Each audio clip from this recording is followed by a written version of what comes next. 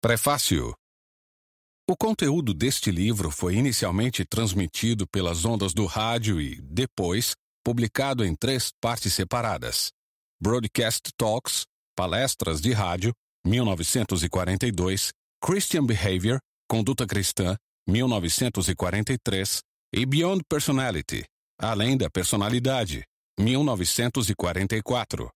Nas versões impressas, fiz alguns acréscimos ao que eu disse ao microfone, mas de maneira geral não alterei o texto. A meu ver, uma preleção de rádio deve se parecer ao máximo com uma conversa, isto é, não deve soar como um ensaio acadêmico sendo lido em voz alta. Assim, em minhas palestras, procurei empregar todas as contrações e os coloquialismos que costumo utilizar no meu falar habitual. Tentei reproduzir esse feito na versão impressa, e toda vez que enfatizava a importância de uma palavra pela entonação de voz na versão impressa, eu a escrevia em itálico. Entretanto, agora estou inclinado a acreditar que isso foi um erro. Um híbrido indesejado entre a arte de falar e a arte de escrever. Um orador deve usar variações de entonação para dar ênfase, porque o seu meio de comunicação se presta naturalmente a esse método. Contudo, um escritor não deve se valer de itálicos com o mesmo propósito, uma vez que dispõe de outros meios diferenciados de expressar as palavras-chave e, portanto, deve utilizá-los. Nesta edição, eliminei as contrações e substituí a maioria dos itálicos, reformulando as sentenças em que elas apareciam mas isso sem, pelo menos assim espero, ter alterado o tom popular ou familiar que eu pretendia assumir o tempo todo. Também acrescentei alguns trechos e excluí outros quando percebia que minha compreensão dos assuntos havia sido aprimorada quando comparada ao meu entendimento de dez anos atrás e também quando deparava com trechos que, a meu ver, pudessem ter sido mal interpretados na versão original. Aqui cabe um aviso ao leitor. Não oferecerei qualquer tipo de ajuda a ninguém que esteja em dúvida entre duas denominações cristãs. Em outras palavras, não espere de mim qualquer orientação no sentido de você se tornar um anglicano, católico romano, metodista ou presbiteriano. Essa omissão é intencional. Até mesmo a lista que acabei de apresentar está em ordem alfabética, e também não faço mistério sobre a minha posição pessoal. Sou um leigo dos mais convencionais da Igreja Anglicana, sem preferência especial pela alta ou pela baixa igreja, tampouco por qualquer outra coisa. Até porque neste livro, minha intenção não é converter ninguém à minha posição particular, pois desde que me tornei cristão, penso que talvez o melhor favor que possa fazer aos incrédulos que me cercam é explicar e defender a crença que tem sido comum a quase todos os cristãos de todos os tempos. Eu tinha inúmeros motivos para pensar assim. Em primeiro lugar, as questões que dividem os cristãos entre si muitas vezes envolvem pontos de alta teologia ou mesmo de história eclesiástica, que devem ser tratados exclusivamente pelos especialistas. Tais matérias estão fora do meu alcance. Nessas águas profundas não tenho condições de ajudar ninguém. Antes, preciso ser ajudado. Em segundo lugar, penso que se deve admitir que a discussão acerca desses pontos controversos não tem qualquer chance de trazer uma pessoa de fora para o seio do cristianismo. Se insistirmos em escrever e falar sobre isso, a probabilidade de desencorajarmos essa pessoa a ingressar em uma comunidade cristã é muito maior do que a de a atrairmos para a nossa denominação. Nossas divergências não devem jamais ser discutidas senão com aqueles que já acreditam que há um só Deus e que Jesus Cristo é o seu único filho. Por fim, tenho a impressão de que há uma quantidade maior de autores e também mais talentosos engajados nessas questões controversas do que em defesa daquilo que Baxter chama de cristianismo puro e simples. A parte que me coube no debate e para a qual eu me senti capaz de contribuir é também a mais modesta, e é para ela que enveredei naturalmente. Pelo que sei, esses foram os meus únicos motivos, e agradeceria se as pessoas não fizessem inferências fantasiosas a respeito do meu silêncio sobre certas polêmicas. Por exemplo, tal silêncio não significa necessariamente que eu esteja em cima do muro. Por vezes, estou mesmo. Há questões em discussão entre os cristãos cuja resposta ainda não nos foi revelada, e há outras para as quais eu nunca terei uma resposta. Se eu as fizesse, mesmo em um mundo melhor, poderia receber uma resposta, até onde sei, como aquela recebida por um inquiridor bem superior a mim. O que lhe importa? Quanto a você, siga-me. Mas há outras questões sobre as quais tenho opinião formada e mesmo assim me mantenho em silêncio. Pois não estou escrevendo para expor algo que eu poderia chamar de minha religião, mas sim para expor o cristianismo puro e simples, que é o que é, e o que já era muito tempo antes de eu ter nascido, independentemente de eu gostar disso ou não.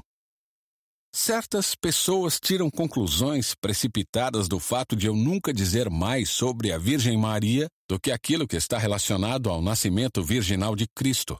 Mas certamente meu motivo para não fazê-lo é óbvio, não é? Dizer mais do que isso me levaria imediatamente para âmbitos altamente controversos. E não há controvérsia entre os cristãos que deva ser tratada com maior delicadeza do que essa. As crenças católico-romanas nessa matéria não são defendidas com o fervor comum que se associa a todas as crenças religiosas sinceras, mas, muito naturalmente, com a sensibilidade peculiar e, por assim dizer, cavalheiresca que uma pessoa sente quando a honra de sua mãe ou sua amada está em questão. É muito difícil divergir do católico nesse ponto sem lhe parecer mal criado ou até um herege. Por outro lado, as crenças protestantes opostas sobre esse assunto evocam sentimentos que vão até as raízes de todo tipo de monoteísmo. Para os protestantes radicais, parece que a distinção entre o Criador e a criatura, por mais santa que seja, está sendo ameaçada pelo renascimento do politeísmo. Portanto, é difícil discordar deles sem parecer aos seus olhos pior do que um herege, um pagão. Se há um tema que poderia arruinar um livro sobre o cristianismo puro e simples, se há algum tema capaz de tornar completamente improdutiva a leitura de pessoas que ainda não creem que o Filho da Virgem é Deus, certamente é esse. Por mais estranho que pareça, você não poderá tirar conclusões do meu silêncio no que diz respeito a temas polêmicos, nem mesmo que eu os considere importantes ou, ao contrário, sem importância pois esse já é por si mesmo um dos pontos polêmicos. Uma das coisas sobre as quais os cristãos discordam é acerca da importância de sua discordância. Quando dois cristãos de denominações diferentes começam a discutir, certamente não demora para que um deles pergunte se tal ponto realmente importa. E o outro responde: Se isso importa? Mas é claro, é absolutamente essencial. Estou dizendo tudo isso simplesmente para deixar claro que tipo de livro eu estive tentando escrever. Certamente não para ocultar ou tentar fugir à responsabilidade por minhas crenças pessoais, pois sobre elas, como eu disse antes, não há segredo. Para citar o tio Toby, personagem do livro A Vida e as Opiniões do Cavalheiro Tristan Shandy, de Lawrence Stern, estão todas escritas no livro de oração comum. O risco maior que eu corria era, sem dúvida, de apresentar como cristianismo comum qualquer coisa que fosse peculiar à igreja anglicana, ou, o que seria pior, a mim mesmo. Tentei evitar esse tipo de coisa enviando o manuscrito original do que é atualmente o livro 2 para quatro clérigos: um anglicano, um católico romano, um metodista e outro presbiteriano, e submetendo-o à crítica deles. O metodista achou que não havia falado bastante sobre fé. Já para o católico romano, eu tinha ido longe demais na falta de importância atribuída a teorias explicativas sobre a expiação. No mais, todos nós concordamos. Não submeti os outros livros a um veto semelhante porque, embora possam suscitar diferentes opiniões entre os cristãos, são somente divergências individuais e entre escolas de pensamento, não entre denominações. A julgar pelas resenhas e inúmeras cartas que me foram escritas, o livro, por mais que seja limitado em outros aspectos, alcançou sucesso ao menos em apresentar um cristianismo concordante, ou comum, ou central, ou puro e simples. Nesse sentido, poderia ser útil refutar a acepção de que, se omitirmos os pontos divergentes, todo o restante seria um vago e minguado máximo divisor comum, MDC. O MDC é algo não apenas positivo, mas também pungente, que se distingue das crenças não cristãs por um profundo abismo que não é em nada comparável nem mesmo às piores divisões internas ao cristianismo. Se eu não tiver servido diretamente à causa da reunificação, talvez tenha deixado claro por que deveríamos nos reunificar. Eu certamente já deparei com o afamado ódio teológico, ou seja, ódio motivado por questões e divergências teológicas de membros convictos pertencentes a outras comunidades cristãs. Porém, a hostilidade vem mais da parte daqueles que estão à margem, seja os de dentro da igreja anglicana, seja de fora. Em outras palavras, aquelas pessoas que não são membros de nenhuma comunidade. Acho isso curiosamente consolador. É no seu centro, onde habitam os seus filhos mais honestos, que cada comunidade está de fato mais próxima da outra em espírito, se não em termos de doutrina. E isso sugere que no centro de cada uma há algo ou alguém que, apesar de todas as divergências de crença, de todas as diferenças de temperamento e de todas as memórias de perseguição mútua, fala a mesma língua. Isso é tudo o que tenho a dizer sobre as minhas omissões relativas à doutrina. No livro 3, que trata da moral, também fiquei em silêncio sobre algumas coisas, mas por um motivo diferente. Desde que servi como soldado na Primeira Guerra Mundial, passei a ter uma aversão a pessoas que fazem exortações aos homens que estão na linha de combate, enquanto elas próprias estão confortáveis e seguras. Em decorrência disso, tenho certa relutância em falar muito de tentações às quais eu mesmo não estou exposto. Parto do pressuposto de que nem todos são tentados por todos os pecados. A compulsão pelo jogo, por exemplo, não faz parte da minha natureza. E sem dúvida, o preço que pago por isso é a falta de algum impulso bom do qual essa compulsão seja o excesso ou a perversão. Portanto, não me sinto qualificado a dar conselhos sobre o que é permissível ou não no jogo. Se é que há algo permitido, pois não me atrevo nem mesmo a afirmar que tenha esse conhecimento. Também não falei nada a respeito do controle de natalidade, pois não sou mulher e nem mesmo casado ou um reverendo. Portanto, não me vejo em condições de defender uma posição firme sobre sofrimentos, perigos e o preço daquilo de que estou protegido. Além disso, também não exerço nenhuma atividade pastoral que me obrigue a isso. Há objeções perceptíveis e que também foram expressas, bem mais profundas contra o meu uso da palavra cristão no sentido de alguém que aceita as doutrinas comuns do cristianismo. As pessoas me perguntam: quem é você para determinar quem é e quem não é um cristão? Ou, não é possível que muitas pessoas que não creem nessas doutrinas possam ser mais genuinamente cristãs, estando mais perto do Espírito de Cristo do que outras que creem? Com certeza, essa objeção é, em certo sentido, muito acertada, generosa, espiritual e sensível.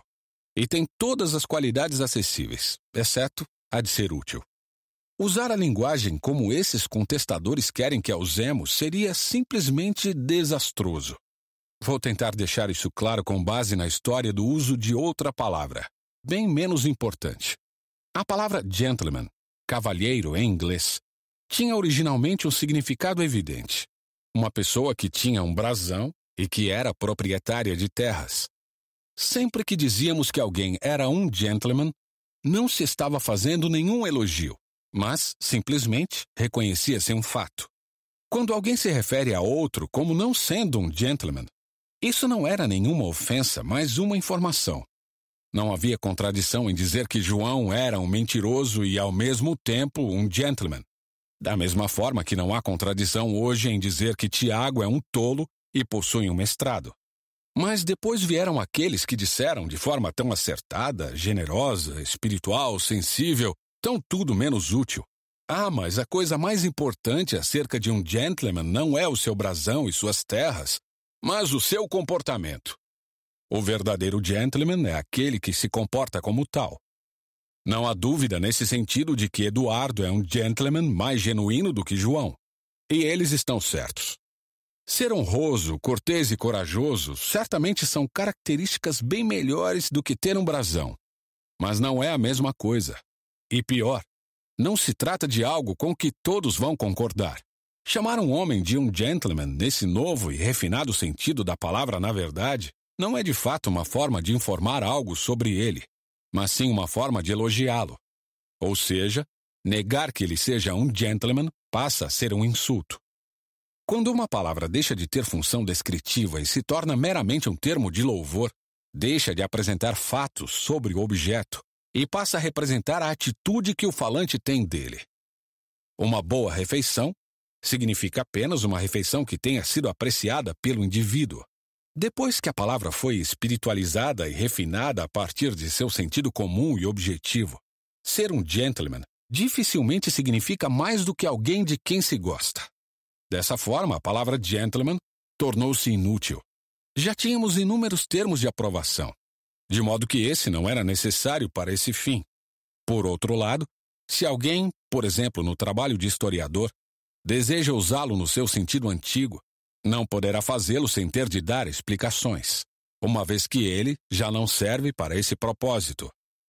Agora, se permitir que as pessoas comecem a espiritualizar e refinar, ou como elas poderiam alegar, aprofundar o sentido da palavra cristão, ela também será em breve uma palavra sem utilidade. Em primeiro lugar, os próprios cristãos já não estarão em condições de aplicá-la a ninguém. Não cabe a nós dizer quem, no sentido mais profundo do termo, está mais próximo do Espírito de Cristo. E também não conseguimos olhar dentro do coração das pessoas. Não cabe a nós fazer tal julgamento e, na verdade, somos proibidos de fazê-lo. Seria mais pura arrogância dizermos que alguém é ou não um cristão nesse sentido refinado. E, obviamente, uma palavra que nunca pode ser aplicada jamais se tornará muito útil. Já os incrédulos, sem dúvida, ficarão contentes por usar a palavra no sentido refinado uma vez que na boca deles ela não será mais que elogio. Ao chamar alguém de cristão, para eles, isso não significará nada além de que aquele indivíduo é um bom homem. Mas esse modo de usar a palavra não representará nenhum enriquecimento da linguagem, uma vez que já dispomos do adjetivo bom. Nesse meio tempo, a palavra cristão terá sido despojada de qualquer propósito realmente útil a que pudesse ter servido. Deveríamos, portanto, ser fiéis ao sentido original, mais óbvio. O nome cristãos foi empregado pela primeira vez em Antioquia, Atos 11:26, para designar os discípulos, aqueles que aceitavam o ensino dos apóstolos. Não há dúvida de que ele era restrito àqueles que tivessem tirado o máximo proveito desse ensinamento. Mas, ao mesmo tempo, não há dúvida de que ele foi estendido àqueles que, de alguma forma refinada, espiritual e intrínseca, estavam mais próximos do Espírito de Cristo do que o menos satisfatório dos discípulos. Não se trata de uma questão moral ou teológica, mas sim de empregar as palavras de tal forma que todos possamos entender o que elas significam. Quando um indivíduo que aceita a doutrina cristã não vive de acordo com ela, é muito mais esclarecedor dizer que ele é um mau cristão do que dizer que ele não é um cristão. Espero que nenhum leitor suponha que o cristianismo puro e simples aqui proposto deva ser entendido como uma alternativa aos credos das comunidades existentes, como se uma pessoa pudesse adotá-lo preferencialmente ao congregacionalismo ou à Igreja Ortodoxa Grega ou a qualquer outra igreja. O cristianismo puro e simples é, antes, como um saguão de entrada a partir do qual várias portas se abrem para diversos cômodos. Se eu puder conduzir alguém ao saguão, terei alcançado o meu objetivo. Mas é nos cômodos, e não no saguão, que há lareiras, cadeiras e refeições. O saguão é uma sala de espera, um lugar a partir do qual se pode experimentar as várias portas, não um local para se morar. O pior dos cômodos, qualquer que seja, seria, a meu ver, preferível para esse fim. É bem verdade que certas pessoas acreditam que têm de esperar no saguão por um longo tempo, enquanto outras já sabem logo em qual das portas devem bater.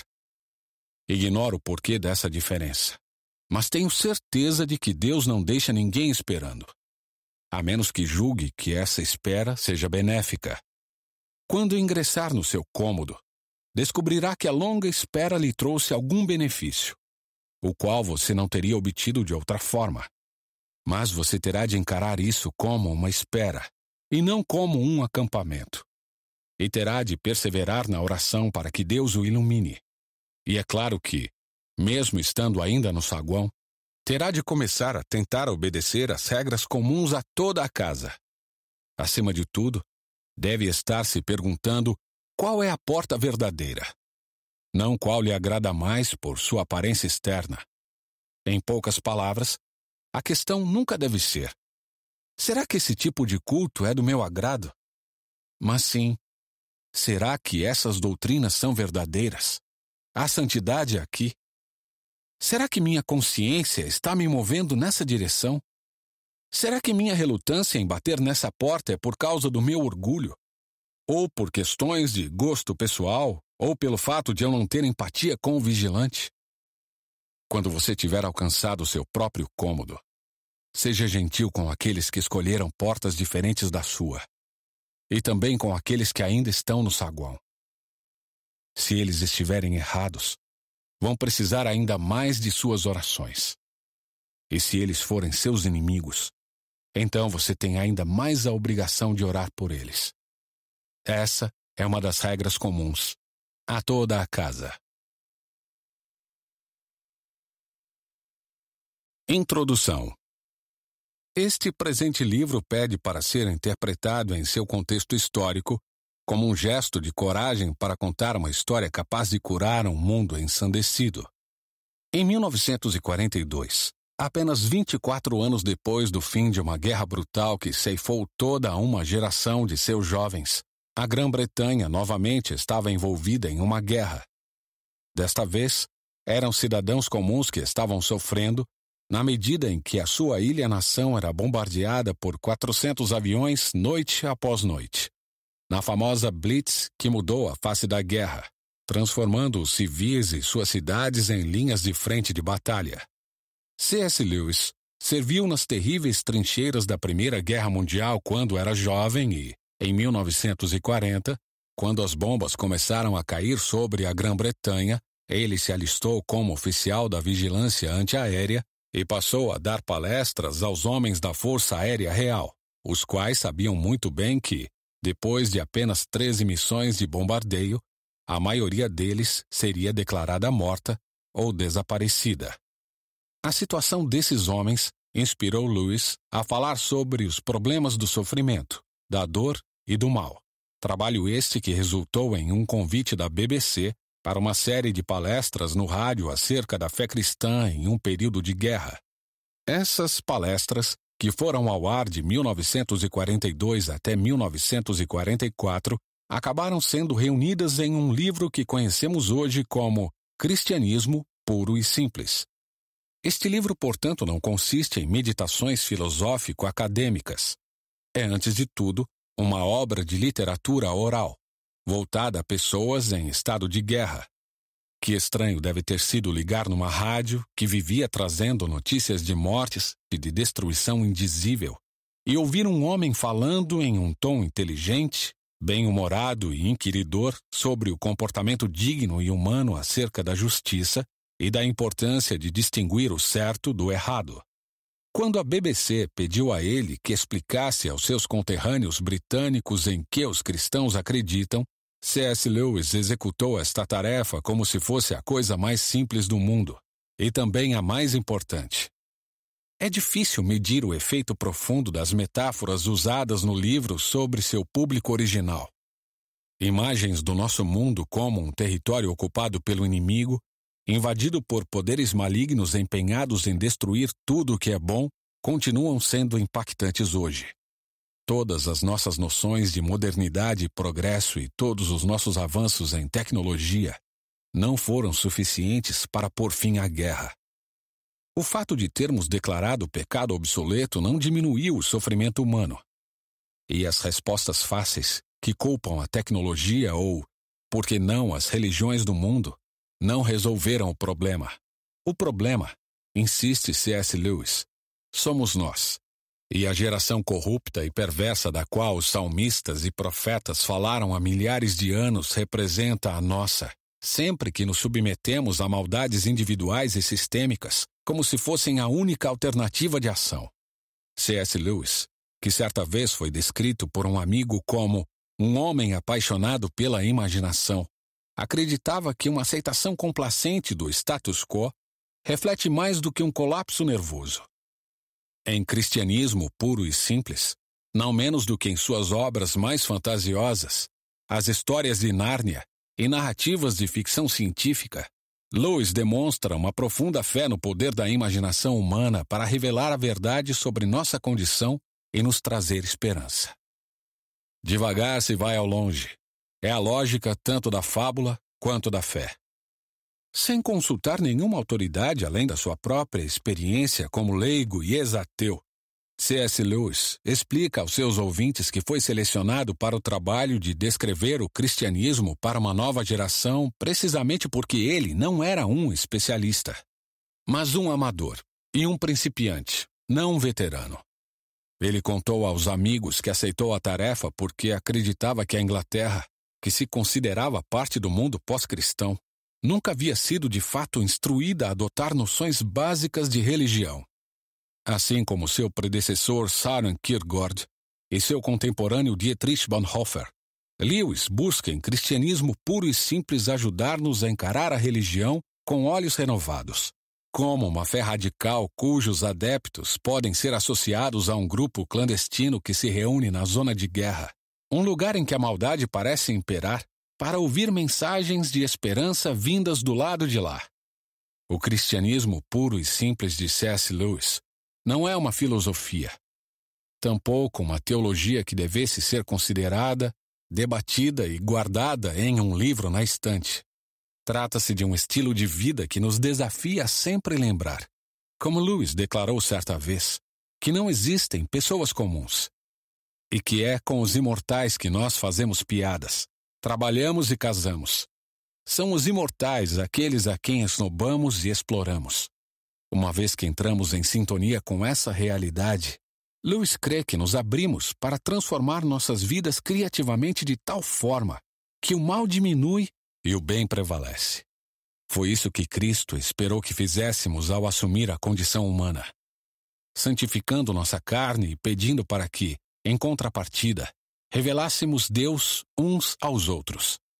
Se o mundo faz com que isso pareça uma tarefa impossível, Lewis insiste que não é.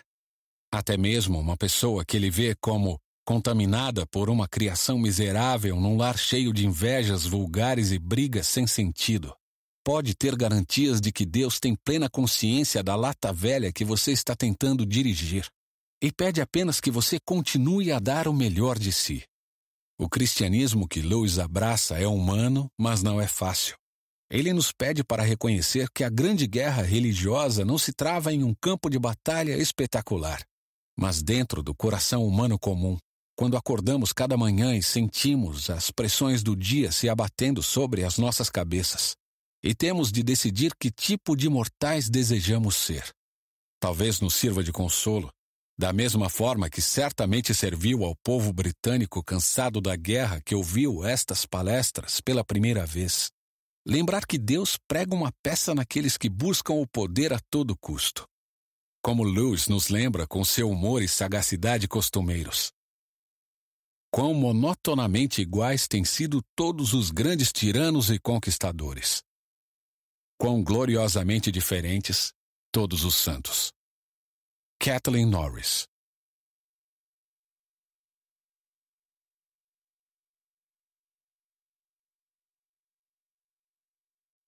Livro 1 O certo e o errado como indícios para a compreensão do sentido do universo. Capítulo 1 A lei da natureza humana. Todos já viram pessoas brigando. Às vezes, a discussão soa engraçada e, às vezes, simplesmente desagradável. Mas, como quer que soe, acredito que possamos aprender algo muito importante dando ouvidos ao tipo de coisa que elas falam. Elas dizem coisas do tipo: Como você se sentiria se alguém fizesse o mesmo com você? Esse lugar é meu? Eu cheguei primeiro. Deixa-o em paz. Ele não está incomodando você. Você empurrou primeiro. Dê-me um pedaço de sua laranja. Eu lhe dei um pedaço da minha. Vamos lá, você prometeu. As pessoas dizem coisas assim todos os dias, tanto as bem-educadas como as mal-educadas, e tanto crianças como adultos. Agora, o que me interessa em comentários desse tipo é que a pessoa que os faz não está dizendo simplesmente que o comportamento do outro não lhe esteja agradando. Ela está apelando para um tipo de padrão de comportamento que espera que o outro conheça. E este último raramente responde: que se dane o seu padrão. Quase sempre ele tenta convencer a pessoa de que o que esteve fazendo não infringe o padrão de verdade ou que, no caso de infringir, haja alguma desculpa especial. Ele alega que há alguma razão especial nesse caso particular, porque a pessoa que se sentou no lugar primeiro não deveria ocupá-lo, ou que as coisas eram bem diferentes quando ele recebeu o pedaço da laranja, ou que algum imprevisto o tenha impedido de cumprir a sua promessa tudo nos leva a crer que ambas as partes tinham algum tipo de lei ou regra de justiça, comportamento digno ou moral, ou coisa do tipo, sobre o qual realmente concordam. E eles concordaram. Se não o tivessem feito, poderiam até mesmo lutar como animais, mas não conseguiriam brigar no sentido humano da palavra. O intuito da briga é mostrar que o outro está errado mas não teria sentido fazer isso a menos que você e ele tivessem algum acordo sobre o que é certo e errado. Da mesma forma como não teria sentido dizer que o jogador de futebol cometeu uma falta se não houvesse algum acordo sobre as regras de futebol. Ora, a lei ou regra sobre o certo e o errado costumava ser chamada de lei natural. Hoje, quando falamos da lei natural, Normalmente estamos falando de coisas como a gravidade, a hereditariedade ou as leis da química. Todavia, quando os pensadores antigos chamaram a lei do certo e do errado de lei natural, na verdade estavam se referindo à lei da natureza humana. A ideia era que, da mesma forma que todos os corpos são governados pela lei da gravidade e os organismos por leis biológicas, a criatura chamada ser humano também tem a sua lei, com uma grande diferença. Um corpo não pode escolher obedecer ou não à lei da gravidade, ao passo que uma pessoa pode escolher se obedece ou não à lei da natureza humana. Essa questão pode ser analisada por outro prisma. Qualquer indivíduo está sujeito a diferentes conjuntos de leis, mas há apenas uma lei a qual ele tem a liberdade de desobedecer. Como corpo, ele está sujeito à gravidade e não pode desobedecer a ela. Uma vez suspenso no ar, ele não tem outra opção a não ser cair feito uma pedra.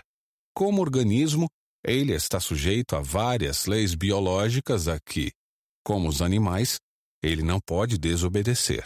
Isto é, ele não pode desobedecer aquelas leis que compartilha com outras coisas, mas a lei que é peculiar à sua natureza humana, a lei que ele não compartilha com animais, vegetais ou coisas inorgânicas, é a que ele pode desobedecer se assim desejar. Essa lei foi chamada de lei natural porque as pessoas acreditavam que todos a conhecessem por natureza e não precisavam ser ensinados por outros.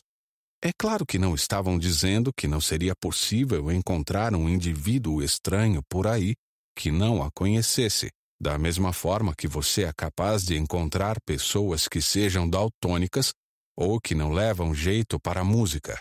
Entretanto, tomando a raça como um todo, elas achavam que a ideia humana de comportamento digno fosse óbvia para todo o mundo.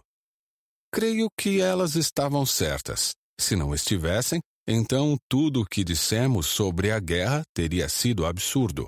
Que sentido teria dizer que o inimigo está errado se o certo não for algo real que, no fundo, os nazistas conheciam tão bem quanto nós e tinham o dever de pôr em prática? Se não tivessem tido noção do que queríamos dizer com certo e errado, então, por mais que continuássemos tendo de combatê-los, não poderíamos culpá-los mais por isso do que pela cor do seu cabelo. Sei que algumas pessoas consideram como sem fundamento a lei natural ou lei do comportamento digno, conhecida de todos os homens, sem fundamento, porque as diversas civilizações e os povos das várias épocas erigiram doutrinas morais muito diferentes. Mas isso não é verdade.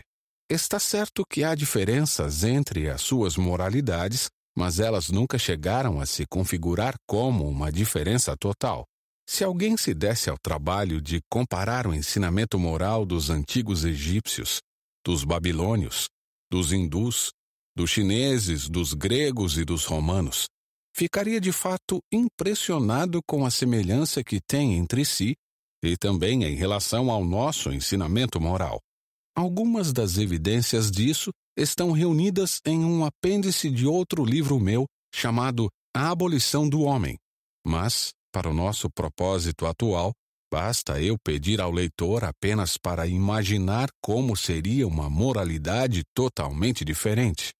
Imagine um país em que as pessoas fossem admiradas por fugir da batalha ou em que uma pessoa se orgulhasse de ter enganado todas aquelas que foram legais com ela.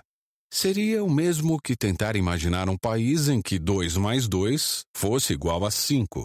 Há discordância sobre as pessoas com quem você deve ser altruísta.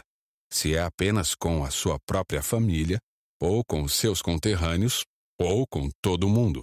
Mas é de comum acordo que você nunca deve se colocar acima dos outros uma vez que o egoísmo jamais foi algo que causasse admiração. As pessoas divergem quanto a se alguém deve ter uma única esposa ou quatro, mas sempre concordaram que alguém não pode simplesmente ter qualquer mulher que desejasse. Mas o fato mais impressionante é o seguinte: mesmo que você consiga encontrar uma pessoa que afirme com toda a certeza que não crê que haja realmente o certo e o errado, essa mesma pessoa vai apelar para isso logo em seguida. Ela poderá até quebrar a promessa que fez a você, mas se você tentar quebrar a sua com ela, num piscar de olhos ela ficará reclamando que não é justo. Uma nação pode até dizer que não liga para os tratados, mas então, no momento seguinte, ela passa a expor o seu caso, dizendo que aquele tratado particular que os outros querem quebrar era injusto. Entretanto, se os tratados não interessam, se não há tal coisa como o certo e o errado, em outras palavras, se não há lei natural, a lei da natureza humana, qual seria a diferença entre um tratado justo e um injusto? Não foram elas mesmas que se traíram, mostrando que, por mais que falem contra a regra, conhecem a lei natural como qualquer outra pessoa? Parece então que seremos forçados a aceitar que existe o certo e o errado. As pessoas podem muitas vezes enganar-se sobre eles, da mesma forma que as pessoas às vezes erram os cálculos. Mas isso não é uma mera questão de gosto ou opinião, mas de tabuada. Agora, se estamos de acordo com relação a isso, vou passar para meu próximo ponto, que é o seguinte: nenhum de nós observa a lei natural de fato. Se houver qualquer exceção entre vocês, peço desculpas. Melhor seria ler outro livro, pois nada do que vou falar diz respeito a vocês. E agora, voltemos aos seres humanos comuns. Espero que não entendam mal o que vou dizer, pois não quero dar nenhum sermão e Deus sabe que não pretendo ser melhor do que ninguém. Estou tentando apenas chamar a atenção para o fato de que este ano, ou este mês, ou mais provavelmente hoje mesmo, falhamos em adotar o tipo de comportamento que esperamos dos outros. Podemos usar qualquer desculpa.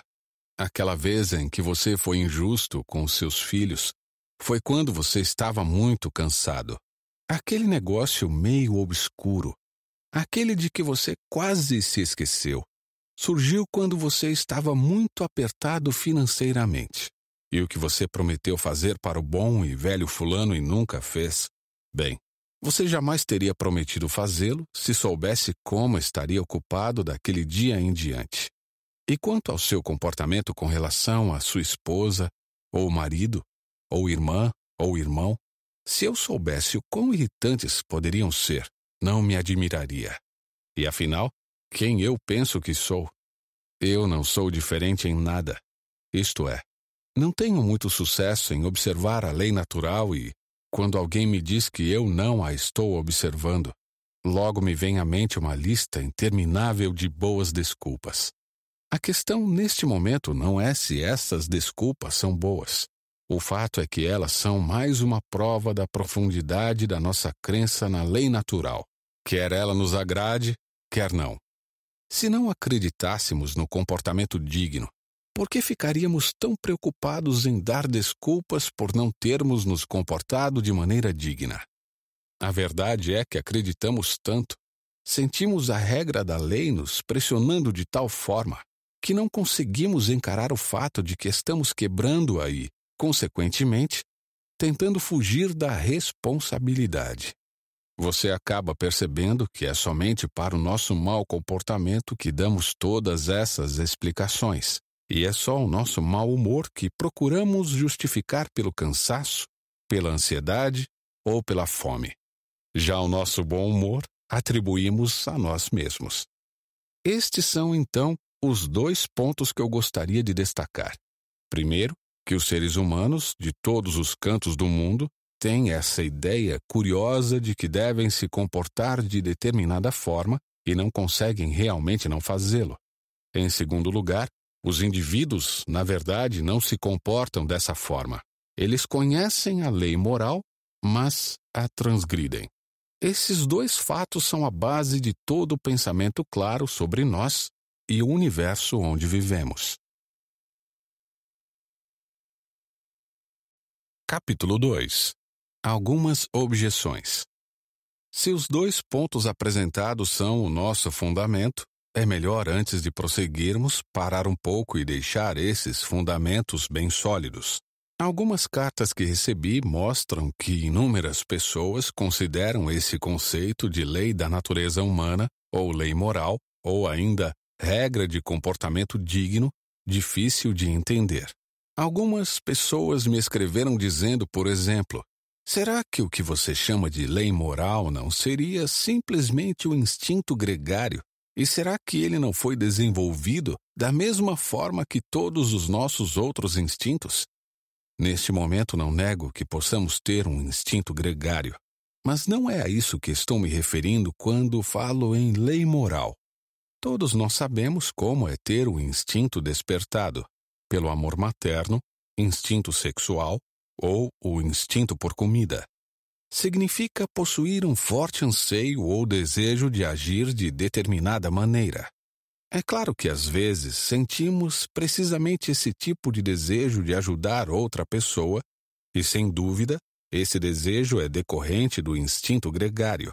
Mas sentir o desejo de ajudar alguém é bem diferente de sentir que você tem a obrigação de ajudar independentemente de sua vontade. Suponha que você ouça um grito por socorro de uma pessoa que esteja em perigo. Provavelmente, você terá dois desejos: o de prestar ajuda, por causa de seu instinto gregário, e outro de manter-se fora de perigo, por conta do instinto de autopreservação. Mas encontrará dentro de si além desses dois impulsos, uma terceira coisa que lhe diz que você deve seguir o impulso de ajudar e suprimir o impulso de fugir. Agora, essa coisa que faz você julgar entre dois instintos e que decide qual dos dois deve ser encorajado, não pode ser nenhum deles propriamente dito. Da mesma forma, você poderia dizer que a partitura musical que lhe diz que em dado momento deve tocar uma nota no piano e não outra, equivale a uma das notas do teclado. A lei moral nos diz qual é o tom que devemos tocar, ao passo que nossos instintos não passam de teclas. Outra forma de se reconhecer que lei moral não se reduz a um dos nossos instintos é a seguinte: sempre que dois instintos estão em conflito, e não há nada na mente de uma criatura além disso, Obviamente, o mais forte dos dois prevalecerá. Todavia, nos momentos em que estamos mais conscientes da lei moral, normalmente parece que ela recomenda que optemos pelo lado mais fraco dos dois impulsos. Você provavelmente deseja ficar em segurança mais do que deseja ajudar uma pessoa que esteja se afogando, mas a lei moral lhe diz para ajudá-la assim mesmo. e certamente muitas vezes nos diz para tentar tornar um impulso certo mais forte do que era naturalmente, não é mesmo? Ou seja, muitas vezes sentimos que é nosso dever estimular o instinto gregário, despertando nossa imaginação e provocando nossa comiseração e assim por diante, a fim de termos força para fazer a coisa certa. Mas é claro que não estaremos agindo por instinto quando começamos a tornar um instinto mais forte do que era. Aquilo que lhe diz, seu instinto gregário está adormecido, desperte-o. Isso não pode ser o próprio instinto gregário. O que lhe diz qual nota do piano você deve tocar mais alto não pode ser essa própria nota. Aqui vai a terceira forma de reconhecê-la. Se a lei moral fosse um dos nossos instintos, teríamos de estar em condições de apontar algum dos impulsos dentro de nós que sempre pudéssemos chamar de bom, que sempre estivesse de acordo com a regra de comportamento correto. Mas não estamos, pois não há entre os nossos impulsos nenhum que a lei moral já não tenha mandado suprimir, nenhum que ela já não tenha nos dito para encorajar. É um erro achar que alguns de nossos impulsos, por exemplo, o amor materno ou o patriotismo, sejam bons e outros, como o sexo ou o instinto de luta, sejam ruins. Tudo o que estamos dizendo é que as ocasiões em que um instinto de luta ou desejo sexual precisam ser reprimidos são mais frequentes do que aquelas de restrição do amor materno ou do patriotismo. Contudo, há situações em que é dever da pessoa casada encorajar seu impulso sexual e de um soldado estimular seu instinto de luta. E há também ocasiões em que o amor de uma mãe por seus filhos ou o amor de um indivíduo por seu próprio país tem de ser suprimido, pois, do contrário, isso poderá levá-los a cometer injustiça com os filhos de outras pessoas e com outros povos. Estritamente falando, não existe essa coisa de impulsos bons e maus. Voltemos ao piano. Ele não tem dois tipos de tecla, as certas e as erradas. Ou seja, toda e qualquer tecla é correta em determinado momento e errada em outro. Nesse sentido, a lei moral não é um único instinto ou conjunto de instintos, mas sim algo que produz um tipo de tom, o tom que denominamos bondade ou conduta correta, que direciona os instintos. Aliás, esse assunto tem enormes consequências práticas. A coisa mais perigosa que você pode fazer é pegar um impulso de nossa própria natureza e determiná-lo como regra a ser seguida a todo custo, pois todos eles, sem exceção, têm o poder de nos transformar em demônios, se os estabelecermos como guias absolutos. Você pode até achar que o amor pela humanidade em geral seja livre desse perigo, mas não é. Se você deixar de lado o senso de justiça, Logo estará quebrando acordos e forjando evidências pelo bem da humanidade e se tornando, no final das contas, uma pessoa cruel e traiçoeira. Outros me escreveram dizendo: será que o que você chama de lei moral não é apenas uma convenção social, algo que nos foi incutido pela educação? Penso que haja um mal-entendido aqui. As pessoas que fazem esse tipo de pergunta normalmente estão partindo do pressuposto de que, se aprendemos algo com nossos pais e professores, então isso tem de ser uma mera invenção humana. Mas é claro que as coisas não são assim. Todos nós aprendemos a tabuada na escola. Já uma criança que tivesse se criado numa ilha deserta não a conheceria. Mas certamente não se pode inferir disso que a tabuada seja uma simples convenção humana algo que os seres humanos tenham inventado para si e poderiam ter feito diferente se o desejassem. Concordo inteiramente que aprendemos a regra de comportamento digno de pais e professores, e de amigos e livros, da mesma forma que aprendemos todas as outras coisas. Mas algumas coisas que aprendemos são meras convenções que poderiam ter sido diferentes. Aprendemos a nos manter do lado esquerdo da rua mas a regra também poderia ter sido de nos mantermos à direita, e outras, como a matemática, são verdades reais. A questão é a qual dessas classes pertence à lei da natureza humana. Há dois motivos para se afirmar que ela pertence à mesma classe que a matemática. A primeira é que, Como eu disse no primeiro capítulo, embora haja diferenças entre as ideias morais de uma época ou de um país e as de outro, as diferenças não são realmente muito grandes, nem de perto tão grandes quanto a maioria das pessoas imagina. E você pode reconhecer a mesma lei agindo em todos. Já meras convenções, como as convenções sobre trânsito ou os tipos de roupas que as pessoas usam, podem diferir profundamente. A outra razão é a seguinte: se você considera as diferenças entre a moralidade de um povo e a de outro, não tende a pensar que a moralidade de um deles seja sempre melhor ou pior do que a do outro? Será que algumas das mudanças não foram para melhor? Se não, então certamente não poderia haver nenhum progresso moral. O progresso não quer dizer apenas mudança pura e simples, mas mudança para melhor. Então, se nenhum conjunto de ideias morais fosse mais verdadeiro ou melhor do que outro, não haveria sentido em preferir a moralidade civilizada à moralidade selvagem ou a moralidade cristã à moralidade nazista. Na verdade, é claro que todos nós acreditamos que algumas moralidades sejam melhores que outras. Acreditamos que algumas pessoas que tentaram mudar as ideias morais de sua própria época foram o que chamamos de reformadores ou pioneiros. Pessoas que entendiam melhor a moralidade do que seus contemporâneos. Muito bem, então. No exato momento em que você diz que um conjunto de ideias morais pode ser melhor que outro, estará, na verdade, medindo ambos de acordo com um padrão, dizendo que um deles está mais em conformidade com aquele padrão do que o outro. Entretanto, o padrão que mede duas coisas é diferente da própria moralidade. Você está, na verdade, comparando ambos com alguma moralidade real, admitindo que algo é uma verdade real independentemente do que as pessoas pensam e que as ideias de algumas pessoas se aproximam mais do que é o realmente certo do que outras. Ou vamos colocá-lo nos seguintes termos: se suas ideias morais podem ser mais verdadeiras e aquelas dos nazistas menos, deve haver algo, alguma moralidade real, de acordo com a qual sejam verdadeiras.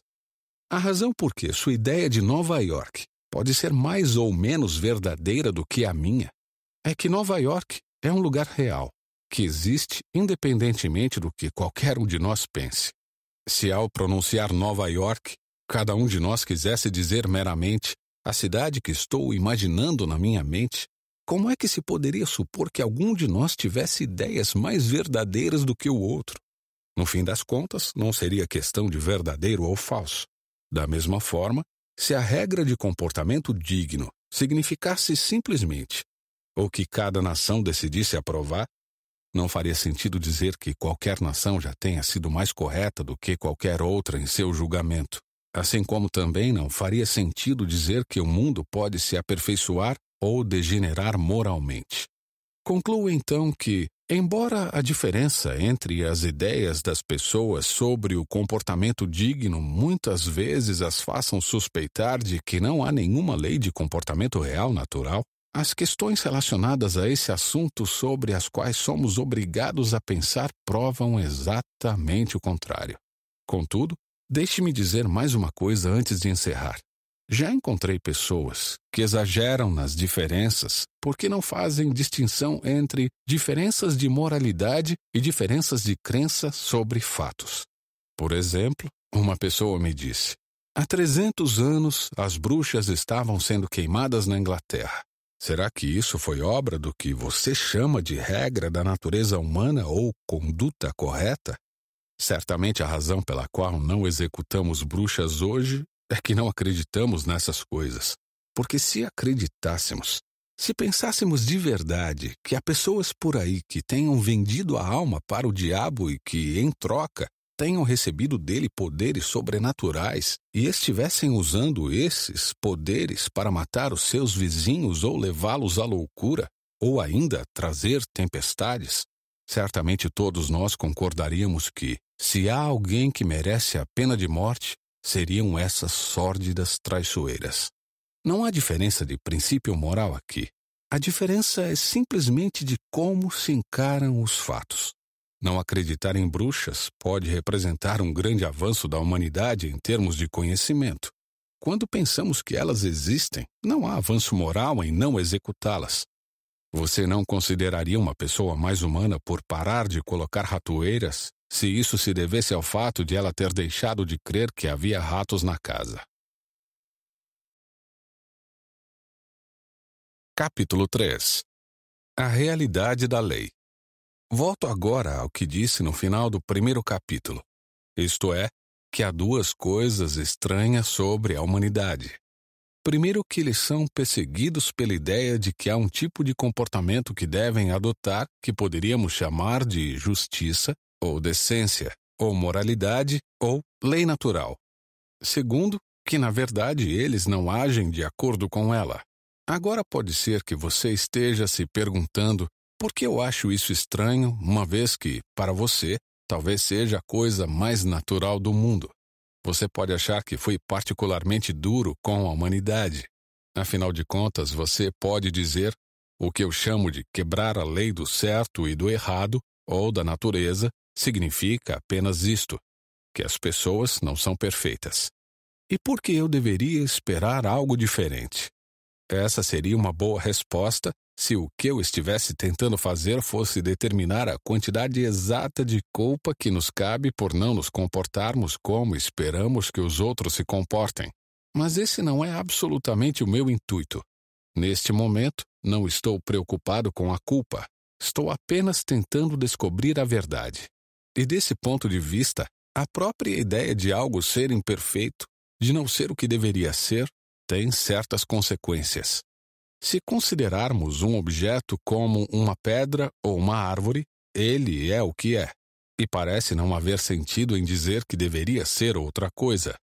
É claro que você pode dizer que uma pedra não tem o formato certo se você quiser usá-la para adornar um jardim, ou que uma árvore não é boa porque não lhe oferece a sombra que você esperava.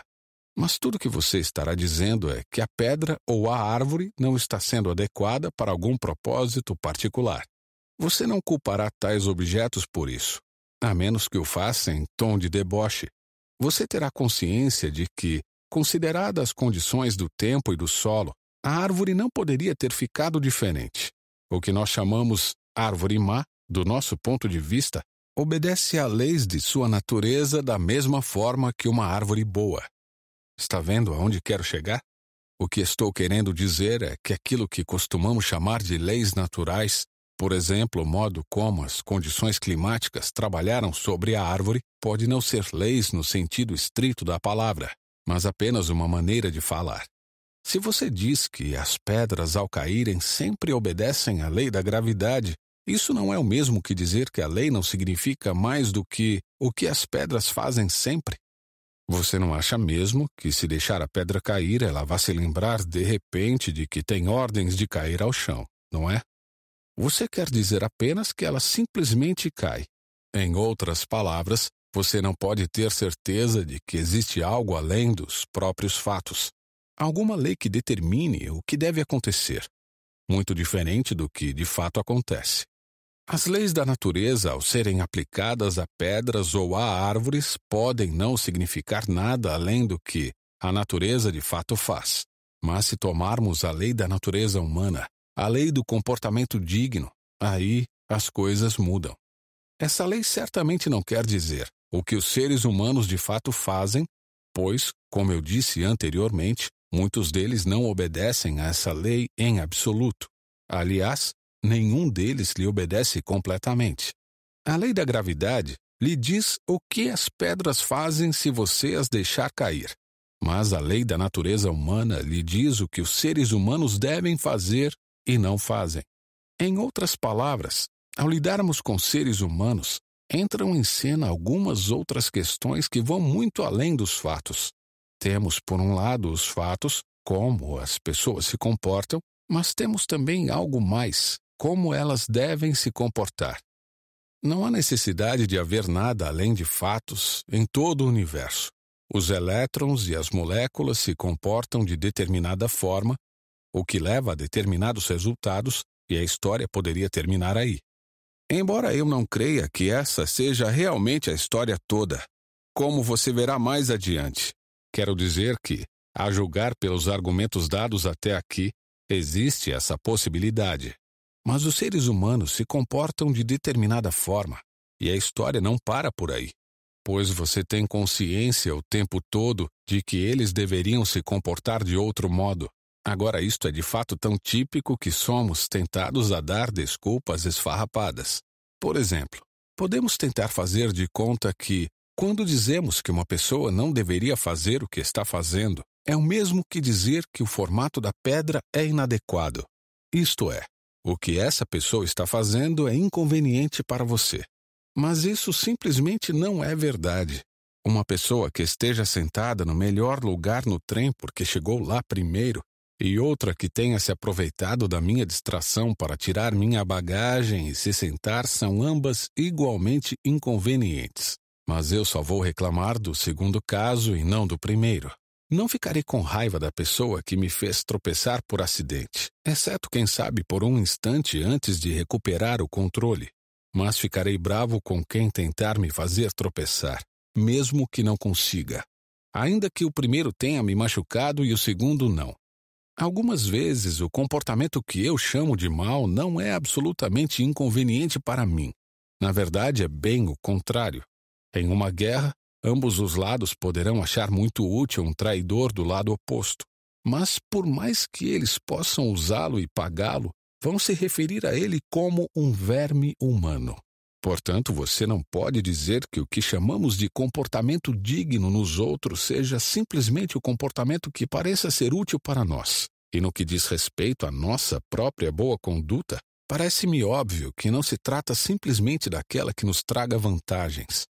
Trata-se, isto sim, de ficar contente com 30 shillings quando poderíamos ter ganhado 3 libras, de fazer a lição de casa de forma honesta quando seria mais fácil copiar de deixar a garota em paz quando na verdade estávamos com vontade de ir para a cama com ela, de frequentar lugares perigosos quando se poderia ir para lugares bem mais seguros, de cumprir as promessas que preferiria não ter feito e de dizer a verdade mesmo que isso nos faça parecer bobos. Certas pessoas dizem que, embora a conduta digna não traga vantagem para o indivíduo em determinado momento, ainda assim traz vantagem para a humanidade como um todo, e que, consequentemente, não há mistério em torno disso. Afinal de contas, os seres humanos têm algum bom senso e reconhecem que só é possível ter segurança ou felicidade real em uma sociedade em que todos joguem limpo, e que isso se dá porque reconhecem que tentam se comportar de maneira digna. Agora é claro que é perfeitamente verdade que a segurança e a felicidade só podem vir de indivíduos, classes e nações que são honestos, jogam limpo e são gentis uns com os outros. Essa é uma das verdades mais importantes do mundo, mas seria um equívoco tomá-la como explicação para como nos sentimos com relação ao certo e ao errado. Se alguém fizesse a seguinte pergunta: Por que eu deveria ser altruísta? E você respondesse: porque isso é bom para a sociedade. Poderíamos perguntar em seguida: por que eu deveria me importar com o que é bom para a sociedade se isso não me trouxer nenhuma vantagem pessoal? Então você precisaria dizer: porque você deve ser altruísta. O que simplesmente nos traz de volta ao ponto de onde partimos. Você está dizendo a verdade, mas não está chegando a lugar nenhum. Se alguém perguntasse qual é o propósito de jogar bola, não seria uma boa resposta dizer que é para marcar gols, pois tentar marcar gols representa o jogo em si e não o motivo do jogo, e você estaria dizendo apenas que o futebol é futebol, o que é verdade, mas que não precisa ser dito. Da mesma forma, se alguém pergunta qual é a graça de se comportar com decência, não será uma boa resposta dizer que é para fazer bem à sociedade, pois tentar beneficiar a sociedade, ou, em outras palavras, ser altruísta, pois sociedade não quer dizer nada mais do que as outras pessoas, é uma das coisas em que o comportamento digno consiste. Tudo que você está dizendo realmente é que o comportamento digno é o comportamento digno. Você teria dito a mesma coisa se falasse que o ser humano deve ser altruísta e tivesse parado por aí. E é nesse ponto que eu paro. As pessoas devem ser altruístas, devem jogar limpo. Não que elas sejam ou gostem de ser altruístas, mas é o que elas deveriam ser. A lei moral ou lei da natureza humana não é simplesmente um fato sobre o comportamento humano, assim como a lei da gravidade é ou poderia ser simplesmente um fato sobre como os objetos pesados se comportam. Por outro lado, não se trata de mera fantasia, pois não podemos nos livrar da ideia, e a maioria das coisas que dizemos e pensamos sobre os seres humanos se reduziria a bobagens se o fizéssemos. E não se trata simplesmente de uma afirmação sobre como gostaríamos que a humanidade se comportasse para nossa própria conveniência. Pois o comportamento que chamamos de mal ou injusto não é exatamente o mesmo que o comportamento que achamos conveniente.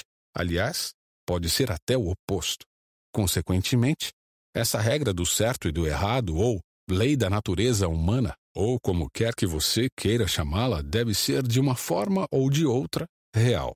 Algo que existe de verdade, que não seja inventado por nós. E ainda assim, não se trata de um fato no sentido comum, da mesma forma que o nosso comportamento real é um fato.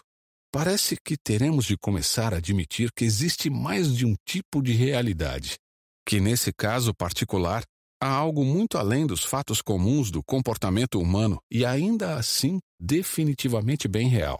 Uma lei real que nenhum de nós construiu, mas que exerce uma pressão sobre nós. Capítulo 4 O que está por trás da lei? Vamos resumir o que vimos até aqui. No caso de pedras e árvores e coisas desse tipo, o que chamamos de leis da natureza pode não passar de um modo de falar. Quando você diz que a natureza é governada por certas leis, isso significa apenas que ela de fato se comporta de determinada forma. Tais leis podem não ser algo real, ou seja, podem não ser nada além de fatos que observamos. Mas no caso dos seres humanos, vimos que as coisas não funcionam assim. As assim chamadas leis da natureza humana, ou do certo e errado, têm que ser algo que vá além dos fatos concretos do comportamento humano. Nesse caso, além dos fatos reais, você terá algo mais. Uma lei real que não foi inventada por nós e a qual sabemos que temos de obedecer. Neste momento, gostaria de levar em consideração o que isso nos diz sobre o universo em que vivemos. Desde que as pessoas começaram a pensar, elas se perguntam o que é realmente esse universo e como ele veio a existir. E de forma muito básica, duas visões passaram a ser sustentadas. Primeiro, ao que chamamos de visão materialista. As pessoas que assumem essa visão pensam que a matéria e o espaço simplesmente existem e sempre existiram. Ninguém sabe o porquê, e que a matéria, ao comportar-se de certas maneiras fixas, simplesmente passou a produzir criaturas como nós, as quais, com muita sorte, foram capazes de pensar. Por uma chance em mil, algo colidiu com o nosso Sol e fez com que produzisse os planetas. E por outra chance em mil, todos os produtos químicos necessários à vida e à temperatura certa surgiram em um desses planetas. E assim uma porção da matéria dessa Terra ganhou vida. E então, por uma série muito longa de acasos, as criaturas vivas se desenvolveram até se tornarem coisas muito parecidas conosco. A outra visão é a religiosa. De acordo com ela, o que está por trás do universo é mais parecido com uma mente do que qualquer outra coisa que conhecemos. Isto é, trata-se de algo consciente, que tem propósitos e preferências. De acordo com esta visão, esse ser criou o universo, parcialmente com propósitos que desconhecemos, mas em parte, em todo caso, para produzir criaturas semelhantes a ele, ou seja, semelhantes a ele no sentido de possuir mentes. Por favor, não pense que alguma dessas visões tenha sido sustentada há muito tempo e que a outra tenha tomado seu lugar gradativamente. Ambas as visões aparecem por onde quer que tenha havido homens pensantes. E mais, não é possível descobrir qual dessas visões, no seu sentido comum, é a correta do ponto de vista científico. A ciência funciona com base em experimentos e observa o comportamento das coisas. Toda afirmação científica no longo prazo, por mais complicada que pareça, na verdade significa algo como eu apontei o telescópio para esta ou aquela parte do universo às duas e vinte da manhã do dia 15 de janeiro e vi isto ou aquilo. Ou coloquei tal material em um becker e o aqueci a determinada temperatura e aconteceu isto ou aquilo. Não pense que estou contrariando a ciência. Apenas estou dizendo qual é a tarefa dela. E quanto mais científica for uma pessoa, mais, creio eu, ela concordaria comigo que esse é o seu papel. E trata-se inclusive de uma tarefa bastante útil e necessária. Mas a razão pela qual as coisas acontecem, e se há alguma coisa por trás do que a ciência observa, algo de natureza diferente, essa não é uma questão científica. Se há algo por trás, então, ou isso terá de permanecer totalmente desconhecido ao ser humano, ou então terá de tornar-se conhecido de maneira diferente. A ciência não pode afirmar se uma coisa existe ou não, e os verdadeiros cientistas normalmente não fazem esse tipo de pergunta.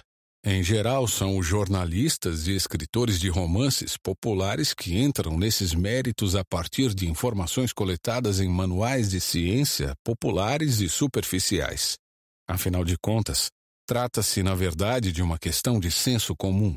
Supõe-se que a ciência jamais se torne completa a ponto de saber todas as coisas de todo o universo. Não está claro que questões como por que existe o universo, por que ele funciona como funciona, será que ele tem algum sentido, permaneceriam da mesma maneira? Agora, nossa posição seria bem desesperadora se não fosse por um detalhe. Há uma coisa, e somente uma, em todo o universo, sobre a qual sabemos mais do que poderíamos extrair por observação externa. Essa coisa é o ser humano. Não nos limitamos a observar as pessoas meramente de fora. Nós somos humanos. Neste caso, temos, por assim dizer, informações internas. Nós o conhecemos por dentro. Por esse motivo, sabemos que as pessoas estão debaixo de uma lei moral que não foi criada por elas e que não conseguem esquecer mesmo que tentem, e a qual sabem que devem obedecer. Note o seguinte: qualquer um que estude o ser humano de fora, da mesma forma que estudamos a eletricidade ou repolhos, sem conhecer nossa linguagem e, consequentemente, sem estar em condições de obter qualquer conhecimento de dentro sobre nós, mas apenas observando o que fazemos, nunca desconfiaria de que possuímos essa lei moral. Como poderia? Pois só o que a sua observação mostraria é o que ele faz, e a lei moral é sobre o que ele deve fazer.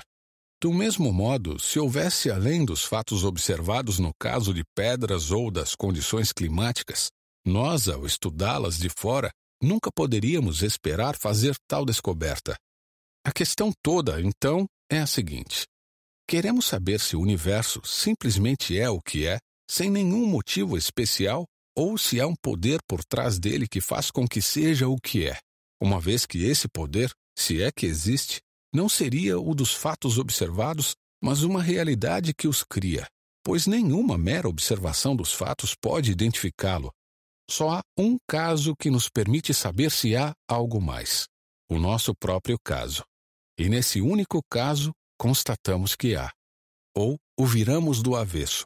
Se houvesse um poder controlador fora do universo, ele não poderia se mostrar para nós como um dos fatos que se dão do lado de dentro do universo. Não mais do que um arquiteto de uma casa poderia realmente ser uma de suas paredes, uma escada ou uma lareira dentro da casa. A única forma pela qual poderíamos esperar que isso se revelasse em nós seria por meio de uma influência ou um mandamento que nos induzisse a nos comportarmos de determinada maneira. E isso é precisamente o que encontramos dentro de nós. E isso não deveria fazer com que levantássemos suspeitas? No único caso em que você pode esperar obter uma resposta, esta seria com certeza sim. E nos outros casos, em que você não consegue obter uma resposta, pode reconhecer por que não obtém. Suponha que alguém me perguntasse, ao ver um homem de uniforme azul descendo a rua e deixando pequenos pacotes de papelão nas casas, por que eu suponho que eles contêm cartas. Minha resposta seria: porque sempre que ele deixa um pacote assim para mim, eu constato que ele contém uma carta. E se ele então contestasse: Mas você nunca viu todas essas cartas que pensa que as outras pessoas estejam recebendo? Eu responderia: É claro que não, e nem esperaria ver, pois elas nem estão endereçadas a mim. Estou explicando os pacotes que não estou autorizado a abrir por aqueles que posso abrir. O mesmo vale para essa questão. O único pacote que estou autorizado a abrir é o da humanidade. Quando faço isso, especialmente quando abro esse ser humano particular chamado eu, descubro que não existo por mim mesmo, que estou debaixo da lei, que alguém ou alguma coisa deseja que eu me comporte de certa maneira.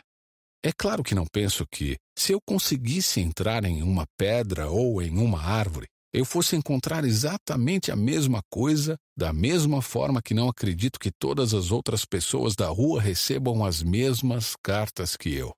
Devo ter a expectativa, por exemplo, de que a pedra seja obrigada a obedecer à lei da gravidade, de que, enquanto o remetente das cartas simplesmente me manda obedecer à lei da minha natureza humana, ele compele a pedra a obedecer às leis da sua natureza pétrea mas devo ter a expectativa de supor que haja um remetente em ambos os casos, um poder por trás dos fatos, um diretor, um guia. Não pense que estou indo rápido demais, pois ainda nem cheguei perto do Deus da teologia cristã. Tudo que obtive até aqui é algo que está dirigindo o universo e que parece em mim como uma lei que me impele a fazer a coisa certa e que me faz sentir responsável e desconfortável quando ajo mal. Parece-me que é forçoso presumir que se trata de algo mais parecido com uma mente do que com qualquer outra coisa conhecida. Porque, afinal de contas, a única outra coisa que conhecemos é a matéria, e nunca se viu uma porção de matéria dando instruções. Mas é claro que esse algo não precisa ser muito parecido com uma mente, muito menos com uma pessoa.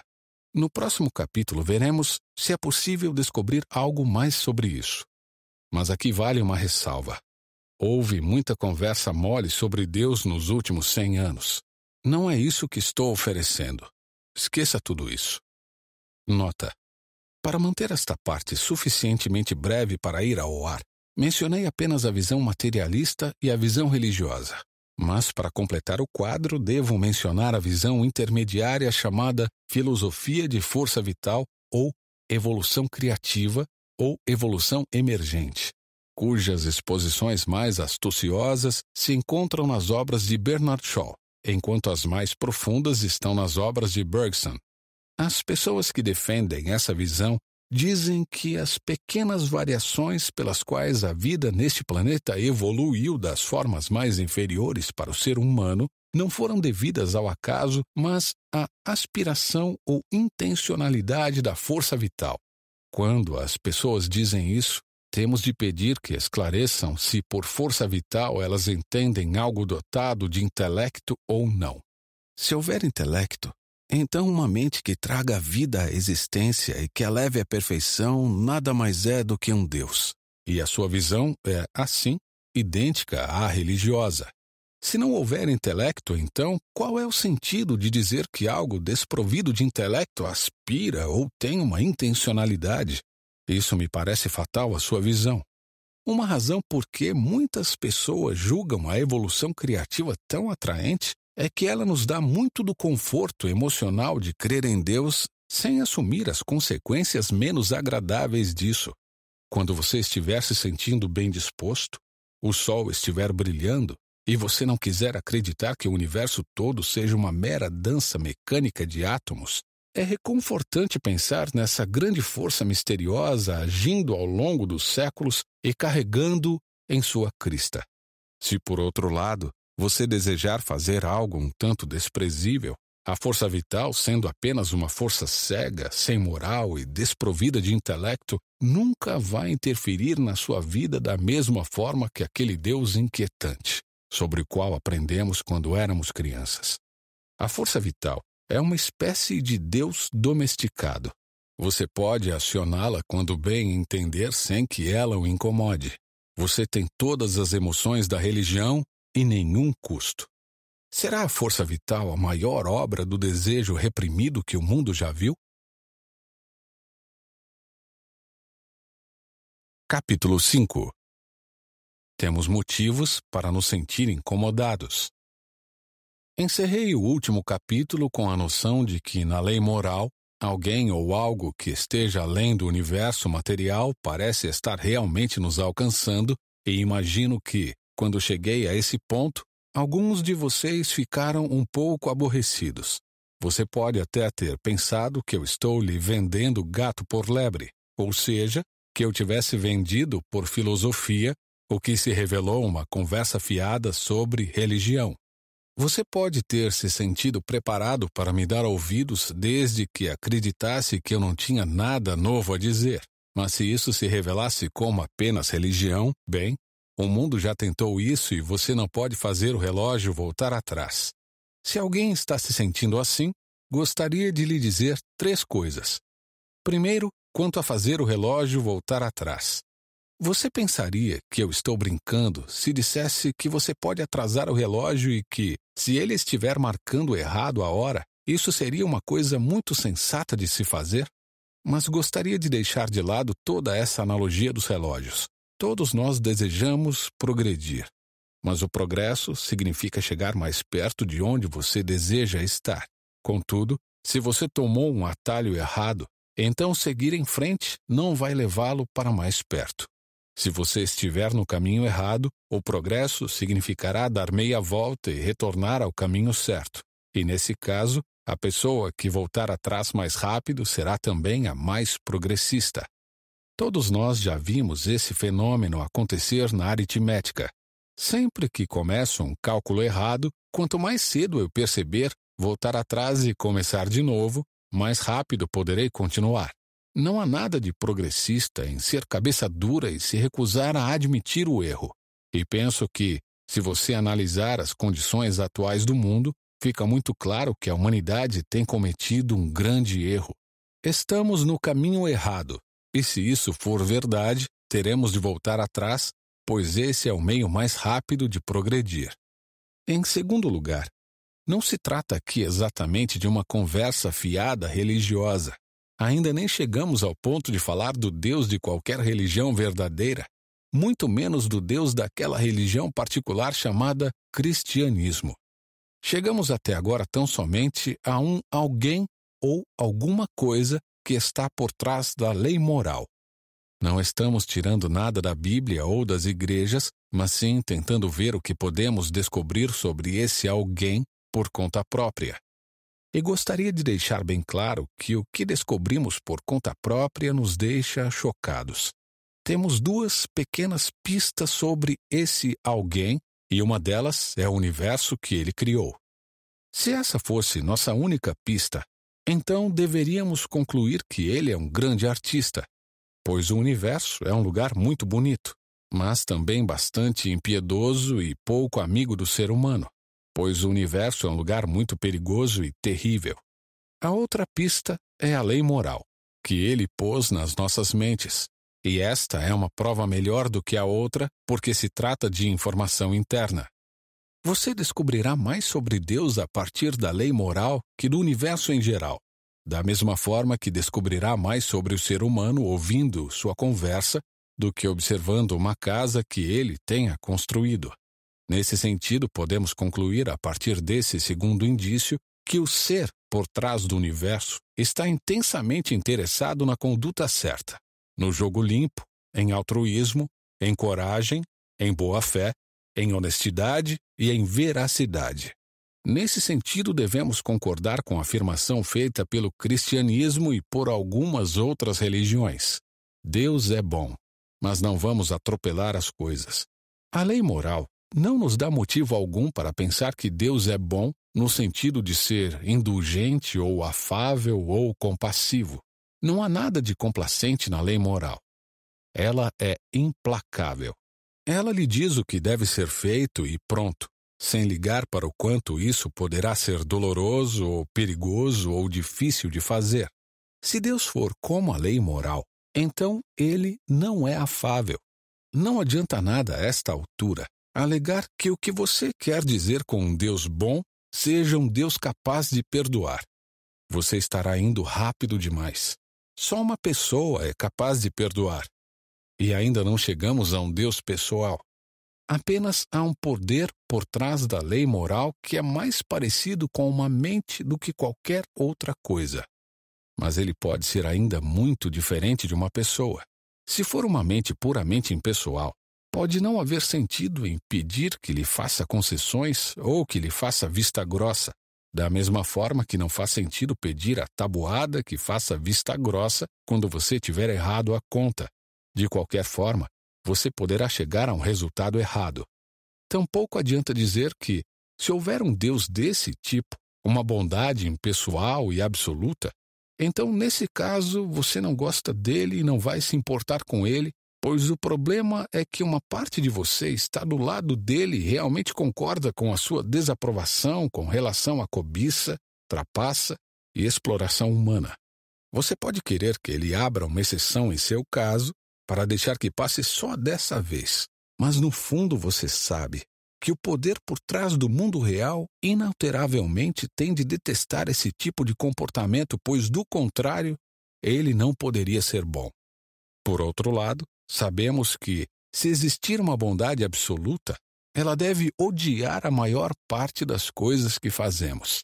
Esse é o dilema que estamos presos. Se o universo não for governado por uma bondade absoluta, então todos os nossos esforços são vãos no longo prazo. Mas se for, então estamos nos tornando inimigos dessa bondade todos os dias e não temos chance nenhuma de agir melhor amanhã. E assim, mais uma vez, nosso caso é irremediável. Estamos perdidos com ou sem Ele. Deus é o nosso único alento, mas é também o terror supremo. A coisa de que mais necessitamos e aquela da qual mais desejamos fugir. Ele é o nosso único aliado possível e nos tornamos seus inimigos. Para algumas pessoas, a ideia do encontro face a face com o bem absoluto parece divertida. Elas precisam refletir melhor, pois estão só brincando de religião. Ou a bondade é nossa maior segurança, ou nosso maior perigo, dependendo da forma como você vai reagir a ela e nossa reação tem sido a mais errada possível. Vamos agora ao meu terceiro ponto. Quando optei por chegar aonde queria dando essas voltas, não estava querendo lhe passar a perna. Eu tinha outra motivação. Minha razão para isso é que o cristianismo simplesmente não faz sentido até você encarar o tipo de fatos que descrevi. O cristianismo diz às pessoas que devem se arrepender e lhes promete perdão. Por isso, ele não tem nada a dizer, até onde sei, naquelas pessoas que acham que não têm do que se arrepender e que não sentem que precisam de perdão.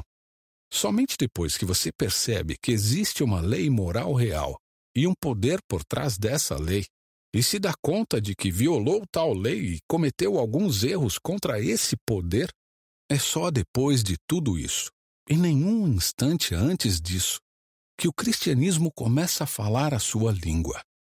Quando você sabe que está doente, dá ouvidos ao médico. Quando tiver se dado conta de que nossa condição é desesperadora, começará a compreender do que os cristãos estão falando. Eles explicam como chegamos ao nosso estado presente, tanto de ódio quanto de amor à bondade, além de também explicar como Deus pode ser essa mente impessoal por trás da lei moral e ainda assim ser ao mesmo tempo uma pessoa. Eles lhe contam como as exigências dessa lei, que nem eu nem você conseguimos cumprir, foram cumpridas no nosso lugar, como o próprio Deus se tornou um ser humano para salvar a humanidade da desaprovação de Deus. Essa é uma velha história, e se você quiser se debruçar sobre ela, sem dúvida consultará pessoas que têm mais autoridade para falar sobre ela do que eu. Tudo que eu estou fazendo é pedir às pessoas que encarem os fatos. de compreender as questões que o cristianismo alega responder, pois tais fatos são bastante assustadores. Gostaria de poder dizer algo mais agradável, mas devo falar o que penso ser a verdade. É claro que concordo que a religião cristã é, no longo prazo, algo que confere um consolo inexprimível. Mas ela não começa pelo consolo, e sim com a consternação que tenho descrito. E não adianta de nada tentar obter esse consolo sem antes passar por tal desalento e consternação. Na religião, da mesma forma que na guerra e em todo o restante, o consolo é algo que você não consegue alcançar quando está buscando-o diretamente. Se você sair em busca da verdade, poderá encontrar consolo no final. Se sair em busca de consolo, não alcançará nem o consolo, nem a verdade. Apenas conversa mole e ilusões, para começo de conversa, as quais acabarão em desespero. A maioria de nós já superou a euforia anterior à guerra no que diz respeito à política internacional. Está na hora de fazermos o mesmo com a religião. Livro 2 No que acreditam os cristãos? Capítulo 1 As concepções concorrentes de Deus. Pediram-me para lhes dizerem que os cristãos acreditam, e vou começar lhes contando uma coisa na qual os cristãos não precisam acreditar. Se você for cristão, não precisa acreditar que todas as outras religiões sejam simplesmente de todo erradas. Se for ateu, terá de acreditar que o ponto central de todas as religiões do mundo é simplesmente um grande erro. Se você for cristão, tem a liberdade de pensar que todas aquelas religiões, mesmo as mais exóticas, contêm pelo menos uma parcela da verdade. Quando eu era ateu, tinha de tentar convencer a mim mesmo de que a maioria das pessoas da humanidade sempre esteve errada sobre a questão que lhe interessava mais. Quando me tornei cristão, passei a assumir uma visão mais liberal. Mas é claro, ser cristão quer dizer pensar que onde o cristianismo difere de outras religiões, aí o cristianismo está certo e elas estão erradas. É como na aritmética. Há somente um resultado certo para a conta e todos os outros estão errados. Mas alguns dos resultados errados estão mais perto do acerto que outros. A primeira grande divisão da humanidade se dá entre a maioria que acredita em algum tipo de Deus ou deuses e a minoria que não acredita. Nesse ponto, o cristianismo alinha-se com a maioria. Os gregos e romanos antigos, os selvagens modernos, os estoicos, os platonistas, os hindus, os muçulmanos, etc., contra o materialista europeu ocidental moderno. Passo agora à próxima grande divisão. As pessoas que acreditam em Deus podem ser divididas de acordo com o tipo de Deus em que acreditam. Há duas ideias bem diferentes quanto a esse assunto, e uma delas é que ele está além do bem e do mal. Nós, seres humanos, chamamos uma coisa de bem e outra de mal, mas de acordo com certas pessoas, isso não passa de um ponto de vista. Essas pessoas diriam que quanto mais sábio você vai ficando, menos tem o desejo de chamar alguma coisa de boa ou má, e mais claramente você consegue ver que algo é bom em certo sentido e mal em outro, e que nada poderia ter sido diferente. Consequentemente, essas pessoas acham que, muito antes de você chegar a uma visão que esteja perto do ponto de vista divino, a distinção teria desaparecido completamente. Nós chamamos um câncer de mal, elas diriam, porque ele mata uma pessoa. Mas você também poderia chamar um cirurgião bem-sucedido de mal, porque ele elimina o câncer. Tudo depende do ponto de vista. A outra ideia oposta é que Deus é definitivamente bom e justo, um Deus que toma partido, que ama o amor e odeia o que é odioso, que deseja que nós nos comportemos de uma forma e não de outra. A primeira dessas visões, aquela que pensa que Deus está além do bem e do mal, é chamada de panteísmo e foi defendida pelo grande filósofo prussiano Hegel, e até onde eu consigo entender, pelos hindus. A outra visão é sustentada por judeus, muçulmanos e cristãos. E essa grande diferença entre o panteísmo e a ideia cristã de Deus normalmente vem acompanhada de outra. Os panteístas geralmente acreditam que Deus, por assim dizer, anima o universo da mesma forma que você anima o seu corpo, que o universo quase chega a ser Deus, de modo que, se ele não existisse, o universo tampouco existiria e qualquer coisa que você encontre nele faz parte de Deus. A ideia cristã é bem diferente. Eles pensam que Deus inventou e criou o universo, como uma pessoa que tira uma foto ou compõe uma peça musical. Um pintor não é uma pintura, e ele não morre se sua pintura é destruída. Quando você diz, ele pôs muito de si nessa obra, só o que estará querendo dizer é que a beleza e o interesse que ela desperta saíram da cabeça dele. Sua habilidade não está na pintura da mesma forma que está na sua cabeça ou mesmo em suas mãos. Espero que você veja a relação disso como a diferença entre panteístas e cristãos. Se você não levar essa distinção entre o bem e o mal muito a sério, então será fácil dizer que qualquer coisa encontrada neste mundo faça parte de Deus. Mas é claro que, se você considerar algumas coisas realmente más e Deus realmente bom, então não poderá falar dessa maneira. Você terá de acreditar que Deus esteja separado do mundo e que algumas das coisas que vemos neste planeta sejam contrárias à vontade divina. Ao ser confrontado com um câncer ou com a miséria, o panteísta poderá dizer: se pudesse encarar essa situação do ponto de vista divino, você se daria conta de que isso também é Deus. O cristão responderá: Não diga essas malditas tolices, pois o cristianismo é uma religião combativa. Ele defende que Deus criou o mundo, que o espaço e o tempo, o frio e o calor, e todas as cores e os gostos, e todos os animais e vegetais são coisas que Deus inventou da sua cabeça, da mesma forma que uma pessoa inventa uma história. Mas ele também pensa que muitas coisas deram errado no mundo que Deus fez e que ele insiste, e de forma contundente, que nós as coloquemos de volta no lugar. E é claro que isso levanta uma questão controversa. Se o Deus que fez o mundo é bom, por que esse mundo desandou? Por vários anos, eu simplesmente me recusei a dar ouvidos às respostas cristãs a essa questão, porque continuei sentindo que, o que quer que você diga, e por mais inteligentes que sejam os seus argumentos, não seria mais simples e fácil dizer que o mundo não foi feito por nenhum poder inteligente? Será que seus argumentos todos não passam simplesmente de uma tentativa complicada de fugir do óbvio? Mas então isso acabou me fazendo ter de encarar outra dificuldade. Meu argumento contra Deus havia sido que o universo parecia muito cruel e injusto. Mas de onde eu havia tirado essa ideia de justo e injusto? Uma pessoa só chama uma linha de torta se tiver alguma ideia do que é uma linha reta.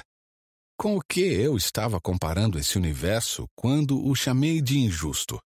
Se o espetáculo todo estava ruim e sem sentido do início ao fim, por assim dizer, por que eu, que supostamente era parte do espetáculo, estaria reagindo de forma tão violenta a ele? Uma pessoa se sente molhada depois de cair na água porque ela não é um animal aquático. Já um peixe não se sentiria molhado. É claro que eu poderia desistir da ideia de justiça, dizendo que não passa de uma ideia particular. Mas se fizesse isso, meu argumento contra Deus também teria entrado em colapso, pois seria o mesmo que dizer que o mundo era realmente injusto, e não simplesmente que ele não fora criado para satisfazer meus caprichos pessoais. Assim, no mesmo ato de tentar provar que Deus não existe, em outras palavras, que toda a realidade era sem sentido, descobri que era forçado a admitir que uma parte da realidade, qual seja a minha ideia de justiça, era sim dotada de sentido. Consequentemente, o ateísmo se revela muito simplista. Se o universo inteiro não tem sentido, não teríamos como descobrir que ele não tem sentido. Semelhantemente, se não houvesse luz no universo, e assim, nenhuma criatura dotada de olhos, jamais saberíamos que ele é escuro. A palavra escuridão seria desprovida de sentido. Capítulo 2 A invasão. Pois bem, então o ateísmo é simplista demais. E vou-lhes falar de outra visão igualmente simplista que chamarei de cristianismo água com açúcar. Essa visão diz simplesmente que existe um Deus bom no céu e tudo mais está bem, deixando de fora todas as doutrinas difíceis e terríveis sobre o pecado, o inferno, o diabo e a redenção. Ambas as visões me parecem filosofias infantis. Não espere de mim uma religião simplista. Afinal de contas, as coisas reais não são simples. Elas até parecem simples, mas não são. A mesa a qual estou sentado parece simples, mas é só perguntar para um cientista e ele lhe dirá do que ela é feita de verdade. Tudo sobre os átomos e como os raios luminosos se refletem nela atingindo meu olho, e o que eles fazem com o nervo óptico e o que fazem no meu cérebro. E é claro, você perceberá que o que chamamos de ver uma mesa nos conduz a mistérios e complicações infindáveis. Imaginar uma criança fazendo suas orações infantis parece ser algo simples. E se você se contentar em parar por aí, talvez seja. Mas se não, e o mundo moderno normalmente não para por aí, e se quisermos ir em frente e perguntar o que está acontecendo realmente, devemos estar preparados para uma resposta mais complicada. Se pedirmos mais que o simplismo, seria tolice se queixar de que esse algo a mais não é simples. Não raro, entretanto, esse procedimento tolo é adotado por pessoas que não são nada bobas, mas que, consciente ou inconscientemente, querem destruir o cristianismo. Essas pessoas forjaram uma versão do cristianismo que é mais adequada a uma criança de seis anos e fazem dela um alvo de ataque. Quando você tenta explicar a doutrina cristã como ela realmente é sustentada por um adulto instruído, as pessoas se queixam de que você está dando um nó na cabeça delas, que tudo isso é complicado demais e que se houvesse um Deus de verdade, elas têm certeza de que ele teria feito a religião ficar simples, porque a simplicidade é tão bela e por aí vai. Você precisa estar alerta contra essas pessoas, pois elas vão mudar de ideia toda hora e só vão fazer você perder seu tempo. Note ainda como é absurda a ideia que elas têm de um Deus que faz a religião ficar simples como se a religião fosse algo que Deus tivesse inventado e não a sua afirmação de certos fatos bastante inalteráveis sobre a sua própria natureza. Pela minha experiência, a realidade, além de ser complicada, normalmente é esquisita. Ela não é pura, nem é óbvia, nem é o que você esperava. Por exemplo, uma vez que você tenha entendido que a Terra e todos os outros planetas giram em torno do Sol, esperaria naturalmente que todos os planetas tivessem sido feitos para combinar. Que todos tivessem distâncias iguais entre si, por exemplo, ou distâncias que aumentassem de forma regular, ou tivessem o mesmo tamanho, ou se tornassem maiores ou menores à medida que se distanciassem do Sol. Na verdade, não se pode encontrar combinação ou razão que seja observável, nem quanto aos tamanhos, nem quanto às distâncias, e alguns deles têm uma lua, um tem quatro, um tem duas, alguns não têm nenhuma, e um tem um anel. A realidade, na verdade, geralmente é algo que você não teria imaginado. E esse é um dos motivos pelos quais eu acredito no cristianismo. Trata-se de uma religião que você jamais teria imaginado. Se ela nos oferecesse apenas o tipo de universo que sempre teríamos esperado, eu teria a impressão de que ela é uma de nossas invenções. Mas, na verdade, a religião cristã não é o tipo de coisa que alguém teria inventado, uma vez que apresenta precisamente o tipo de mudanças que as coisas reais demonstram. Então, vamos deixar para trás todas aquelas filosofias infantilizadas. aquelas respostas simplistas, porque o problema não é simples e a resposta também não o será. E qual é o problema? Um universo que contém muito do que é obviamente mal e aparentemente sem sentido, mas que contém criaturas como nós, que temos consciência de que ele é mau e desprovido de sentido. Há apenas duas perspectivas que conseguem dar conta de todos esses fatos. Uma é a visão cristã de que este é um mundo bom que se corrompeu, mas ainda retém na memória o que deveria ter sido.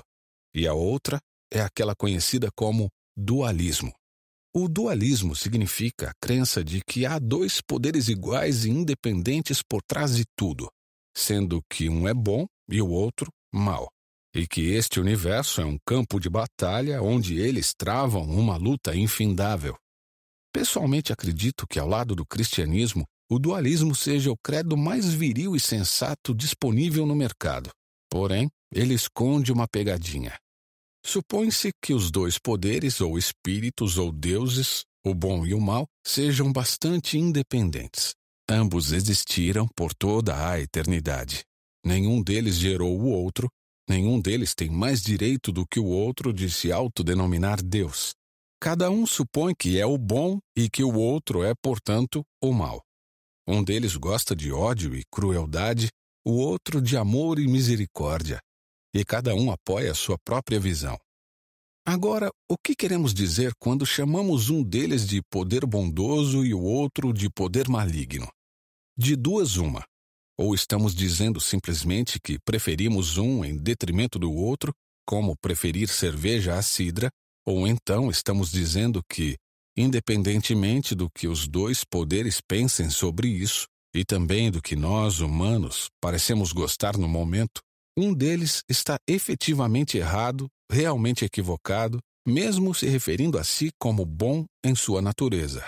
Agora, se você quer dizer meramente que por acaso preferimos o primeiro, então temos de abrir mão totalmente de falar sobre o bem e o mal, pois o bem significa o que você deve preferir independentemente daquilo que você por acaso prefira em qualquer dado momento. Se ser bom significasse simplesmente aderir à parte que mais lhe agrada, mesmo sem ter um motivo concreto, então o bem não mereceria ser chamado assim.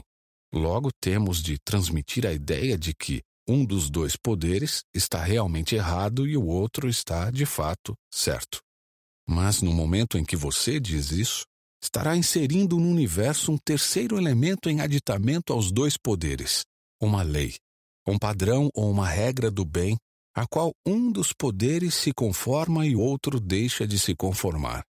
Mas já que os dois poderes são julgados por esse padrão, o mesmo tende a estar além de qualquer um deles, e ele será o verdadeiro Deus.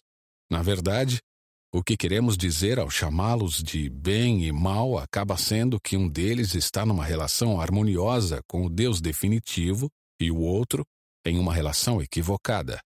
O mesmo pode ser dito de outra forma. Se o dualismo for verdadeiro, o poder do mal precisa necessariamente ser algo que gosta da maldade em si. Mas na realidade, não temos experiência de ninguém que goste da maldade só porque ela é má. O mais perto que podemos chegar disso é a crueldade. Mas, na vida real, as pessoas são cruéis por uma de duas razões. Ou porque são sádicas, isto é, porque têm uma perversão sexual que faz da crueldade uma causa de prazer sexual para elas, ou então por causa de alguma vantagem que possam tirar disso dinheiro, poder ou segurança. Mas prazer, dinheiro, poder e segurança são, em essência, coisas boas. A maldade consiste em persegui-las usando o método errado, ou da forma errada, ou com muita intensidade. Não quero dizer com isso, obviamente, que as pessoas que agem assim não sejam desesperadamente más. O que quero dizer é que a maldade, se você a examinar de perto, acaba se revelando como a busca por algum bem, mas da maneira errada. Você pode ser bom só por amor à bondade mas não pode ser mal só por amor à maldade. É possível ser bondoso mesmo quando você não está se sentindo bondoso e isso não lhe proporciona prazer algum, simplesmente pelo fato de a bondade ser a atitude correta. Mas ninguém jamais cometeu uma crueldade simplesmente porque a crueldade é errada, e sim porque a crueldade é prazerosa ou útil para aquele que faz uso dela. Em outras palavras, a maldade não pode ter sucesso nem mesmo em ser má, da mesma forma que a bondade consegue ser boa. A bondade é o que é, por assim dizer. A maldade não passa de bondade corrompida. Além disso, é necessário existir algo bom antes que se possa corrompê-lo. Chamamos uma perversão sexual de sadismo, mas é preciso ter primeiro a ideia de uma sexualidade normal antes de poder falar dela como perversão. E você pode ver qual é a perversão porque pode explicá-la a partir da normalidade. Mas não pode explicar o normal a partir da perversão. Segue-se que esse poder do mal, que muitos supõem possuir o mesmo fundamento que o poder do bem, e amam a maldade da mesma forma que o poder do bem ama a bondade, é uma monstruosidade. Para ser mal é preciso desejar coisas boas e, depois, persegui-las da forma errada. Haver a ocorrência de impulsos que foram originalmente bons para estar em condições de pervertê-los. Mas, se ele for mal, não pode desejar coisas boas ou alimentar-se de bons impulsos para depois os perverter. Ele precisa receber ambas as coisas do poder do bem. E se isso é assim, então ele não é independente. Ele faz parte do mundo do poder do bem. Ou ele foi feito pelo poder do bem, ou por algum poder que está acima de ambos. Vamos clarificar ainda mais este assunto. Para ser maldoso, o mal tem de existir e ter inteligência e vontade própria. Mas existência, inteligência e vontade são em si boas. Portanto, ele tem de recebê-las do poder do bem. Até mesmo para ser mal, ele tem de tomar emprestado ou roubar do seu oponente. E será que agora você está entendendo por que o cristianismo sempre disse que o diabo é um anjo caído? Essa não é apenas uma historinha para boi dormir. Trata-se do reconhecimento real do fato de que o mal é um parasita nada original, e os poderes que permitem que ele subsista lhe foram dados pela bondade. Todas as coisas que fazem uma pessoa maldosa ser efetivamente má são, em essência, boas: determinação, inteligência, boa aparência e a própria existência. Eis porque o dualismo, no fundo, não funciona. Contudo, devo admitir que o cristianismo real, que é diferente daquele que chamamos água com açúcar, se aproxima muito mais do dualismo do que as pessoas pensam. Uma das coisas que me surpreenderam quando li o Novo Testamento pela primeira vez de forma séria foi o fato de ele falar tanto sobre o poder das trevas no universo. Um espírito mal poderoso que se supunha ser o poder que estava por trás da morte, da doença e do pecado. A diferença é que o cristianismo acredita que esse poder das trevas foi criado por Deus e que era bom por ocasião de sua criação, mas se corrompeu. O cristianismo concorda com o dualismo na acepção de que este universo está em guerra, mas discorda que essa seja uma guerra entre poderes independentes. Ele a considera antes uma guerra civil, uma rebelião, e que estamos vivendo em uma parte do universo que está ocupada pelos rebeldes um território ocupado pelo inimigo. Eis o que é o mundo. E o cristianismo é a história de como o rei legítimo aportou. Você poderia dizer até que aportou disfarçado. E nos chama para participar da grande campanha de sabotagem. Quando você vai à igreja, na verdade, está captando ondas secretas da rádio de nossos aliados. Eis por que o inimigo está tão ansioso por nos impedir de ir até lá. Ele faz isso jogando com o nosso preconceito, com nossa preguiça e esnobismo intelectual. Eu sei que alguém vai me perguntar: você está mesmo querendo dizer a essa hora do dia que devemos reintroduzir nosso bom e velho amigo o diabo, com cascos, chifres e tudo? Bem, o que a hora do dia tem a ver com isso eu não sei. E não entrei nos detalhes do casco e do chifre, mas de resto minha resposta é: sim, estou. Não estou reivindicando saber nada sobre a sua aparência pessoal. Se alguém realmente deseja conhecê-lo melhor, eu diria a essa pessoa: não se preocupe. Se você realmente quiser, vai fazê-lo. Resta saber apenas se você vai gostar dele. Capítulo 3 A alternativa chocante.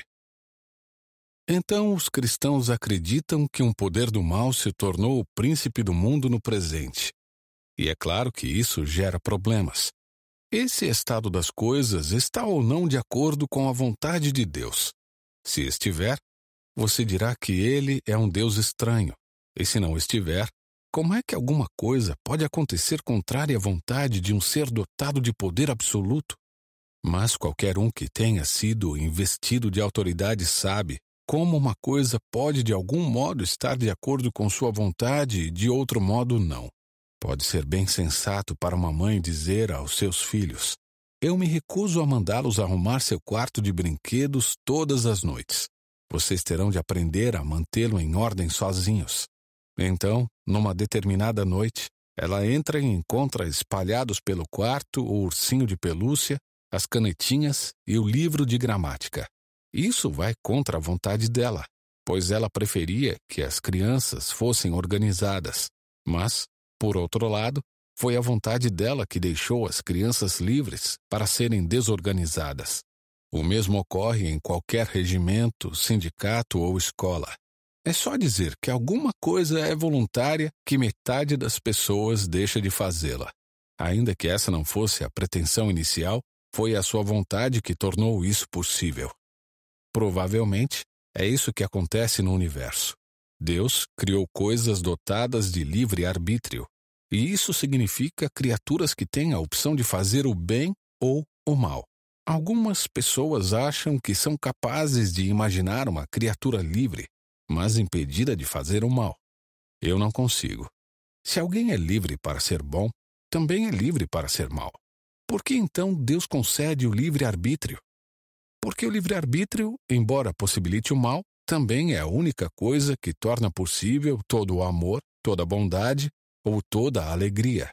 Um mundo de autômatos, de criaturas que trabalhassem feito máquinas, dificilmente valeria a pena ser criado. A felicidade que Deus designou para suas criaturas superiores é a felicidade de estar em união com Ele e umas com as outras livre e voluntariamente, em um êxtase de amor e prazer que, quando comparado com o amor mais arrebatador entre um homem e uma mulher nesta terra, este último seria água com açúcar. E para isso, eles têm de ser livres. É claro que Deus sabia o que iria acontecer se a liberdade fosse usada de forma errada. Aparentemente, ele achou que valia a pena arriscar. Talvez nos sintamos inclinados a discordar dele. Mas quem somos nós para discordar de Deus? Ele é a fonte da qual vem todo o nosso poder de raciocínio. Você não poderia estar certo e ele errado, da mesma forma que um riacho não pode correr no sentido contrário à sua própria nascente. Quando você está argumentando contra ele, está argumentando contra o poder que permite a própria argumentação. É como cortar fora o galho da árvore em que você está sentado.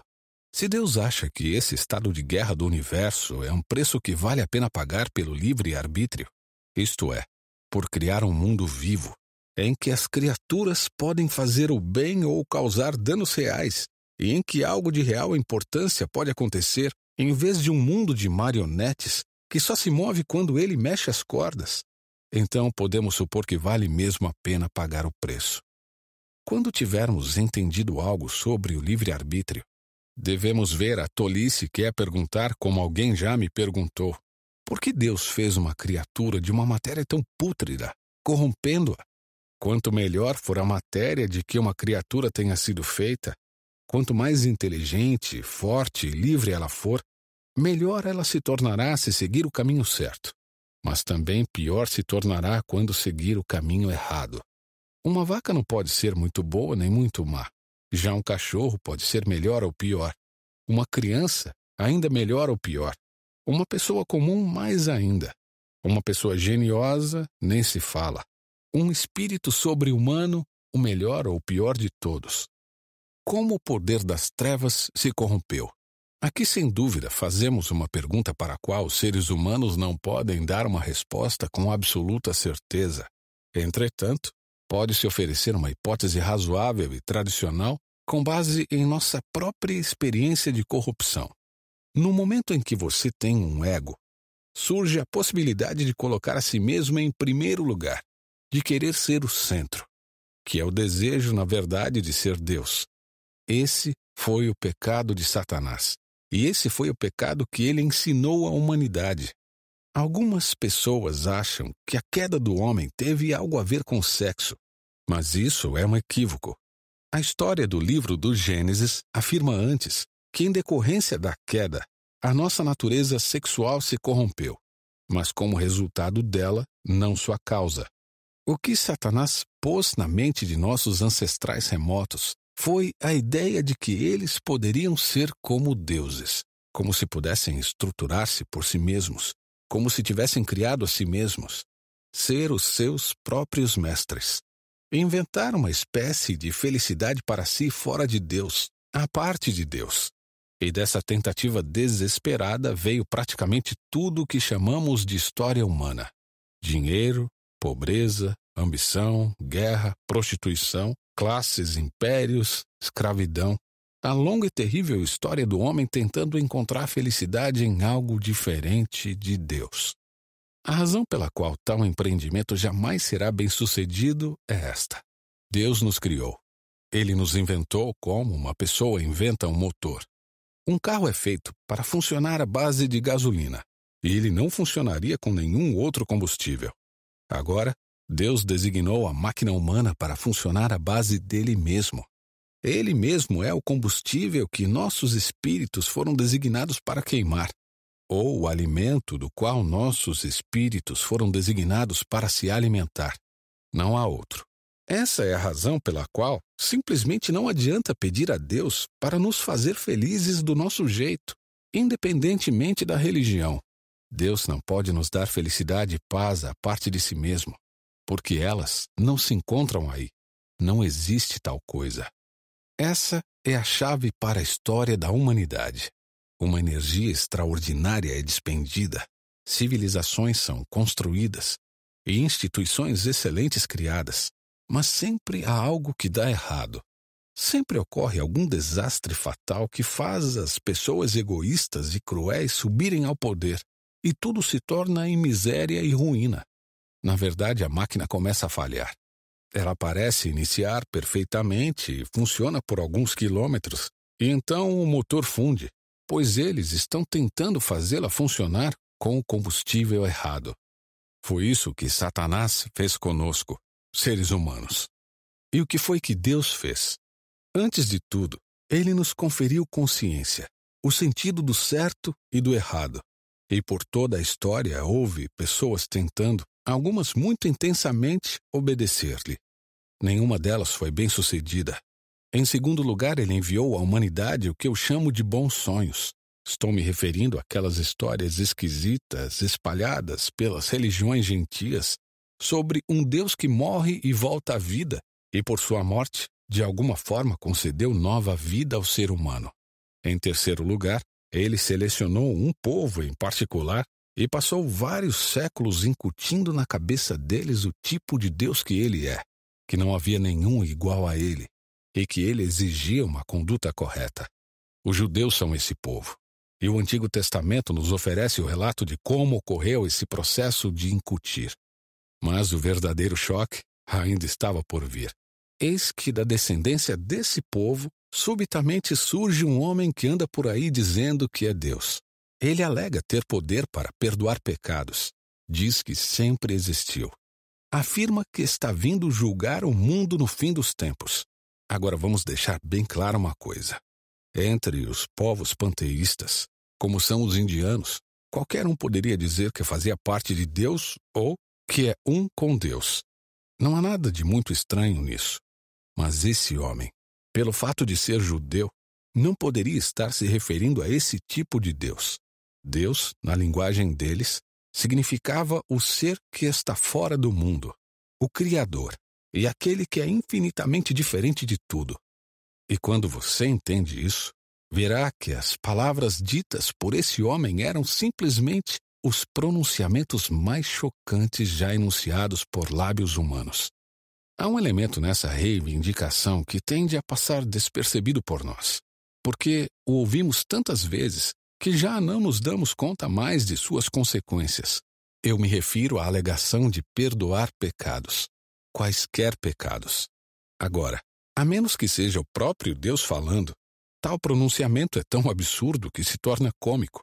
Todos entendemos que uma pessoa pode perdoar ofensas contra si mesma. Você pisou no meu calo e eu lhe perdoo. Você roubou o meu dinheiro e eu lhe perdoo.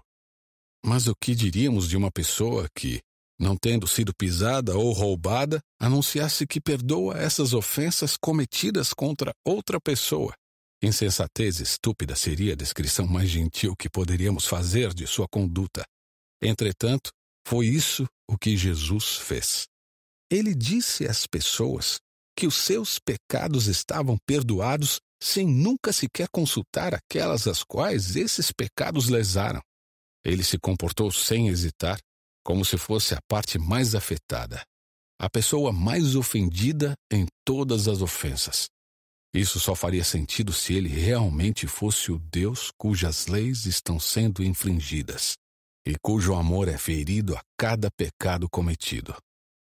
Na boca de qualquer outra pessoa que não seja Deus, as palavras implicariam o que eu só posso considerar uma tremenda imbecilidade e presunção sem precedentes na história.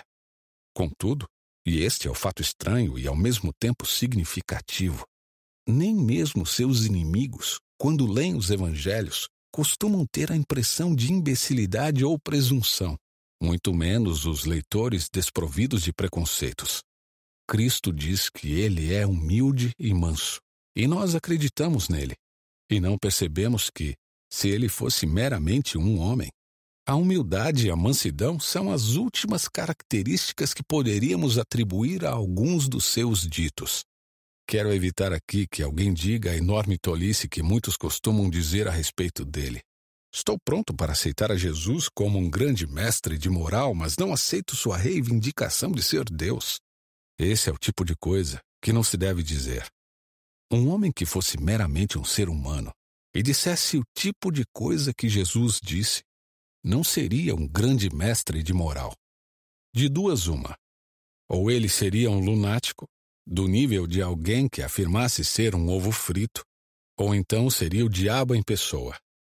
Faça sua escolha. Ou esse homem era, e é, o Filho de Deus, ou então um louco, ou algo pior. Você pode descartá-lo como sendo um tolo ou pode cuspir nele e matá-lo como a um demônio. Ou então, poderá cair de joelhos a seus pés e chamá-lo de Senhor e Deus. Mas não me venha com essa conversa mole de ele ter sido um grande mestre de moral, pois ele não nos deu essa alternativa, nem tinha essa pretensão. Capítulo 4 O penitente perfeito. Então estamos diante de uma alternativa amedrontadora. Esse homem sobre o qual estamos falando ou era, e é precisamente o que ele disse que era, ou então era um lunático ou coisa pior. Agora me parece óbvio que ele não era nem um lunático nem um fanático. E, consequentemente, por mais estranho, aterrorizante ou improvável que possa parecer, tenho de aceitar a visão de que ele era e é Deus, o qual aportou em seu mundo ocupado pelo inimigo em forma humana. E agora, qual foi o propósito disso tudo? O que ele veio fazer?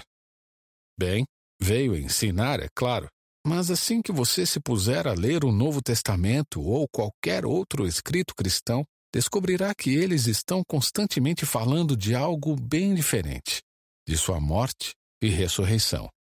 É óbvio que os cristãos acreditam que o ponto central da história esteja aqui. Eles pensam que a coisa mais importante que ele veio fazer na terra foi sofrer e ser morto. Ora, antes de me tornar cristão, tinha a impressão de que a primeira coisa em que os cristãos tinham de acreditar era uma teoria particular sobre qual era o sentido dessa morte. De acordo com essa teoria, Deus queria punir os homens por terem desertado e se juntado ao grande rebelde, mas Cristo se voluntariou para ser punido no lugar deles, e assim Deus permitiu que escapássemos da punição. Hoje admito que nem mesmo essa teoria me parece assim tão imoral e tola quanto costumava parecer. Mas não é esse o ponto que quero destacar. O que eu reconheci mais tarde foi que o cristianismo não equivalia a essa teoria nem a outra qualquer. A crença central do cristianismo é que a morte de Cristo de alguma forma nos colocou em ordem com Deus e nos permitiu ter um novo começo. Teorias sobre como isso foi feito são outra história. Diversas teorias já foram formuladas sobre como isso funciona, mas se há algo com que todos os cristãos concordam, é que funcionou. Vou contar a vocês como penso que funciona. Toda pessoa sensata sabe que, se você está cansado e com fome, uma boa refeição vai lhe fazer bem. Mas a teoria moderna da nutrição, toda voltada para vitaminas e proteínas, diz outra coisa. As pessoas jantavam e se sentiam bem muito antes de qualquer pessoa ter ouvido falar da teoria das vitaminas. Então, se essa teoria for abandonada algum dia, elas vão continuar jantando da mesma forma. As teorias sobre a morte de Cristo não equivalem ao cristianismo. Elas são explicações sobre como as coisas funcionam. Nem todos os cristãos concordariam sobre a importância dessas teorias. Minha própria igreja, a Igreja Anglicana, não estabelece nenhuma delas como a correta. A Igreja Católica vai um pouco além. Creio, porém, que todos eles vão concordar que a coisa em si é infinitamente mais importante do que quaisquer explanações produzidas pelos teólogos. Creio que eles provavelmente admitiriam que nenhuma explicação jamais se adequará suficientemente à realidade, mas, como eu disse no prefácio deste livro, não passo de um leigo e, nesse ponto, estamos entrando em águas profundas. Só o que posso compartilhar com você, se é que vale alguma coisa, é a minha visão pessoal da questão. A meu ver, você não é convidado a aceitar as próprias teorias em si. Muitos de vocês, sem dúvida, leram obras de Jeans ou Eddington. O que estes autores fazem quando querem explicar o átomo ou algo desse tipo é oferecer uma descrição a partir da qual você pode traçar uma imagem mental. Mas em seguida eles o advertem de que essa imagem não constitui exatamente o cerne daquilo em que os cientistas acreditam. Eles acreditam mesmo em uma fórmula matemática. As imagens existem apenas para nos ajudar a entender a fórmula, mas não são verdadeiras como a fórmula. Elas não exprimem a dimensão da realidade, mas apenas algo mais ou menos semelhante a ela. Todas elas pretendem ajudar e, se não ajudarem, você pode abandoná-las. A realidade em si não pode ser retratada em imagens. Ela só pode ser expressa em termos matemáticos. Estamos diante de uma situação parecida aqui. Cremos que a morte de Cristo é precisamente aquele ponto da história, no qual algo absolutamente inimaginável vindo de fora se mostrou em nosso próprio mundo. E se não conseguimos expressar em imagens nem mesmo os átomos dos quais nosso mundo é constituído, não dá para esperar que estejamos em condições de retratar esse evento sublime. De fato, se acreditássemos que podemos compreendê-lo completamente, esse fato preciso se mostraria diferente do que professava ser. O inconcebível, o não criado, algo que está além da natureza e que cai nela como um raio. Você poderia perguntar de que isso adianta se não podemos compreendê-lo? Mas a resposta a isso é fácil. Uma pessoa pode jantar sem entender exatamente como o alimento a nutre. Da mesma forma, uma pessoa pode aceitar o que Cristo fez por ela sem compreender como isso foi possível. Na verdade, ela não terá condições de compreendê-lo enquanto não aceitá-lo. Ouvimos que Cristo morreu por nós e que a sua morte lavou os nossos pecados e que ao morrer ele anulou a própria morte. Essa é a fórmula. Eis aí o cristianismo. É nisso que se deve acreditar. Quaisquer teorias que construímos sobre como a morte de Cristo fez isso, aos meus olhos, são francamente dispensáveis, visto que não passam de esquemas ou diagramas que devem ser descartados assim que deixarem de nos ajudar, e mesmo que ajudem de alguma maneira, não devem ser confundidos com a realidade em si. De qualquer forma, algumas dessas teorias merecem um exame mais criterioso. A teoria de que a maioria das pessoas já ouviu falar é a que eu mencionei anteriormente. Aquela que diz que nós fomos eximidos do castigo porque Cristo se voluntariou para assumir a punição em nosso lugar. Ora, se a examinarmos mais de perto, essa parece uma teoria muito tola. Se Deus estava preparado para nos eximir, por que simplesmente não o fez? E que sentido poderia haver em punir uma pessoa inocente no lugar das culpadas? Se considerarmos a punição no sentido jurídico e policial, até onde posso enxergar, não faz nenhum sentido. Por outro lado, se pensarmos em uma dívida, faz bastante sentido que uma pessoa que tem algum recurso salde essa dívida no lugar daquela que não dispõe de recurso nenhum. Ou, se entendermos a expressão cumprir a pena, não no sentido de ser punido, mas no mais geral de assumir a culpa e pagar a conta, então, claro, todos sabem por experiência comum que, quando uma pessoa cai num buraco, a responsabilidade de tirá-la de lá geralmente é assumida por algum bom amigo. Agora, em que tipo de buraco o homem caiu? Ele tentou se içar para fora como se pertencesse a si mesmo. Em outras palavras, o homem decaído não é simplesmente uma criatura imperfeita que necessita de aperfeiçoamento, e sim um rebelde que está precisando abandonar suas armas, baixar as armas e entregar-se, expressar seu arrependimento, dar-se conta de ter estado no rumo errado e se preparar para começar a vida do início, do primeiro degrau. Eis a única maneira de sair do buraco. Esse processo de entrega esse movimento de marcha ré a toda velocidade é o que os cristãos chamam de arrependimento. Mas, há de se convir, arrepender-se não é nada divertido. Trata-se de algo mais difícil do que simplesmente se humilhar e admitir a própria culpa.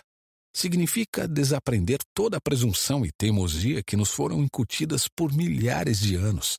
Significa aniquilar parte de nós, passando por uma espécie de morte. Na verdade, é necessário que a pessoa seja boa para se arrepender. E eis aí um verdadeiro paradoxo. Só uma pessoa má precisa de arrependimento. Mas só uma pessoa boa consegue arrepender-se perfeitamente. Quanto pior você for, mais precisará arrepender-se e menos conseguirá fazê-lo. A única pessoa que conseguiria fazê-lo com perfeição seria alguém perfeito. E esse alguém não precisaria de modo nenhum fazê-lo. Lembre-se de que esse arrependimento, essa submissão voluntária à humilhação e uma espécie de morte não é algo que Deus exija de você para o aceitar de volta e do qual ele poderia eximi-lo se assim quisesse. Trata-se simplesmente de uma descrição do que é a volta para Deus. Se você pedir para Deus aceitá-lo de volta sem isso, você estará lhe pedindo para voltar sem de fato voltar. E isso é impossível. Muito bem. Então temos de nos arrepender, não tem outro jeito. Entretanto, a maldade que nos leva a precisar disso nos torna incapazes de tomar essa atitude. Será que podemos fazer isso se Deus nos ajudar? Sim, mas o que a ideia de sermos ajudados por Deus significa? Queremos dizer, em outras palavras, que Deus coloca um pouco dele em nós. Ele nos empresta um pouco dos poderes de sua razão e assim conseguimos raciocinar. Ele coloca um pouco do seu amor em nós e assim amamos uns aos outros. Quando você ensina uma criança a escrever, segura na mão dela para ela formar as letras. Isto é, ela forma as letras porque você as está formando. Nós amamos e raciocinamos porque Deus ama e raciocina e segura nossa mão enquanto nós o estamos fazendo. Agora, se não tivéssemos caído, tudo estaria bem. Mas, infelizmente, Agora necessitamos da ajuda de Deus para fazer algo que Ele mesmo, por sua própria natureza, nunca faz: entregar-se, sofrer, submeter-se, morrer. Não há absolutamente nada na natureza de Deus que corresponda a esse processo, de modo que necessitamos agora mais do que nunca da condução de Deus pelo único caminho que Ele, por sua própria natureza, nunca percorreu. Deus só pode compartilhar conosco o que Ele tem e aquelas coisas não estão presentes em sua natureza. Mas suponha que Deus tenha se tornado homem. Suponha que a nossa natureza humana, que é capaz de sofrer e morrer, tivesse sido amalgamada com a natureza de Deus em uma pessoa. Então, essa pessoa poderia nos ajudar. Ele poderia renunciar sua vontade, sofrer e morrer, porque seria humano, e poderia fazê-lo de forma perfeita porque seria Deus. Você e eu só podemos passar por esse processo se Deus o realiza em nós. Mas Deus só poderia fazê-lo tornando-se Ele mesmo um homem. Para que nossas tentativas de morrer tenham êxito, nós humanos temos de compartilhar da morte de Deus. Da mesma forma que nosso pensamento só pode alcançar êxito se for uma gota do oceano da sua inteligência. Por outro lado, não podemos compartilhar da morte de Deus a não ser que ele morra. Mas ele só pode morrer tornando-se homem. Esse é o sentido pelo qual ele paga nossa dívida e sofre por nós o que ele próprio não necessita de modo algum sofrer. Já ouvi certas pessoas se queixarem de que, se Jesus era Deus, assim como também era homem, então os seus sofrimentos e sua morte perdem todo o valor a seus olhos, porque tudo isso deveria ser muito fácil para ele. Outros, por sua vez, poderiam, muito corretamente, repreender a ingratidão e a crueldade dessa objeção. O que me espanta é a ignorância que ela revela. Em certo sentido, é claro que os que a fazem estão certos. Eles poderiam até ter levado o caso mais longe. A perfeita submissão, o perfeito sofrimento e a morte perfeita não apenas foram mais fáceis para Jesus porque ele era Deus, mas também só foram possíveis porque ele era Deus. Mas certamente esse é um motivo muito estranho para não aceitar esses feitos, não é? Um professor está em condições de formar as letras para a criança porque ele é adulto e sabe escrever. Isso é claro, facilita as coisas para ele, e é apenas porque é mais fácil para ele que ele pode ajudar a criança. Se ela rejeitasse a ajuda porque é muito fácil para os adultos e esperasse aprender a escrever com outra criança que tampouco soubesse escrever e assim não tivesse vantagem injusta, ela não progrediria muito rápido. Se eu estiver me afogando em um riacho, uma pessoa que está com o pé firme num banco de areia pode me dar uma mão capaz de salvar a minha vida. Será que seria razoável eu gritar entre uma tomada de ar e outra? Não, isso não é justo. Você está em vantagem. Está com um pé no banco de areia. Essa vantagem, por mais injusta que você possa chamá-la, é a única razão por que ele pode me ser útil. Pois de quem buscamos ajuda senão daqueles que vemos que são mais fortes do que nós? Essa é a minha própria forma de encarar o que os cristãos chamam de expiação. Mas lembre-se de que essa é apenas uma imagem. Não a confunda com a realidade, e se ela não o ajudar, deixe-a de lado. Capítulo 5 A conclusão prática. Cristo entregou-se e humilhou-se de forma perfeita. Perfeita porque ele era Deus. Entregou-se e humilhou-se porque era homem. Agora, a crença cristã diz que, se alguém compartilha a humildade e o sofrimento de Cristo de alguma forma, também temos de compartilhar de sua conquista da morte e encontrar nova vida depois de termos morrido. E nisso, nos tornamos criaturas perfeitas e perfeitamente felizes. Isso significa muito mais do que simplesmente seguir seus ensinamentos. As pessoas muitas vezes se perguntam quando será dado o próximo passo da evolução, o passo para além do ser humano. Mas, na visão cristã, ele já foi dado. Em Cristo, uma nova espécie de ser humano surgiu, e a nova vida que começa com ele deve ser posta dentro de nós. Como isso deve ser feito? Ora, lembre-se de como adquirimos nossa forma de vida velha e comum. Nós a recebemos dos outros, de nosso pai e de nossa mãe, e de todos os nossos ancestrais, sem o nosso consentimento, e por um processo bastante curioso que envolve prazer, dor e perigo e que jamais teríamos imaginado. A maioria de nós passou boa parte da infância tentando imaginar como a vida se originou, e algumas crianças, quando lhes foi dito pela primeira vez, não acreditaram, e não as culpo, pois tudo é bem estranho mesmo. Ora, o Deus que inventou esse processo é o mesmo Deus que planeja como um novo tipo de vida. A vida em Cristo deve ser difundido. Então não devemos ficar surpresos se ele não for menos estranho. Ele não nos consultou quando inventou o sexo, e tampouco nos consultou quando inventou esse novo processo. Há três coisas que infundiram a vida de Cristo em nós: o batismo, a fé e a ação misteriosa que os diferentes cristãos dão nomes diferentes: a Santa Comunhão, a Eucaristia, a Santa Ceia. Esses, pelo menos, são os três métodos mais comuns. Não estou dizendo que não possa haver casos especiais nos quais ela tenha sido infundida sem um ou mais desses elementos. Não tenho tempo para entrar em casos especiais e tampouco tenho conhecimento suficiente para isso. Se você estivesse tentando explicar a alguém em poucos minutos como chegar a Edimburgo, indicaria os trens. É verdade que ele poderia ir até lá de barco ou de avião, mas você dificilmente pensaria nisso. E não estou entrando no mérito de qual desses três elementos é o mais essencial. Meu amigo metodista iria querer que eu falasse mais sobre a fé e menos proporcionalmente sobre os outros dois, mas não vou entrar nessa. Qualquer um que queira ensinar a doutrina cristã vai, na verdade, recomendar que todos os três elementos sejam usados. E isso é suficiente para o nosso presente propósito. Eu mesmo não consigo entender por que esses elementos deveriam nos conduzir a um novo tipo de vida.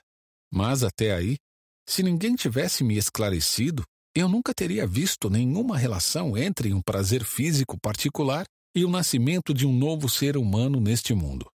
Temos de tomar a realidade como ela se apresenta a nós, e não tagarelar sobre como ela deveria ser ou como esperávamos que fosse.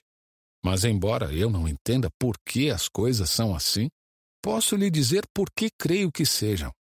Já expliquei por que tenho de crer que Jesus foi e é Deus.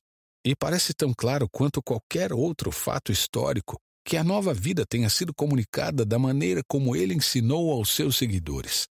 Em outras palavras, creio nisso com base em sua autoridade. Não tenha medo da palavra autoridade, pois acreditar em coisas com base na autoridade não significa nada mais do que acreditar nelas porque você considera a pessoa que as contou a você confiável. 99% das coisas nas quais acreditamos são baseadas na autoridade de alguém. Eu acredito que haja um lugar chamado Nova York apesar de não tê-lo visto com meus próprios olhos, e não poderia provar por meio de um raciocínio abstrato que tal lugar exista necessariamente. Acredito nele porque pessoas confiáveis me falaram dele. O homem comum acredita no sistema solar, em átomos, em evolução e em circulação do sangue com base na autoridade, porque os cientistas dizem que essas coisas existem. Toda e qualquer afirmação histórica sobre a face da Terra é crida com base no princípio de autoridade. Nenhum de nós viu a conquista da Normandia ou a derrota da Invencível Armada. Nenhum de nós poderia prová-las pela lógica pura, da mesma forma que se podem provar coisas na matemática. Acreditamos nelas simplesmente porque pessoas que as viram deixaram relatos escritos sobre esses acontecimentos ou seja, com base na autoridade. Alguém que duvida da autoridade nos demais assuntos, da mesma forma que as pessoas fazem com aqueles fatos relativos à religião, deveria se contentar em não saber nada de nada. Mas não se iluda. Não estou estabelecendo o batismo, a fé e a santa ceia como práticas que serão suficientes para substituir seus esforços para imitar a Cristo. Sua vida natural é derivada de seus pais. Mas isso não significa que ela será mantida se você não fizer nada em prol dela. Você poderá perdê-la por negligência ou poderá pôr um fim a ela cometendo suicídio. Você precisa alimentá-la e cuidar dela. Mas lembre-se sempre de que não é você que a está constituindo. Ou seja, o que você está fazendo é somente preservar uma vida que recebeu de alguém. Do mesmo modo, um cristão pode perder a vida em Cristo que foi posta nele, e ele tem de esforçar-se para mantê-la. Mas até mesmo o melhor dos cristãos que já viveram não estará agindo por esforço próprio. Ele estará apenas alimentando ou protegendo a vida que nunca poderia ter adquirido por esforço próprio. E isso tem consequências práticas, pois enquanto a vida natural estiver em seu corpo, ele se empenhará em conservar esse corpo. Um corpo vivo não é aquele que nunca se fere, mas aquele que é capaz de curar-se a si mesmo até certo ponto. Semelhantemente, um cristão não é uma pessoa que nunca comete erros, mas uma pessoa capaz de se arrepender e dar a volta por cima, começando tudo de novo depois de todo o tropeço que der, porque a vida em Cristo está dentro dele, curando-o o tempo todo, capacitando-o a imitar até certo ponto o tipo de morte voluntária que Cristo, em pessoa, assumiu. Eis porque o cristão está numa posição diferente de outras pessoas que estão tentando ser boazinhas. Elas esperam que, sendo boas, estejam agradando a Deus caso ele exista, ou, caso achem que ele não existe, pelo menos esperam merecer a aprovação de homens bons. Mas o cristão acredita que qualquer bem que ele possa fazer venha da vida em Cristo que está dentro dele. Ele não acha que Deus nos amará porque estamos sendo bons, mas que Deus nos tornará bons porque Ele nos ama. Isso pode ser comparado ao telhado de uma casa de jardim que não atrai os raios do sol porque é brilhante, mas é brilhante porque o sol irradia sobre ele. E quero deixar bem claro que, quando os cristãos dizem que a vida de Cristo está dentro deles, não estão se referindo simplesmente a algo mental ou moral. Quando eles falam de estar em Cristo, ou de Cristo estar neles, essa não é simplesmente uma forma de dizer que eles estejam pensando em Cristo ou tentando imitá-lo. Eles querem dizer que Cristo está realmente operando por meio deles. Que toda a massa de cristãos compõe o organismo físico por meio do qual Cristo atua. Que nós somos os seus dedos e músculos, as células do seu corpo.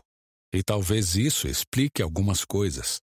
Explica por que essa vida nova é difundida não apenas por atos puramente mentais, como a fé, mas também por atos corpóreos, como o batismo e a Santa Ceia. Não se trata apenas da difusão de uma ideia, trata-se de algo mais parecido com a evolução. Um fato biológico ou suprabiológico. Não vale a pena tentar ser mais espiritual do que Deus, pois ele nunca pretendeu que o ser humano fosse uma criatura puramente espiritual. Por isso ele usa coisas materiais, como pão e vinho, para incutir nova vida em nós. Podemos até achar que isso é muito rudimentar e pouco espiritual, mas Deus não acha. Ele inventou o ato de comer. Ele gosta da matéria. Foi ele mesmo quem a inventou. Aqui vai outra coisa que costumava me intrigar. Não é terrivelmente injusto que essa nova vida seja confinada a pessoas que ouviram falar de Cristo e foram capazes de crer nele? Mas a verdade é que Deus não nos disse quais são os seus planos sobre as outras pessoas. O que sabemos é que nenhuma pessoa pode ser salva senão por intermédio de Cristo. Não sabemos se somente aquelas pessoas que o conhecem podem ser salvas por ele. Mas, nesse meio tempo, se você está preocupado com as pessoas de fora, a atitude mais insensata que você pode ter é também ficar de fora. Os cristãos são o corpo de Cristo, o organismo por meio do qual ele trabalha. Todo o acréscimo a esse corpo permite que ele trabalhe mais. Se você quiser ajudar aqueles que estão do lado de fora, terá de acrescentar sua própria pequena célula ao corpo de Cristo, que é o único que pode ajudá-los. Decepar os dedos de uma pessoa seria uma forma estranha de fazer com que trabalhe mais. Outra objeção possível é a seguinte: por que Deus aportou sob disfarce neste mundo ocupado pelo inimigo e iniciou uma espécie de sociedade secreta para sabotar o diabo?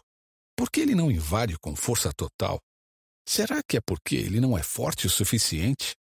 Bem, os cristãos pensam que ele virá com força total. Só não sabemos quando. Mas podemos imaginar o porquê de sua demora. Ele quer nos dar uma chance de aderir ao seu lado de forma voluntária. Não suponho que você e eu teríamos em alta conta um francês que esperasse que os aliados invadissem a Alemanha para só então anunciar que estava do nosso lado. A invasão de Deus é iminente. Mas eu me pergunto se as pessoas que pedem para Deus interferir aberta e diretamente no nosso mundo se dão conta do que estão pedindo. Quando isso acontecer, será o fim do mundo. Quando o autor se apresenta no palco, é porque a peça acabou. Deus fará a invasão, tudo bem. Mas qual é a vantagem de você dizer que está do lado dele apenas quando vir todo o mundo natural se dissolvendo como num sonho ou algo parecido? Algo que você nunca imaginou antes, irrompendo com força. Algo tão magnífico para alguns e tão terrível para outros, que não reste nenhuma alternativa para qualquer um de nós. Dessa vez Deus virá sem disfarce. Algo tão impressionante que causará reações de amor ou horror irresistível a toda criatura. Então será tarde demais para escolher o seu lado. Não adianta dizer que você decidiu deitar quando já é impossível ficar em pé. Essa já não será a hora de escolher. Será hora de descobrir de qual lado realmente nós escolhemos ficar. Quer tenhamos dado conta disso antes, quer não. A hora é agora. Hoje mesmo neste instante, de escolher o lado certo. Deus está se delongando para nos dar essa chance. E ela tem prazo de validade. É pegar ou largar.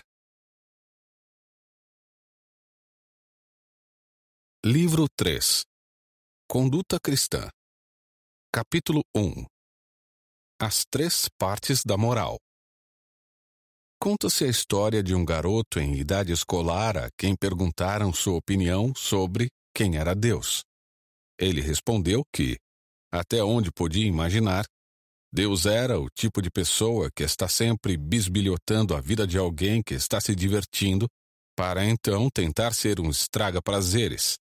E receio que esse seja o tipo de ideia que a palavra moralidade desperta na mente de boa parte das pessoas algo que interfere, algo que as impede de se divertir. Na verdade, as regras morais são instruções de uso da máquina humana. Toda regra moral existe para evitar um colapso ou um superaquecimento, ou um atrito no funcionamento dessa máquina. Eis porque essas regras, num primeiro momento, parecem estar constantemente interferindo nas nossas inclinações naturais. Quando lhe ensina como usar a máquina, o instrutor fica dizendo: Não, não faça desse jeito. Porque é claro que há todo tipo de coisa que lhe parece correta e natural na maneira de lidar com a máquina, mas que no fundo não funciona. Alguns preferem falar de ideais morais em vez de regras morais, e sobre o idealismo moral em vez de obediência moral. Ora, é claro que é bem verdade que a perfeição moral é um ideal no sentido de ser inalcançável. Por conseguinte, todo tipo de perfeição é, para nós humanos, um ideal. Não podemos ter sucesso em ser motoristas ou tenistas perfeitos, nem ser capazes de traçar linhas perfeitamente retas. Mas há outro sentido em que seria muito equivocado chamar a perfeição moral de ideal. Quando um indivíduo diz que certa mulher, ou casa, ou navio, ou jardim é seu ideal, ele não quer dizer, a menos que seja um completo imbecil, que todo o resto do mundo tenha de ter o mesmo ideal. Em assuntos assim, temos o direito de ter gostos diferentes e, portanto, diferentes ideais. Mas é perigoso descrever alguém que tente com todas as suas forças manter a lei moral como uma pessoa de grandes ideais, porque isso pode levá-lo a achar que a perfeição moral é um gosto particular e pessoal, e que o restante de nós não tenha sido chamado a compartilhar dela, o que seria um erro grosseiro. O comportamento perfeito pode ser tão inalcançável quanto é a troca de marcha perfeita quando estamos dirigindo mas se trata de um ideal necessário, prescrito para todos os seres humanos pela natureza própria da máquina humana. Da mesma forma que a troca de marcha perfeita é um ideal prescrito para todos os motoristas pela natureza própria dos carros. E seria ainda mais perigoso achar que somos pessoas de grandes ideais porque nos empenhamos em nunca, jamais mentir, e não contar uma mentirinha ou outra, ou em jamais cometer adultério, em vez de cometê-lo raras vezes. Ou em não ser uma pessoa violenta em vez de agir só com um pouquinho de violência. Isso pode levá-lo a se tornar uma pessoa arrogante e a achar que é alguém realmente especial, que mereceria ser elogiado por seu idealismo. Na verdade, você poderia esperar igualmente ser elogiado porque, sempre que faz uma conta, tenta acertá-la. Com certeza, a aritmética perfeita é um ideal.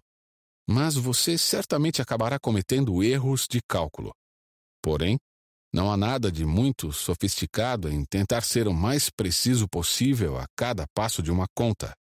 Na verdade, é idiotice não tentar sê-lo, pois todo erro acabará gerando problemas posteriores, provavelmente aos outros e certamente a você mesmo.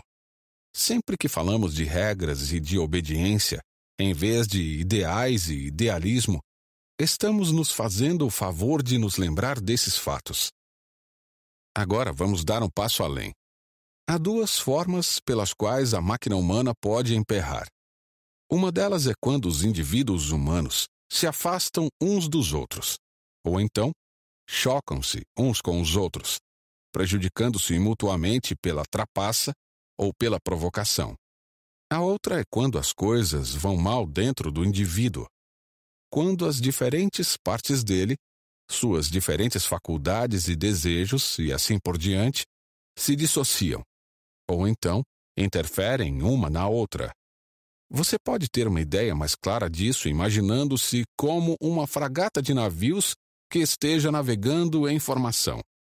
A viagem só poderá ser um sucesso se, antes de tudo, os navios não colidirem uns com os outros nem se colocarem no caminho uns dos outros. E, em segundo lugar, se cada navio estiver em condições de navegar e com os motores em bom funcionamento. O fato é que você não poderá ter nenhuma dessas duas coisas sem a outra. Se os navios continuarem a colidir, não vão ter condições de navegação por muito tempo. Por outro lado, se os lemes de navegação estiverem quebrados, não será possível evitar as colisões. Ou, se preferir, imagine a humanidade como uma banda tocando uma música. Para obter um bom resultado, você vai precisar de duas coisas: Cada instrumento individual tocado pelo instrumentista deve estar afinado e, ao mesmo tempo, cada um também tende a entrar no tempo certo, de modo a produzir a harmonia musical. Mas há uma coisa que ainda não levamos em conta. Ainda não perguntamos a que lugar a frota está tentando chegar e qual é a melodia que a banda está tentando tocar. Os instrumentos podem estar todos afinados e harmônicos, mas mesmo assim, o desempenho pode não ser um sucesso se eles tiverem sido contratados para apresentar músicas dançantes e, em vez disso, estiverem tocando marchas fúnebres. E por melhor que a frota possa ter navegado, sua viagem seria um fracasso se tivesse como destino Nova York, mas na verdade chegasse a Calcutá.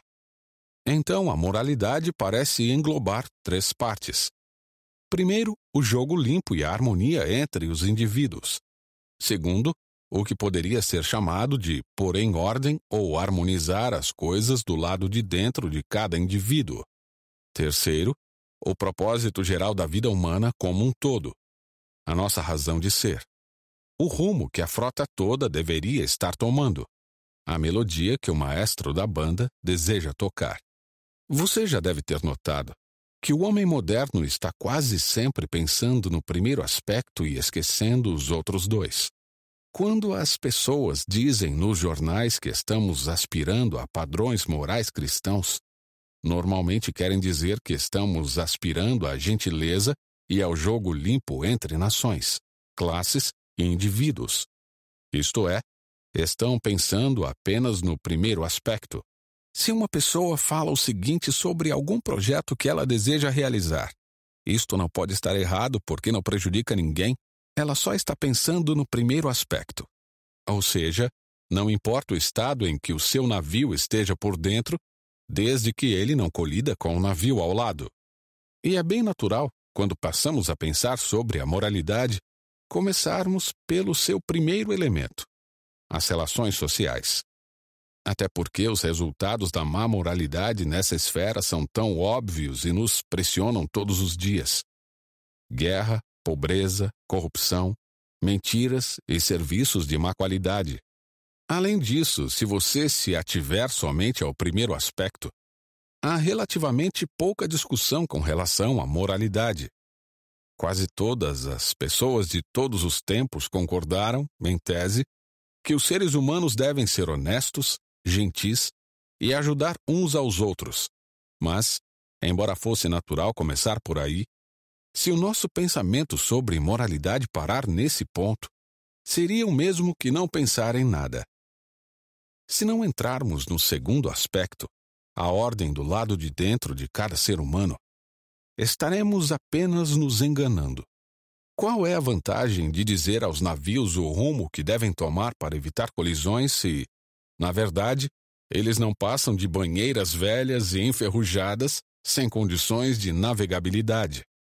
Qual é a vantagem de anotar no papel as regras do comportamento social, se sabemos que, na verdade, nossa ambição, nossa covardia, nosso mau humor e nosso orgulho nos impedirão de mantê-las? Não quero dizer com isso nem por um instante que não devamos pensar e pensar bem sobre aprimoramentos em nosso sistema social e econômico. O que quero dizer, isso sim, é que todo esse pensamento não passará de ilusão se não nos dermos conta de que só a coragem e a generosidade dos indivíduos farão com que qualquer sistema funcione da forma adequada. É muito fácil eliminar os tipos particulares de corrupção ou opressão que prevalecem no atual sistema. Mas enquanto os seres humanos forem trapaceiros e opressores, eles encontrarão alguma nova maneira de dar continuidade ao velho jogo debaixo do novo sistema. Não é possível tornar os homens bons por lei. Mas, sem homens bons, nunca se obterá uma boa sociedade. E é por isso que temos de continuar pensando no segundo aspecto. A moralidade que está dentro do indivíduo. Entretanto, acho que também não podemos parar por aí. Estamos chegando ao ponto agora em que diferentes crenças sobre o universo levam a comportamentos diferentes. À primeira vista, pareceria muito sensato parar antes do fim da jornada e simplesmente nos limitar àquelas partes da moralidade que são consensuais entre todas as pessoas sensatas. Mas será que estamos autorizados a fazer isso? Lembre-se de que a religião compreende uma série de declarações sobre os fatos que têm de ser necessariamente verdadeiras ou falsas. Se forem verdadeiras, então será possível inferir certo conjunto de conclusões sobre a navegação correta da frota humana. Se elas forem falsas, as inferências serão bem diferentes. Por exemplo, vamos retomar o caso daquele homem que diz que uma coisa não pode ser errada desde que não prejudique nenhum outro ser humano. Ele sabe muito bem que não deve danificar os outros navios do comboio mas pensa sinceramente que tudo o que fizer com o seu próprio navio é exclusivamente da sua própria conta. Mas será que não faz toda a diferença o caso de o um navio ser ou não sua propriedade pessoal? Será que não faz toda a diferença se eu sou, por assim dizer, o senhor da minha própria mente e do meu corpo? Ou apenas um inquilino que presta contas ao verdadeiro senhor? Se alguém me fez, para seus próprios propósitos, então devo ter uma série de deveres que não teria se simplesmente fosse meu próprio dono. Repito. O cristianismo afirma que todo ser humano viverá para sempre. E isso só pode ser verdadeiro ou falso. Agora, há muitas coisas que não seriam dignas de preocupação se fosse para eu viver apenas 70 anos mas com as quais é bom eu me preocupar seriamente se tenho a perspectiva de viver eternamente.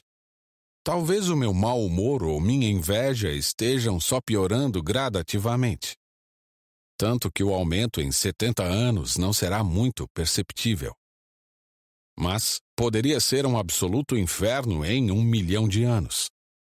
Na verdade, se o cristianismo for verdadeiro, o inferno é precisamente o termo técnico correto para o que isso seria.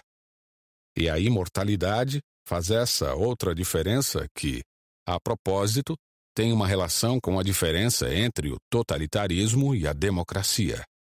Se os indivíduos vivem apenas 70 anos, então um Estado, ou uma nação, ou uma civilização que pode durar mil anos são mais importantes do que um indivíduo. Todavia, se o cristianismo for verdadeiro, então o indivíduo não apenas é mais importante, mas também incomparavelmente mais relevante, porque ele é perene. E a vida de um Estado ou de uma civilização, quando comparada com a dele, não passa de um sopro. Parece então que, se formos pensar sobre moralidade, temos de pensar em todas as três partes: as relações entre os homens, os fatores interiores de cada pessoa e as relações entre o homem e o poder que o criou. Podemos todos cooperar no primeiro aspecto, mas as discórdias começam no segundo e se tornam ainda mais sérias no terceiro. É lidando com o terceiro aspecto que as principais diferenças entre a moralidade cristã e a não cristã se revelam. No restante deste livro, vou assumir o ponto de vista cristão e abordarei o cenário todo numa perspectiva de como ele se configura se o cristianismo for verdadeiro. Capítulo 2 As Virtudes Cardeais a sessão anterior foi originalmente composta para ser transmitida na forma de uma breve palestra pelo rádio. Quando você só está autorizado a falar por 10 minutos, quase tudo tem de ser sacrificado em prol da brevidade. Um dos motivos principais para dividir a moralidade em três partes, juntamente com minha imagem dos navios em comboio, foi que essa me parecia a forma mais breve de dizer o que tinha de ser dito.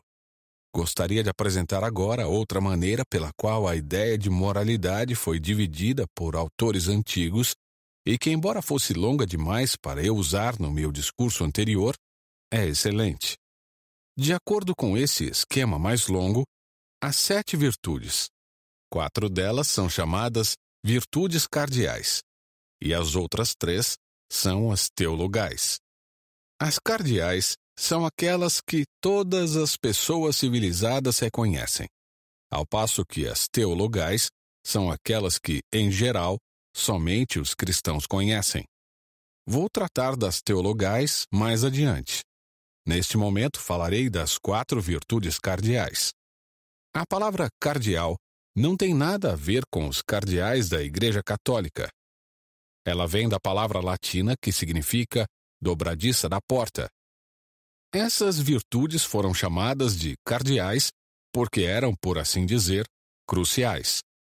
São elas: prudência, temperança, justiça e fortaleza. A prudência significa o bom e prático bom senso. Dar-se ao trabalho de pensar antes de agir e refletir sobre as prováveis consequências de nossas ações. Hoje em dia, a maioria das pessoas quase nunca pensa na prudência como uma virtude. Na verdade, pelo fato de Cristo ter dito que só podemos entrar no mundo dele sendo como crianças, muitos cristãos têm a ideia de que você pode até ser um tolo, contanto que seja bonzinho. Mas isso é um equívoco. Em primeiro lugar, a maioria das crianças mostra bastante prudência quanto a fazer as coisas que são realmente do seu interesse e conseguem pensar nelas de maneira bastante razoável. Em segundo lugar, como bem destaca o apóstolo Paulo, nunca foi a intenção de Cristo que permanecêssemos crianças na inteligência. Pelo contrário, além de nos ter dito para sermos sem malícia como as pombas, Devemos também ser astutos como as serpentes. Ele deseja um coração de criança, mas com um intelecto de adulto. Ele quer que sejamos simples, sinceros, afetuosos e capazes de aprender, como é o caso das boas crianças. Mas também quer cada partícula de inteligência que tivermos para estarmos alerta em sua obra e bem treinados para a batalha. O fato de você estar doando dinheiro para obras de caridade não significa dispensar descobrir se essa instituição é ou não fraudulenta. O fato de você estar pensando sobre o próprio Deus, por exemplo, quando está orando, não significa que pode se contentar com algumas ideias infantis que você tinha aos cinco anos de idade. Certamente, é bem verdade que Deus não diminuirá o amor que dedica a você, nem deixará de usá-lo se por acaso você tiver nascido com um intelecto limitado. Ele tem espaço para pessoas dotadas de pouco senso. Todavia, ele deseja que todos empreguem o senso que tiverem. O lema adequado não é: seja boa, queridinha, e deixe a inteligência para os espertos. Mas sim, seja boa, queridinha, e não se esqueça de que isso significa ser o mais inteligente possível. Deus não se agrada nem mais nem menos dos preguiçosos mentais que de qualquer outro tipo de preguiçoso. Se você está considerando a possibilidade de se tornar cristão, devo alertá-lo para o fato de que está embarcando em algo que vai exigir você por inteiro, inclusive seu intelecto. Mas, felizmente, as coisas funcionam de modo contrário. Isto é, qualquer um que esteja tentando honestamente se tornar um cristão vai perceber logo que a sua inteligência está sendo aguçada. E um dos motivos por que se tornar cristão não requer nenhuma educação especial é que este tornar-se já é um tipo de educação. E é por esse motivo que um cristão sem formação escolar como Bunyan teve condições de escrever um livro que impressionou o mundo todo. Temperança é, infelizmente, uma daquelas palavras que teve o seu sentido alterado. Atualmente, o termo também tem o significado de abstinência de bebidas alcoólicas, mas na época em que a segunda virtude cardeal foi batizada de temperança, ela não significava nada disso. A temperança não se referia especialmente à bebida, mas a todos os prazeres. E não queria dizer abstinência, mas sim usar de moderação na medida certa, sem ultrapassá-la. É um equívoco acreditar que todos os cristãos devem ser abstêmios. É o islamismo, não o cristianismo, a religião que proíbe bebidas alcoólicas. É bem possível que seja dever de um cristão em particular, ou de todo cristão em determinadas ocasiões, abster-se de bebida forte. Seja porque ele é o tipo de pessoa que não consegue beber sem passar do limite, seja porque ele está acompanhado de pessoas que têm tendência ao alcoolismo e não querem encorajá-las bebendo junto com elas. Mas o ponto em questão é que, por um bom motivo, ele se absterá de algo que não condena totalmente e até gosta de ver os outros apreciando. Uma das marcas do mau caráter é que ele não consegue abster-se de nada sem forçar todos ao seu redor a também abrirem mão daquilo. Mas esse não é o modo cristão de ser. Um cristão pode se ver pronto para abrir mão de qualquer coisa por razões especiais: casamento, carne, cerveja ou cinema. Mas no momento em que começa a dizer que essas coisas são ruins ou esnoba outras pessoas que as praticam, terá perdido o rumo. O fato de a modernidade restringir a palavra temperança à questão da bebida trouxe um grande mal uma vez que faz com que as pessoas se esqueçam de que também é possível ser intemperante com muitas outras coisas. Seja alguém que faz do golfe ou da motocicleta que possui o centro de sua vida, ou a mulher que devota seus pensamentos às roupas, ao jogo ou ao seu cachorro, essa pessoa está sendo tão intemperante quanto aquela que se embriaga todas as noites. É claro que isso não é tão facilmente perceptível, visto que o vício no jogo ou no esporte não faz você cair e ficar largado no meio da rua. Mas Deus não se deixa levar pela aparência. Justiça significa muito mais do que o tipo de coisa que acontece nos tribunais. Trata-se do velho nome para tudo que devemos agora chamar de jogo limpo. E isso inclui honestidade, reciprocidade, veracidade, cumprimento de promessas e todo esse lado da vida. A fortaleza, por sua vez, inclui ambos os tipos de coragem.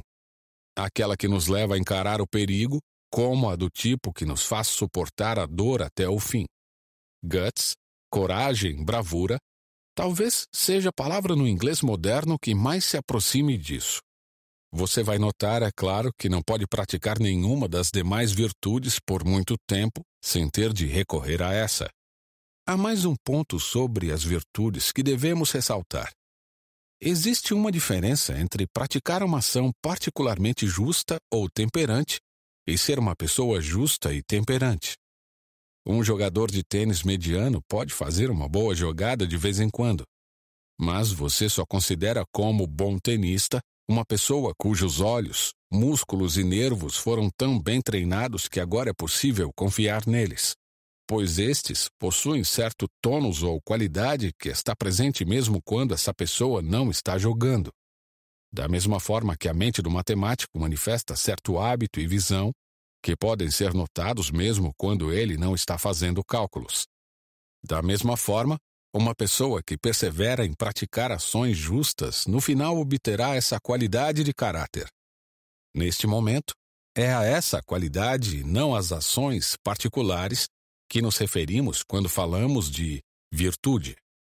Essa distinção é importante pela seguinte razão. Se pensássemos apenas nas ações particulares, poderíamos estar promovendo três ideias erradas. 1. Um, poderíamos acreditar que, desde que se faça a coisa certa, não faz diferença como ou por que a fizemos. Se você a fez de propósito ou sem querer, de forma emburrada ou alegremente, com medo da opinião pública ou por sua conta e risco. Mas a verdade é que agir corretamente por motivos errados não ajudará a construir a qualidade interna ou o caráter chamado de virtude. E é essa qualidade ou caráter que realmente importa. Se um péssimo jogador de tênis bate na bola com muita força, não porque ele vê que é necessário usar mais ou menos força, mas porque perdeu a cabeça, se tiver sorte, o lance pode até ajudá-lo a ganhar um jogo em particular. Mas não vai ajudá-lo a se tornar um jogador confiável. 2. Poderíamos acreditar que Deus requer simplesmente a obediência a um conjunto de regras. Quando o que ele realmente deseja são pessoas com qualidades singulares em seu interior. 3 podemos achar que as virtudes são necessárias apenas para a vida presente. Que na vindoura poderíamos deixar de ser justos, uma vez que não há motivos para discórdias e deixar de ser corajosos, porque já não haverá mais nenhum perigo. Mas é bem verdade que, provavelmente, não vai haver ocasião para ações corajosas no mundo vindouro mas haverá toda ocasião para ser o tipo de pessoa que só podemos nos tornar praticando tais atos no presente. A questão não é que Deus vá impedir seu ingresso na eternidade se você não demonstrar certos traços de caráter. A questão é que, se as pessoas não possuírem pelo menos uma noção dessas qualidades dentro delas, então não haverá condições externas capazes de produzir um céu para elas. Isto é, não haverá condições que possam fazê-las felizes com o tipo de felicidade intensa, forte e inabalável que Deus deseja para nós. Capítulo 3 Moralidade Social O passo inicial para uma visão clara do exercício da moralidade cristã entre os homens é reconhecer que, nesse departamento, Cristo não veio para pregar nenhuma novidade do ponto de vista moral. A regra de ouro do Novo Testamento, faça com os outros o que gostaria que fizessem com você, é o resumo do que todas as pessoas no fundo sempre souberam ser o certo. Os grandes mestres da moral nunca introduzem morais novas. São os charlatões que fazem isso. Como o Dr. Samuel Johnson, notável escritor, moralista e pensador inglês, disse certa vez: bem mais frequentemente, as pessoas precisam ser relembradas que instruídas. A verdadeira missão de todo mestre de moral é insistir em nos trazer de volta de tempos em tempos para os bons e velhos princípios que todos nós desejamos muito perder de vista. É como conduzir um cavalo sempre de volta à cerca que ele se recusou a pular ou trazer a criança sempre de volta à parte da lição da qual ela desejava fugir. O segundo ponto que precisa ficar claro é que o cristianismo não tem e não professa ter um programa político detalhado para aplicar o Faça com os outros o que gostaria que fizessem com você a uma sociedade específica em um momento particular. Nem poderia ter. Ele vale para todos os seres humanos de todos os tempos, e o programa específico que se adequasse a um lugar e tempo não se adequaria a outro. Além do mais, não é assim que o cristianismo funciona. Quando ele ordena que se alimentem os que passam fome, não ensina culinária e, quando manda que se leiam as Escrituras, não dá aulas de grego e hebraico, tampouco de gramática. O cristianismo nunca teve a intenção de substituir ou suplantar as artes e as ciências humanas comuns. Antes, assume a função de um diretor, que atribui a tarefa certa a cada um, e de uma fonte de energia que oferece vida nova a cada um, desde que este se coloque à sua disposição. As pessoas dizem que é a igreja que deve assumir a liderança. Mas isso só será verdade se for encarado da maneira certa. Do contrário, não será verdade. Por igreja, talvez queiram dizer todo o corpo de cristãos praticantes.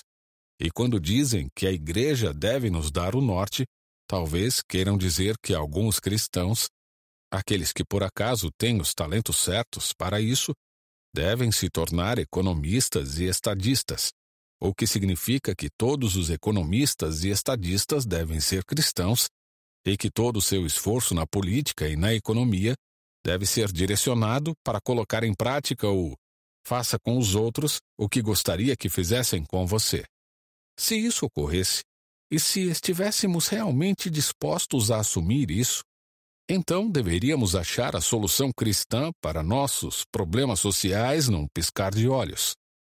Mas é claro que, quando as pessoas pedem à igreja que lhes dê um norte, a maioria delas quer dizer que deseja que o clero estabeleça um programa político, o que seria patético. Os clérigos são aquelas pessoas especiais dentro da igreja que foram treinadas e separadas para cuidar do que nos diz respeito enquanto criaturas que viverão eternamente.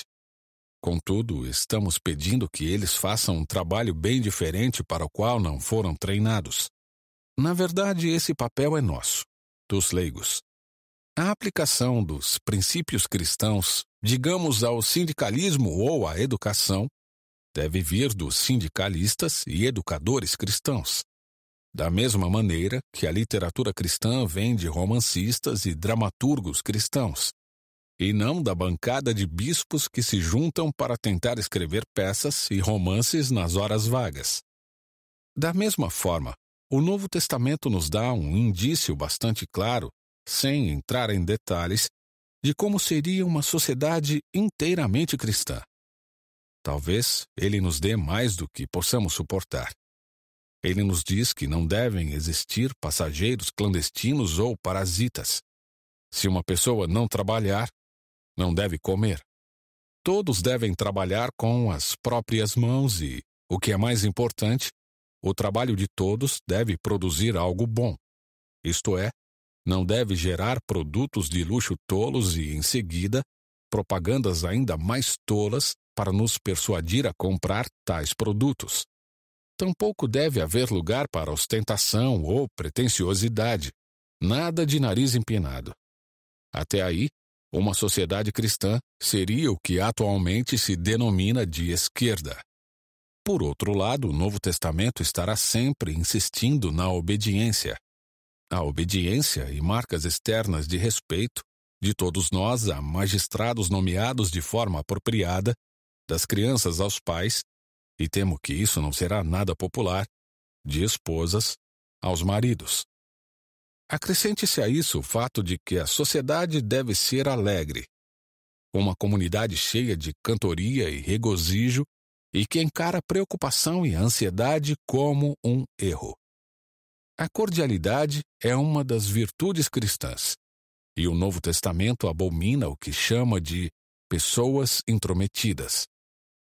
Se houvesse tal sociedade e fôssemos visitá-la, penso que voltaríamos com uma impressão curiosa.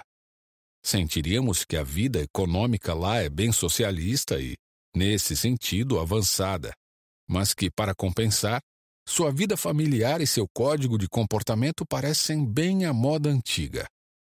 Quem sabe até veríamos como uma sociedade cerimoniosa e aristocrática. Todos nós apreciaríamos partes dela, mas temo que bem poucos a apreciaríamos por inteiro. É exatamente isso que se esperaria se o cristianismo fosse o plano completo para a máquina humana. Todos nós nos afastamos desse plano completo de diferentes maneiras, e cada um de nós deseja substituir o plano original por seu próprio plano. Você vai deparar com isso diversas vezes com relação a qualquer coisa que seja realmente cristã. Cada um é atraído por uma parte e deseja extrair só este aspecto, abandonando o resto. Eis porque nunca avançamos muito. E eis porque pessoas que estão lutando por coisas bastante opostas podem ambas dizer que estão lutando pelo cristianismo. Passemos agora a outra questão. Há um conselho que nos foi legado pelos gregos pagãos da antiguidade, pelos judeus do Antigo Testamento e pelos mestres cristãos da Idade Média, mas que foi inteiramente desprezado pelo sistema econômico moderno. Todos eles nos disseram para não emprestarmos dinheiro a juros, e emprestar dinheiro a juros, o que chamamos de investimento, é a base de todo o nosso sistema. Mas pode ser que isso não implique que estejamos errados. Alguns dizem que, quando Moisés Aristóteles e os cristãos concordaram em proibir os juros, ou, como eles chamavam, a usura, eles não poderiam prever as sociedades anônimas, e que eles estavam pensando apenas naquele que empresta dinheiro de forma privada. Portanto, não precisaríamos nos preocupar com o que eles disseram. Não me cabe responder a essa questão.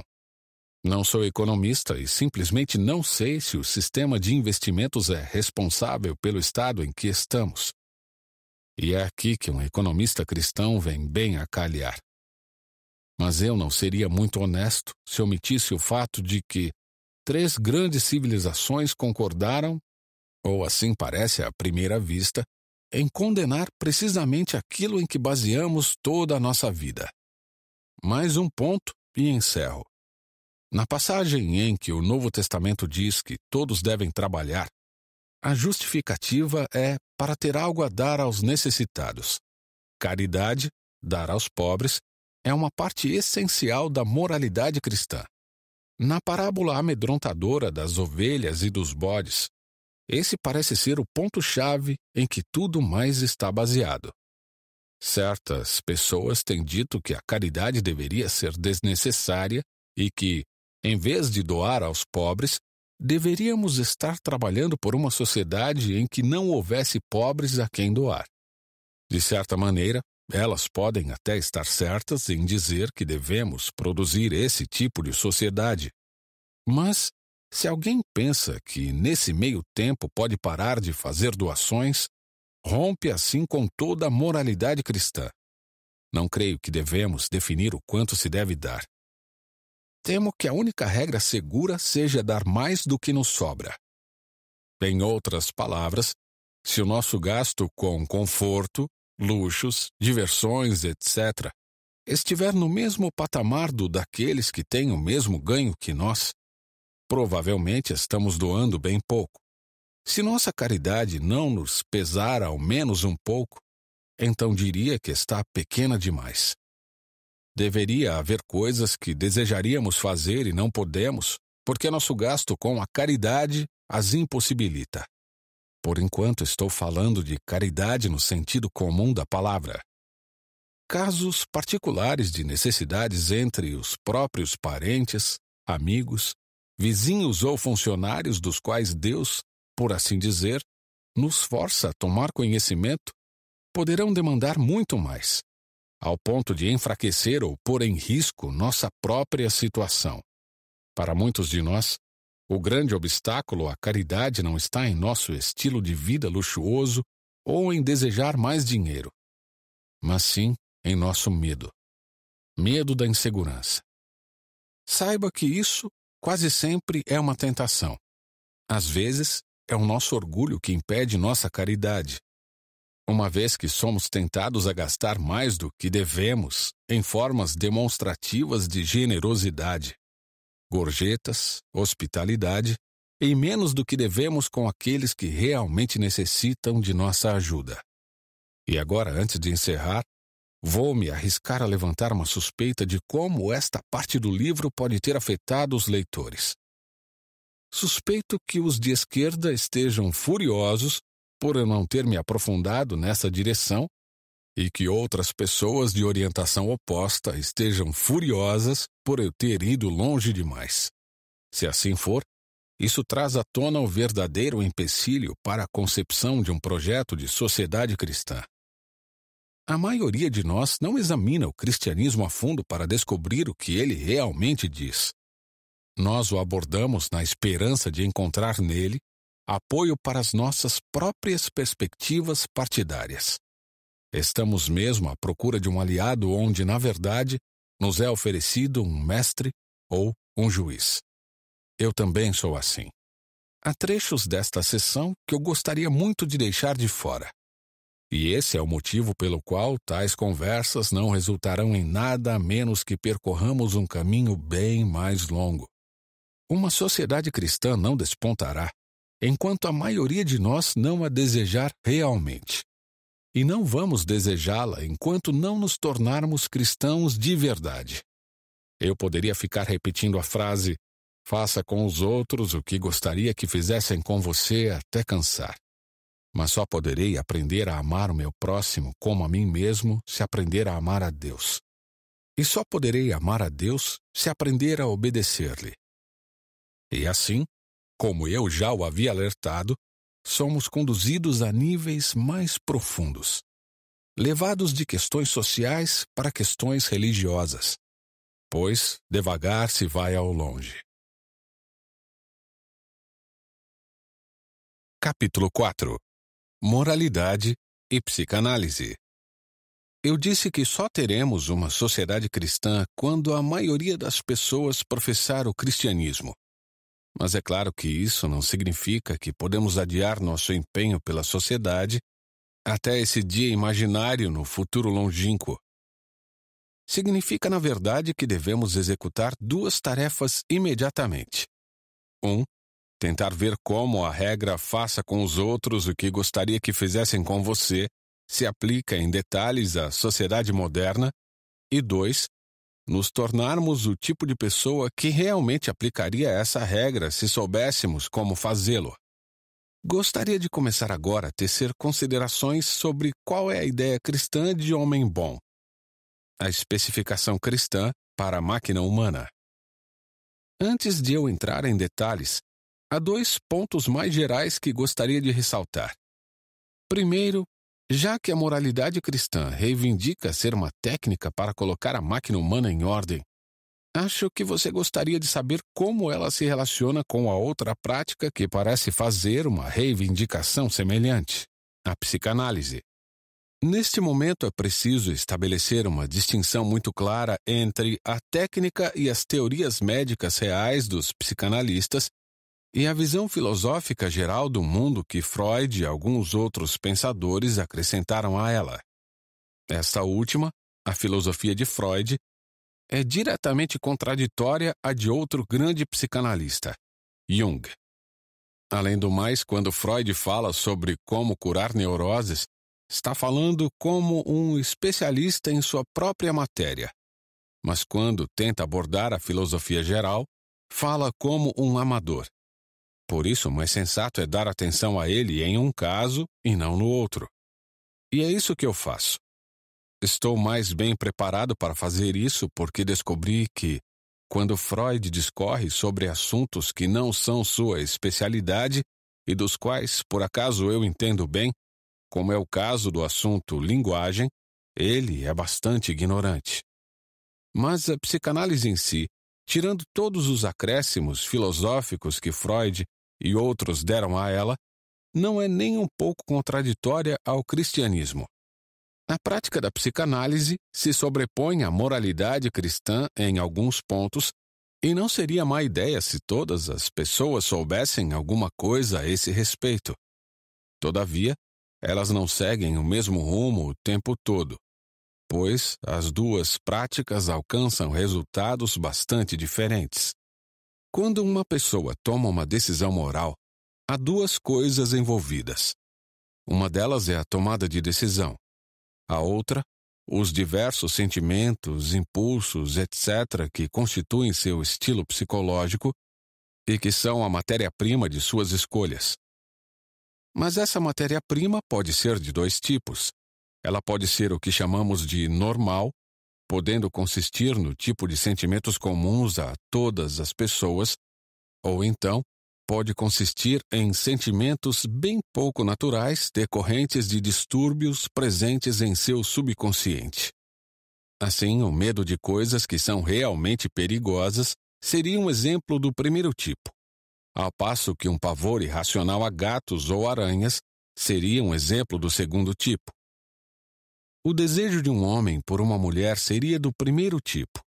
Já o desejo pervertido de um homem por outro seria do segundo. Então, o que os psicanalistas se propõem a fazer é eliminar os sentimentos anormais, isto é, dar ao homem uma matéria-prima melhor para suas escolhas. A moralidade se ocupa da própria tomada de decisão. Vamos colocá-lo nos seguintes termos. Imagine três homens que vão à guerra. Um tem o sentimento natural de medo perante o perigo que todo ser humano sente. E ele o vence por um esforço moral, tornando-se um homem corajoso. Vamos supor que os outros dois tenham medos exagerados, irracionais, que nenhum esforço moral é capaz de vencer em consequência do conteúdo de seu subconsciente. Suponha agora que um psicanalista apareça e cure esses dois. Isto é, coloque os dois de volta na situação original do primeiro homem.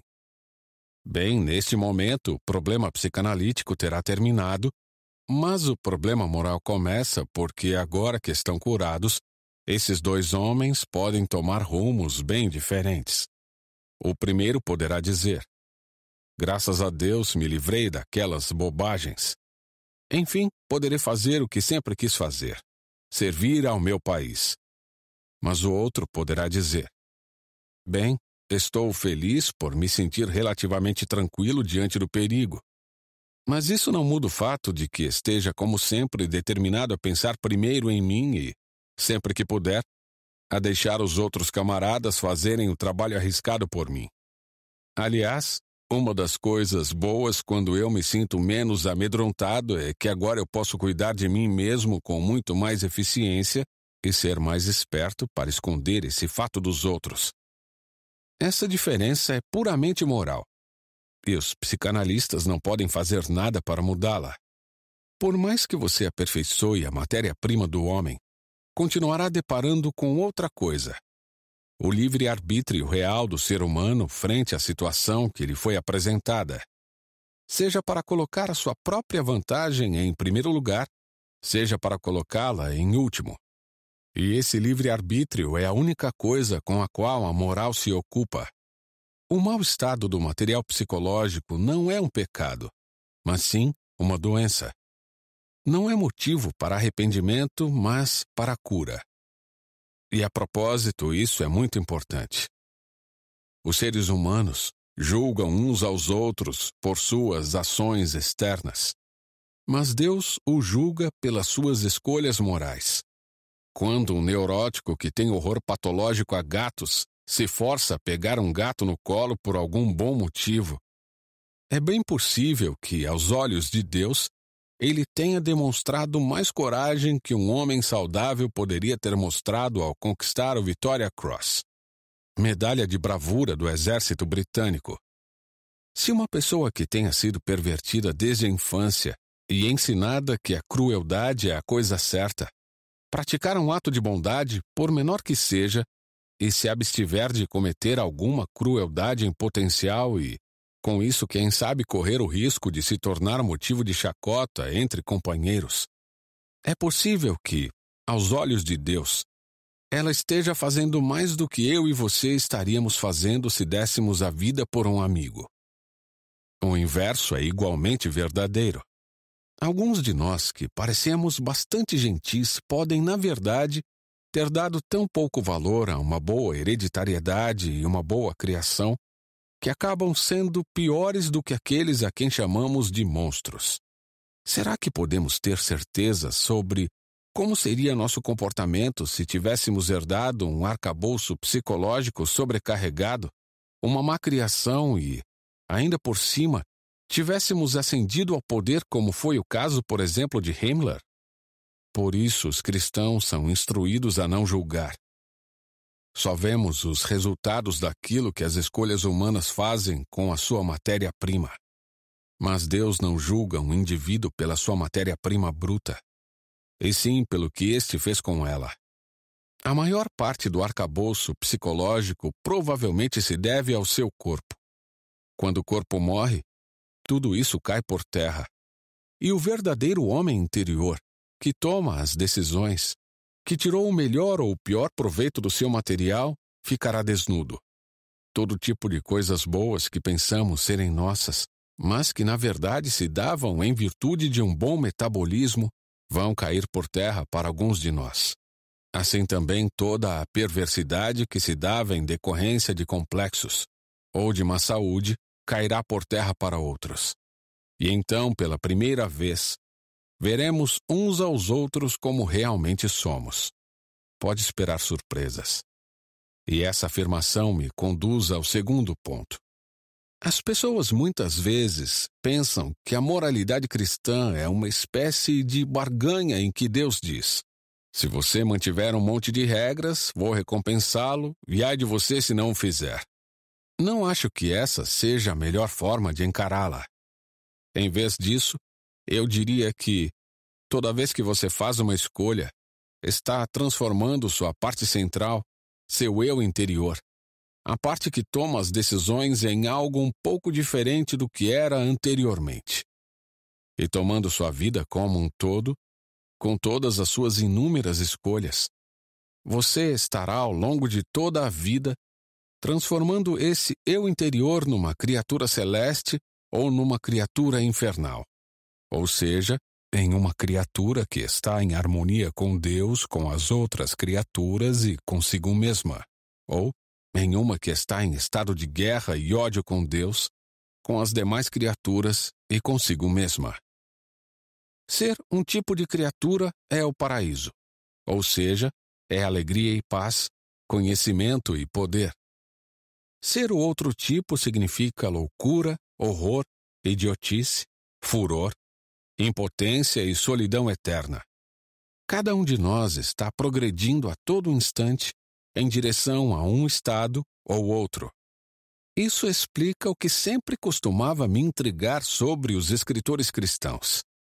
Eles parecem ser tão rígidos numa hora e tão livres e leves em outra.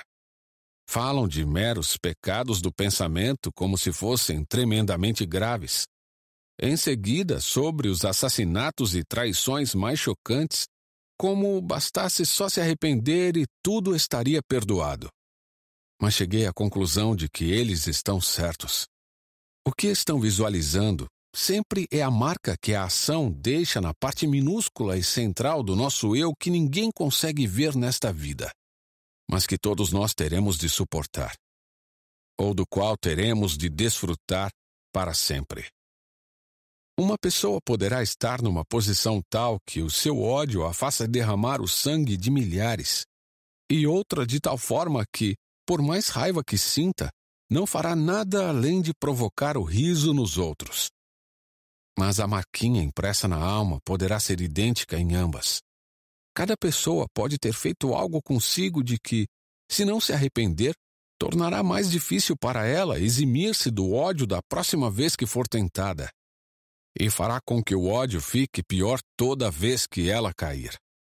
Cada uma delas, se voltar-se seriamente para Deus, poderá ter aquela distorção no seu eu interior endireitado. Cada uma que não o fizer será condenada. Entretanto, vale ressaltar que não é a grandeza ou humildeza do ato em si, visto de fora, que realmente importa. Um último ponto. Lembre-se de que, como eu disse, a direção certa leva não apenas à paz, mas também ao conhecimento. Quando uma pessoa aprimora seu caráter, ela compreende o mal que resta dentro dela com clareza cada vez maior. Por outro lado, quando piora, percebe cada vez menos sua própria maldade. Uma pessoa moderadamente má sabe que não é muito boa. Já uma pessoa inteiramente má acha que está tudo bem. Na verdade, isso é senso comum. Podemos entender o sono quando estamos acordados, não enquanto estivermos dormindo. Podemos perceber erros de aritmética quando a mente estiver raciocinando certo, não enquanto estivermos fazendo errado as contas. Podemos entender a natureza da embriaguez quando estamos sóbrios, não quando estamos embriagados. Pessoas boas conhecem o bem e o mal. Pessoas más não fazem ideia de nenhuma das duas coisas. Capítulo 5 Moralidade sexual Vamos considerar agora a moralidade cristã no que diz respeito ao sexo, o que os cristãos chamam de castidade. A regra cristã da castidade não deve ser confundida com a regra social da dignidade, em um dos sentidos da palavra, isto é, de pudor ou decência. A regra social do pudor estabelece quanto do corpo humano pode ser exposto, quais assuntos podem ser tratados e como usar as palavras de acordo com os costumes de um dado círculo social. Assim, enquanto a regra da castidade é a mesma para todos os cristãos de todos os tempos, a regra do pudor muda. Uma garota das ilhas do Pacífico que quase não usa roupas e uma dama da era vitoriana completamente vestida podem ser igualmente dignas, pudicas ou decentes, de acordo com os padrões da sociedade em que vivem. E ambas, a julgar pela sua forma de se vestir, podem ser igualmente castas ou igualmente incastas. A linguagem empregada pelas mulheres castas dos tempos de Shakespeare só seria permissível no século XIX a uma mulher completamente libertina. Quando as pessoas quebram a regra do pudor em sua própria época e localidade para excitar o desejo sexual presente em si mesmas ou nos outros, então estarão infringindo a regra da castidade. Mas se o fazem pela ignorância ou pela falta de cuidado, serão culpadas apenas de mau comportamento. Quando, como acontece muitas vezes, elas quebram tais regras de forma contestadora para chocar ou constranger os demais, não estão sendo necessariamente obscenas, mas falta-lhes o espírito de generosidade, pois quem age assim tem prazer em fazer os outros se sentirem constrangidos. Não acredito que um padrão de pudor muito rígido ou meticuloso seja uma prova de castidade, muito menos que seja útil para promovê-la. E, portanto, considero a grande emancipação e a simplificação dessa regra que se deu em minha época como algo positivo. Hoje em dia, entretanto, isso traz o inconveniente de fazer com que pessoas de diferentes épocas e diferentes estilos não reconheçam o mesmo padrão. Por isso é difícil saber qual é a real situação em que nos encontramos.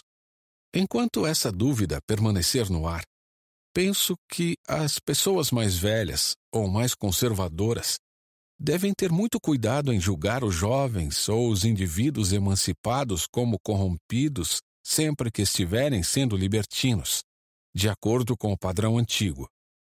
Já os mais jovens, por sua vez, não devem considerar os idosos falsos moralistas ou puritanos só porque não se adaptam ao novo padrão com facilidade. O desejo sincero de sempre pensar o melhor dos outros e deixá-los o mais à vontade possível resolverá a maior parte dos problemas. A castidade é a virtude cristã mais impopular, mas não há como escapar dela. A regra cristã é: ou o casamento com fidelidade completa ao parceiro, ou a total abstinência. Mas isso é tão difícil e contrário aos nossos instintos que, obviamente, ou o cristianismo está errado, ou nosso instinto sexual, como se manifesta hoje, se corrompeu. Uma coisa ou outra. É claro que, sendo cristão, tenho de supor que foi o instinto que se corrompeu. Mas tenho outros motivos para pensar assim. O propósito biológico do sexo são os filhos, da mesma forma que o propósito biológico de comer é alimentar o corpo. Contudo, se comemos todas as vezes em que nos sentirmos propensos a isso e o quanto quisermos, é bem verdade que a maioria de nós acabará comendo demais. Mas não extraordinariamente mais. Uma pessoa pode comer por duas, mas não por dez. O apetite pode ir um pouco além do seu propósito biológico, mas não de forma excessiva. Se um jovem sadio se entregasse ao seu apetite sexual sempre que se sentisse propenso a isso, e se cada ato gerasse um bebê, então em dez anos ele poderia facilmente povoar um pequeno vilarejo. Uma vez que tal disposição excederia seu limite de forma ridícula e estapafúrdia. Vamos explicar o assunto a partir de outra analogia. É possível reunir uma grande plateia para assistir a um striptease. Isto é, para ver uma mulher despir-se no palco. Mas suponha que você chegue a um país em que fosse possível lotar um teatro, por exemplo, na apresentação de um prato coberto no palco, cuja tampa fosse levantada lentamente e que todos vissem pouco antes do apagar das luzes, que no prato havia um belo filé ou uma fatia de bacon. Será que você não acharia que naquele país algo deu errado no que se refere ao apetite por comida? Do mesmo modo, uma pessoa que tenha sido criada em outro ambiente não pensaria o mesmo sobre o estado do instinto sexual entre nós? Certo crítico disse que, se encontrasse um país em que espetáculos de striptease com pratos de comida fossem populares, ele concluiria que as pessoas desse país estariam passando fome. O que ele quis dizer com isso, obviamente, é que espetáculos normais de striptease não resultaram da corrupção sexual, e sim da abstinência sexual. Concordo com ele que se, em algum país estranho, descobríssemos que atos deste tipo, com uma fatia de bacon, fossem populares, uma das explicações possíveis que me ocorreriam seria a fome. Mas o próximo passo seria testar nossa hipótese, tentando descobrir de fato quanto alimento estava sendo consumido naquele país. Se a evidência mostrasse que uma boa quantidade de alimento fosse comida, então, é claro, teríamos de abandonar a hipótese da fome e tentar criar outra. Da mesma forma, antes de aceitarmos a abstinência sexual como a causa do striptease, precisamos descobrir evidências de que existe de fato mais abstinência sexual na nossa época do que naqueles tempos em que o striptease era desconhecido. Mas é claro que não há tal evidência.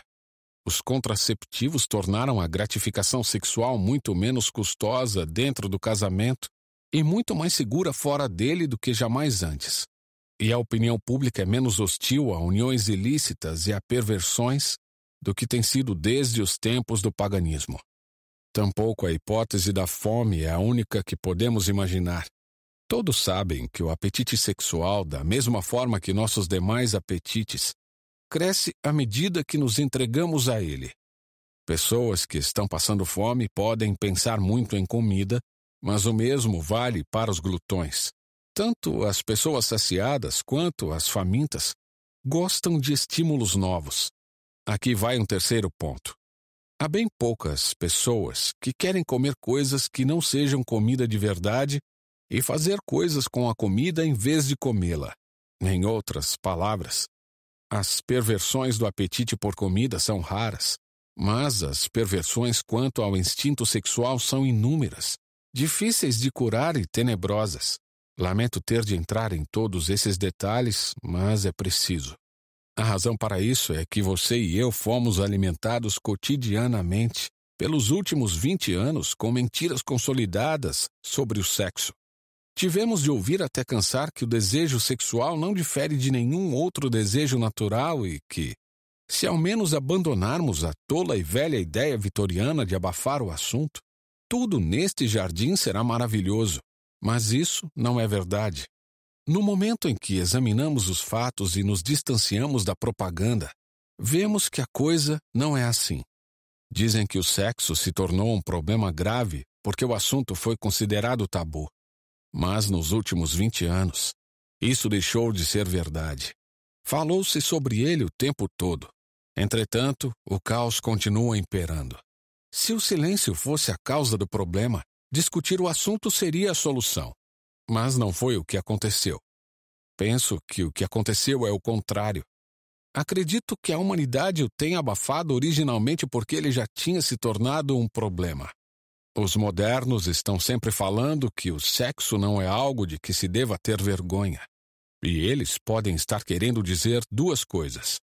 Não há motivos para se envergonhar do fato de que a humanidade se reproduz dessa forma, nem do fato de que isso proporciona prazer. Se eles querem dizer isso, estão certos. É isso mesmo que o cristianismo diz. O problema não é o ato em si nem o prazer. Os velhos mestres cristãos diziam que, se o homem nunca tivesse caído, o prazer sexual não seria menor do que é agora. Na verdade, seria maior.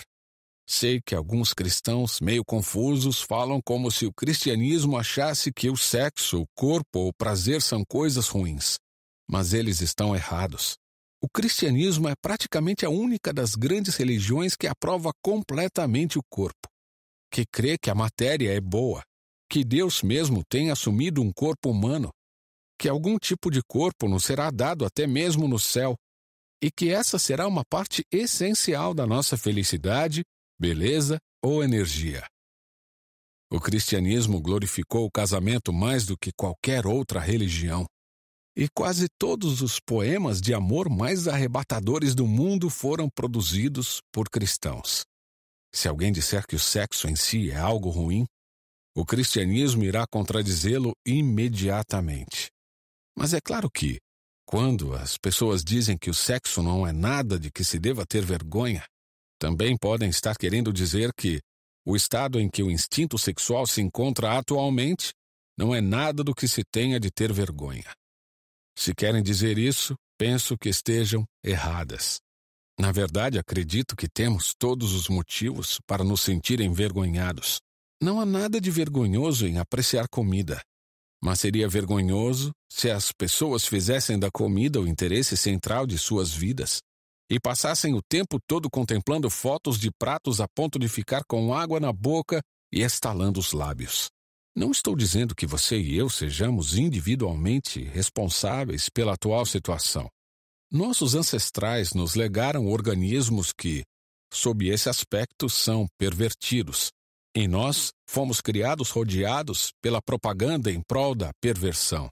Há pessoas que querem manter nosso instinto sexual inflamado para ganhar dinheiro à nossa custa.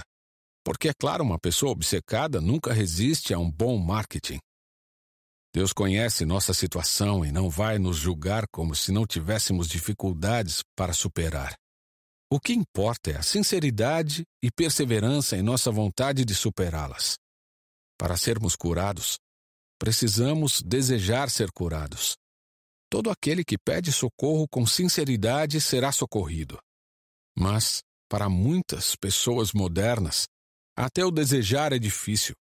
É fácil pensar que desejamos algo sem o desejarmos realmente. Um cristão famoso certa vez disse que, quando era jovem, orava constantemente por castidade. Porém, anos mais tarde, ele se deu conta de que, enquanto seus lábios pronunciavam Ó oh, Senhor, torna-me casto. Seu coração acrescentava secretamente. Mas, por favor, não faça já. Isso também pode acontecer nas orações por outras virtudes. Mas há três razões por que é especialmente difícil para nós desejar, quanto mais alcançar a castidade completa imediatamente. Em primeiro lugar, nossa natureza corrompida. Os demônios que nos tentam e toda essa propaganda contemporânea em prol da luxúria aliam-se para nos dar a impressão de que os desejos aos quais estamos resistindo são tão naturais, tão saudáveis e tão razoáveis, que é quase perverso e anormal resistir a eles. Todo cartaz, todo filme, todo romance nos faz associar a ideia da emancipação sexual a ideias de saúde, normalidade, juventude, franqueza e bom humor. Contudo, essa associação é uma mentira. A semelhança de todas as mentiras poderosas, essa é baseada em uma verdade. A verdade reconhecida anteriormente, de que o sexo em si, a parte dos excessos e obsessões que germinaram ao nosso redor, é normal e saudável e tudo mais. A mentira consiste na sugestão de que qualquer ato sexual ao qual somos tentados naquele momento também é saudável e normal. Mas isso é pura bobagem sob qualquer ponto de vista saudável, mesmo fora do cristianismo. A entrega a todos os nossos desejos obviamente leva à impotência, à doença, à inveja, à mentira, à dissimulação e a tudo que é contrário à saúde, ao bom humor e à franqueza. Se quisermos alcançar qualquer felicidade, mesmo neste mundo, será necessário muito comedimento. Assim sendo, a alegação de que todo e qualquer desejo é saudável e razoável se for forte o bastante não tem nenhum valor. Toda pessoa civilizada e saudável deve seguir um conjunto de princípios segundo os quais escolhe rejeitar alguns desejos e admitir outros. Uns tomam por base princípios cristãos, outros, princípios de higiene, outros ainda, princípios sociológicos. O conflito real não é o que se dá entre o cristianismo e a natureza, mas entre os princípios cristãos e os outros princípios de controle da natureza. Pois a natureza, no sentido de desejo natural, precisa ser controlada de qualquer maneira a menos que você queira arruinar toda a sua vida. Os princípios cristãos são admitidamente mais rígidos do que os demais. Mas pensemos então que você obterá um auxílio para lhes obedecer que não obterá ao obedecer aos demais. Em segundo lugar, muitas pessoas são dissuadidas de experimentar seriamente a castidade cristã porque pensam, antes mesmo de tentar, que ela é impossível de ser mantida. Mas, quando uma coisa precisa ser experimentada, nunca se deve pensar se ela é possível ou impossível. Diante de uma questão optativa em uma prova, avaliamos se vamos conseguir realizá-la ou não. Diante de uma questão obrigatória, temos de dar o melhor de nós. Você poderá conquistar alguns pontos por uma resposta incompleta, mas certamente não vai ganhar nada se deixar a questão em branco. Isso não vale apenas para as provas, mas também para a guerra, para o alpinismo. Quando se quer aprender a andar de skate, ou a nadar, ou a andar de bicicleta.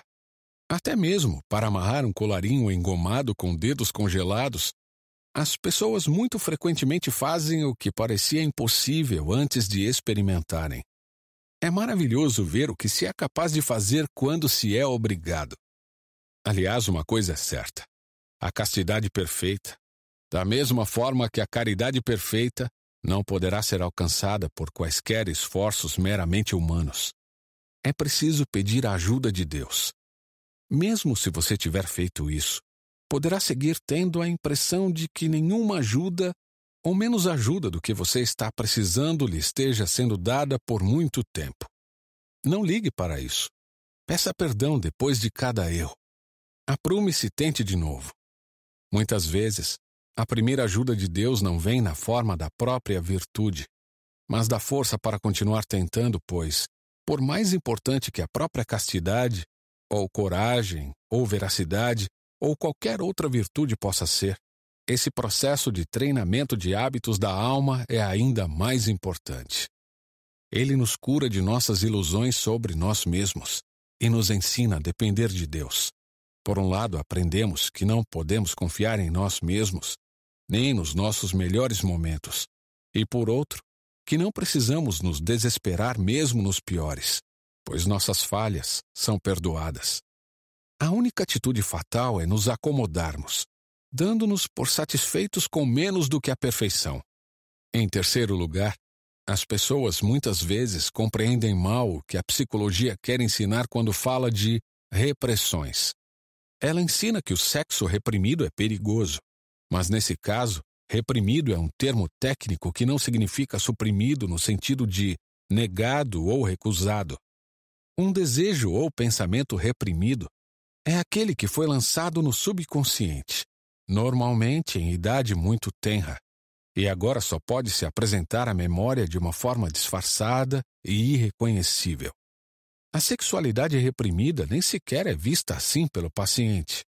Quando um adolescente ou adulto se engaja em resistir a um desejo consciente, ele não estará lidando com a repressão e também não estará correndo risco de criá-la. Pelo contrário, aqueles que estão tentando ser castos são mais conscientes e, em pouco tempo, saberão mais a respeito de sua própria sexualidade do que qualquer outra pessoa. Eles conhecem seus desejos no mesmo nível em que Wellington conhecia Napoleão ou Sherlock Holmes conhecia Moriarty.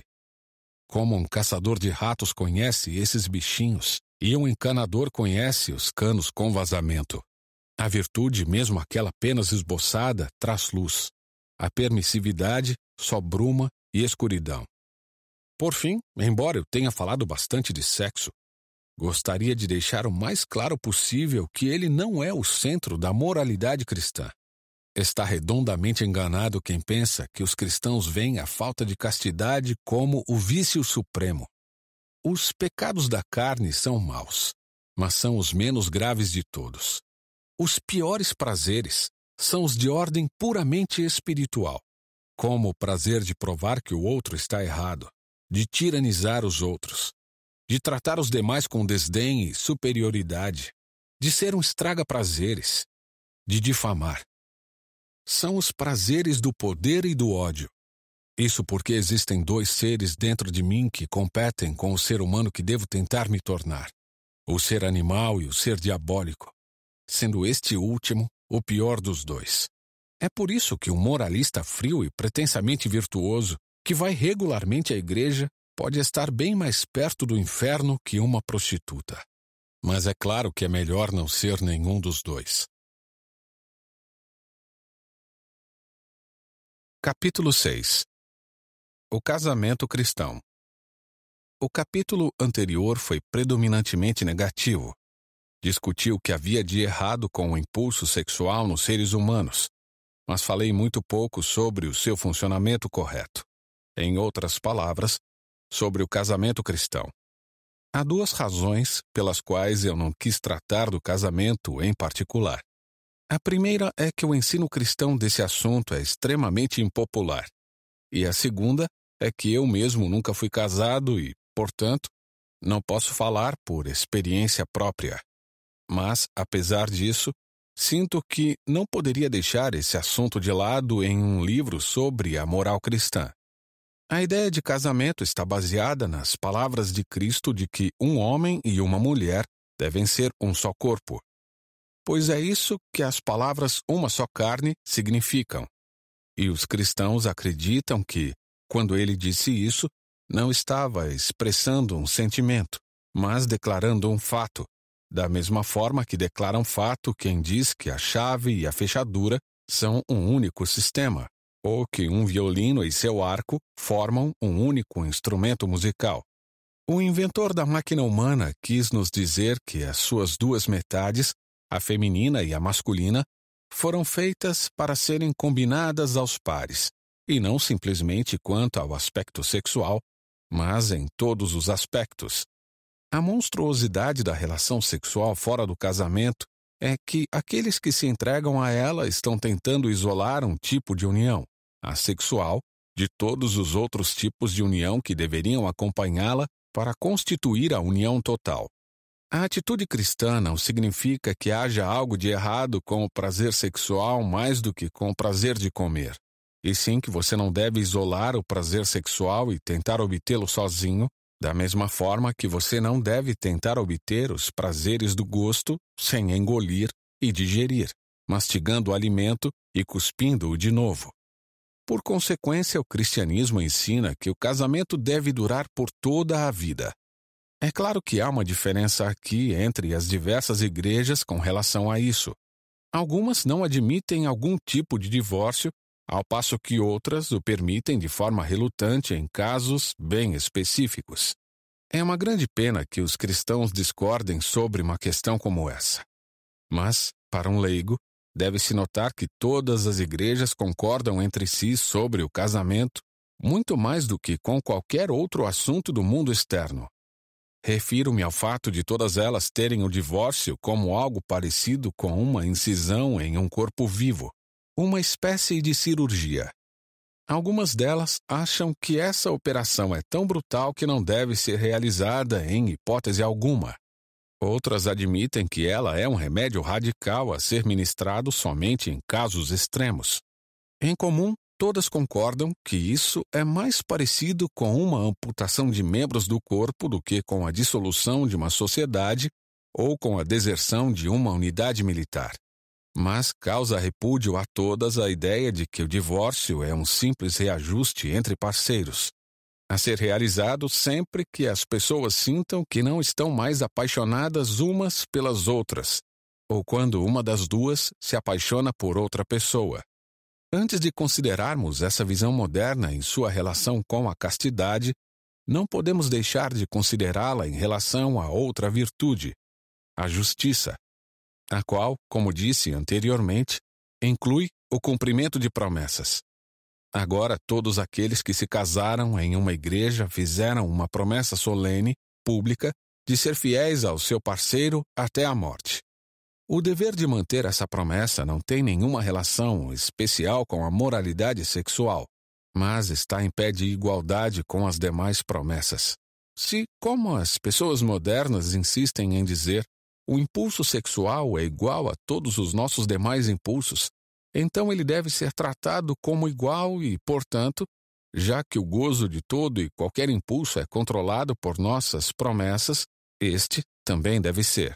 No entanto, se como penso ele não é igual aos nossos demais impulsos, mas se encontra morbidamente inflamado, devemos nos acautelar no sentido de não permitir que ele nos leve à desonestidade. Alguém poderia replicar dizendo que considera a promessa feita na igreja uma mera formalidade que nunca pretendeu manter.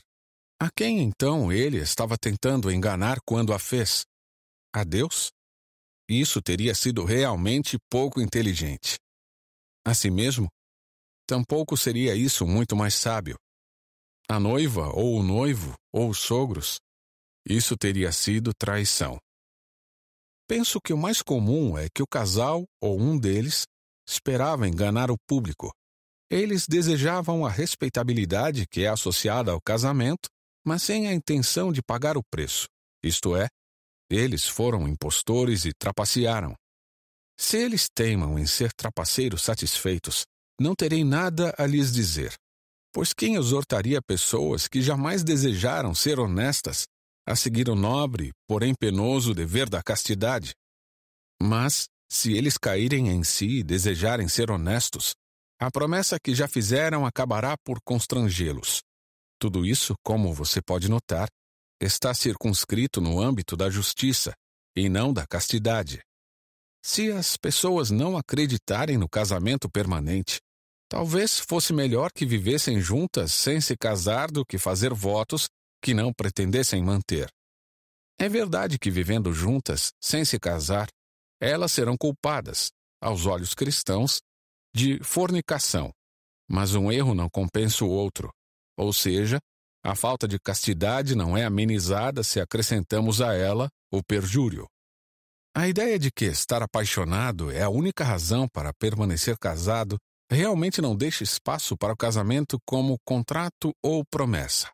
Se o amor for tudo, então a promessa não pode acrescentar nada. E se não acrescenta nada, então não pode ser feita. O curioso é que os próprios amantes, enquanto permanecerem realmente apaixonados, sabem disso melhor do que aqueles que falam muito sobre o amor. Como Chesterton destacou, pessoas apaixonadas têm a tendência natural de se amarrarem com promessas, Haja vista que as canções de amor por todo o mundo estão cheias de juras de fidelidade eterna. A lei cristã não exige do amor algo que é alheio à sua natureza. Exige apenas que os amantes levem a sério algo que a própria paixão os anima a fazer. E é claro que a promessa que foi feita quando estava apaixonado e por que estava apaixonado, de ser fiel à amada até a morte, me induz ao compromisso de ser fiel mesmo quando a paixão for embora.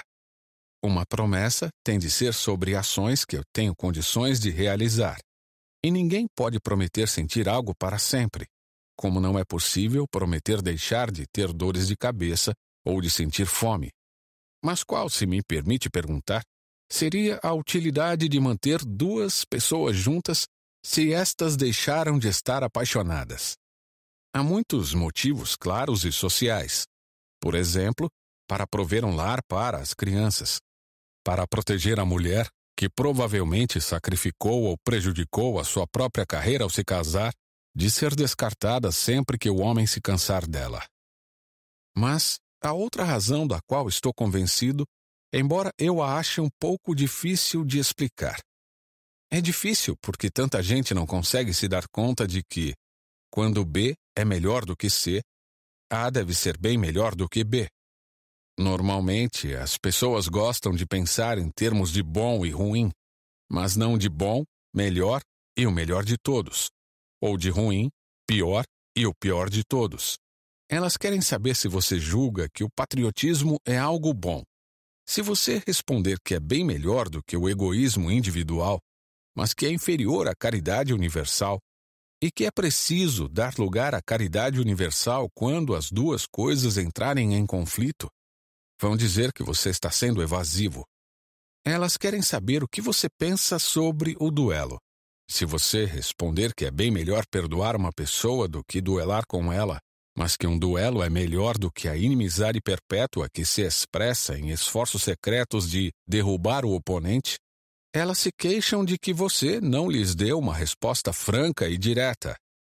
Espero que ninguém cometa esse equívoco quanto ao que eu vou dizer agora. O que chamamos de estar apaixonado é um estado de graça e, sob vários aspectos, ele é benéfico para nós, uma vez que nos ajuda a nos tornar generosos e corajosos, abrindo os nossos olhos não apenas para a beleza da pessoa amada, mas também para todo tipo de beleza, e fazendo com que domemos nossa sexualidade meramente animal, especialmente no começo. Nesse sentido, o amor é o grande conquistador do desejo, Ninguém em sã consciência negaria que estar apaixonado é bem melhor do que a sensualidade comum ou o frio egocentrismo. Mas, como eu disse anteriormente, a coisa mais perigosa que você pode fazer é pegar um impulso de nossa própria natureza e determiná-lo como regra a ser seguida a todo custo. Estar apaixonado é algo bom, mas não é a melhor coisa do mundo. Há muitas outras coisas piores do que isso. Mas também há coisas bem melhores. Você não pode tornar o estar apaixonado o fundamento de toda a sua vida. Trata-se de um sentimento nobre, mas que não deixa de ser apenas um sentimento. Não se pode partir do pressuposto de que algum sentimento perdure com força total, nem mesmo que perdure. O conhecimento pode durar, os princípios podem durar, os hábitos podem durar, mas os sentimentos são instáveis.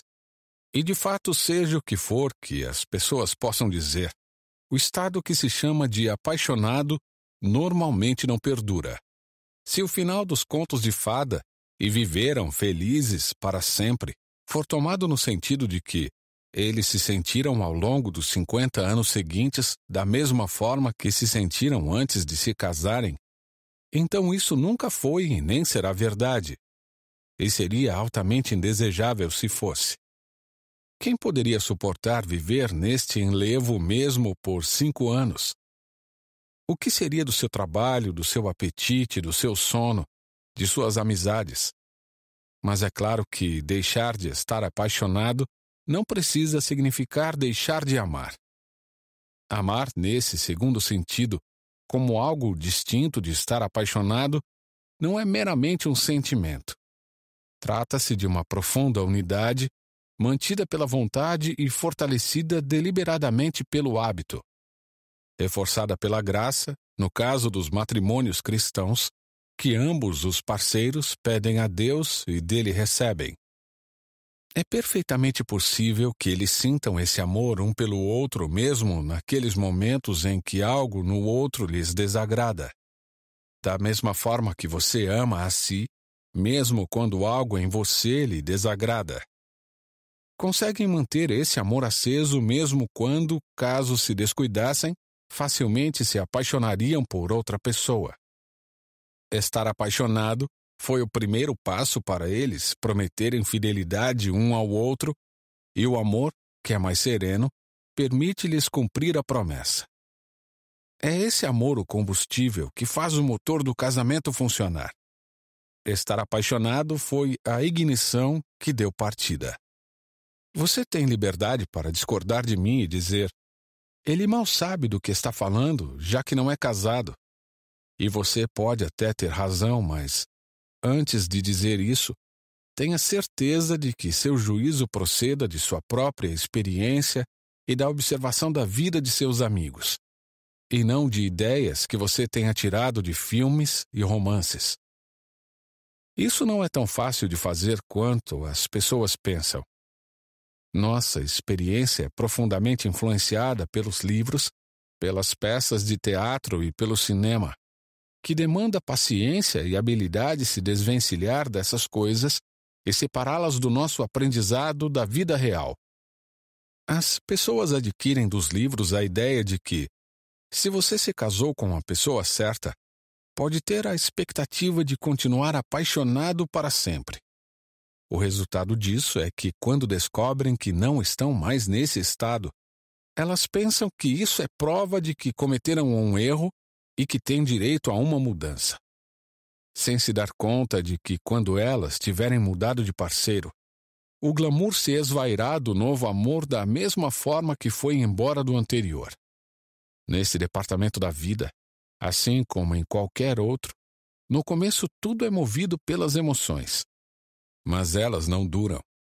O tipo de emoção que um garoto sente com a ideia de se tornar piloto não persistirá quando ele ingressar na Força Aérea e começar a voar de verdade. A emoção que você sente ao ver um lugar prazeroso pela primeira vez acaba quando você passar a viver lá de fato. Será que isso significa que seria melhor não aprender a voar nem viver num lugar bonito? De forma nenhuma.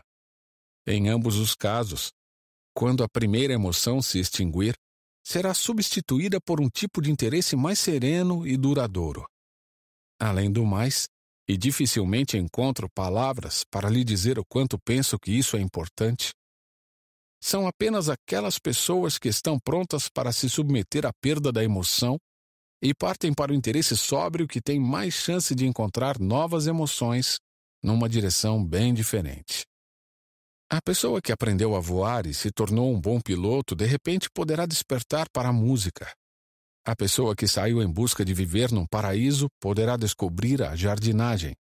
Tal realidade é, penso eu, uma parte mínima do que Cristo quis dizer quando falou que uma coisa não viverá de fato enquanto não morrer primeiro. Simplesmente não adianta tentar manter vivo nenhum tipo de emoção. Essa é precisamente a pior coisa que você pode fazer. Deixe a emoção passar. Deixe-a extinguir-se. Passe por esse período de morte e chegue ao período mais sereno de interesse e felicidade que se seguirão. E descobrirá que estará vivendo em um mundo repleto de novas emoções. Mas, se você decidir fazer das emoções sua dieta regular e tentar prolongá-las artificialmente, cada uma delas ficará cada vez mais fraca, mais limitada e você se tornará um velho entediado e desiludido pelo resto da vida. É porque tão poucas pessoas entendem isso que você vai encontrar tantos homens e mulheres de meia idade murmurando sobre a sua juventude perdida, justamente na idade em que novos horizontes deveriam estar surgindo e novas portas se abrindo em torno deles. É muito mais divertido aprender a nadar do que ficar eterna e desesperadamente tentando reviver o sentimento que você teve quando foi remar pela primeira vez na infância. Outra noção que adquirimos a partir dos romances e do teatro é que se apaixonar é algo completamente irresistível, algo que simplesmente contraímos como sarampo. E pelo fato de acreditarem nisso, Algumas pessoas casadas jogam a toalha e cedem assim que acham que estão se sentindo atraídas por outra pessoa. Mas estou propenso a crer que essas paixões irresistíveis são bem mais raras na vida real do que nos livros, ao menos quando se trata de adultos. É natural que, encontrando uma pessoa que é bonita, inteligente e simpática, admiremos e amemos essas qualidades que ela possui. Mas será que não é a nós que cabe julgar se esse amor deve ou não se transformar no que chamamos de estar apaixonado? Não há dúvida de que, se nossa mente estiver cheia de romances, peças de teatro e músicas sentimentais, e nosso corpo estiver repleto de álcool, tenderemos a encarar qualquer amor como esse tipo de amor. Da mesma forma que a água da chuva tenderá a correr para qualquer valeta que se formar pelo caminho e que, se você usar óculos com lentes cor-de-rosa, verá tudo cor-de-rosa. Mas tudo isso é culpa sua. Antes de deixar a questão do divórcio, gostaria de distinguir duas coisas que as pessoas muitas vezes confundem. Uma delas é a concepção cristã de casamento. A outra é uma questão bem diferente. Até que ponto os cristãos, sejam eles eleitores ou parlamentares, devem tentar impor suas visões do casamento ao restante da comunidade, incorporando-as às leis do divórcio. Uma grande quantidade de pessoas parece pensar que, se alguém é cristão, deve então dificultar o divórcio para todas as pessoas. Não penso assim. No mínimo, sei que ficaria muito bravo se os muçulmanos tentassem impedir o restante do mundo de tomar vinho. Minha própria visão é que as igrejas devem reconhecer francamente que a maioria do povo não é cristã e, portanto, não se pode esperar que vivam como se fossem cristãos. Deve haver dois tipos diferentes de casamento: um governado pelo Estado, com regras impostas a todos os cidadãos, e outro governado pela Igreja, com regras impostas por ela aos seus membros. A distinção deve ser bem clara, de modo que uma pessoa saiba distinguir casais que estão casados no sentido cristão daqueles que não estão.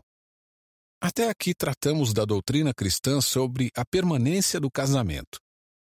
Mas ainda precisamos tratar de outro assunto, este ainda menos popular.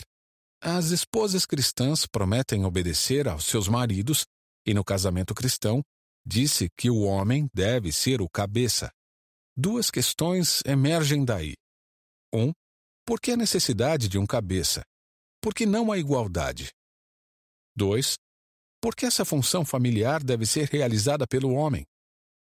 1. Um, a necessidade de haver um cabeça é derivada da ideia de que o casamento é permanente. É claro que, desde que o marido e a esposa estejam de acordo, não há necessidade de um cabeça. E podemos esperar que esse seja o estado normal das coisas no casamento cristão. Mas o que fazer quando há um desacordo real? É claro que se deve conversar sobre o assunto, mas estou pressupondo que eles já tenham feito isso e, mesmo assim, não tenham chegado a um acordo. O que fazer nesse caso?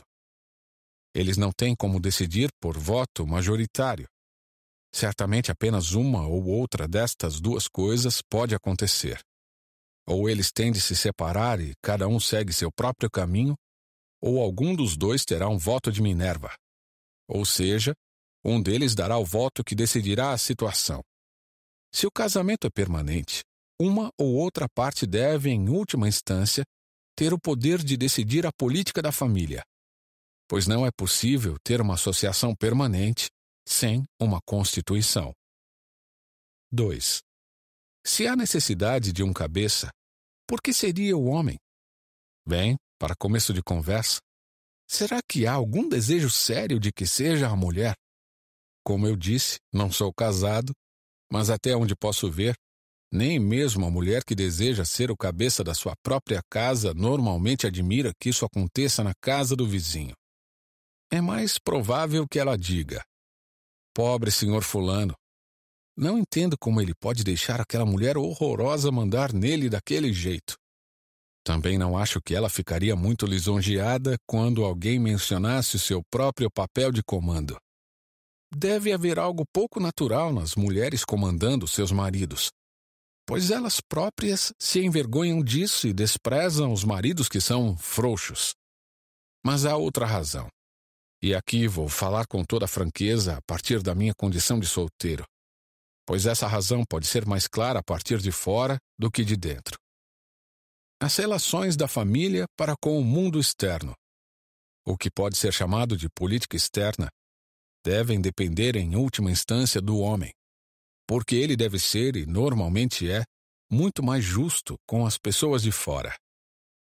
Uma mulher luta, em primeira instância, pelos seus próprios filhos e pelo marido contra o resto do mundo. É natural que, para ela, e até certo ponto com razão, suas reivindicações se sobreponham a todas as demais demandas, uma vez que ela é a curadora de seus próprios interesses. O papel do marido é cuidar para que essa preferência natural dela não consiga prevalecer. Ele tem a última palavra para proteger as outras pessoas do patriotismo familiar intenso de sua esposa. Se alguém duvida disso, permita-me fazer uma simples pergunta. Se o seu cachorro mordesse o filho do vizinho, ou se o seu filho tivesse machucado o cachorro dele, com quem você iria tratar do caso primeiro? Com o chefe da casa ou com a dona da casa? Ou se você for uma mulher casada, Permita-me fazer-lhe uma pergunta.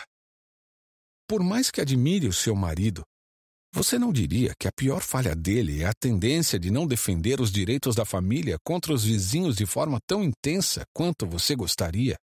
Que ele é um pouco sossegado demais?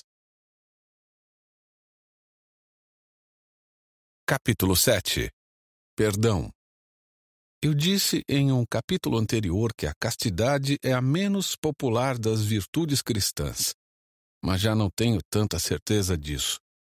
Acho que a outra ainda mais impopular. Ela está estabelecida na regra cristã. Ame ao seu próximo como a si mesmo. Porque na moral cristã o seu próximo inclui o seu inimigo. E assim temos de encarar o terrível dever de perdoar aos nossos inimigos. Todos dizem que o perdão é uma atitude maravilhosa até que tenham algo para perdoar, como tivemos durante a guerra. Nessas horas, só de tocar no assunto, as pessoas reagem com gritos de revolta. Não está em jogo se elas pensam que esta seja uma virtude muito elevada ou difícil. Na verdade, para essas pessoas ela é detestável e desprezível. Esse tipo de conversinha me dá náusea, dizem. E metade das pessoas se vira logo para me perguntar: Como você acha que seria ter de perdoar a Gestapo se você fosse um polonês ou um judeu? Eu também me faço essa pergunta com frequência. Da mesma forma que, quando o cristianismo me diz para não negar minha religião, nem mesmo para me salvar da morte pela tortura, Pergunto-me muitas vezes o que faria se as coisas chegassem a esse ponto. Não estou tentando lhe dizer neste livro o que eu faria. É possível que eu faça muito pouco. Estou tentando lhe mostrar o que é o cristianismo. Eu não o inventei. E bem ali no seu âmago encontro as palavras: Perdoa as nossas dívidas, assim como perdoamos aos nossos devedores. Não há a menor brecha para se concluir que nos é oferecido perdão em quaisquer outros termos. Está perfeitamente claro que, se não perdoarmos, não seremos perdoados. Não há alternativa quanto a isso. Então, o que fazer? De qualquer forma, não é nada fácil.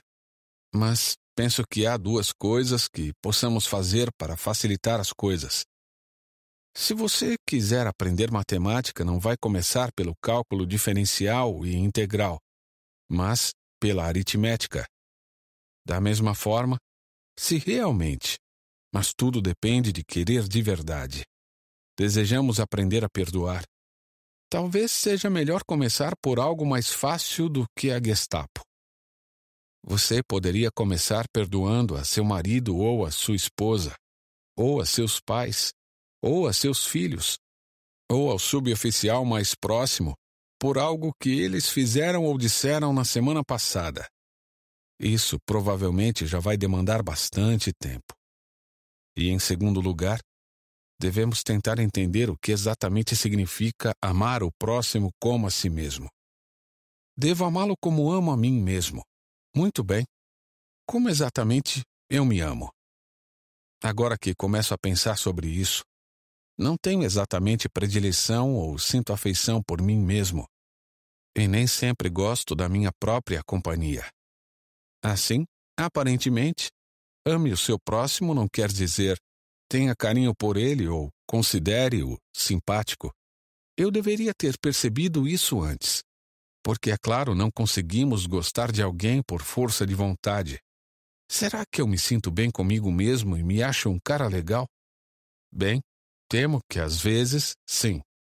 E esses, sem dúvida, são os meus piores momentos.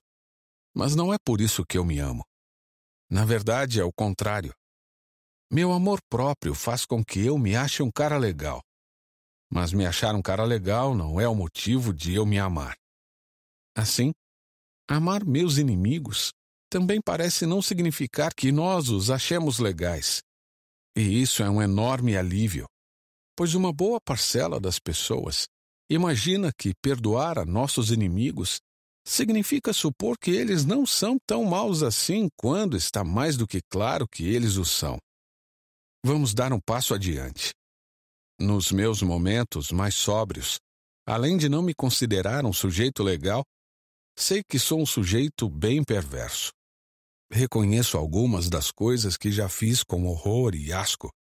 Assim, aparentemente, estou autorizado a ter asco e odiar algumas coisas que meus inimigos fazem.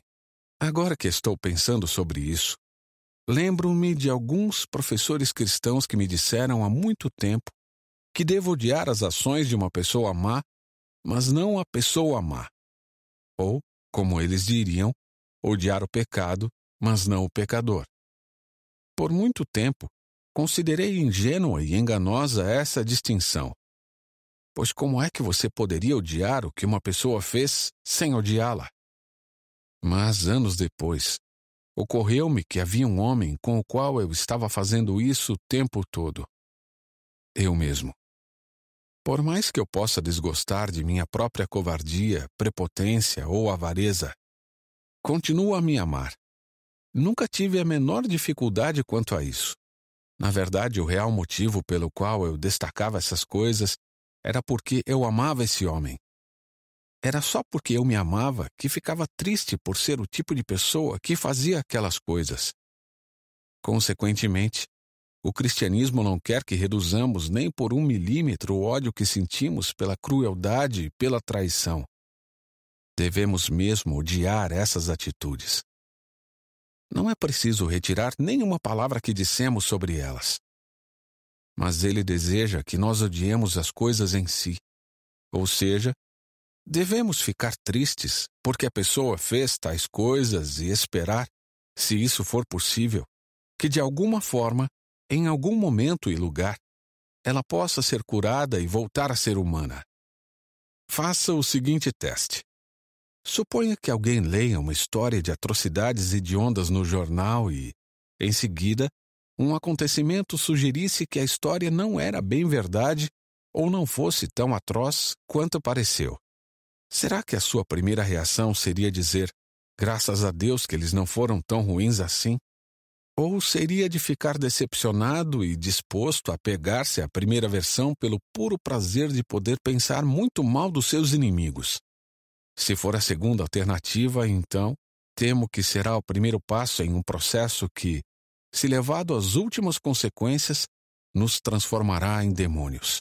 Percebe que quem age assim começa a desejar que a escuridão fosse um pouco mais sombria? Se cedermos a esse desejo, Desejaremos enxergar o crepúsculo como escuridão, e depois a própria claridade como trevas. Por fim, passaremos a insistir em ver tudo. Deus, nossos amigos, inclusive nós mesmos, como maldosos e sem condições de parar essa trajetória. Estaremos presos para sempre a um universo de puro ódio. Vamos agora dar um passo além. Será que amar os nossos inimigos significa deixar de puni-los? Não. pois amar a mim mesmo tampouco significa que eu não devesse me submeter à punição, ou mesmo à morte. Se você cometesse um assassinato, a coisa certa a fazer, se você for um cristão, seria entregar-se à polícia para ser enforcado.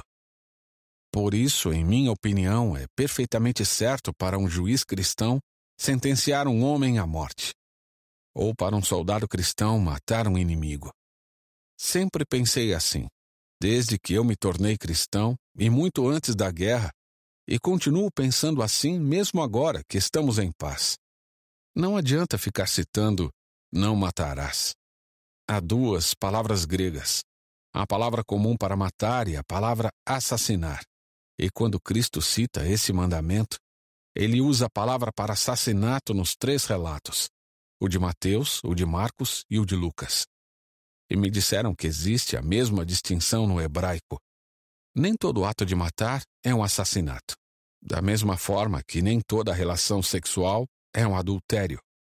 Quando os soldados perguntaram a João Batista o que deveriam fazer, ele nunca sugeriu nem de longe que eles deveriam deixar o exército. Cristo tampouco fez isso quando se encontrou com o capitão romano, que eles chamavam de centurião.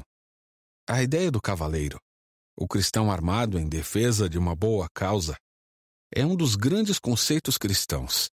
A guerra é algo horrendo, e posso até respeitar um pacifista honesto apesar de achar que ele está redondamente enganado. O que não posso entender é aquela espécie de semi-pacifismo de hoje, que dá às pessoas a ideia de que, diante do dever de lutar, você deveria fazê-lo contrariado e até mesmo envergonhado. É esse sentimento que rouba uma grande quantidade de magníficos jovens cristãos que se alistaram de algo a que têm direito, algo que é o acompanhamento natural da coragem um tipo de regozijo e engajamento total. Muitas vezes me peguei pensando como teria sido se, na época em que servi na Primeira Guerra Mundial, eu e algum jovem alemão matássemos um ao outro ao mesmo tempo e nos encontrássemos logo depois da morte. Não consigo imaginar que um de nós sentiria um pingo de ressentimento ou qualquer constrangimento. Penso que teríamos, na verdade, caído no riso juntos. Imagino que alguém pudesse levantar a seguinte objeção: Bem, se me permitem condenar os atos do inimigo, puni-lo e matá-lo, que diferença poderia haver entre a moralidade cristã e a visão comum? Faz toda a diferença. Lembre-se de que nós cristãos pensamos que as pessoas vivem para sempre. Portanto, o que realmente importa são aquelas pequenas marcas ou distorções na parte de dentro, no âmago da alma, que vão transformá-lo no longo prazo em uma criatura celestial ou infernal. Podemos até matar se for necessário, mas não devemos alimentar o ódio ou curti-lo. Podemos até punir se preciso for, mas não devemos ter prazer nesse ato.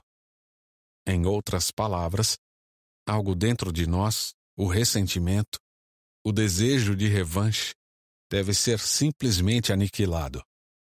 Não quero dizer com isso que alguém seja capaz de decidir que jamais vai ter tais sentimentos de novo, pois não é assim que as coisas funcionam. Quero dizer que, toda a vez que isso vier à tona, no dia a dia, ano após ano, por toda a nossa vida, devemos reprimi-lo. Trata-se de um trabalho árduo, mas que não é impossível. Mesmo se a guerra nos leva a matar e a punir, o nosso dever é sentir com relação ao inimigo o mesmo sentimento que teríamos conosco, desejando que ele não fosse mal, esperando que ele possa, nesta vida ou na próxima, ser curado. Em suma, desejar-lhe bem. É isso que a Bíblia quer dizer quando fala que devemos amá-lo, desejar-lhe o bem, e não ter simpatia por ele nem dizer que ele é legal quando não é. Admito que isso signifique que devo amar pessoas que não são nada amáveis. Mas, pergunto-me, será que nós mesmos temos algo de amável? Ou nos amamos porque na verdade amamos nosso eu? A intenção de Deus é que amemos todos os eus da mesma forma e pelo mesmo motivo. Mas ele já nos deu o resultado certo da conta para depois nos ensinar como ela funciona. Então, resta-nos ir em frente e aplicar a mesma regra aos demais entes humanos. Isso será mais fácil se nos lembrarmos de que é assim que ele nos ama. Não por quaisquer qualidades belas ou atrativas que julguemos possuir, mas só porque somos as criaturas dotadas de individualidade, pois, na verdade, não há nada em nós digno de amor. Criaturas como nós, que, na verdade, encontram tanto prazer no ódio, que abrir mão dele é tão difícil quanto se abster da cerveja ou do cigarro. Capítulo 8 O Grande Pecado Estou chegando agora àquela parte da moral cristã que vai distingui-la mais nitidamente de todas as outras morais. Há um vício do qual ninguém no mundo está livre, o qual todas as pessoas no mundo abominam quando notam na outra pessoa, e de que dificilmente alguém, exceto um cristão, jamais se imagina culpado. Já ouvi pessoas admitirem que são mal-humoradas ou que não conseguem se controlar com relação às mulheres ou à bebida, ou até mesmo que são covardes. Acho que nunca vi um não cristão assumir esse vício. E ao mesmo tempo, raríssimas vezes encontrei alguém que não fosse cristão mostrar-se tolerante com relação a esse vício nos outros. Não há defeito que torne uma pessoa menos popular e nenhum do qual tenhamos menos consciência do que esse vício. E quanto mais nós o temos, mais o detestamos nos outros. O vício a que me refiro é o orgulho ou a presunção, e a virtude oposta a ele, na moral cristã, é chamada de humildade. Você deve se lembrar de que, quando falei da moralidade sexual, eu alertei para o fato de que ela não era o centro da moral cristã. Bem, agora chegamos a esse ponto central. De acordo com os mestres cristãos, o pecado capital, o mal supremo, é o orgulho. A falta de castidade, a raiva, a avareza, a bebedice e tudo mais são meras fichinhas em comparação. Foi pelo orgulho que o diabo se tornou o diabo. O orgulho leva a todos os outros vícios. Trata-se do estado de mente completamente contrário a Deus. Parece que estou exagerando. Se você acha isso, sugiro que pense melhor.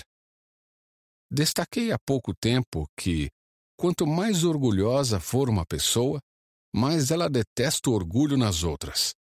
Na verdade, se você quiser descobrir o quanto é orgulhoso, a forma mais fácil de fazê-lo é perguntar-se: quanto eu detesto quando outras pessoas me inferiorizam, ou se recusam a me dar atenção, ou dão palpite, ou são condescendentes comigo, ou são exibidas. A questão é que o orgulho de cada pessoa está concorrendo com o orgulho de todos os demais. É porque eu quis ser o destaque da festa que estou tão chateado que outra pessoa o tenha sido. Dois bicudos não se bicam. O que essa frase evidencia é que o orgulho é essencialmente competitivo. E o é por sua própria natureza enquanto os demais vícios são competitivos apenas, por assim dizer, por acidente. O orgulho não tem prazer em ter algo, mas apenas em ter mais do que o próximo. Dizemos que as pessoas são orgulhosas por serem ricas ou inteligentes ou belas, mas elas não são. Elas se orgulham por serem mais ricas, mais inteligentes e mais bonitas do que os outros. Se todo mundo se tornasse igualmente rico, inteligente e bonito, não haveria do que se orgulhar. É a comparação que faz uma pessoa orgulhosa. O prazer de estar acima dos demais. Uma vez que o elemento da competição tenha sido eliminado, o orgulho também o será. Por essa razão que sustento que o orgulho é essencialmente competitivo, mas de uma forma que os outros vícios não são. O impulso sexual pode levar dois homens a competir, se ambos desejam a mesma garota. Mas isso só se dá por acidente, uma vez que eles também poderiam ter desejado duas garotas diferentes. Mas um homem orgulhoso vai tomar a sua garota de você não porque ele a deseja, mas apenas para provar a si mesmo que ele é mais homem do que você. A ganância pode levar duas pessoas a competirem se não tiverem recursos suficientes. Mas um homem orgulhoso, mesmo que tenha mais do que poderia querer, vai tentar conseguir mais, só para afirmar o seu poder. Quase todos aqueles males do mundo que as pessoas atribuem à cobiça e ao egocentrismo são, na verdade, muito mais o resultado do orgulho. Tomemos como exemplo o caso do dinheiro. A avareza certamente fará com que o homem queira dinheiro para ter uma casa melhor, férias melhores, melhores alimentos e bebidas, mas apenas até certo ponto. O que faz com que uma pessoa que ganhe 10 mil libras esterlinas por ano fique ansiosa por passar a ganhar 20 mil libras esterlinas por ano? Não é a ambição por mais prazer, uma vez que 10 mil libras esterlinas vão lhe dar todos os luxos de que uma pessoa possa realmente desfrutar. É o orgulho, o desejo de ficar mais rico do que outro homem rico e, ainda mais, o desejo de poder. Pois é claro que aquilo que o orgulho realmente aprecia é o poder.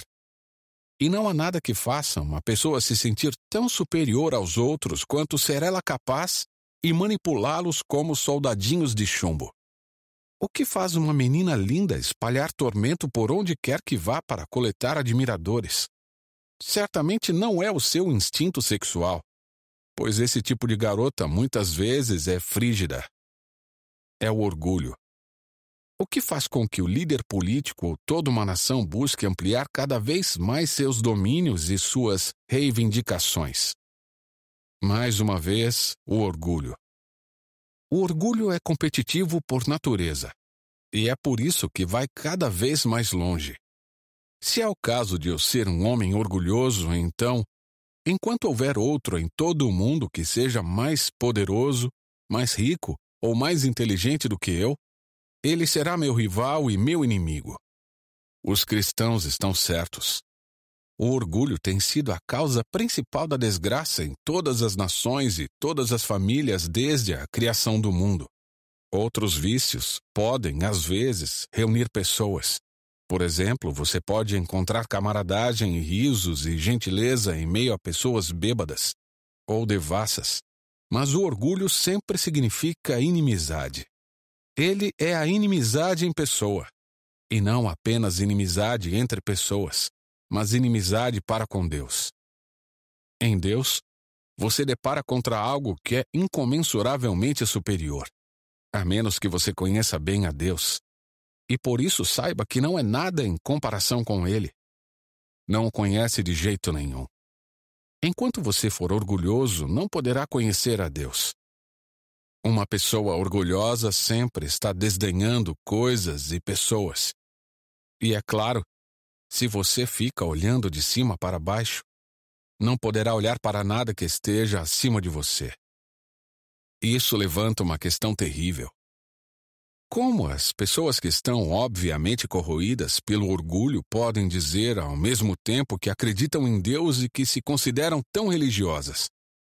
Receio que isso signifique que elas estejam adorando a um Deus imaginário. Na teoria, elas admitem que não são nada na presença do seu Deus fantasma, mas, na verdade, estão o tempo todo imaginando quanto ele as aprova e as considera bem melhores do que as pessoas comuns. Ou seja, pagam alguns tostões de humildade imaginária para ele e, em troca, obtém milhões em termos de orgulho diante dos seus companheiros. Suponho que tenha sido esse tipo de pessoa que Cristo estava pensando quando disse que alguns pregam sobre ele e expulsam demônios em seu nome apenas para ouvirem no juízo final que ele nunca os conheceu. E qualquer um de nós pode, em qualquer momento, cair nessa cilada de morte. Felizmente temos como provar se caímos nela. Sempre que nossa vida religiosa está nos fazendo pensar que somos bons, acima de tudo, que somos melhores do que os outros, certamente estamos sendo influenciados não por Deus, mas pelo diabo. A prova real de que você está na presença de Deus é que você ou esquece completamente de si mesmo ou se vê como um objeto pequeno e sujo. O melhor é esquecer-se completamente de si. É uma realidade terrível que o pior de todos os vícios pode se infiltrar no próprio centro da vida religiosa. Mas podemos entender o porquê disso. Os outros vícios, menos ruins, vêm da obra que o diabo realiza em nós, em cima de nossa natureza animal. Mas aquele não vem absolutamente de nossa natureza animal. Ele vem diretamente do inferno. É puramente espiritual e, consequentemente, é bem mais sutil e mortal. Pela mesma razão, o orgulho pode muitas vezes ser usado para derrotar os vícios mais simples. Os professores, na verdade, muitas vezes apelam ao orgulho do aluno, ou como eles preferem dizer, à autoestima, a fim de fazê-lo assumir um bom comportamento. Muita gente já venceu a covardia ou o desejo, ou ainda o mau humor, aprendendo a pensar que essas coisas estão aquém de sua dignidade, isto é, pelo orgulho.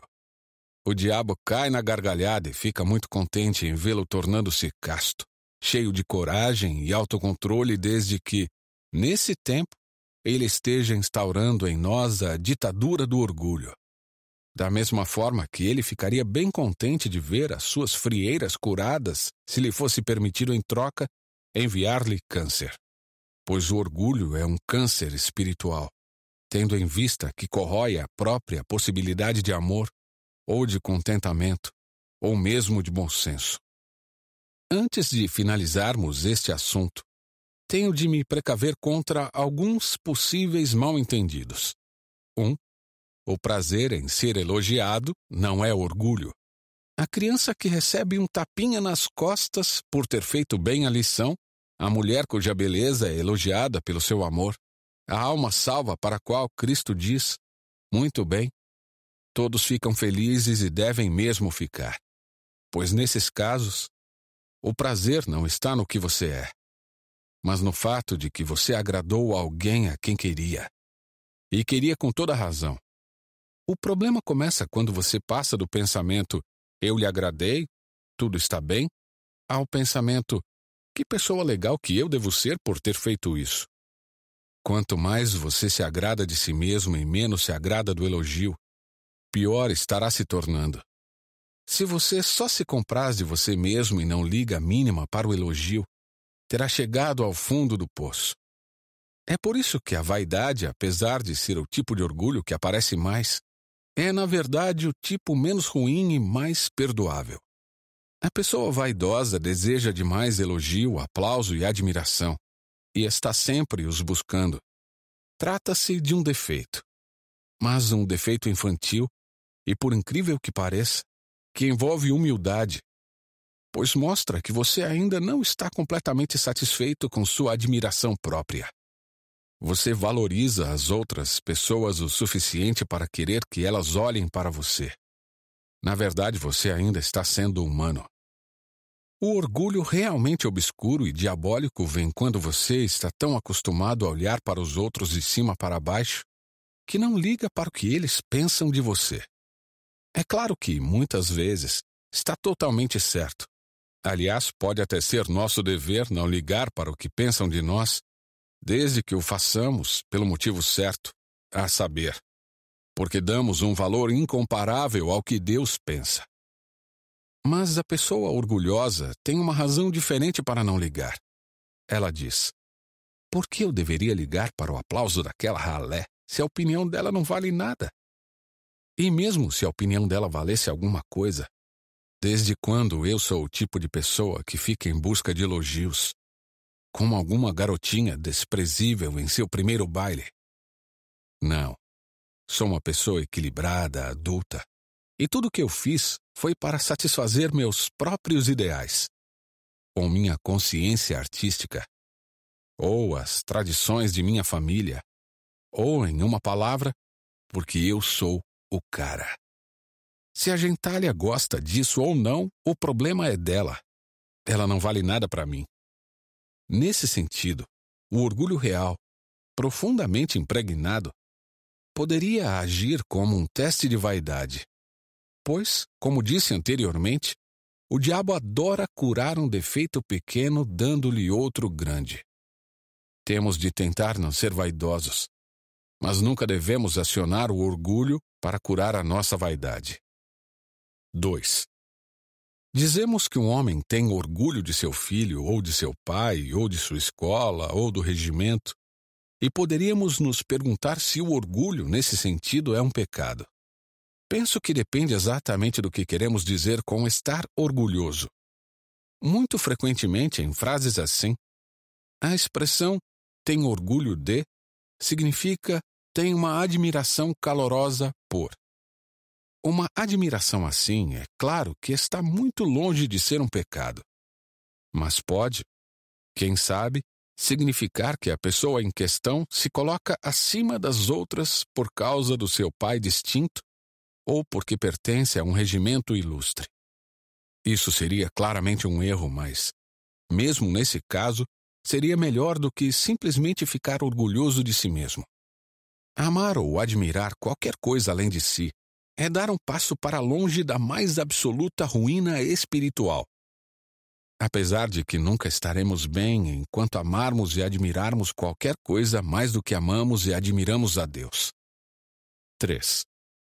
Não devemos achar que o orgulho é algo que Deus proíbe porque se ofende com ele, ou que a humildade é uma ordenança por ser algo devido à sua própria dignidade, como se o próprio Deus fosse orgulhoso. Ele não está nem um pouco preocupado com a sua dignidade. O importante para Deus é que ele seja conhecido. Ou melhor, ele quer se doar a você. E ele e você são duas coisas de tal espécie que, se você realmente tiver qualquer tipo de contato com ele, será de fato humilde. Prazerosamente humilde sentindo o alívio infinito de ter se livrado de vez do peso de todas aquelas asneiras sobre a sua própria dignidade, que o deixaram tão agitado e infeliz por toda a vida. Ele está tentando fazê-lo ser humilde a fim de tornar possível esse momento. Tentando despí-lo de um monte de fantasias tolas e feias, em que todos nós nos metemos e estamos nos aprumando por aí como os pequenos tolos que somos.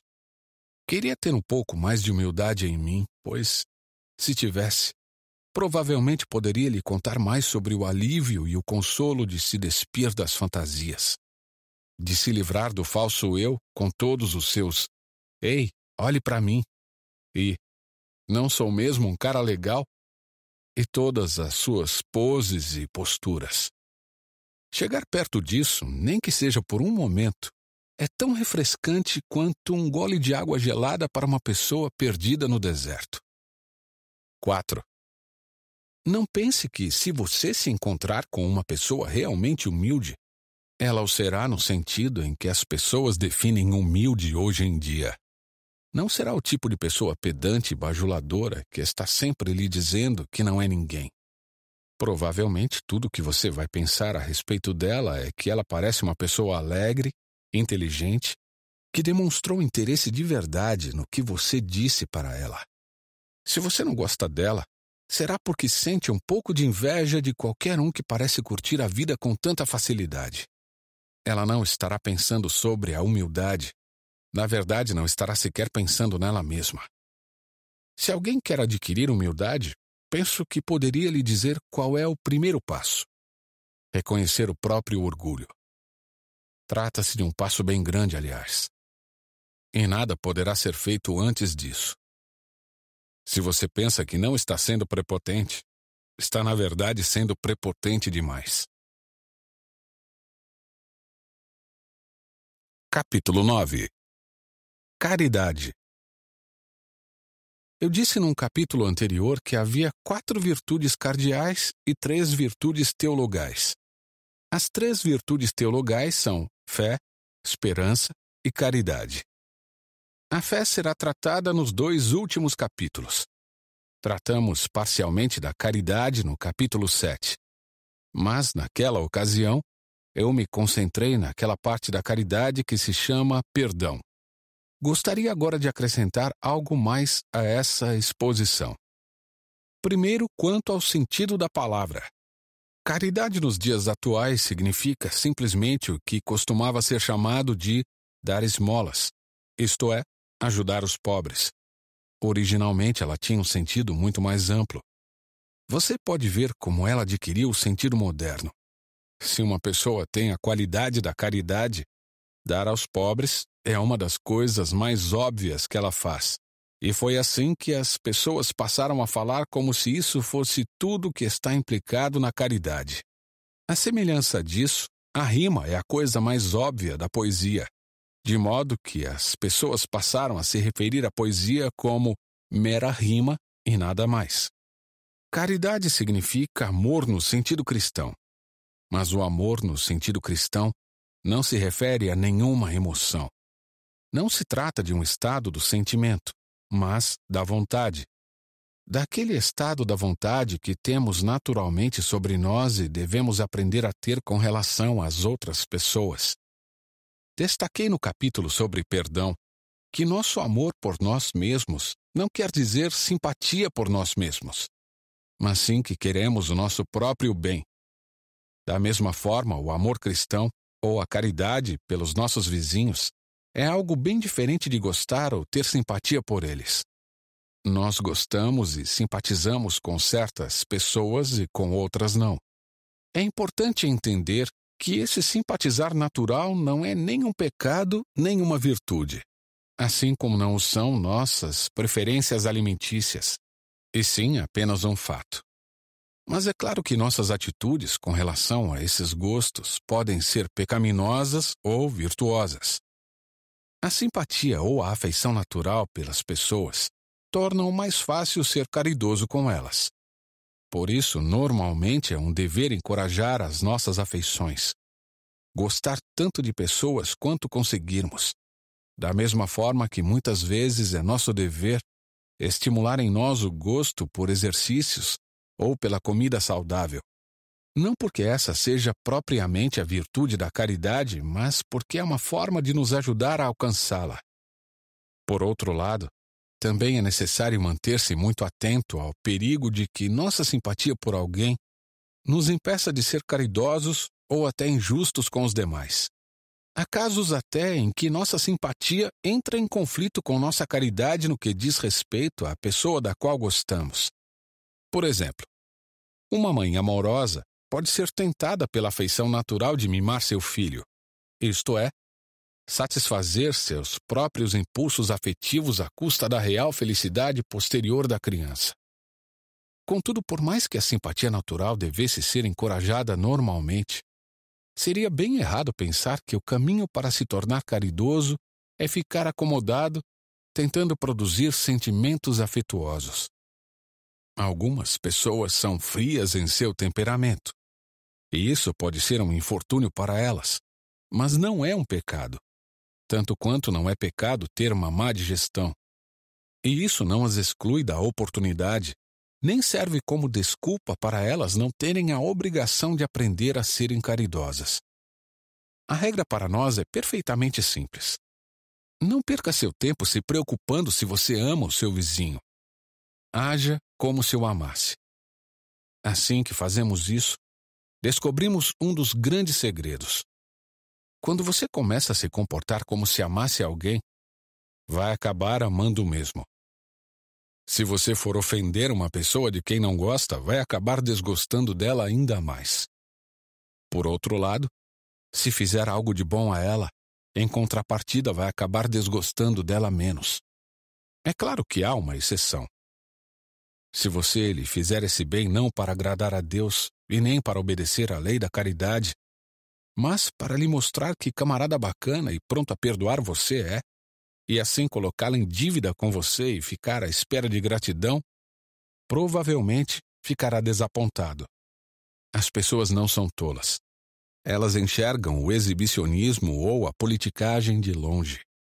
Mas sempre que fazemos o bem ao outro só porque se trata de um ser como nós criado por Deus, e desejamos a felicidade dele como desejamos a nossa, devemos ter aprendido a amá-la um pouco mais ou, pelo menos, a desgostar dele um pouco menos. Consequentemente, Embora a caridade soe como uma coisa bastante fria para pessoas cuja cabeça está cheia de sentimentalismo, e embora ela seja bem diferente da afeição propriamente dita, direciona-nos a esta última. A diferença entre um cristão e um ímpio não é que este último tem apenas afeições ou simpatias e o cristão somente caridade. A pessoa não cristã é legal com certas pessoas porque gosta delas. Já o cristão, tentando ser legal com todos, acaba gostando de cada vez mais pessoas ao longo da vida. Inclusive pessoas das quais ele não conseguiria imaginar gostar no começo. Essa mesma lei espiritual trabalha de forma terrível na direção oposta. Os alemães talvez tenham tratado mal aos judeus de início porque os odiavam, mas depois passaram a odiá-los ainda mais, porque eles tratavam mal. Quanto mais cruel você é, mais odiará. E quanto mais você odeia, mais cruel vai se tornar. E assim por diante, num ciclo vicioso eterno. O bem e o mal crescem numa PG progressão geométrica. É por isso que as mínimas decisões que você e eu tomamos no dia a dia são de importância infinita.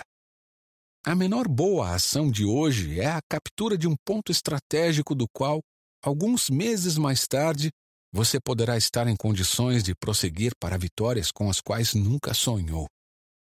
Uma concessão aparentemente trivial hoje a um desejo ou raiva representa a perda de uma montanha, uma linha férrea ou ponte com que o inimigo poderia preparar um ataque que, do contrário, seria impossível. Alguns autores usam a palavra caridade para descrever não apenas o amor cristão entre seres humanos, mas também o amor de Deus pelo ser humano e deste por Deus. As pessoas muitas vezes ficam preocupadas quanto ao segundo desses dois amores. Elas ouvem que devem amar a Deus, mas não conseguem encontrar nenhum sentimento como esse dentro de si. Então, o que devem fazer? A resposta é a mesma que a anterior. Haja como se você o sentisse. Não fique aí tentando fabricar sentimentos. Pergunte-se a si mesmo: se eu tivesse certeza de que amo a Deus, o que eu faria? Quando encontrar a resposta, vá e haja de acordo. De uma maneira geral, o amor de Deus por nós é um assunto sobre o qual se deve refletir com muito mais cuidado do que o nosso amor por Ele. Ninguém consegue ter sentimentos piedosos o tempo todo. E mesmo se conseguisse, o fato é que os sentimentos não são a preocupação principal de Deus. O amor cristão, seja com relação a Deus, seja com relação ao ser humano, é uma questão de vontade. Se estivermos tentando fazer a sua vontade, estaremos obedecendo ao seu mandamento. Ame o Senhor, o seu Deus. Ele nos dará sentimentos de amor se assim o desejar. Não podemos criá-los para nós mesmos e não devemos demandá-los como um direito. Mas o grande lembrete é que, embora nossos sentimentos sejam instáveis, o amor dele por nós não é. Ele não se desgasta por causa dos pecados que cometemos ou por nossa indiferença. E, portanto, ele é implacável em sua determinação de que devemos ser curados daqueles pecados a todo o custo.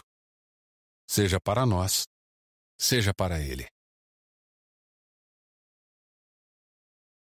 Capítulo 10 Esperança A esperança é uma das virtudes teologais. Isso significa uma visão constantemente voltada para a frente, para o mundo eterno.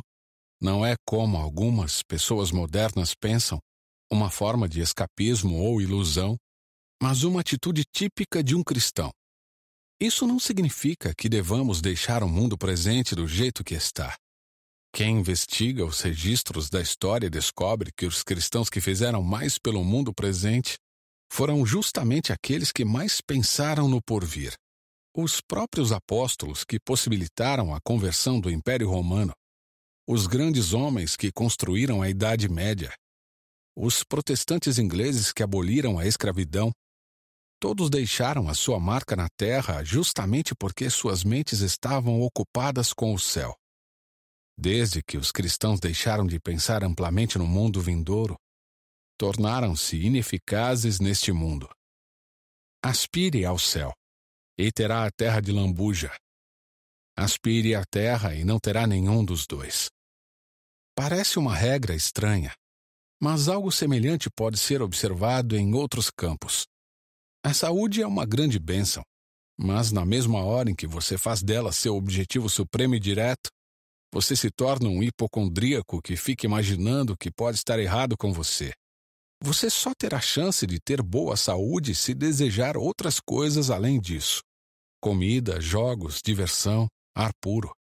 Da mesma forma, nunca devemos querer salvar a civilização enquanto ela for o nosso objetivo principal. Temos de aprender a desejar outra coisa ainda mais do que desejamos isso.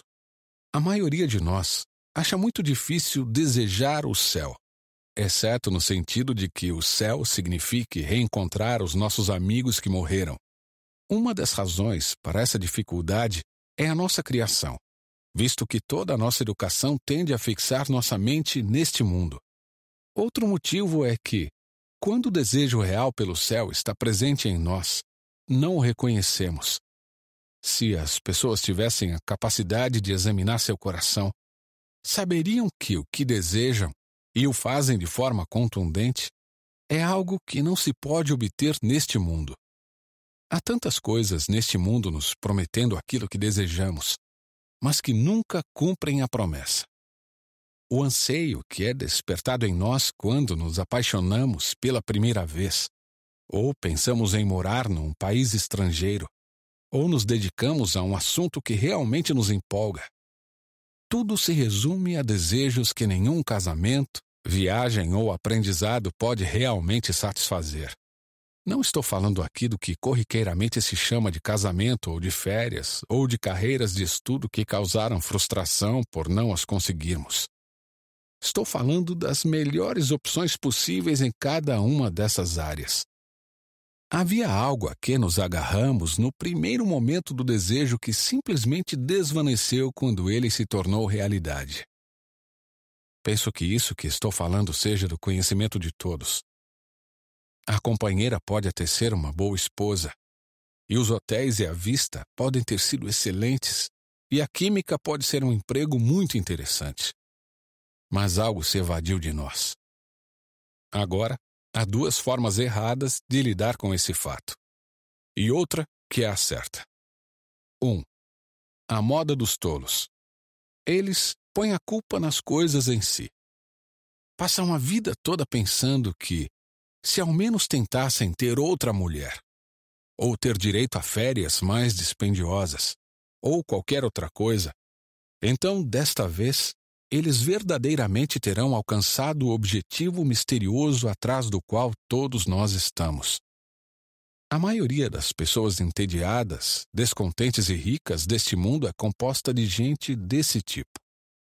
Essas pessoas passam a vida toda trocando de parceiro como se troca de camisa, com a ajuda dos cartórios. Vivem de continente em continente, passando de hobby para hobby, pensando toda vez que a última escolha será finalmente para valer.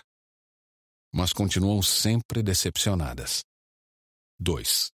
A moda dos sensatos desiludidos. Eles logo decidem que tudo isso é ilusão é claro, eles dizem, que a gente se sente assim quando é jovem, mas quando se chega a uma certa idade, você para de ficar buscando o fim do arco-íris. Assim, eles sossegam e aprendem a não esperar demais e reprimem a parte de si que costumava, como eles diriam, sonhar com o impossível. Certamente esta é uma forma muito melhor do que a primeira e torna a pessoa muito mais feliz, além de ser um incômodo muito menor para a sociedade. Isso tende a tornar essa pessoa arrogante. Ela estará apta a ser bem superior com relação ao que ela chama de adolescentes. Mas, de maneira geral, ela se vira bem e se sente confortável. Essa seria a melhor linha que poderíamos seguir se as pessoas não vivessem para sempre. Mas suponha que a felicidade eterna exista realmente e esteja esperando por nós. Suponha que se possa atingir o fim do arco-íris. Nesse caso, Seria uma pena descobrir tarde demais, no instante seguinte à morte, que, por causa do nosso legado bom senso, tenhamos sufocado em nós a possibilidade de desfrutar da felicidade. 3. A moda cristã. O cristão diz: As criaturas não nasceriam com desejos se não existisse a satisfação para esses desejos. Um bebê sente fome. Muito bem, existe a comida. Um pato deseja nadar. Muito bem, existe a água. Os seres humanos sentem desejo sexual. Muito bem, existe o sexo. Ao descobrir em mim um desejo que nenhuma experiência deste mundo poderia satisfazer, a explicação mais provável é que eu tenha sido feito para outro mundo. Se nenhum dos meus prazeres terrenos consegue me satisfazer, isso não prova que o universo é uma fraude. Provavelmente, os prazeres terrenos nunca tivessem tido a intenção de satisfazer esse desejo, de apenas despertá-lo para levá-lo à satisfação real. Nesse caso, tenho de cuidar, por um lado, para nunca desprezar ou ser ingrato por essas bênçãos terrenas, e, por outro, nunca tomá-las equivocadamente por algo mais do que elas são meras cópias, eco ou miragem. Tenho de manter vivo em mim o desejo pelo meu verdadeiro país de destino, aquele que não encontrarei antes da minha morte. Nunca devo deixar que ele me sufoque ou fique de lado. A jornada para esse outro mundo e a ajuda para que os outros façam a mesma coisa devem se tornar o objeto principal da vida. Não há necessidade de se preocupar com pessoas debochadas, que tentam ridicularizar a esperança cristã pelo céu dizendo que não desejam passar a eternidade tocando harpa. A resposta a pessoas assim é que, se elas não conseguem entender livros escritos para adultos, não deveriam falar sobre eles. Todo o imaginário das Escrituras, harpas, coroas, ouro, etc., é uma tentativa meramente simbólica de expressar o inexprimível. Os instrumentos musicais são mencionados porque para muita gente, nem todos, a música é algo familiar na vida presente que mais fortemente sugere o êxtase e a eternidade. As coroas são mencionadas para sugerir o fato de que aqueles que estão unidos com Deus na eternidade compartilham o seu esplendor, seu poder e sua alegria. O ouro é mencionado para sugerir a perenidade do céu. O ouro não enferruja e a preciosidade disso.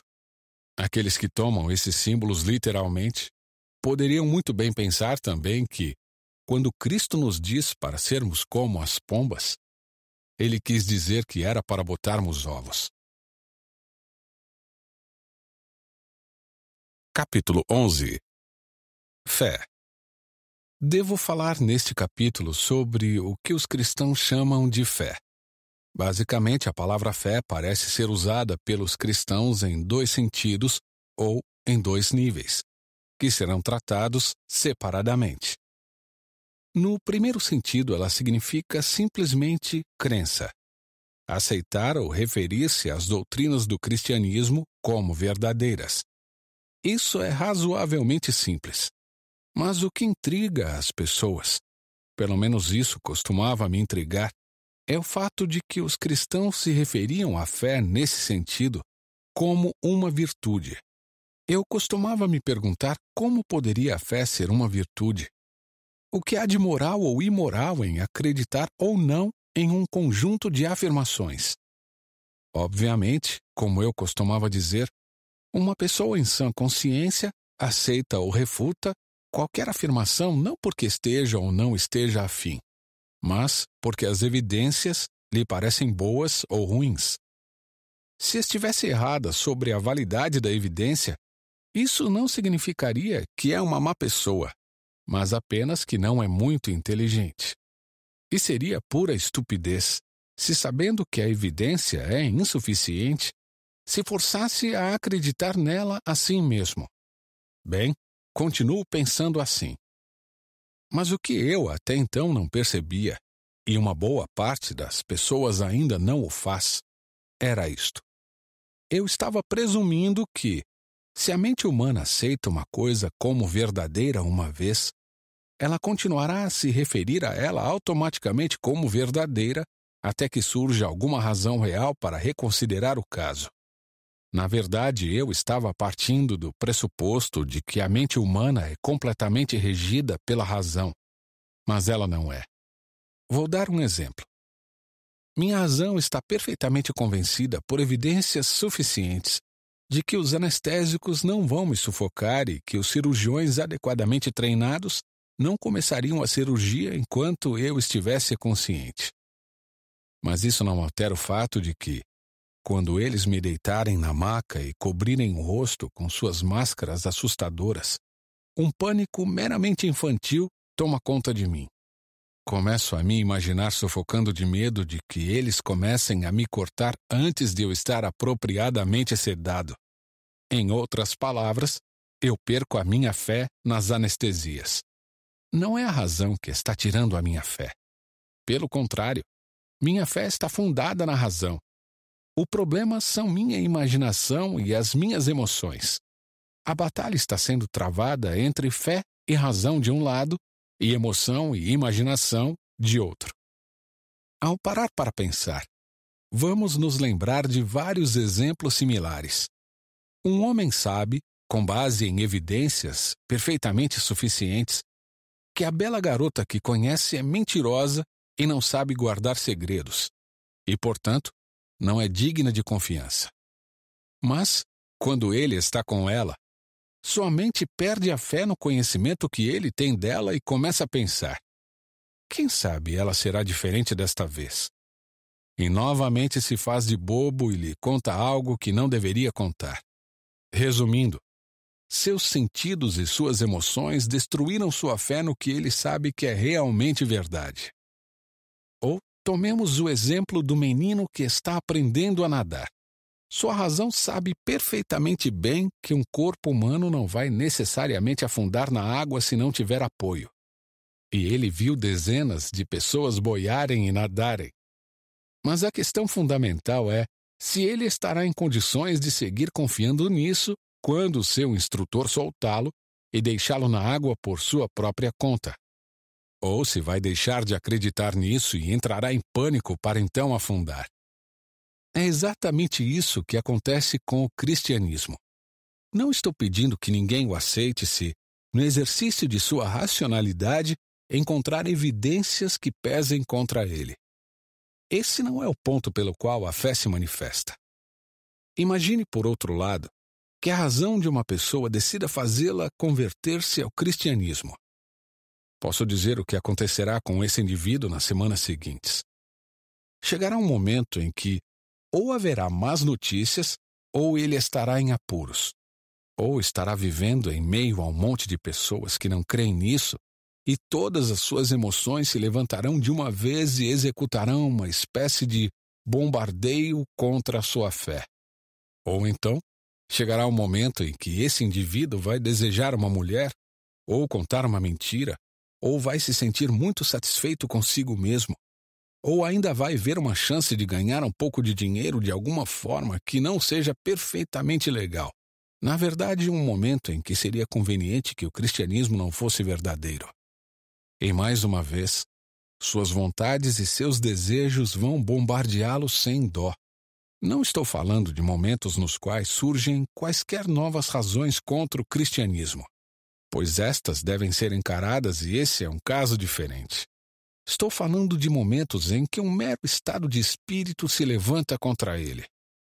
Mas a palavra fé, no sentido em que estou empregando aqui, é a arte de aderir a coisas que a sua razão já aceitou. Apesar de seus estados de espírito inconstantes, pois os humores vão mudar independentemente da visão que sua razão assuma. Sei disso por experiência. Agora que sou cristão, realmente tenho um estado de espírito em que tudo na religião me parece muito improvável, mas quando eu era ateu, Havia momentos em que eu me sentia como se o cristianismo fosse terrivelmente provável. Essa revolução em nossos estados de espírito contra nosso ser real acontecerá de qualquer jeito. Por isso a fé é uma virtude tão necessária.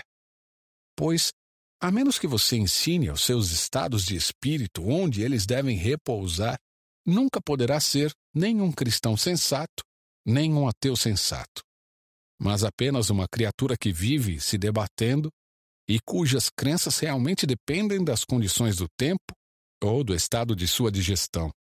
Consequentemente, é preciso desenvolver o hábito da fé. O primeiro passo é reconhecer o fato de que os estados de espírito mudam. Em seguida, é preciso ter certeza de que, uma vez que você tem aceitado o cristianismo, então algumas de suas doutrinas principais devem ser mantidas todos os dias de maneira deliberada em sua mente por algum tempo. É por esse motivo que as orações diárias, as leituras religiosas e a frequência aos cultos são necessárias à vida cristã.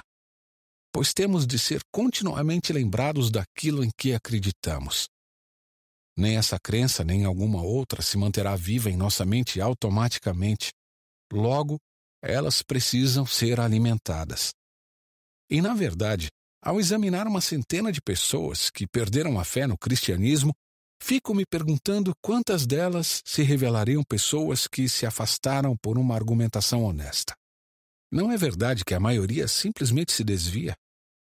Agora vou me voltar para a fé no segundo e mais alto sentido.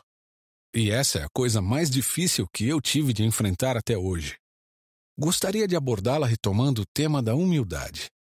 Você deve lembrar quando eu disse que o primeiro passo em direção à humildade era dar-se conta de que é uma pessoa orgulhosa. Gostaria de acrescentar agora que o passo seguinte é fazer uma tentativa séria de praticar as virtudes cristãs. Uma semana não é suficiente.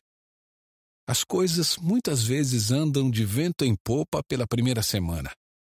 Experimente seis semanas. A essa altura, tendo até onde se pode ver, caído completamente ou descido a um ponto mais baixo do que aquele a partir do qual se começou, teremos descoberto algumas verdades a respeito de nós mesmos. Ninguém sabe o quanto é mal enquanto não tiver se esforçado muito para ser bom. Há uma ideia tola que, por sinal, é muito divulgada: a de que pessoas boas não sabem o que significa serem tentadas. Essa é uma mentira deslavada. Apenas aqueles que buscam resistir à tentação sabem o quanto ela é forte. Afinal de contas, só descobrimos a força do exército alemão lutando contra ele, e não nos rendendo à sua força. Só descobrimos a força do vento quando tentamos andar no sentido contrário a ele, e não quando nos deitamos no chão. Uma pessoa que cede à tentação depois de cinco minutos simplesmente não sabe o que teria acontecido uma hora depois. É por isso que pessoas más, em certo sentido, sabem muito pouco a respeito da maldade, uma vez que vivem numa redoma pelo fato de sempre cederem. Só descobrimos a força do impulso maligno dentro de nós quando tentamos lutar contra ele. E Cristo, por ter sido o único homem que nunca cedeu à tentação, também é o único homem que conhece o que significa realmente ser tentado. Ele é o mais realista de todos. Muito bem, então. O ponto principal que aprendemos da tentativa séria de praticar as virtudes cristãs é que falhamos. Se houve alguma ideia de que Deus tenha nos submetido a algum tipo de exame e que devemos adquirir boas notas por mérito, tal noção tem de ser eliminada. Se houve alguma ideia de uma espécie de barganha, qualquer ideia de que poderíamos desempenhar nossa parte no contrato e, assim, por Deus em nossa lista de devedores, de modo que seja seu dever por mera justiça cumprir com sua parte, essa ideia também deve ser afastada. Penso que todos que possuem uma fé vaga em Deus tenham na mente essa ideia de exame ou barganha, até se tornarem cristãos. O primeiro resultado do cristianismo real é eliminar essa ideia. Quando eles a aniquilam, algumas pessoas pensam que isso significa que o cristianismo é um equívoco e desistem. Eles parecem imaginar que Deus é muito simplista, e na realidade, é claro que ele sabe de tudo a esse respeito. Uma das coisas precisas que o cristianismo foi designado a fazer é acabar com essa ideia.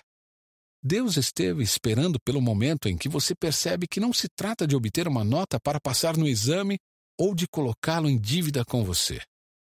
Em seguida vem outra descoberta. Cada uma de suas faculdades, sua capacidade de pensar e de mover os lábios a cada minuto, tudo é dado por Deus. Ainda que você dedicasse cada momento de sua vida exclusivamente ao serviço dele, não poderia lhe dar nada que, em certo sentido, já não fosse dele. Sendo assim, quando alguém diz que está fazendo alguma coisa para Deus ou dando alguma coisa a Ele, vou dizer a você o que isso se parece. É como se uma criancinha fosse até o seu pai e dissesse: Pai, dê-me algum dinheiro para comprar-lhe um presente de aniversário. É claro que o pai vai fazer isso e fica contente com o presente da criança. Isso é tudo muito bonitinho e apropriado mas só um idiota pensaria que o pai foi lesado na transação. Quando uma pessoa faz essas duas descobertas, Deus poderá entrar em ação de fato. E é só depois disso que a vida real começa. Só agora que a pessoa acordou. Sendo assim, podemos agora passar a falar da fé no segundo sentido. Capítulo 12 Fé Quero começar dizendo algo sobre o qual gostaria que todos prestassem a máxima atenção. É o seguinte: se esse capítulo não significar nada para você, se ele parecer ter a intenção de responder perguntas que você nunca fez, encerre a leitura imediatamente. Não lhe dê a menor atenção. Há certas coisas no cristianismo que podem ser entendidas a partir de fora antes de você ter se tornado um cristão. Mas há uma quantidade bem maior de coisas que não podem ser compreendidas antes de você ter percorrido um bom trecho da estrada da fé cristã. Estas coisas são puramente práticas, embora não pareçam. São direcionamentos para lidar com encruzilhadas particulares e obstáculos na estrada, e não fazem sentido enquanto a pessoa não tiver chegado a esses lugares. Sempre que você deparar com uma afirmação nos escritos cristãos que não consegue compreender, não se preocupe. Deixe estar. Virá o dia, talvez só daqui a alguns anos, em que você reconhecerá de repente o que ela significa. Se você fosse entender isso na hora, só lhe faria mal. É claro que tudo isso depõe tanto contra mim como contra qualquer outra pessoa. O que estou tentando explicar neste capítulo pode estar além da minha compreensão. Posso estar achando que cheguei lá quando, na verdade, não o fiz. Então, resta-me apenas pedir aos cristãos instruídos para analisarem tudo com muito cuidado para me dizerem onde foi que eu errei. E aos demais, a ouvirem o que tenho a dizer com cautela, vendo como algo que foi oferecido porque pode servir de ajuda não porque eu tenho certeza de que estou certo. Estou tentando falar da fé no segundo sentido, o mais elevado. Acabei de dizer que a questão de fé, nesse sentido, surge depois que uma pessoa tenha se esforçado ao máximo para praticar as virtudes cristãs e descoberto que falhou. E visto que, mesmo se ela conseguisse, estaria apenas dando de volta para Deus o que já pertencia a Ele. Em outras palavras, ela descobre a própria falência. Mais uma vez, digo que o que importa para Deus não são nossas ações propriamente ditas.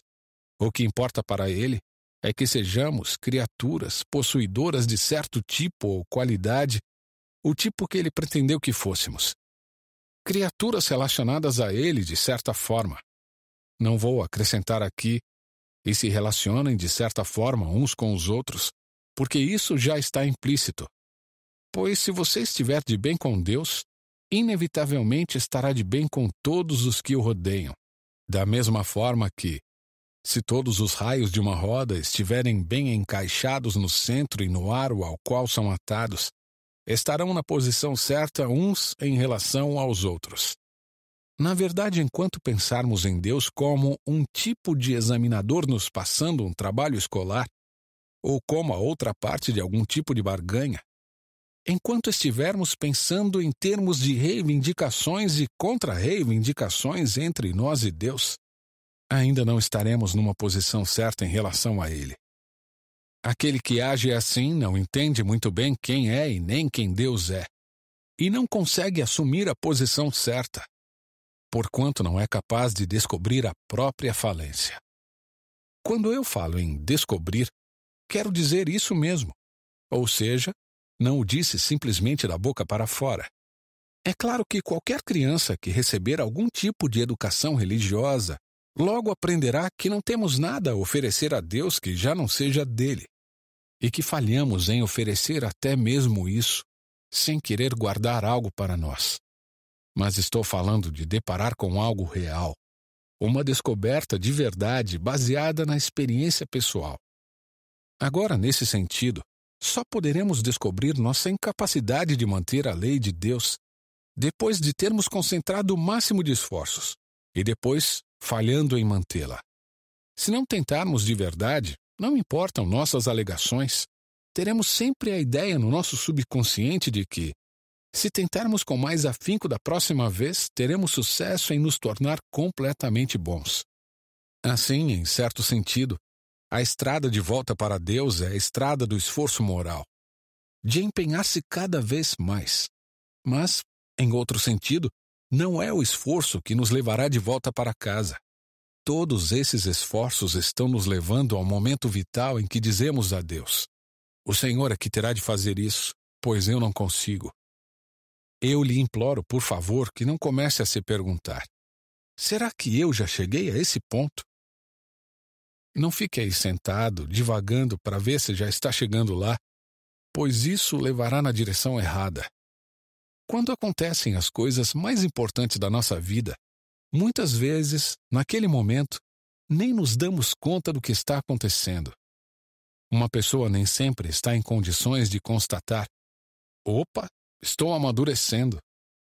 Muitas vezes, é só quando olhamos para trás que nos damos conta do que aconteceu e então reconhecemos aquilo que as pessoas chamam de amadurecimento. Você pode perceber esse fenômeno até em coisas mais simples. Uma pessoa que começa a especular ansiosa se vai conseguir dormir tem grande probabilidade de ficar horas acordada. Da mesma forma, o fenômeno ao qual estamos nos referindo agora pode não acontecer com todo mundo em um passe de mágica, como aconteceu com o apóstolo Paulo e Bunyan, mas pode se dar de forma tão gradativa que ninguém seja capaz de apontar uma hora ou ano particular em que tenha acontecido. E o que importa é a natureza da mudança em si, e não como nos sentimos enquanto está acontecendo. É a mudança da confiança em nossos próprios esforços para o estado em que desistimos de fazer qualquer coisa por esforço próprio e deixamos tudo por conta de Deus. Sei que as palavras deixar por conta de Deus podem ser mal compreendidas, mas vamos deixar assim por enquanto. O sentido em que um cristão deixa as coisas por conta de Deus é que ele deposita toda a sua confiança em Cristo. Isto é, acredita que Cristo, de alguma forma, compartilhará com ele a obediência humana perfeita que ele assumiu desde o seu nascimento até a sua morte de cruz que Cristo tornará o homem um ser mais à sua semelhança e, em certo sentido, compensará suas deficiências. Na linguagem cristã, ele compartilhará sua condição filial conosco, fazendo de nós filhos de Deus, como ele mesmo. No livro quarto, tentarei analisar melhor o sentido dessas palavras. Se você preferir colocar de outra maneira, Cristo oferece algo por nada na verdade, ele oferece tudo por nada. Em certo sentido, toda a vida cristã consiste precisamente em aceitar essa oferta magnífica. Mas o difícil mesmo é chegar ao ponto de reconhecer que tudo o que fizemos e podemos fazer se resume a nada. Queríamos mais é que Deus considerasse nossos pontos positivos e ignorasse os negativos. Ou, em outras palavras, poderíamos dizer que em certo sentido, nenhuma tentação jamais será superada enquanto não pararmos de tentar superá-la. Ou seja, temos de jogar a toalha. Mas, por outro lado, você não poderia parar de tentar da forma correta e pelo motivo certo, enquanto não tiver tentado com todas as suas forças. E em outro sentido, entregar tudo a Cristo é claro que não quer dizer que iremos parar de tentar. É evidente que confiar nele significa tentar fazer tudo o que ele diz, pois não haveria sentido em dizer que você confia em uma pessoa se não segue o seu conselho. Assim, se você realmente se entregou a ele, podemos concluir que esteja tentando obedecer-lhe. Contudo, está tentando fazê-lo de uma maneira que seja nova e menos ansiosa. Não deseja fazer essas coisas para tentar ser salvo, mas porque ele já começou a salvá-lo. Não as faz esperando obter o paraíso como recompensa de suas ações, mas inevitavelmente querendo agir de determinada maneira porque já tem dentro de si um primeiro vislumbre, ainda que tênue, da habitação celeste. Os cristãos sempre se envolveram em discussões em torno de saber se o que os leva de volta para casa são as boas ações ou a fé em Cristo. Não tenho nenhum direito de falar sobre um assunto tão difícil. Mas me parece que isso é como perguntar qual das lâminas de uma tesoura é a mais necessária. Só um esforço moral sério pode nos levar ao ponto de jogar a toalha. Mas a fé em Cristo é a única coisa que vai salvar-nos do desespero quando chegar a esse ponto. E é da fé que as boas ações devem inevitavelmente surgir. Certos grupos cristãos do passado acusavam outros grupos de parodiar a verdade de duas formas. Talvez elas esclareçam melhor a verdade. Um grupo dizia: fazer boas ações é tudo o que interessa. A melhor boa ação que há é a caridade, e o melhor tipo de caridade é a doação em dinheiro. O melhor destino da doação de dinheiro é a igreja. Logo, entregue-nos 10 mil libras esterlinas e garantiremos sua entrada nos céus. A resposta a essa bobagem com certeza seria que as boas ações, feitas por esse motivo, com a ideia de que os céus possam ser comprados, sequer seriam boas ações, mas apenas especulações comerciais. O outro grupo seria acusado de dizer: a fé é tudo o que interessa. Consequentemente, se você tem fé, não importa o que faça. Peque à vontade, meu filho, e divirta-se, pois, para Cristo, isso não fará diferença no final. A resposta a essa outra bobagem é que, se o que você chama de fé em Cristo significa não ligar a mínima para o que ele diz, então não se trata de fé nenhuma. Nem de fé, nem de confiança nele, mas apenas de aceitação intelectual de alguma teoria sobre ele. A Bíblia parece realmente selar a questão quando reúne as duas coisas em uma só sentença surpreendente. A primeira parte diz: Ponham em ação a salvação de vocês com temor e tremor, que nos dá a impressão de que tudo depende de nós e de nossas boas ações. Mas a segunda parte completa: Pois é Deus que efetua em vocês tanto querer quanto o realizar que dá a ideia de que Deus faz tudo e nós nada. Temo que esse seja o tipo de coisa que temos de confrontar no cristianismo e fico intrigado com isso, mas não surpreso. Veja que estamos tentando entender e separar em compartimentos estanques o que Deus faz e o que os seres humanos fazem, enquanto Deus e os seres humanos estão trabalhando juntos. E é claro que, de início, pensamos que é como se dois homens estivessem trabalhando juntos, de modo que você pode dizer: ele fez esta parte e eu fiz aquela. Mas essa forma de pensar está equivocada. Deus não é assim. Ele está dentro de você tanto quanto fora. E mesmo se você conseguisse entender quem fez o quê, não acho que a linguagem humana poderia expressar tal entendimento adequadamente. Na tentativa de expressá-lo, diferentes igrejas dizem coisas diferentes. Mas você descobrirá que, mesmo aqueles que insistem mais fortemente na importância das boas ações, lhe dizem que você precisa de fé. E mesmo aqueles que insistem mais fortemente na fé, lhe recomendam praticar boas ações. Em todos os casos, não posso levá-lo mais longe.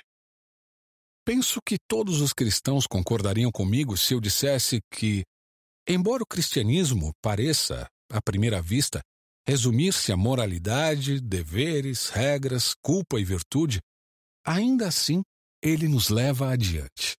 Para fora de tudo isso, para algo que vai além. Podemos ter assim o vislumbre de um país onde não se fala sobre essas coisas, exceto, quem sabe, em uma piada.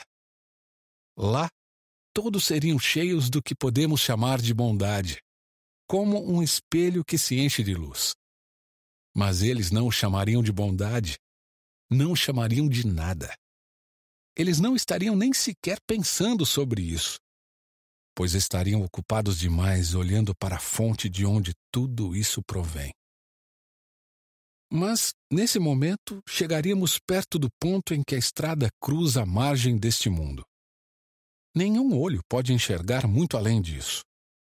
Mas muitos olhos conseguem enxergar muito além dos meus.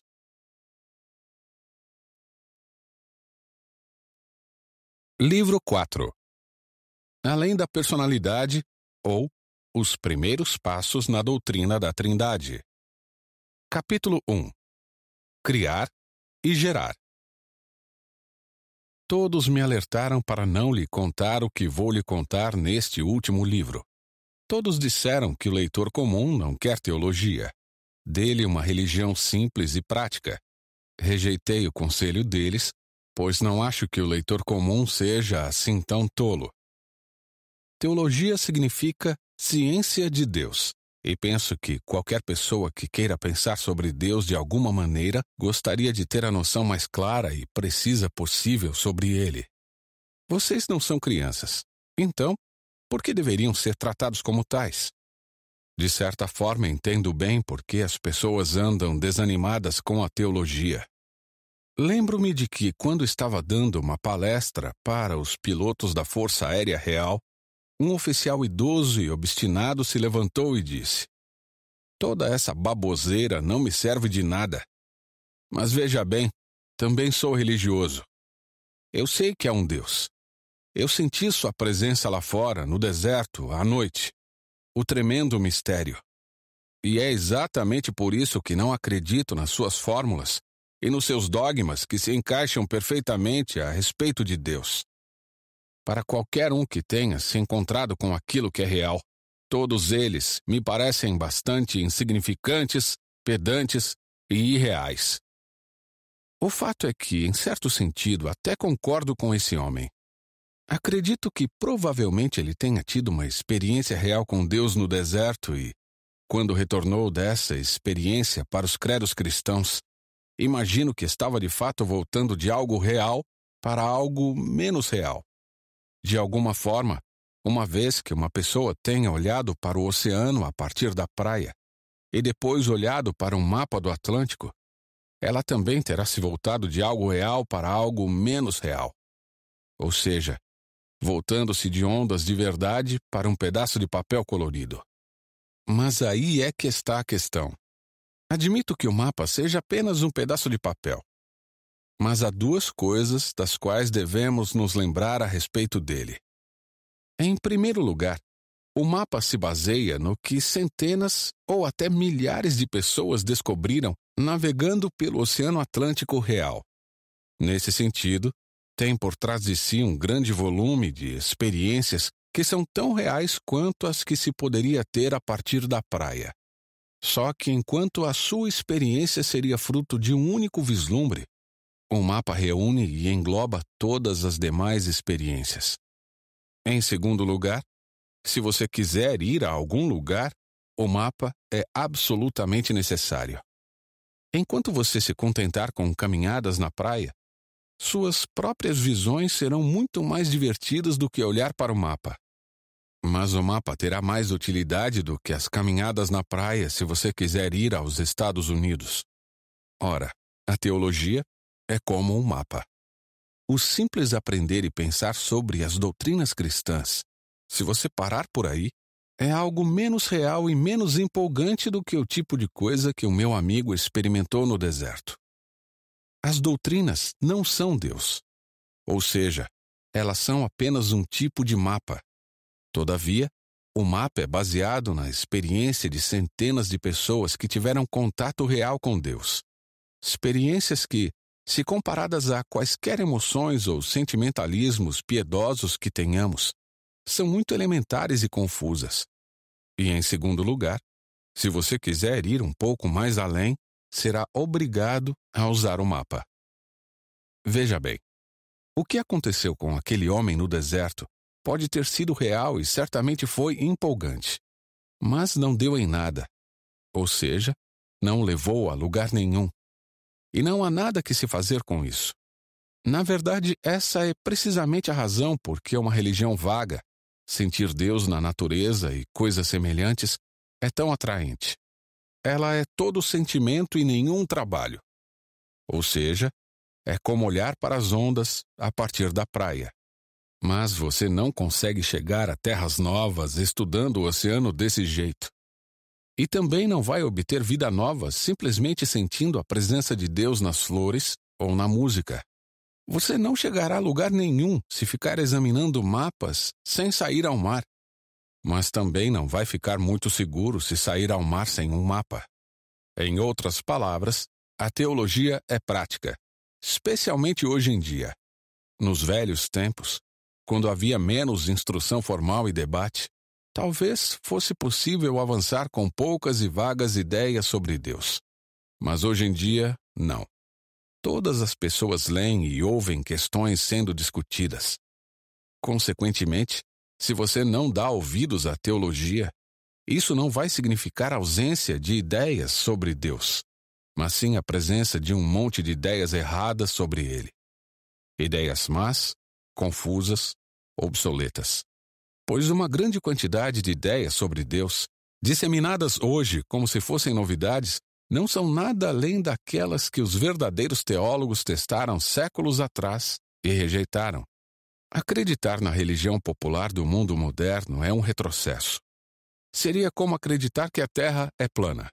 Em termos práticos, a ideia popular do cristianismo não seria a de que Jesus Cristo foi um grande mestre de moral e que, se apenas seguirmos seus conselhos, poderemos estar em condições de estabelecer uma melhor ordem social e evitar outra guerra? Agora veja bem, isso pode até ter um fundo de verdade mas não se trata da verdade completa sobre o cristianismo, além de não ter nenhuma importância prática. É bem verdade que, se formos levar a sério o conselho de Cristo, logo viveríamos num mundo mais feliz. Você nem precisa ir tão longe quanto Cristo. Se fizéssemos tudo o que Platão, Aristóteles ou Confúcio nos disseram para fazer, estaríamos numa situação bem melhor que a de agora. Mas e daí? Nunca seguimos os conselhos dos grandes mestres. Por que deveríamos começar agora? Por que deveríamos estar mais prontos para seguir a Cristo do que a qualquer outra pessoa? Porque Ele é o melhor mestre de moral. Mas isso reduz nossas chances de segui-lo. Se não conseguimos aprender as lições elementares, qual é a chance de aprendermos as mais avançadas? Se o cristianismo não significa mais do que uma porção de bons conselhos, então ele não tem tanta importância. Pois nunca nos faltaram bons conselhos nos últimos quatro mil anos, e um pouco mais não fará diferença. Mas, se você for analisar quaisquer escritos cristãos reais, descobrirá que eles estão falando sobre algo bem diferente dessa religião popular. Eles dizem que Cristo é o Filho de Deus. Seja lá o que isso quer dizer. Dizem ainda que aqueles que confiam nele também podem se tornar filhos de Deus. Seja lá o que isso quer dizer. Dizem, por fim, que a sua morte nos salvou de nossos pecados. Seja lá o que isso quer dizer. Não adianta reclamar de que essas afirmações são difíceis. O cristianismo afirma algo sobre outro mundo, sobre algo que está por trás do mundo que podemos tocar, ouvir e ver. Você pode achar que a reivindicação é falsa, mas se for verdadeira, o que ela nos diz estaria sujeito a ser algo difícil. Pelo menos tão difícil quanto a física moderna e pelo mesmo motivo. Agora, o que nos choca mais no cristianismo é a afirmação de que, ao nos associarmos a Cristo, podemos nos tornar filhos de Deus. A questão é: será que já não somos filhos de Deus? Certamente a paternidade de Deus é uma das ideias centrais do cristianismo. Bem, em certo sentido, não há dúvida de que já somos filhos de Deus. Quero dizer, Deus nos trouxe à existência, nos ama e zela por nós e, nesse sentido, é como um pai.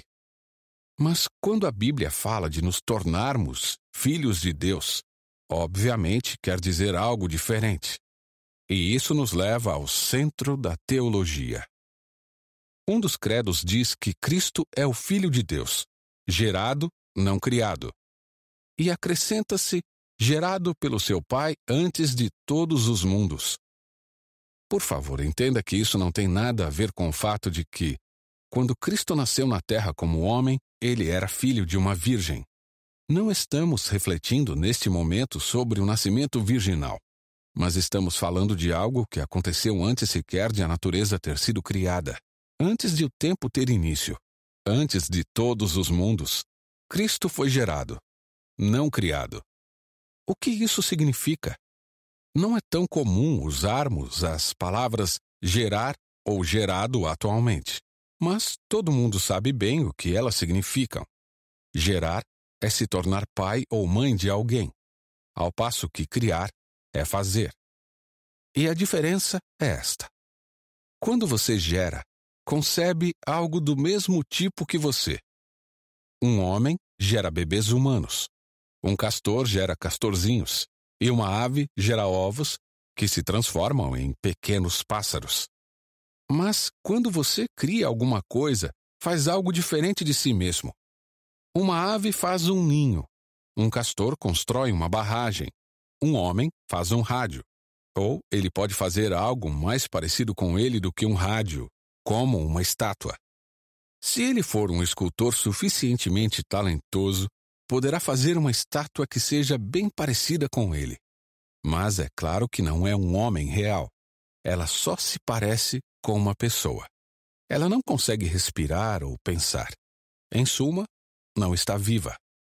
Agora, esse é o primeiro ponto para se deixar claro.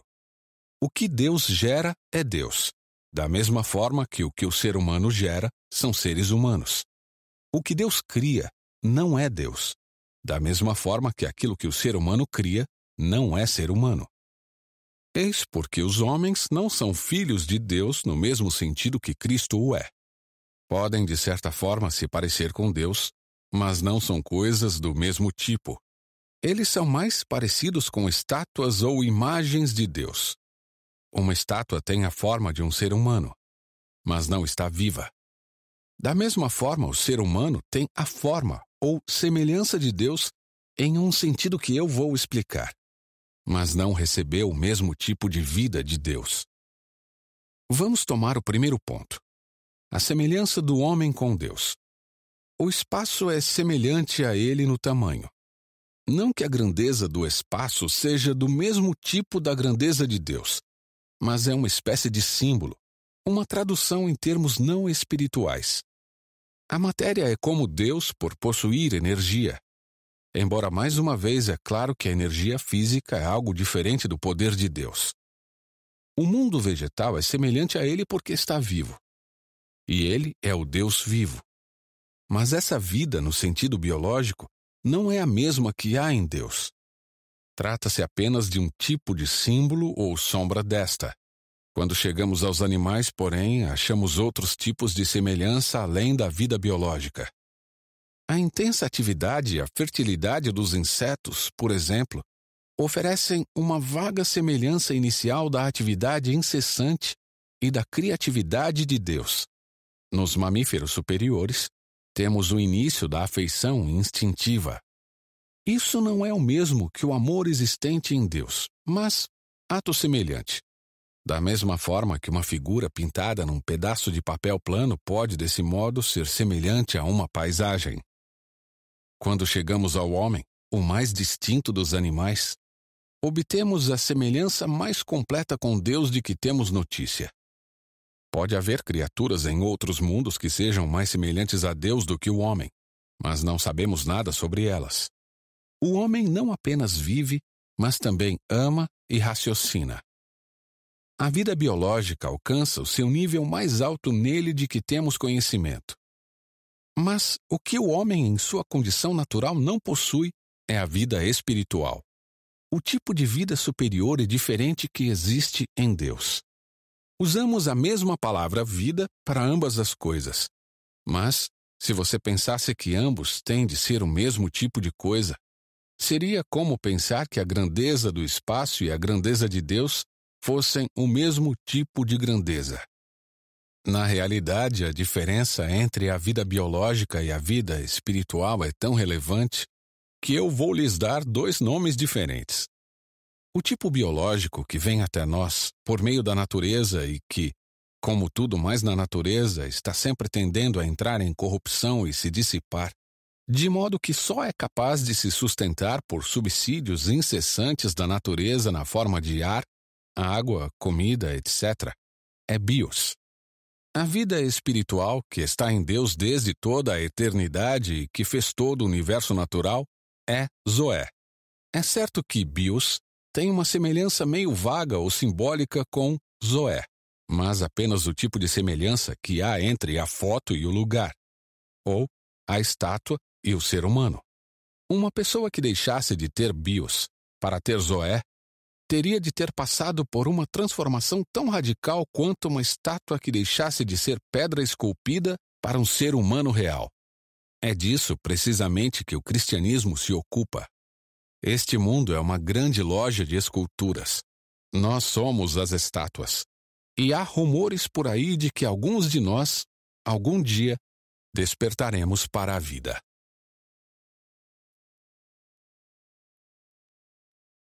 Capítulo 2 O Deus Triuno O capítulo anterior tratou da diferença entre gerar e criar. Uma pessoa gera um filho, mas cria uma estátua. Deus gerou Cristo, mas o ser humano, Deus apenas o criou. Ao dizer isso, ilustrei apenas um ponto sobre Deus, a saber, que o que Deus, o Pai, gera é Deus algo do mesmo tipo que ele mesmo. Dessa forma, é semelhante a um pai humano que gera um filho humano, mas não é igual. Tentarei explicar um pouco melhor nas linhas seguintes. Hoje em dia, a maioria das pessoas diz: creio em Deus, mas não num Deus pessoal. Elas intuem que o mistério por trás de todas as demais coisas tem de ser mais do que uma pessoa. E nisso os cristãos concordam. Mas os cristãos são o único povo que oferece alguma ideia de como seria o ser que está além da personalidade. Todas as outras pessoas, embora digam que Deus esteja além da personalidade, na verdade pensam nele como algo impessoal. Isto é, como algo menos do que pessoal. Se você está à procura de algo suprapessoal, algo que é mais do que uma pessoa, então não será uma questão de escolha entre a ideia cristã e as outras ideias. A ideia cristã é a única disponível no mercado. Além do mais, algumas pessoas pensam que, depois desta vida, ou quem sabe depois de várias vidas, as almas humanas sejam absorvidas em Deus. Mas quando elas tentam explicar o que queriam dizer, Parece que estão pensando nessa absorção em Deus como se fosse algo material sendo absorvido por outra coisa. Elas dizem que é como uma gota de água escorrendo para o oceano. Mas é claro que esse seria o fim da gota. Se for isso que acontece conosco, então ser absorvido é como deixar de existir. Apenas os cristãos têm alguma ideia de como as almas humanas podem ser levadas à vida de Deus e ainda assim permanecerem elas mesmas. Aliás, elas permanecem muito mais elas mesmas do que antes. Eu os avisei de que a teologia é prática. O único propósito para o qual existimos é sermos trazidos para a vida de Deus. Ideias erradas sobre o que esta vida é tornarão as coisas mais difíceis. E agora peço que me acompanhem por alguns minutos com toda a atenção. Todos sabem que é possível mover-se de três modos no espaço: para a direita ou para a esquerda, para frente ou para trás, para cima ou para baixo. Não há direção espacial que não seja alguma dessas três ou um meio termo entre elas. Nós a chamamos de três dimensões. Agora note o seguinte: se você está usando apenas uma dimensão, só poderá desenhar uma única linha reta. Se estiver usando duas, pode desenhar uma figura geométrica. Por exemplo, um quadrado que é feito de quatro linhas retas. Vamos agora dar um passo além. Se você usar as três dimensões, poderá construir o que chamamos de figura sólida. Por exemplo, um cubo. Algo como um dado ou um torrão de açúcar. E um cubo é feito de seis quadrados. Você percebe aonde quero chegar? Um mundo unidimensional seria uma linha reta. Em um mundo bidimensional, você ainda tem linhas retas, mas muitas linhas perfazem uma figura. Em um mundo tridimensional, você ainda obterá figuras, mas muitas figuras perfazem um só corpo sólido. Em outras palavras, à medida que você avança para níveis mais complexos, não deixará para trás as coisas que encontrou nos níveis mais simples. Na verdade, ainda as terá, embora combinadas de novas maneiras, as quais você não poderia imaginar se conhecesse apenas os níveis mais simples. Ora, o registro que o cristianismo faz de Deus envolve precisamente o mesmo princípio. O nível humano é bem simples e bastante vazio, e nele, uma pessoa é um ser e quaisquer duas pessoas são dois seres separados. Da mesma forma que em duas dimensões, digamos sobre um pedaço de papel plano, um quadrado é uma figura e quaisquer dois quadrados são duas figuras separadas. No nível divino, você ainda encontra personalidades, mas lá em cima você as encontra combinadas de novas maneiras que nós, que não vivemos nesse nível, não conseguimos imaginar. Na dimensão de Deus, por assim dizer, você encontra um ser que são três pessoas, enquanto permanece sendo um ser, da mesma forma que o cubo são seis quadrados, sendo um único cubo. É claro que não conseguimos conceber completamente um ser como esse. Da mesma forma que, se fôssemos feitos de tal modo que só percebêssemos duas dimensões no espaço, nunca poderíamos imaginar um cubo propriamente dito. Mas podemos ter uma vaga noção disso. E quando nós o fazemos, então estaremos pela primeira vez na vida tendo uma ideia positiva, por mais vaga que ela seja, de algo suprapessoal. Algo que é mais do que uma pessoa. É algo que nunca poderíamos ter imaginado e ainda assim, como já nos disseram certa vez, nós intuímos que quase teríamos condições de adivinhá-lo porque se encaixa tão bem com todas as coisas que já conhecemos. Talvez você pergunte: se não conseguimos imaginar um único ser tripessoal, qual o sentido de falar sobre ele? Bem, não há nenhuma vantagem em falar sobre ele. O que importa é ser verdadeiramente atraído para a vida tripessoal. E isso pode começar em qualquer momento. Hoje à noite, se você quiser. Eis o que quero dizer. Um cristão comum se ajoelha para fazer as suas preces e, com isso, estará tentando entrar em contato com Deus. Mas sendo ele um cristão, saberá que é Deus quem está capacitando-o a orar. O Deus, por assim dizer, que está dentro dele. Mas ele sabe também que todo o seu conhecimento real de Deus vem por meio de Cristo, o homem que era Deus, que tem Cristo ao seu lado, ajudando-o a orar, orando por ele. Você consegue ver o que está acontecendo? Deus é o ser para o qual ele está orando, o objetivo que ele está tentando alcançar. Deus também é o algo dentro dele que o está fazendo seguir em frente. O poder motivador. Deus também é a estrada ou ponte que ele terá de percorrer para alcançar o objetivo. Assim, toda a vida tríplice do ser tripessoal está realmente se dando nesse pequeno quarto comum onde uma pessoa comum está fazendo suas orações.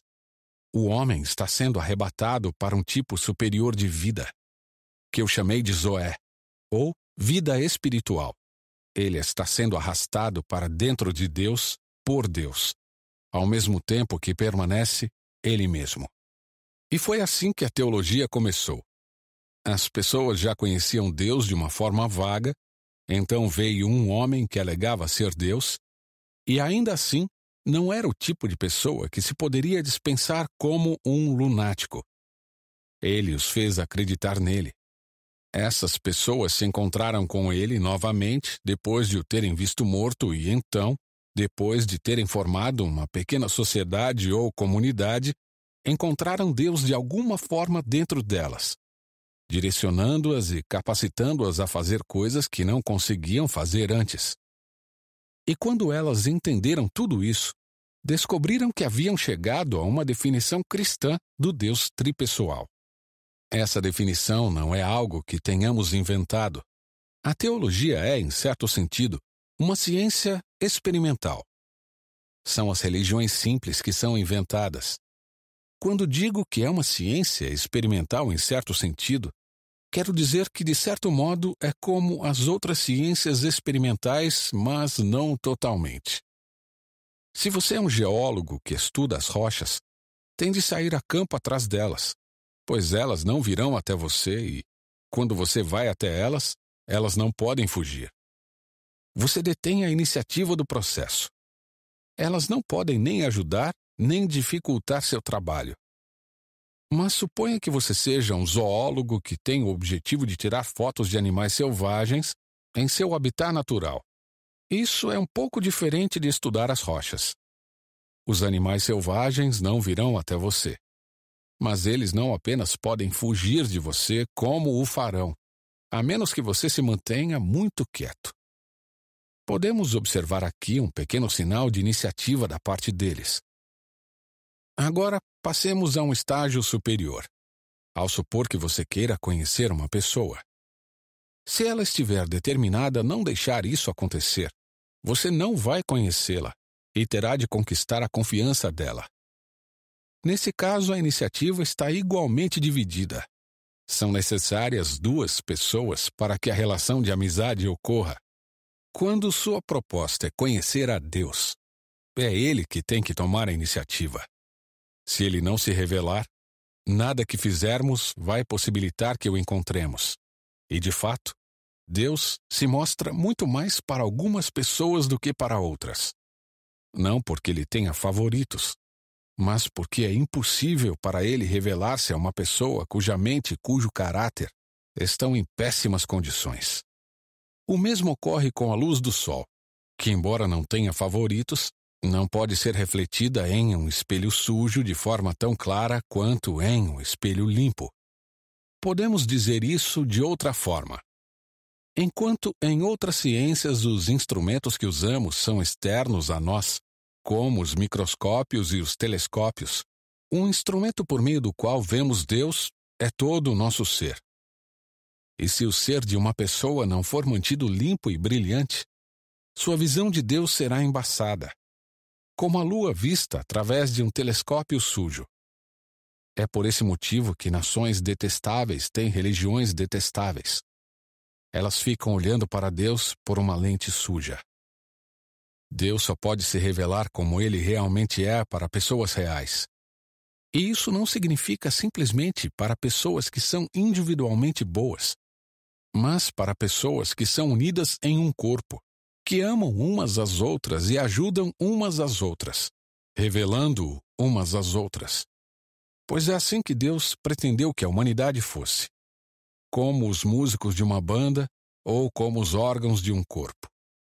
Consequentemente, o único instrumento realmente adequado para aprender sobre Deus é a comunidade cristã como um todo, que está reunida à sua espera. A Irmandade Cristã é, por assim dizer, o aparelhamento técnico dessa ciência, o equipamento laboratorial. Eis porque todas essas pessoas, que aparecem de tempos em tempos com alguma nova religião exageradamente simplificada, inventada por si mesmas como um substituto para a tradição cristã, estão, na verdade, perdendo tempo. É como se alguém, que não tivesse nenhuma ferramenta além de um velho binóculo, saísse corrigindo todos os autênticos astrônomos. Ele pode até ser um camarada esperto. Pode até ser mais inteligente do que alguns astrônomos. Mas não terá nenhuma chance, pois em pouco tempo todos o terão esquecido completamente, enquanto a ciência de verdade continuará progredindo. Se o cristianismo fosse algo inventado por nós, é claro que poderíamos torná-lo mais fácil, mas não é. Não temos como competir em termos de simplicidade com pessoas que estejam inventando religiões. Como poderíamos? Lidamos com a realidade como ela se apresenta. Obviamente, somente quem não se importa com a realidade pode agir de modo tão simplório.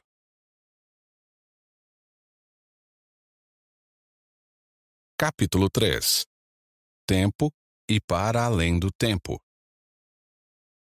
É bobagem achar que, ao ler um livro, você nunca pudesse pular algumas páginas. Todas as pessoas sensatas têm a liberdade de fazer isso quando chegam a um capítulo que acham que não terá utilidade para elas. Neste capítulo, vou falar sobre algo que pode ser útil para alguns leitores, mas que para outros pode parecer uma complicação desnecessária.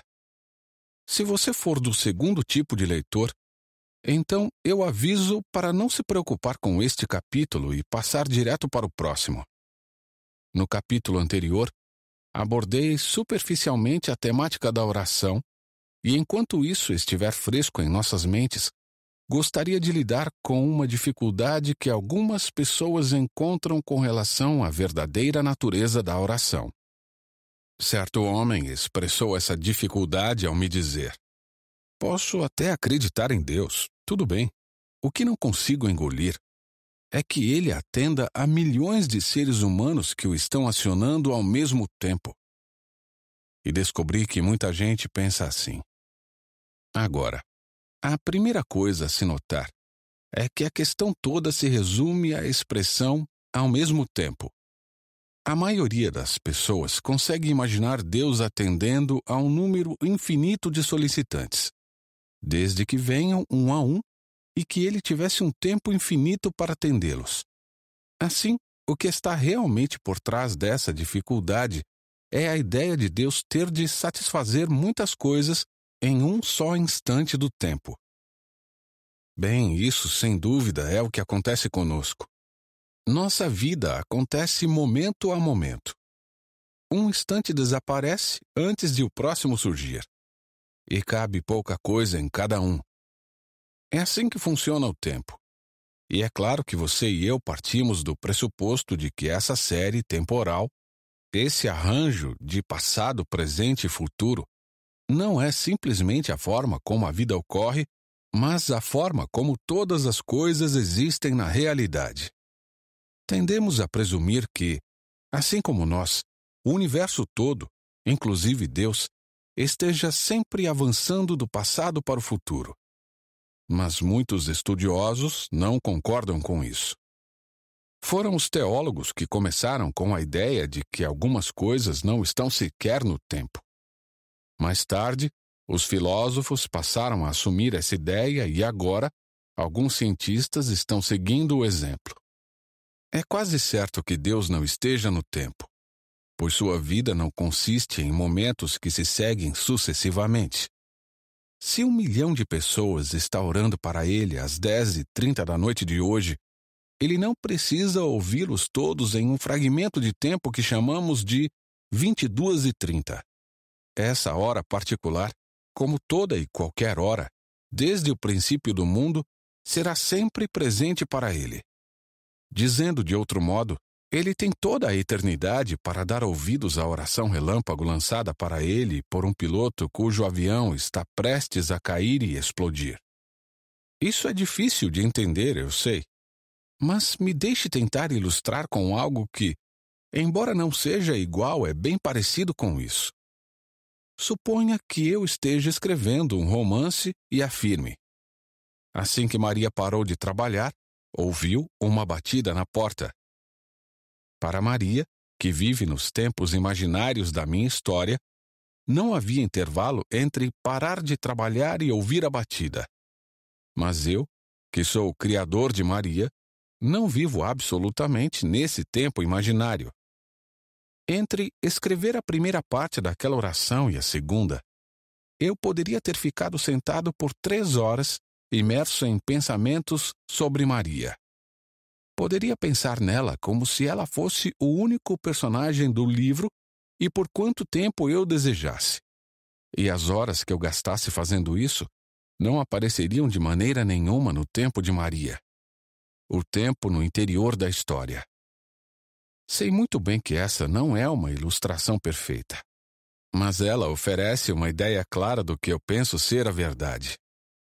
Deus não tem de correr para acompanhar o fluxo do tempo do universo, da mesma forma que um autor não tem de correr junto com o tempo imaginário do seu próprio romance.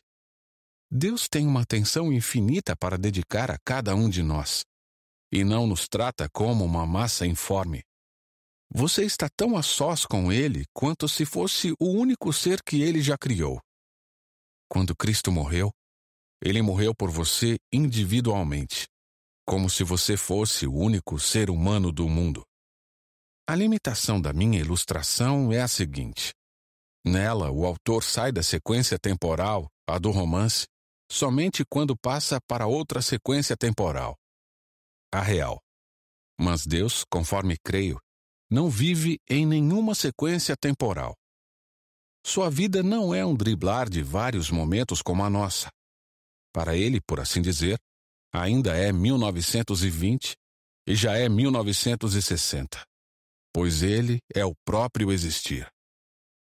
Se você imaginar o tempo como uma linha reta, ao longo da qual possamos viajar, então tem de imaginar Deus como a página toda em que a linha está traçada. Todos os pontos da linha são alcançados um a um. Temos de deixar A para trás a fim de alcançar B. E não podemos atingir C enquanto não deixarmos B para trás. Deus, por sua vez, seja vindo de cima, seja vindo de fora ou de todo o redor, contém toda a linha e a vê por completo.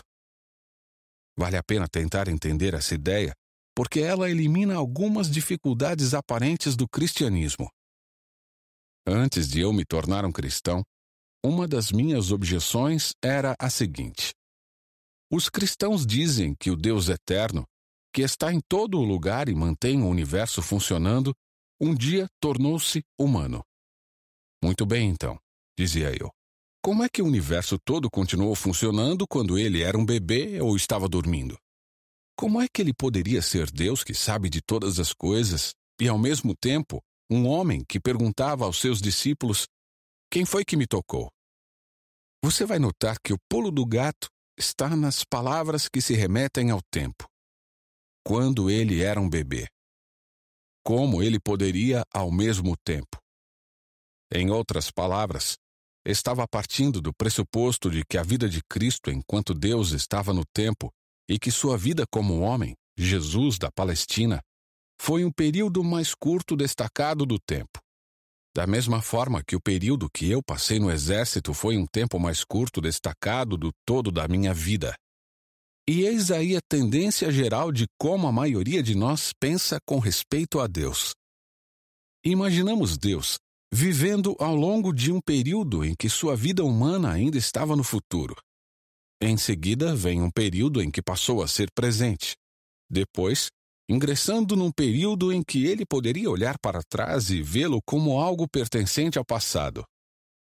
Mas, provavelmente, essas ideias não correspondem a nada em termos de fatos reais.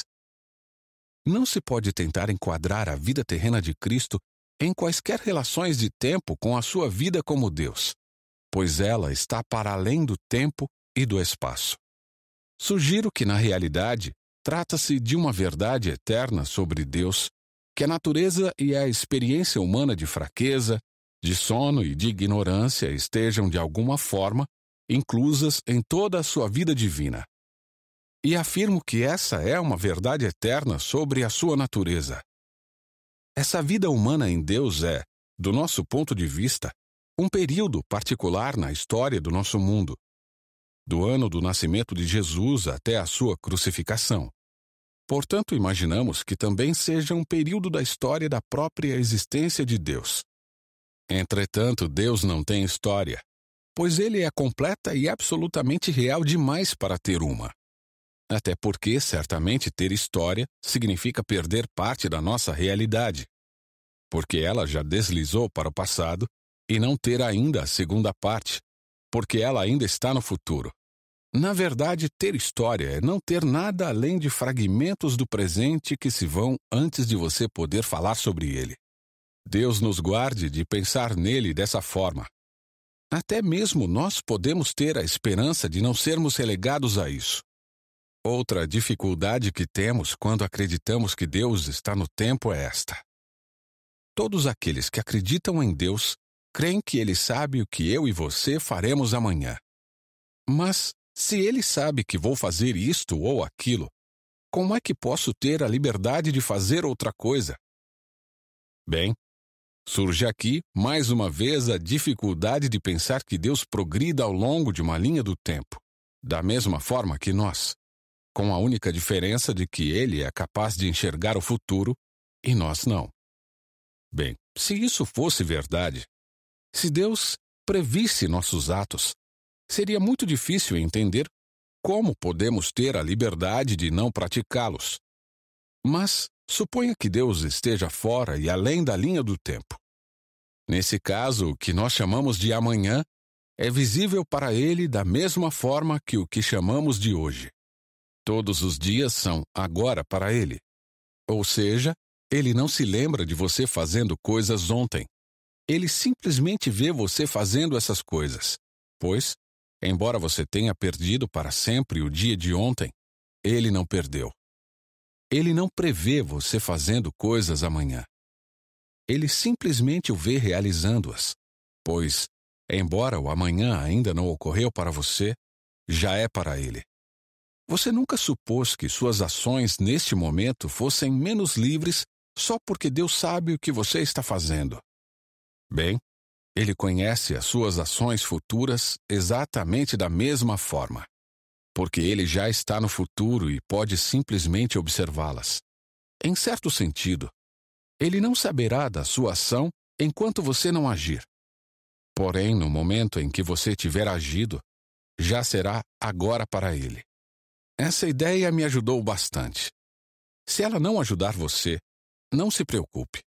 Trata-se de uma ideia cristã defendida por grandes e sábios cristãos. E nada há nela que seja contrário ao cristianismo. Mas ela não está na Bíblia nem em algum dos credos. Você pode ser um cristão perfeitamente bom sem ter de aceitá-la, ou até mesmo sem sequer pensar nesse assunto. Capítulo 4 O Bom Contágio Vou iniciar este capítulo pedindo-lhe que forme uma imagem clara em sua mente. Imagine dois livros sobre a mesa, um em cima do outro.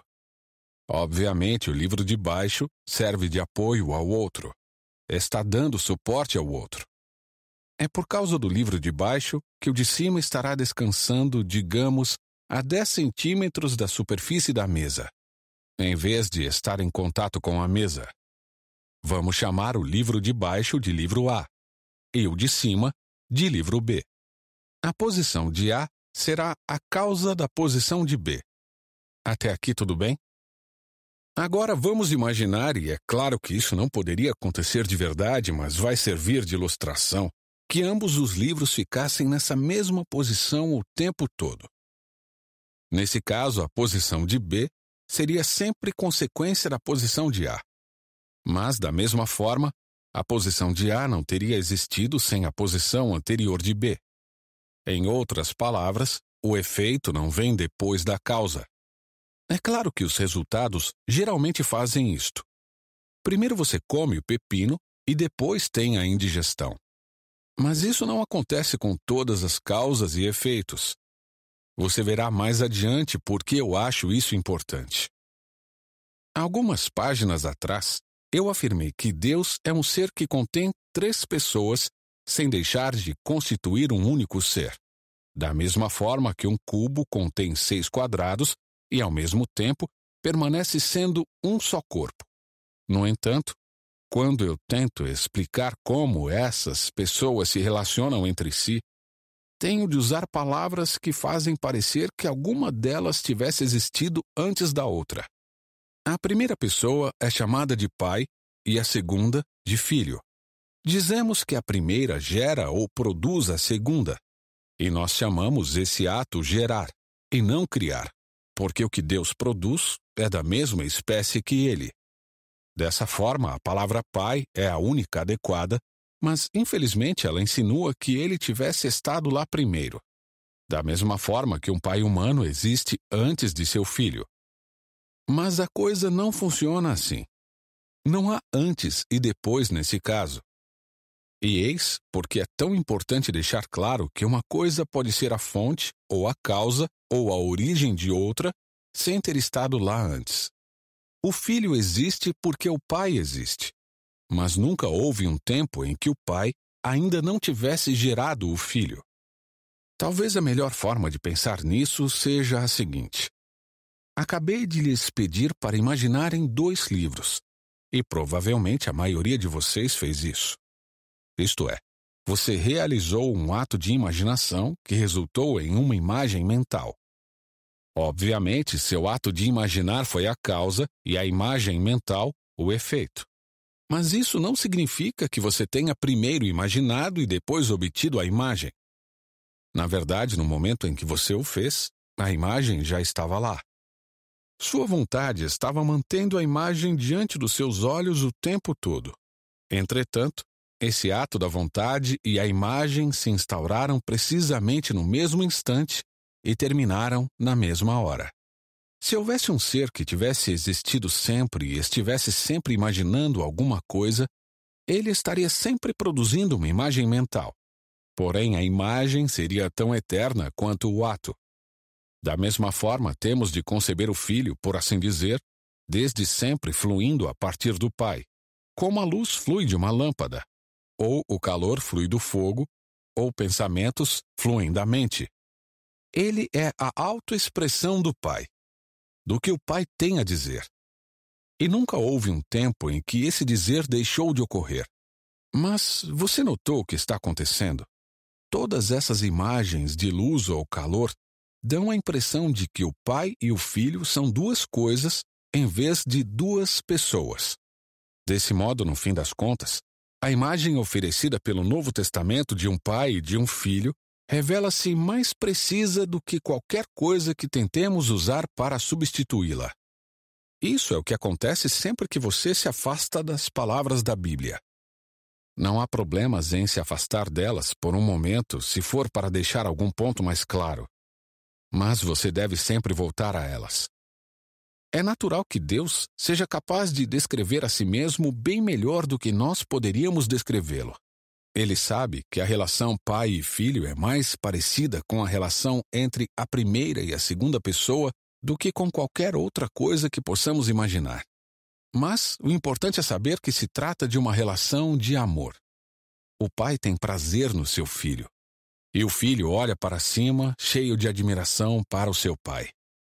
Antes de continuarmos, note a importância prática desse conceito. Todo mundo gosta de repetir a declaração cristã de que Deus é amor.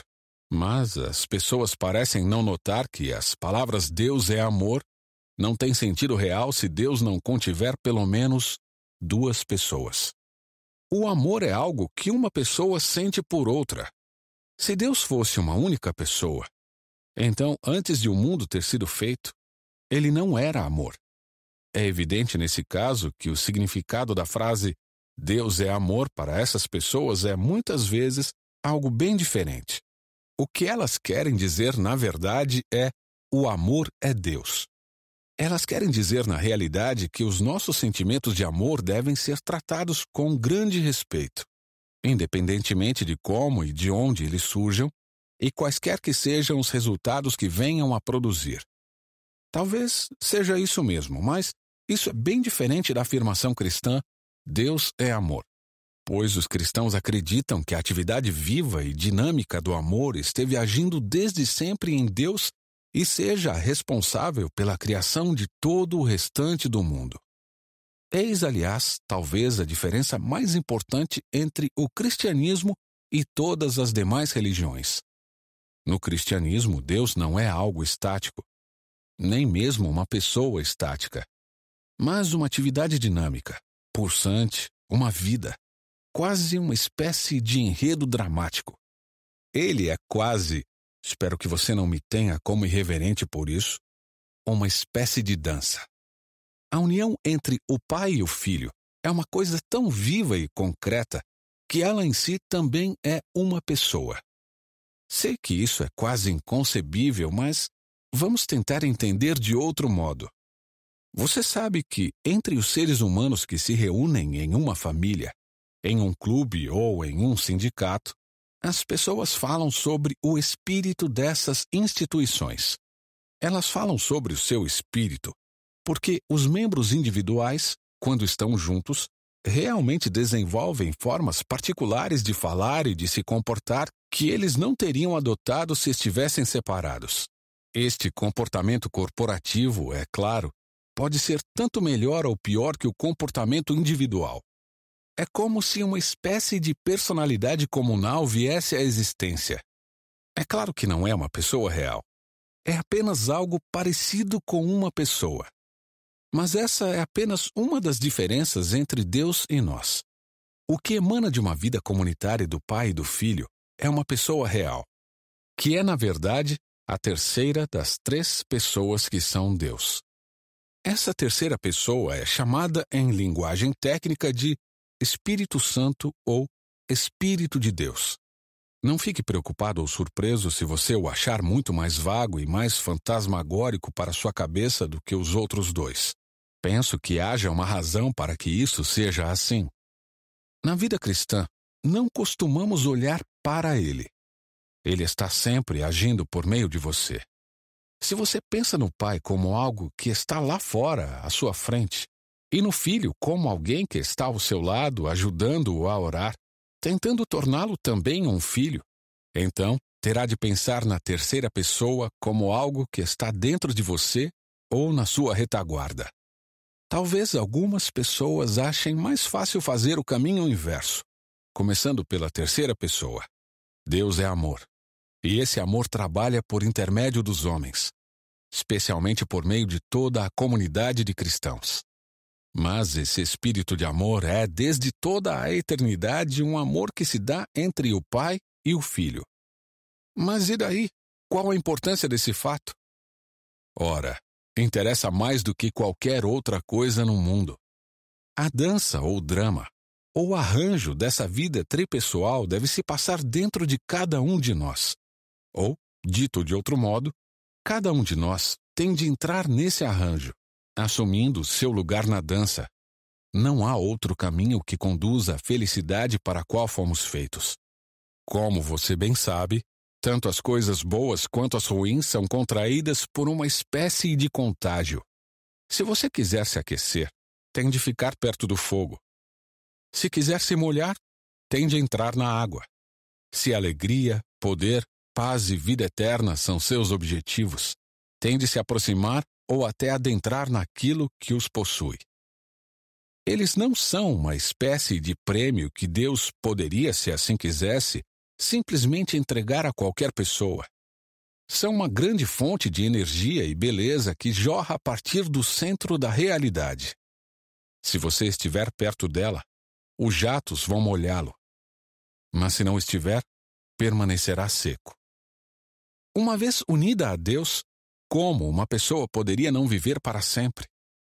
Do mesmo modo, uma vez separada de Deus, o que essa pessoa poderia fazer se não definhar e morrer? Mas como ela deve se unir a Deus? Como é possível sermos conduzidos à vida trinitária? Lembre-se do que eu disse no capítulo 1 do livro 4 sobre gerar e criar. Não somos gerados por Deus. Somos apenas criados por Ele. Isto é, em nosso estado natural, não somos filhos de Deus. Somos apenas, por assim dizer, estátuas. Não obtivemos Zoé, ou vida espiritual, apenas bios, ou vida biológica, que está atualmente se dissipando e morrendo. Agora, a oferta completa do cristianismo é a seguinte: no caso de deixarmos Deus traçar nosso caminho, nós poderemos participar da vida de Cristo. Se o fizermos, então estaremos partilhando de uma vida gerada, que não foi criada, que sempre existiu e continuará existindo para todo o sempre. Cristo é o Filho de Deus. Se partilharmos desse tipo de vida, também nos tornaremos filhos de Deus. Devemos amar o Pai como ele o faz, e o Espírito Santo surgirá em nós. Cristo veio a este mundo e se tornou homem para disseminar entre os outros homens o tipo de vida que ele possui, pelo que eu chamo de bom contágio. Todo cristão deve se tornar um pequeno Cristo. Esse é todo o propósito de se tornar um cristão. Simples assim. Capítulo 5 Os obstinados soldadinhos de chumbo. O Filho de Deus se tornou homem para permitir aos homens se tornarem filhos de Deus. Nós não sabemos, em todo caso eu não sei, como as coisas poderiam ter sido se a humanidade nunca tivesse se rebelado contra Deus e aderido ao inimigo. Talvez toda pessoa vivesse em Cristo e partilhasse da vida do Filho de Deus desde o momento de seu nascimento. Quem sabe a vida que chamamos de bios, ou vida natural, teria sido desenhada para dentro da vida que chamamos Zoé, a vida não criada, instantânea e imediatamente. Mas isso é pura especulação. Neste momento, você e eu estamos mais preocupados é com o funcionamento das coisas. E o atual estado das coisas é o seguinte: no presente, os dois tipos de vida não são apenas diferentes, coisas que eles sempre teriam sido, mas, na verdade, opostos. A vida natural em cada um de nós é algo autocentrado, algo que deseja ser paparicado e admirado para tirar proveito de outras vidas e explorar o universo todo. E especialmente algo que deseja ser deixado por conta própria, manter-se longe de tudo que é melhor, mais forte ou mais elevado do que esse algo, qualquer coisa que possa fazê-lo se sentir pequeno. Tem medo da luz e do ar do mundo espiritual da mesma forma que as pessoas que foram criadas na sujeira têm medo do banho. E de certa forma isso é assim mesmo, pois nossa vida natural sabe que, se a vida espiritual encontrá-la, todo o egocentrismo e a vontade própria serão mortos. E por isso vamos lutar com unhas e dentes para evitar que isso aconteça. Será que você já pensou, quando criança, como seria divertido se os seus brinquedos ganhassem vida? Bem, Suponha que você realmente conseguisse despertá-los para a vida. Imagine transformar um soldadinho de chumbo em um homenzinho real. Isso significaria a transformação do chumbo em carne. E suponha que o soldadinho de chumbo não gostasse nada disso.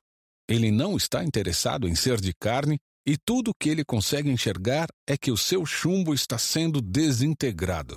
Ele pensará que você está matando e fará tudo o que puder para impedi-lo. Em outras palavras, se ele puder evitar, jamais se transformará num homem. Não tenho como saber o que você teria feito com um soldadinho de chumbo desses. Mas o que Deus fez conosco foi o seguinte: a segunda pessoa em Deus, o Filho, tornou-se homem. Nasceu no mundo como um humano de verdade, um homem real, de certa estatura, com cabelos de uma cor específica, falando uma língua particular e tendo um peso específico. O Ser Eterno, que sabe de tudo e que criou todo o universo, não só se tornou homem, mas, antes disso, se tornou um bebê. E antes disso, um feto dentro do corpo de uma mulher.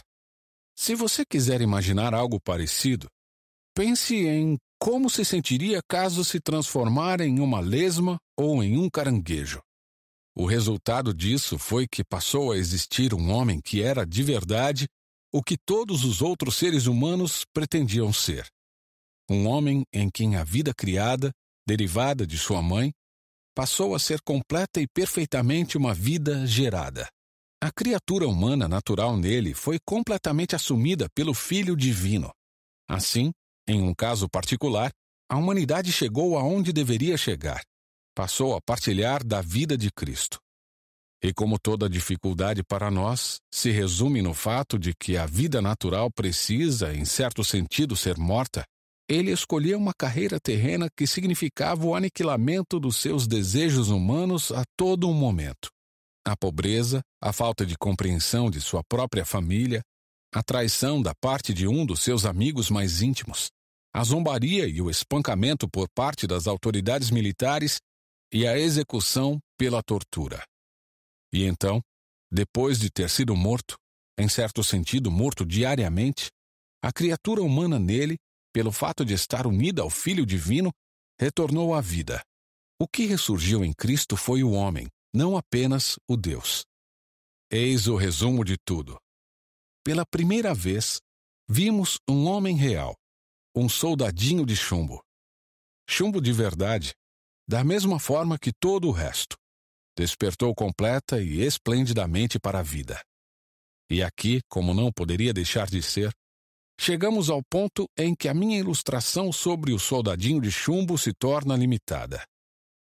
No caso de soldadinhos de chumbo ou de estátuas de verdade, se uma despertasse para a vida, certamente não faria diferença para os soldadinhos de chumbo ou para as estátuas, pois eles estão separados uns dos outros. Mas os seres humanos não estão separados. Até parece que eles estão, porque você os vê andando por aí sozinhos. Acontece que somos feitos de tal forma que só podemos ver o momento presente. Se você pudesse enxergar o passado, certamente ele pareceria diferente. Pois houve um tempo em que todo homem era parte de sua mãe e, antes disso ainda, também de seu pai. E também um tempo em que ele era parte de seus avós. Se você pudesse ver a humanidade ao longo do tempo assim como Deus a vê, não se pareceria com pontinhos isolados, espalhados por aí, mas sim como uma coisa única em franco crescimento, como uma árvore bastante complexa. Cada indivíduo apareceria conectado ao outro. E não é só isso. Os indivíduos não estão realmente separados de Deus mais do que estão uns dos outros. Todos os homens, todas as mulheres e todas as crianças do mundo sentem e respiram neste momento porque Deus, por assim dizer, os mantém em funcionamento. Consequentemente, quando Cristo se tornou homem, não é realmente como se você pudesse se tornar um soldadinho de chumbo específico. É como se algo que sempre afetou toda a humanidade passasse a afetá-la de uma nova maneira. A partir desse ponto, o efeito se espalha por todo o gênero humano e isso faz uma diferença tanto para pessoas que viveram antes de Cristo quanto para aquelas que viveram depois dele. E faz uma grande diferença até para pessoas que nunca ouviram falar dele. É como pingar em um copo de água uma gota de uma substância que dê um novo gosto ou uma nova cor a todo o seu conteúdo. Mas é claro que nenhuma dessas ilustrações se aplica com real perfeição. No longo prazo, Deus não é ninguém além dele mesmo e o que ele faz não é comparável a nada. Você dificilmente esperaria que fosse diferente. Qual é então a diferença que ele fez para afetar toda a humanidade? É a seguinte: que o negócio de se tornar filho de Deus, de ser transformado de uma coisa criada em uma gerada, de passar de uma vida biológica temporária para a vida espiritual eterna, isso foi realizado em nosso favor. A princípio, a humanidade já está salva, e nós, indivíduos, temos de nos apropriar dessa salvação. Contudo, o trabalho realmente pesado, a porção que não poderíamos ter realizado por nós mesmos, foi feito para nós.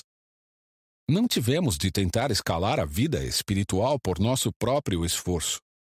Ela já desceu até a humanidade. Se ao menos nos abrirmos para o único homem em quem isso esteve inteiramente presente e que, embora seja Deus, também é um homem real, ele fará isso em nós e por nós. Lembre-se do que eu disse sobre o bom contágio. Alguém da nossa própria espécie possui essa nova vida. Então, se nos aproximarmos dele, ele vai nos contagiar. É claro que você poderá expressar isso das mais diversas maneiras que puder imaginar. Poderá dizer que Cristo morreu por seus pecados, ou então que o Pai nos perdoou porque Cristo fez por nós o que deveríamos ter feito. Poderá dizer ainda que fomos lavados pelo sangue do Cordeiro, ou que Cristo derrotou a morte. Tudo isso é verdade. Se quaisquer dessas afirmações não o convencerem, deixe-as de lado e vá em frente com a fórmula que convencer. E seja qual for a que você vai escolher, não brigue com os outros só porque usam uma fórmula diferente da sua. Capítulo 6 Duas notas. A fim de evitar mal-entendidos, decidi acrescentar notas sobre dois pontos que emergem do último capítulo. 1. Um, um crítico sensato me escreveu perguntando por que Deus, se desejava filhos e não soldadinhos de chumbo, não gerou vários filhos desde o começo em vez de primeiro criar soldadinhos de chumbo para depois dar-lhes vida por um processo assim tão difícil e doloroso. Uma parte da resposta a essa questão é bastante fácil, mas a outra parte provavelmente está além da compreensão humana. A parte fácil é a seguinte: o processo de se transformar de criatura em filho não teria sido difícil nem doloroso se a humanidade não tivesse se distanciado de Deus séculos atrás. Eles puderam agir assim porque Deus lhes concedeu o livre arbítrio. E o fez porque um mundo de meros autômatos nunca seria capaz de amar e, portanto, nunca conheceria a felicidade infinita. Agora vem a parte difícil. Todos os cristãos concordam que há, no sentido pleno e original, um único Filho de Deus. Se insistirmos em perguntar, mas será que não poderia haver vários? Vamos mergulhar em águas bastante profundas. Será que as palavras poderia haver têm sentido se aplicadas a Deus? Você pode dizer que uma coisa finita particular poderia ter sido diferente do que era porque seria diferente se alguma outra coisa tivesse sido diferente. Se essa outra coisa tivesse sido diferente, e assim por diante. As letras nesta página seriam vermelhas se o impressor tivesse usado tinta vermelha. E ele teria usado tinta vermelha se tivesse sido instruído para isso, e assim por diante. Mas quando estamos falando de Deus, por exemplo, sobre o fato mais básico, irredutível, do qual todos os demais fatos dependem, não faz sentido perguntar se poderia ter sido de outra forma. Quando se trata de Deus, as coisas são o que são e pronto. Mas, independentemente disso, tenho dificuldade com a pura e simples ideia do Pai gerando muitos filhos desde a eternidade. Para serem muitos, eles teriam de ser de alguma forma diferentes uns dos outros. Vamos supor que duas moedas tenham o mesmo formato. Como podem ser duas? Ora, ocupando lugares diferentes no espaço e contendo átomos diferentes. Em outras palavras, para pensar nelas como diferentes, tivemos de introduzir o espaço e a matéria. Na verdade, tivemos de introduzir a natureza ou o universo criado. Posso entender a distinção entre o pai e o filho sem introduzir o espaço ou a matéria, porque o primeiro gera e o outro é gerado. A relação de pai para filho não é a mesma que a do filho para o pai. Mas se houvesse vários filhos, todos eles teriam uma relação idêntica uns com os outros e para com o pai. Como eles se diferenciariam uns dos outros? É claro que não se percebe a diferença à primeira vista. Primeiro achamos que somos capazes de formar a ideia de vários filhos. Mas, se pensarmos direito, descobriremos que a ideia só parece possível porque eu os estava imaginando vagamente como formas humanas reunidas no mesmo tipo de espaço. Em outras palavras, embora eu aparentemente estivesse pensando em algo que existisse desde antes da criação do universo, na verdade eu estava introduzindo a imagem do universo clandestinamente e inserindo esse algo nela.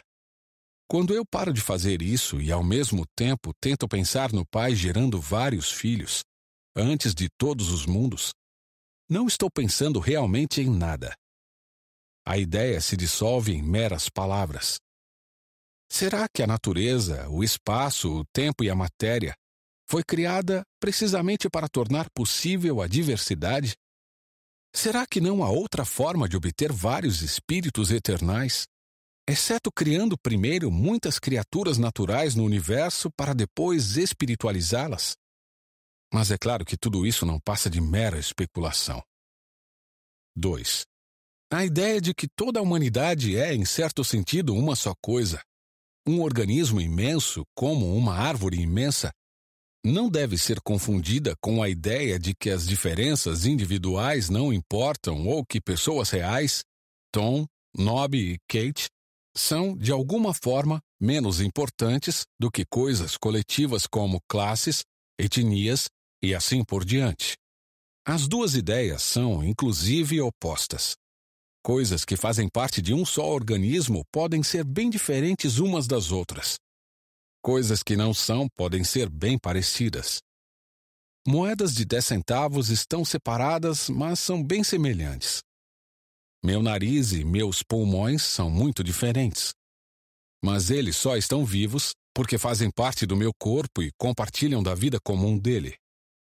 O cristianismo pensa nos indivíduos humanos não como meros integrantes de um grupo ou itens de uma lista, mas como órgãos integrantes de um corpo, diferentes uns dos outros e cada um contribuindo com o que nenhum outro poderia contribuir. Sempre que você se pegar desejando transformar seus filhos, ou alunos, ou até mesmo seus vizinhos em pessoas exatamente como você, Lembre-se de que Deus provavelmente nunca desejou que eles fossem assim.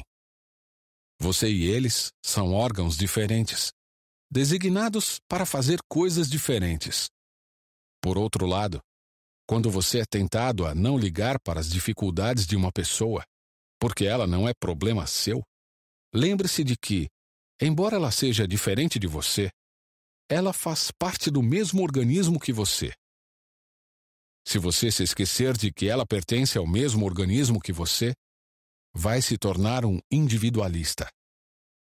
Se você esquecer que ela é um órgão diferente de você, se quiser suprimir diferenças e tornar as pessoas todas iguais, vai se tornar um totalitário. Mas um cristão não deve ser nem totalitário, nem individualista. Confesso que sinto um forte desejo de lhe dizer e suponho que você sinta o mesmo desejo de me contar. Qual desses dois erros é o pior? Essa é a armadilha do diabo. Ele sempre manda erros para o um mundo em pares pares de opostos. E sempre nos incentiva a passar um bom tempo quebrando a cabeça para decidir qual é o pior. E o real motivo disso fica evidente. Ele confia no seu desprezo por um erro para atraí-lo gradativamente ao erro oposto. Mas não vamos nos deixar enganar. Temos de manter nossos olhos focados no objetivo e passar bem no meio dos dois erros. Esse é o nosso único interesse relacionado a esses dois erros. Capítulo 7 Vamos fazer de conta. Será que posso começar mais uma vez colocando duas imagens, ou melhor, duas histórias na sua cabeça? Uma é a história que todos vocês já leram, chamada A Bela e a Fera. A moça, como vocês devem lembrar, teve de se casar com um monstro por alguma razão e ela o fez. Ela o beijou como se fosse um ser humano. E então, para o seu alívio, ele se transformou em um homem de verdade e tudo ficou bem. A outra história é sobre alguém que teve de usar uma máscara. Uma máscara que fazia com que ele tivesse uma aparência muito melhor que a que realmente tinha. Ele teve de usá-la por anos a fio, e quando ele a retirou, descobriu que a sua face havia se conformado com ela. E ele então havia ficado bonito de verdade. O que começou com um disfarce havia se tornado uma realidade.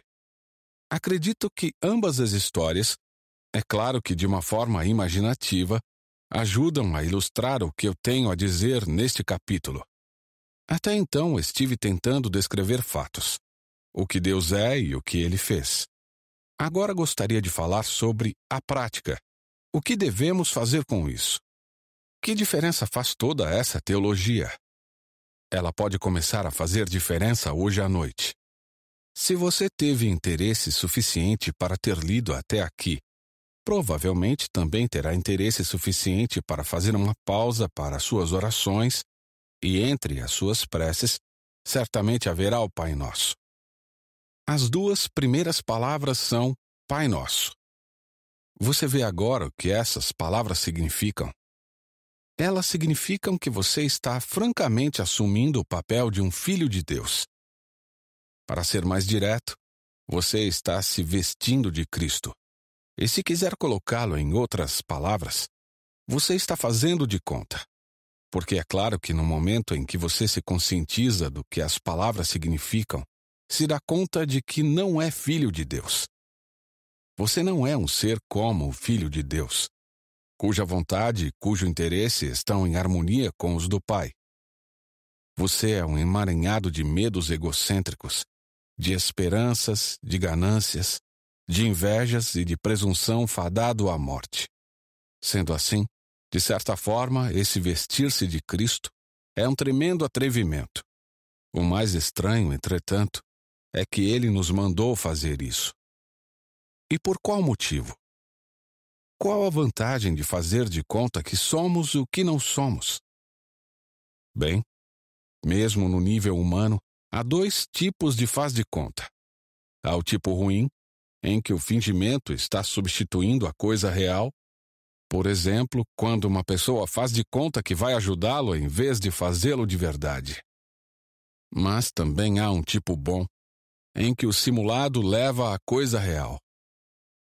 Quando você não está se sentindo particularmente amigável, mas sabe que o deve ser, a melhor coisa que pode fazer muitas vezes é assumir modos gentis e se comportar como se fosse uma pessoa mais legal do que realmente é. Muitas vezes, a única forma de desenvolver realmente uma qualidade é começar a se comportar como se você já a tivesse. Esse é o motivo pelo qual os jogos infantis são tão importantes.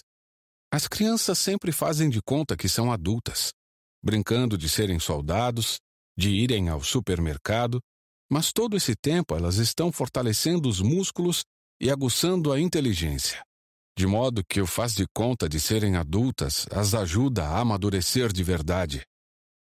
Agora, no momento em que você se dá conta do olha eu aqui, me vestindo de Cristo, é bem provável que, naquele mesmo instante, enxergue alguma maneira de tornar aquele faz de conta em menos fingimento e mais realidade. Várias coisas vão passar pela sua cabeça que não estariam lá se você fosse um filho de Deus de verdade.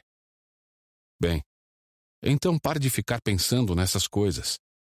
Ou você poderá se dar conta de que, em vez de fazer suas orações, deveria estar lá embaixo escrevendo uma carta ou ajudando sua esposa a lavar a louça. Bem, então faça isso. Você percebe o que está acontecendo? Cristo em pessoa, o Filho de Deus, que é um ser humano, igualzinho a você, e Deus, igualzinho ao Pai, está realmente ao seu lado e já está começando naquela mesma hora a tornar o seu faz de conta uma realidade. Essa não é uma simples forma simbólica de dizer que sua consciência está lhe dizendo o que fazer.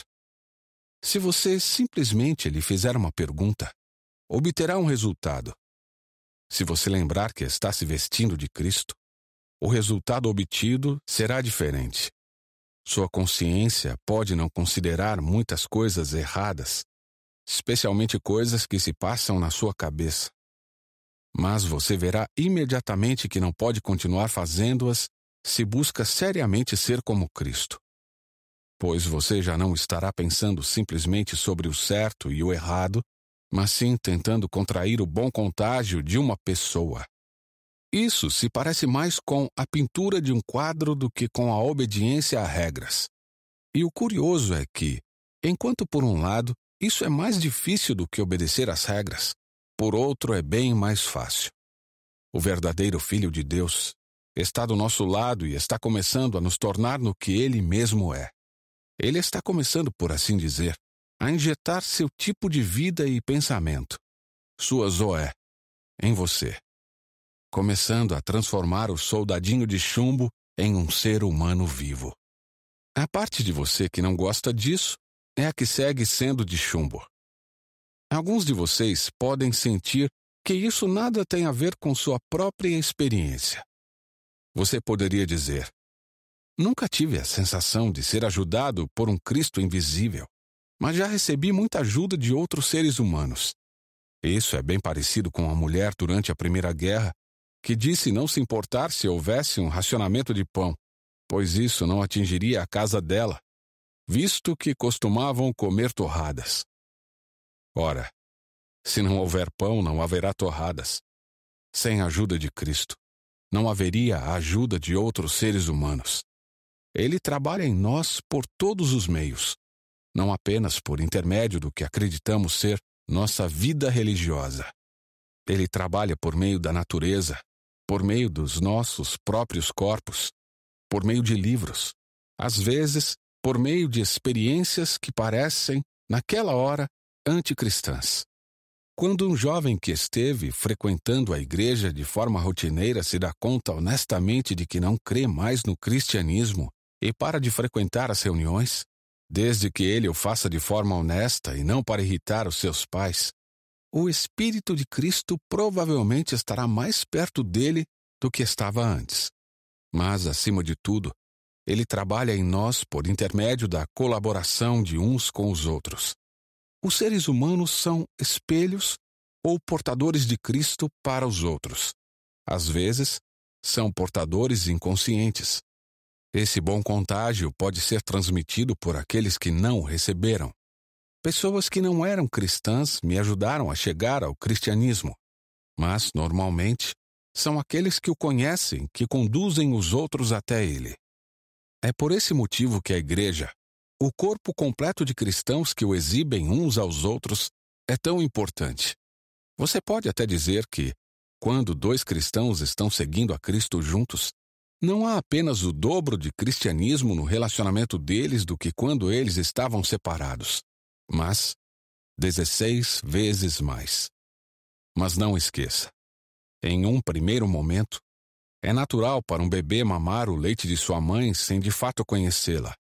Também é igualmente natural para nós reconhecermos a pessoa que nos ajuda sem enxergar Cristo por trás dela. Mas não devemos seguir na condição de bebês. Temos de passar a reconhecer o nosso doador real. Seria loucura não o fazer, porque, se não o fizermos, estaremos confiando em seres humanos. E isso vai nos levar para um mau caminho. Por melhores que eles possam ser, estão fadados a cometer erros, e todos eles vão morrer. Temos de ser gratos a todas as pessoas que já nos ajudaram. Temos de honrá-las e amá-las. Mas nunca, jamais devemos depositar toda a nossa fé em qualquer ser humano. Nem que ele seja o melhor e o mais sábio do mundo. Há muitas coisas legais que se pode fazer com a areia.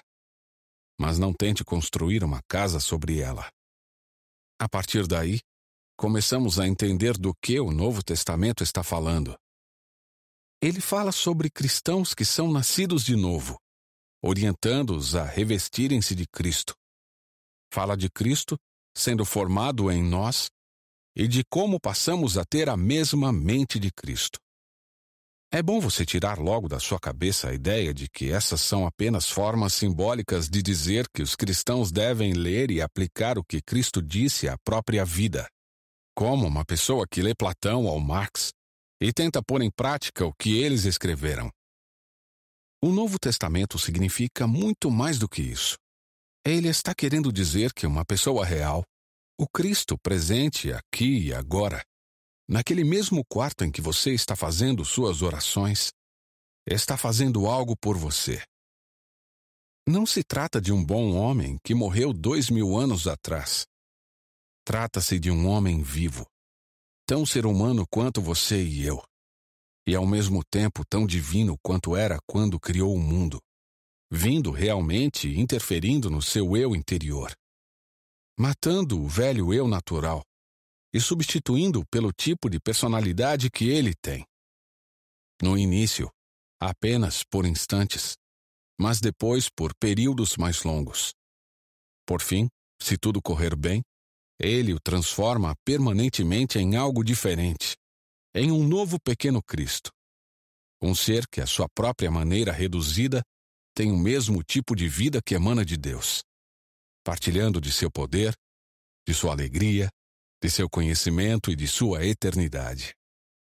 E com isso, faremos imediatamente outras duas descobertas. Um, começamos a perceber nossa pecaminosidade para além de nossos atos pecaminosos particulares. Começamos a ficar alarmados não apenas com o que fazemos, mas também com o que somos. Isso pode soar bem difícil de compreender. Então vou tentar esclarecê-lo a partir do meu próprio caso. Quando chega a hora das minhas orações noturnas e tento prestar contas dos pecados do dia, 90% das vezes, o mais óbvio é algum pecado contra a caridade. Ou fiquei irritado, ou agoniado, ou fui debochado, ou prepotente, ou impetuoso. E a desculpa que imediatamente me vem à mente é que a provocação foi tão súbita e inesperada que fui pego desprevenido e não deu tempo de me controlar. Mas essa pode ser uma circunstância atenuante com relação àqueles comportamentos específicos que obviamente seriam piores se tivessem sido deliberados e premeditados. Por outro lado, o que uma pessoa faz quando é pega desprevenida não é a melhor prova do que ela é de verdade? Será que aquilo que vem à tona antes de a pessoa ter tempo de pôr a sua máscara não é a mais pura verdade? Se há ratos no porão, você tem mais probabilidade de vê-los se entrar de supetão. Mas não é a surpresa que cria os ratos. Ela apenas os impede de se esconder. Da mesma forma, a surpresa da provocação não me torna um homem irascível. Ela apenas me mostra que homem irascível eu realmente sou. Os ratos estão sempre ali no porão. Mas se você entrar gritando e fazendo barulho, eles terão encontrado abrigo antes mesmo de você ligar a luz. Aparentemente, os ratos do ressentimento e da vingança estão sempre lá no porão da minha alma. Agora o porão está fora do alcance da minha vontade consciente. Tenho condições de controlar os meus atos até certo ponto. O que não tenho é o controle direto sobre o meu temperamento. E se, como eu disse antes, o ser importa até mais do que o fazer, se aliás o que fazemos importa principalmente como evidência do que somos, então concluímos que a transformação pela qual eu mais estou precisando passar é uma mudança que nossos próprios esforços diretos, voluntários, não podem provocar. E isso também se aplica às minhas boas ações. Quantas delas foram feitas pelos motivos certos? Quantas por medo da opinião pública ou desejo de me mostrar? Quantas por uma espécie de obstinação ou senso de superioridade que, em circunstâncias diferentes, poderiam igualmente ter levado a algum ato muito maldoso? Mas eu não posso, por um esforço moral direto, proporcionar novos motivos a mim mesmo. Depois dos primeiros passos na vida cristã, nós nos damos conta de que tudo o que realmente precisa ser feito em nossas almas só pode ser feito por Deus. E isso nos conduz a algo que pode ter levado a muitos mal-entendidos na linguagem que empreguei até agora. 2. Da forma como eu me expressei até agora, pode parecer que somos nós que fazemos tudo. No entanto, está claro para mim que é Deus que faz tudo. o máximo que fazemos é permitir que Deus haja. De certo modo, você pode até dizer que o faz de conta é Deus quem realiza. O Deus tripessoal, por assim dizer, vê diante de si um animal humano que, na verdade, é egocêntrico, ganancioso, resmungão e rebelde. Mas ele diz: Vamos fazer de conta que essa não é uma mera criatura, mas nosso filho. Ele é como Cristo, visto que é um ser humano, já que o filho se tornou homem. Vamos fazer de conta que esse filho também é igual a ele em espírito. Vamos tratá-lo como se fosse algo que na verdade não é. Vamos fazer de conta para transformar o faz de conta em realidade. Deus olha para você como se você fosse um pequeno Cristo. E Cristo está do seu lado para operar essa transformação. Ouso dizer que essa ideia do faz de conta divino soa bem estranha no começo. Mas será que é realmente tão estranha? Não é sempre assim que as coisas superiores alcançam as inferiores? Uma mãe ensina o seu bebê a falar, falando com ele, como se ele entendesse, muito antes de ele realmente o fazer. Tratamos nossos cachorros como se eles fossem quase humanos, e é nisso que acabam se tornando no final. Capítulo 8 Cristianismo Fácil ou difícil? No capítulo anterior, consideramos a ideia cristã do revestir-se de Cristo, ou de primeiro vestir-se de Filho de Deus, para você finalmente se tornar um filho de verdade.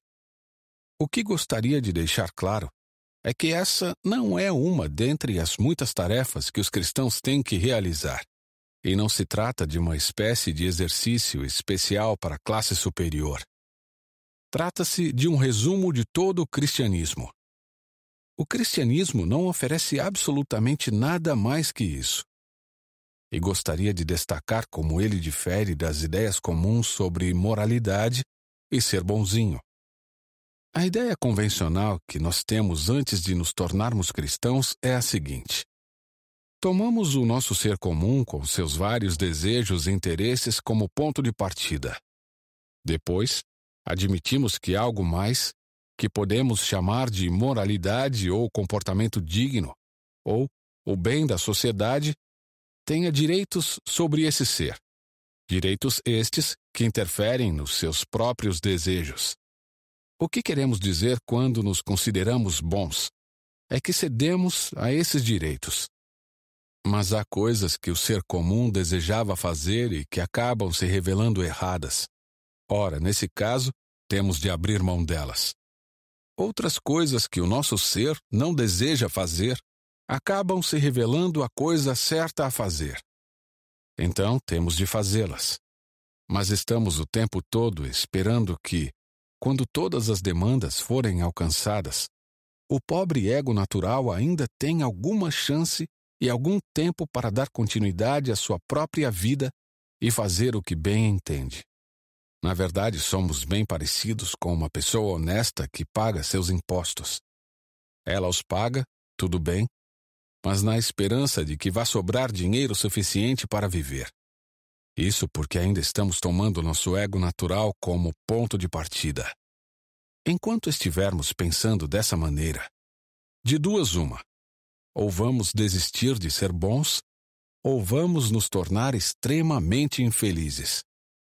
Pois não se engane. Se você está realmente tentando satisfazer todas as demandas feitas pelo ego natural, não sobrará muita coisa para a sua sobrevivência. Quanto mais você obedece à sua consciência, mais ela vai exigir de você. Assim, seu ego natural, que estará passando fome e sendo atrapalhado e amedrontado o tempo todo, vai ficando cada vez mais enfurecido. No final, ou você vai desistir de tentar ser bom, ou vai se tornar uma daquelas pessoas que, como costumam dizer, vivem para as outras, mas sempre de forma contrariada, resmungona.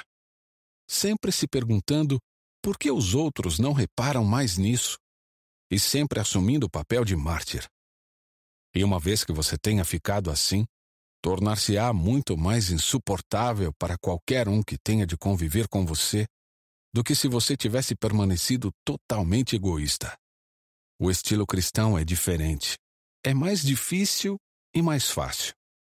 Cristo diz: Dê-me tudo. Não quero uma parcela do seu tempo, uma parcela do seu dinheiro e uma parcela do seu trabalho. Eu quero você. Não vim para atormentar seu ego natural mas para matá-lo. Nada de meios termos. Não quero podar um ramo aqui e outro ali. Quero derrubar a árvore toda. Não quero meter a broca no seu dente, nem o obturar ou fazer com que ele pare de doer. Quero arrancá-lo. Renuncie todo o seu ego natural, todos os desejos que você acha que são inocentes. Da mesma forma que me entrega aqueles que você considera maldosos o aparato todo, pois vou substituir por um novo ser. Na verdade, vou lhe dar a mim mesmo, e minha própria vontade deverá se tornar a sua. Isso é mais difícil e mais fácil do que aquilo que todos nós estamos tentando fazer. Espero que você tenha notado que o próprio Cristo às vezes descreve o estilo de vida cristão como difícil demais e às vezes como demasiadamente fácil. Ele diz: Tome sua cruz. Em outras palavras, é como ser espancado até a morte num campo de concentração.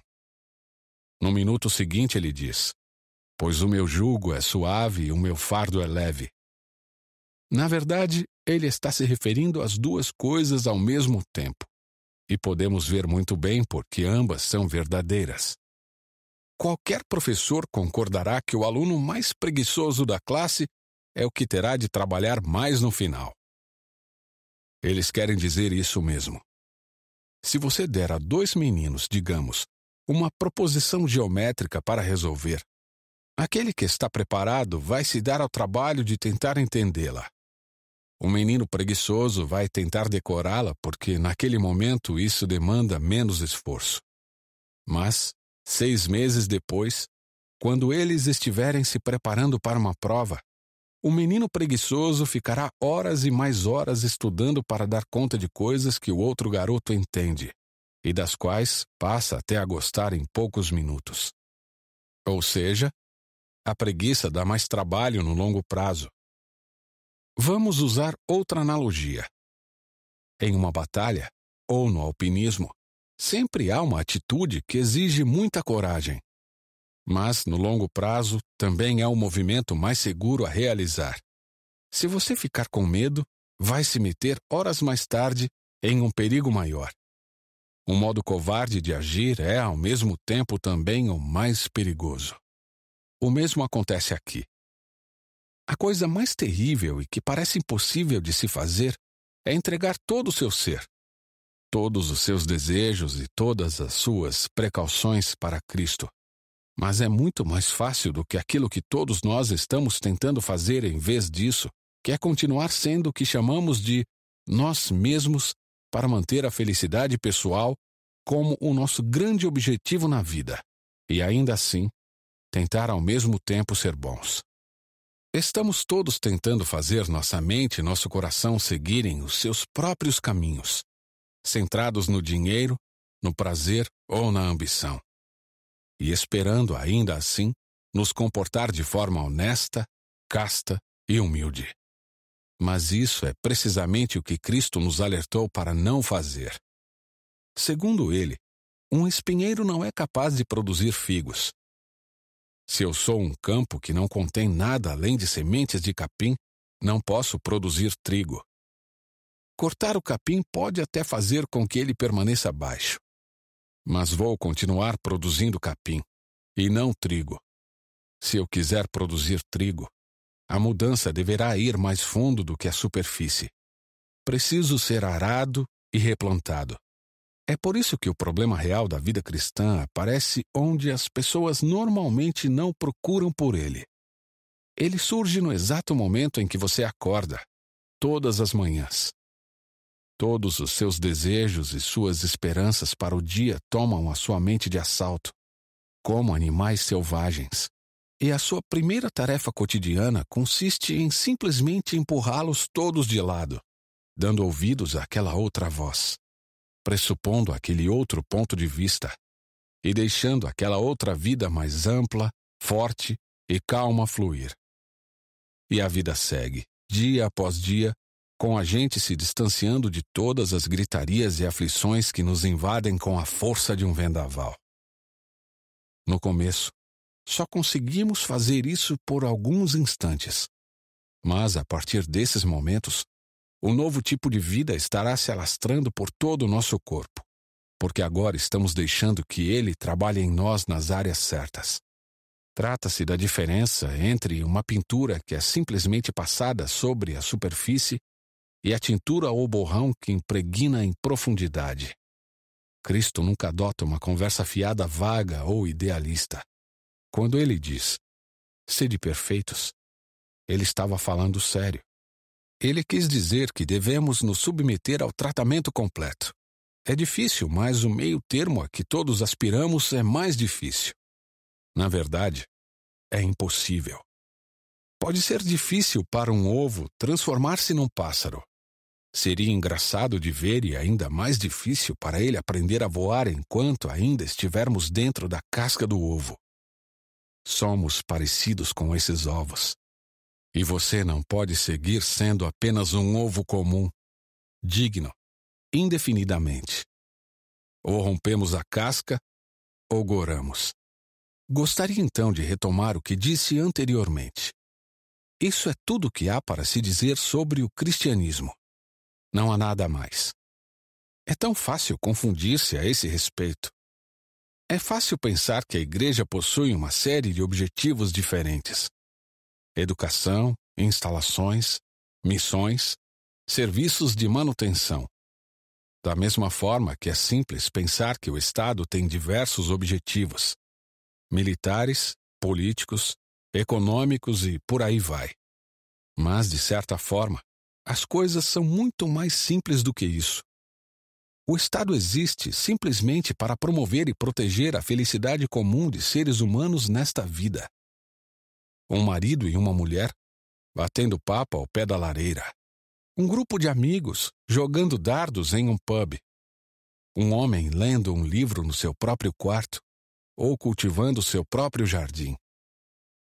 É para isso que o Estado serve. E se ele não estiver contribuindo para aumentar, prolongar e proteger tais momentos, Todas as leis, os parlamentos, os exércitos, as cortes, as polícias, as economias, etc., não passarão de perda de tempo. Da mesma forma, a Igreja não existe senão para atrair os seres humanos a Cristo e torná-los pequenos Cristos. Se ela não estiver fazendo isso, todas as catedrais, o clero, as missões, os sermões e até mesmo a própria Bíblia não passarão de mera perda de tempo. Deus não se tornou homem para nenhum outro propósito. Pode-se duvidar até de que o universo todo tenha sido criado para outro propósito senão esse. A Bíblia diz que todo o universo foi criado para Cristo e que tudo deve ser reunido nele. Suponho que nenhum de nós consiga compreender como isso vai acontecer no que diz respeito ao universo. Não sabemos que tipo de vida existe, se é que há alguma vida nas partes que estão a milhões de quilômetros de distância da Terra. Mesmo nesta Terra, não sabemos como isso se aplica a outras coisas além do ser humano. Afinal de contas, ninguém esperaria outra coisa. O plano só nos foi revelado até onde ele nos diz respeito. Às vezes gosto de imaginar que sou capaz de enxergar como isso poderia se aplicar a outras coisas. Imagino que pudesse entender como os animais superiores são, de certa forma, atraídos para dentro do homem quando ele os ama e os torna, como ele faz, muito mais parecidos com o ser humano do que eles seriam se não fosse por isso. Posso entender o sentido pelo qual as coisas mortas e as plantas são atraídas para o homem enquanto ele as estuda, usa e aprecia. E se houvesse criaturas inteligentes em outros mundos, elas poderiam fazer o mesmo com seus mundos. É possível que, quando as criaturas inteligentes entraram em Cristo, elas pudessem carregar consigo todas as demais coisas. Mas não sei de nada disso. Em relação a isso, só posso especular. O que nos foi revelado é como nós, seres humanos, podemos ser atraídos para dentro de Cristo. Podemos nos tornar parte desse maravilhoso presente que o jovem príncipe do universo quer oferecer ao seu Pai. O presente que é Ele próprio e, portanto, nós nele. Trata-se da única coisa para a qual fomos criados. E há pistas estranhas e empolgantes na Bíblia de que, quando somos atraídos para dentro, uma grande quantidade de outras coisas na natureza vai começar a entrar nos eixos. Será o fim do pesadelo. Um novo amanhã terá despontado. Capítulo 9 Avaliando o custo. Parece que uma boa quantidade de pessoas ficou incomodada com o que eu disse no capítulo anterior sobre as palavras sede perfeitos, pronunciadas por Nosso Senhor. Algumas pessoas parecem pensar que isso significa: enquanto você não for perfeito, não vou ajudá-lo. E como não podemos ser perfeitos, então, se ele quis dizer isso, nossa situação é desesperadora mas não acredito que essa tenha sido a intenção dele. Penso que o que ele quis dizer foi: a única ajuda que vou lhes dar é no sentido de torná-los perfeitos. Vocês podem até querer menos do que isso, mas eu não vou fazer menos. Eis uma tentativa de explicar essa realidade. Na minha infância, eu tinha frequentes dores de dente e sabia que, se fosse procurar a ajuda de minha mãe, ela me daria algo para aliviar temporariamente a dor e que me permitiria dormir. Mas eu não procurava minha mãe. Pelo menos não enquanto a dor não ficasse insuportável. E a razão para não ir a ela era que eu sabia que ela me daria uma aspirina. Mas no dia seguinte, iria receber algo mais. Ela me levaria ao dentista. Eu não poderia obter dela o que eu desejava sem esse algo mais que eu não desejava. Eu desejava alívio imediato do meu sofrimento, mas não poderia obtê-lo sem ter meus dentes tratados de forma integral. Eu conhecia o dentista e sabia que ele mexeria em todos os outros dentes que ainda nem tinham começado a doer. Ele não deixaria de cutucar a onça com vara curta. E se você dá uma mão, ele quer o braço todo. Agora, se eu puder colocar desta maneira, nosso Senhor atua como os dentistas o fazem. Se você der uma mão, ele vai querer o braço todo.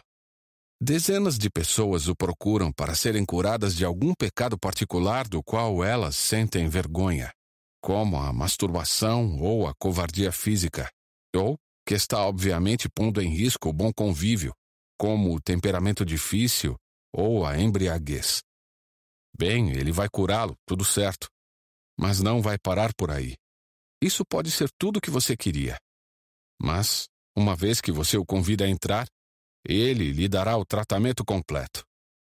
Eis porque ele alertou algumas pessoas a avaliarem o custo antes de se tornarem cristãs. Não se iluda, diz ele. Se você permitir, eu vou torná-lo perfeito.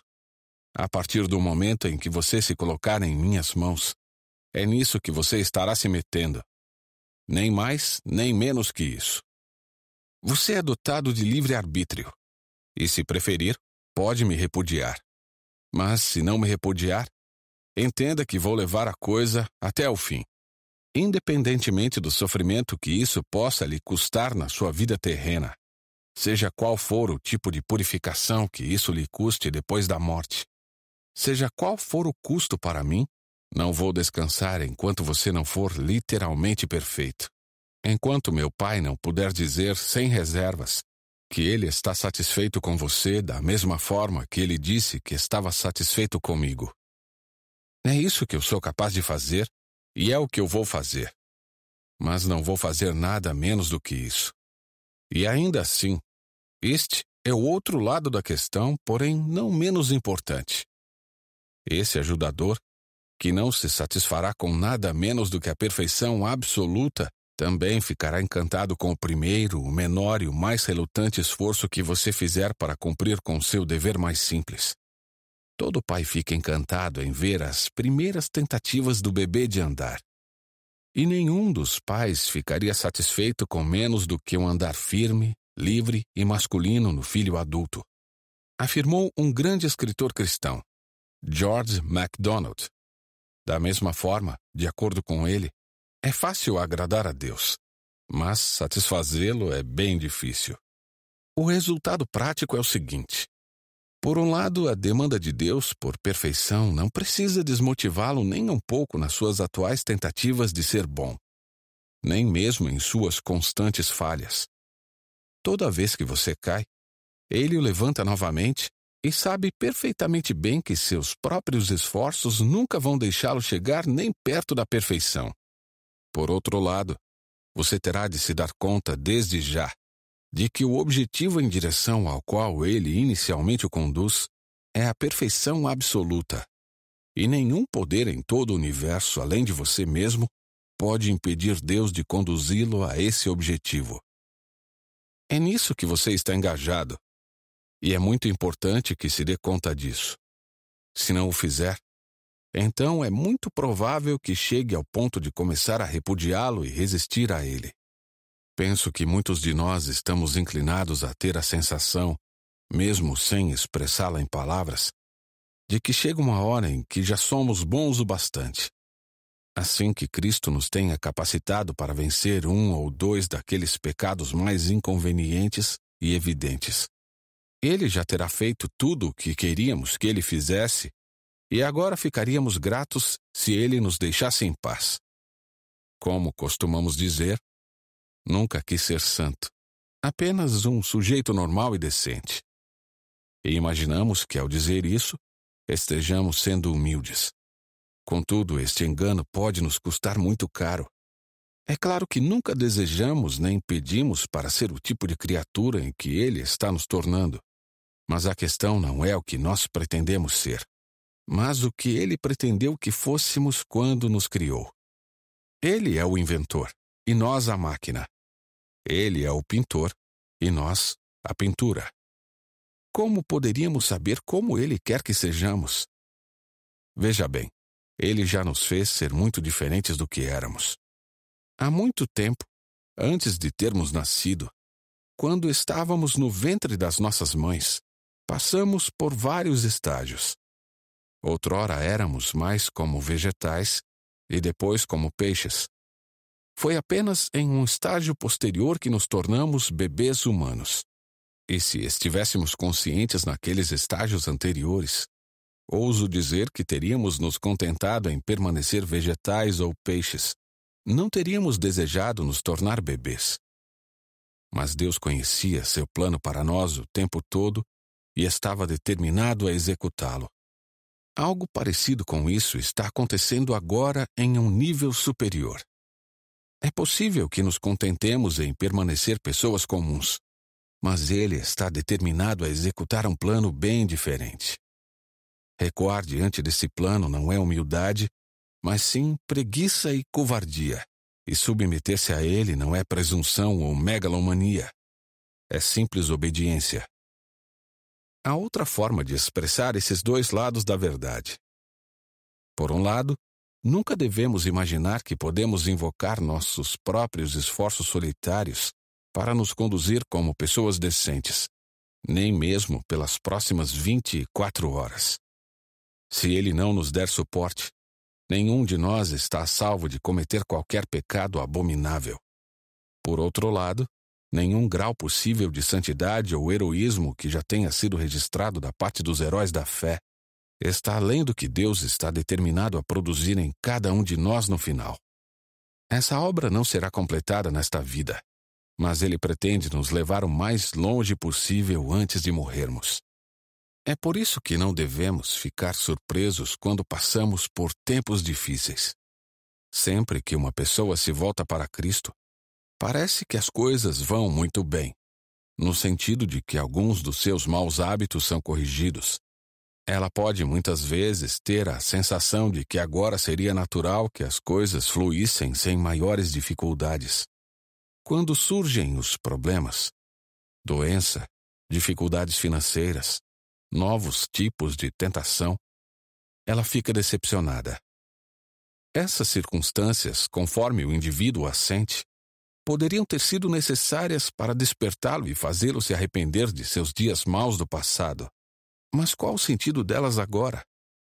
A razão é que Deus o está forçando a elevar o nível, colocando-o em situações em que terá de ser muito mais corajoso, ou mais paciente, ou mais amoroso do que ele jamais sonhou ser antes.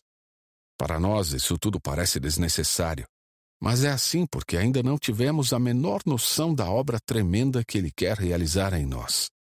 Acho que devo utilizar outra parábola de George MacDonald. Imagine-se como uma casa viva. Deus entra para reconstruir essa casa. A princípio, talvez você consiga entender o que ele está fazendo. Ele está consertando os ralos e tirando as goteiras do teto e assim por diante. Você sabe que esses trabalhos precisavam ser feitos e, portanto, não está surpreso. Mas depois ele passa a demolir a casa de uma forma que lhe causa uma dor terrível e não parece fazer nenhum sentido. O que ele estaria tentando fazer? A explicação é que ele está construindo uma casa bem diferente daquela que você tinha imaginado.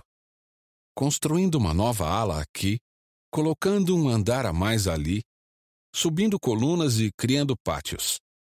Você achava que seria transformado em uma cabaninha modesta, mas ele está construindo um palácio.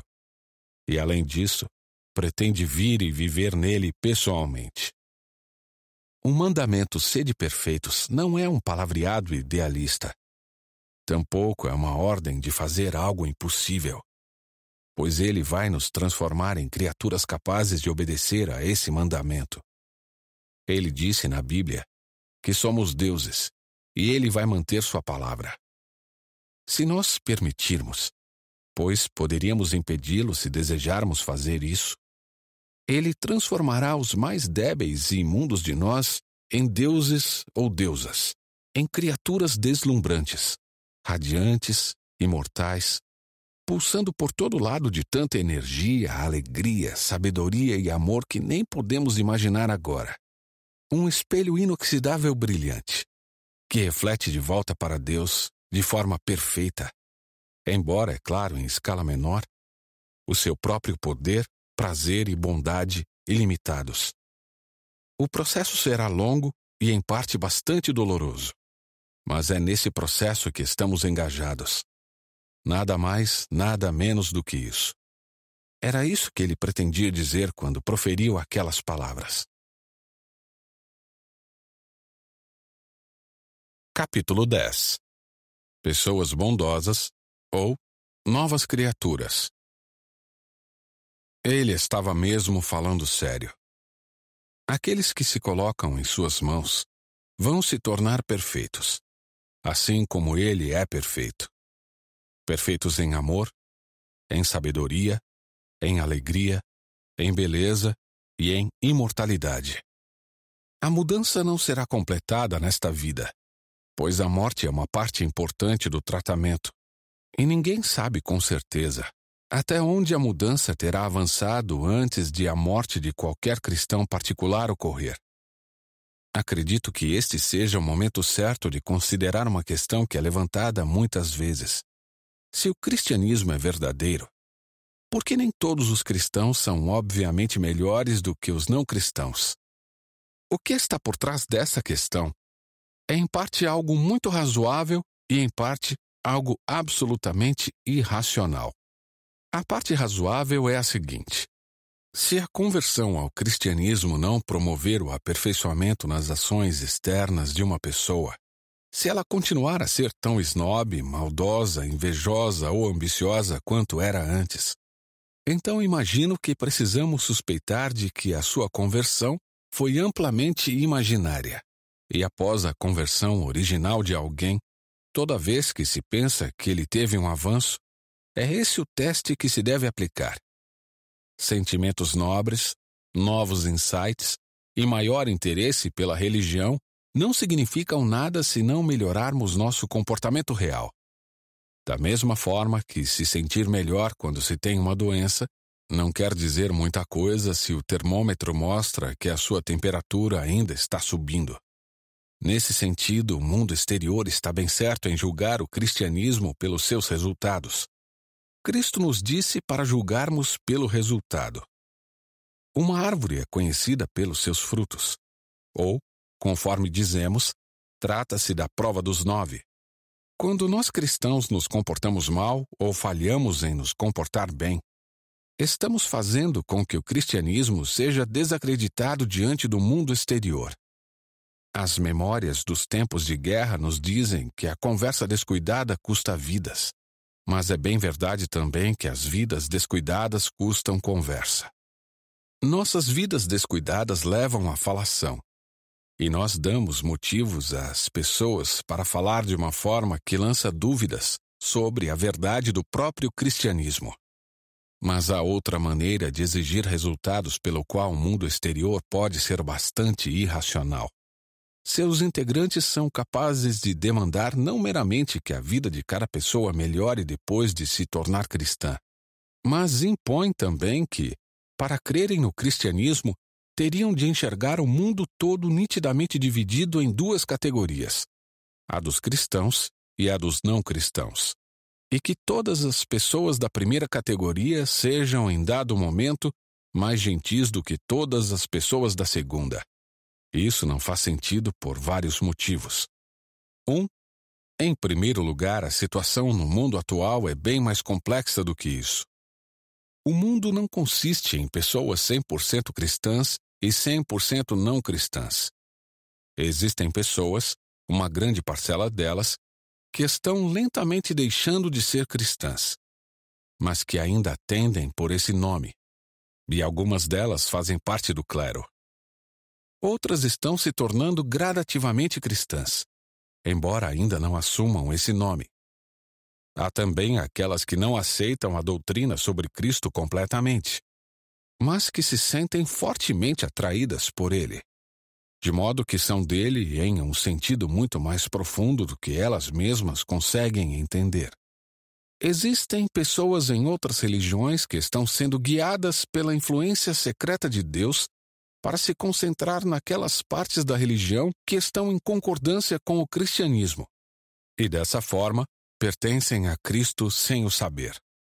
Por exemplo, um budista de bom temperamento pode ser levado a se concentrar cada vez mais no ensinamento budista sobre a graça e deixar para segundo plano o ensinamento de determinados outros pontos, embora ele possa ainda afirmar que crê nessa doutrina. Muitos dos bons pagãos, que viveram bem antes do nascimento de Cristo, poderiam ter estado nessa posição. E é claro que sempre haverá uma grande quantidade de pessoas que se mostram mais do que confusas e que têm um monte de crenças inconsistentes. Todas misturadas numa grande miscelânea. Consequentemente, não há muita serventia em tentar emitir juízos sobre cristãos e não cristãos tomados em conjunto. Pode até haver alguma utilidade em comparar cachorros e gatos, ou mesmo homens com mulheres tomados como um todo, porque nesses casos sabemos quem é quem. Além disso, um animal não se transforma nem lentamente nem repentinamente de cachorro em gato, mas, quando estamos comparando de modo geral cristãos e não cristãos, Normalmente não estamos pensando em duas ideias vagas que adquirimos dos romances e jornais.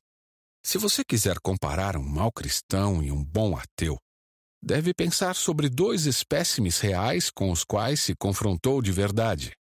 Se não nos referirmos assim aos fatos concretos, a única coisa que estaremos fazendo é perder tempo. 2. Suponha que estejamos nos referindo a fatos concretos e estejamos falando agora não acerca de um cristão e de um não cristão imaginário, mas sobre duas pessoas reais de nossa própria vizinhança. Mesmo nesse caso, temos de ter o cuidado de fazer a pergunta certa. Se o cristianismo for verdadeiro, concluímos A. que qualquer cristão será mais bondoso do que ele mesmo teria sido se não fosse cristão. B. Que qualquer pessoa que se torne cristã será mais bondosa do que era antes, da mesma forma que, se a propaganda do creme dental da Colgate fosse verdadeira, poderíamos concluir: A. Que qualquer um que o utilize terá dentes melhores do que se não o utilizasse. E B que qualquer um que começar a utilizar o creme dental terá dentes melhores. Mas o fato de que eu, que uso Colgate e também herdei uma dentição ruim dos meus pais, não tenho dentes tão fortes quanto um jovem saudável com boa dentição que, porventura, nunca usou algum creme dental, não prova por si só que a propaganda é mentirosa. A senhorita Bates, que é cristã, pode ter uma língua mais venenosa do que Dick Furken, que não é cristão isso por si só não nos diz se o cristianismo funciona ou não. A questão é como seria a língua da senhorita Bates se ela não fosse cristã? E como a de Dick seria caso se tornasse cristão? A senhorita Bates e Dick têm determinados temperamentos em consequência de causas naturais e de sua criação. E o cristianismo professa colocar ambos os temperamentos sob uma nova direção se cada um deles assim o permitir. Você tem todo o direito de perguntar se essa direção, uma vez que lhe seja permitido assumir o controle, traz melhorias ao empreendimento. Todos sabem que o que está sendo administrado no caso de Dick Furken é bem melhor do que no caso da senhorita Bates. Mas não é esse o ponto. Para julgar a administração de uma fábrica, você tem de considerar não apenas a produção, mas seu parque tecnológico. Ao considerarmos o parque tecnológico da fábrica A, chegaremos à conclusão de que seria um milagre ela produzir qualquer coisa. Ao considerarmos as instalações modernas da fábrica B, sua produção, embora alta, poderia ser bem menor do que deveria ser. Não há dúvida de que o bom administrador da fábrica A investirá em novo maquinário assim que puder. Mas isso leva tempo, Nesse meio tempo, o baixo nível de produção não será prova do seu fracasso. 3. Agora vamos um pouco mais a fundo. O administrador está querendo investir em novo maquinário. Antes de Cristo ter encerrado o serviço com a senhorita Bates, ela será muito boa de fato. Mas, se deixarmos as coisas por isso mesmo, Poderia parecer que o único objetivo de Cristo seria empurrar a senhorita Bates para o mesmo nível em que Dick já estava. Estivemos falando, na verdade, como se Dick fosse um sujeito bom, como se o cristianismo fosse algo de que as pessoas perversas necessitassem e as bondosas pudessem se dar ao luxo de dispensar. É como se o ato de ser bondoso fosse tudo o que Deus exigisse. Mas esse seria um equívoco fatal. A verdade é que, aos olhos de Deus, Dick Furken precisa da salvação tanto quanto a senhorita Bates. Em certo sentido, vou explicar em qual daqui a pouco, o ser bondoso dificilmente entra em questão. Você não pode esperar que Deus olhe para o temperamento plácido e para a predisposição amistosa de Dick exatamente como nós fazemos, uma vez que resultam das causas naturais que Deus mesmo criou. Sendo meramente temperamental, eles desaparecerão por completo quando Dick tiver uma indigestão. O ser bondoso ou não, na verdade, é o presente de Deus para Dick, não o de Dick para Deus. Da mesma forma, Deus permitiu que causas naturais trabalhassem em um mundo devastado por séculos de pecado para produzir na senhorita Bates a mente fechada e os nervos à flor da pele que explicam a maior parte de sua maldade. Ele pretende, de acordo com seu tempo perfeito, colocar essa área da vida dela nos eixos. Mas essa não é a parte crítica do negócio para Deus, pois não apresenta dificuldades. Não é essa a sua expectativa. O que ele está buscando, esperando e trabalhando para obter, é algo que não é fácil nem mesmo para Deus porque, dada a natureza do caso, nem mesmo ele pode produzi-lo por um mero ato de poder. Ele está buscando e esperando por isso em ambos, na senhorita Bates e no senhor Dick Furken. Trata-se de algo que eles podem dar livremente a Deus ou negar-lhe. Será que eles vão se voltar para Deus e, assim, realizar o único propósito para o qual foram criados? Seu livre-arbítrio está trepidando dentro deles como a agulha de uma bússola. Mas essa é uma agulha dotada do poder de escolha. Ela pode apontar para o verdadeiro norte, mas não precisa. Será que a agulha vai girar e se firmar apontando para Deus? Ele pode ajudá-la a fazer isso, mas não pode forçá-la. Ele não pode, por assim dizer, estender a sua própria mão e puxá-la para a posição correta, pois nesse caso ela já não seria livre. Será que ela apontará para o norte? É dessa questão que tudo depende. Será que a senhorita Bates e Dick vão oferecer suas naturezas a Deus? Se as naturezas que eles oferecem ou detêm são no momento gentis ou malvadas, é uma questão de importância secundária. Deus pode resolver essa parte do problema. Não me entenda mal. É claro que Deus considera uma natureza maldosa algo ruim e deplorável.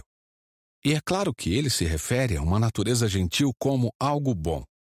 Bom como um pedaço de pão, um raio de sol ou a água. Mas essas são coisas boas que ele dá e nós recebemos. Ele criou os bons nervos de Dick e sua boa digestão. E há muito mais de onde essas características vieram. Não custa nada para Deus, até onde sabemos, criar coisas boas. Mas converter vontades rebeldes custou-lhe a crucificação. E por serem vontades, elas podem, tanto em pessoas boas quanto em pessoas maldosas, recusar sua solicitação. E então, como a gentileza de Dick simplesmente fazia parte da natureza dele, tudo isso vai se desfazer no final. A própria natureza vai passar. As causas naturais se reuniram em Dick para produzir um padrão psicológico agradável, da mesma forma que elas se reúnem em um pôr do sol para produzir um belo padrão de cores.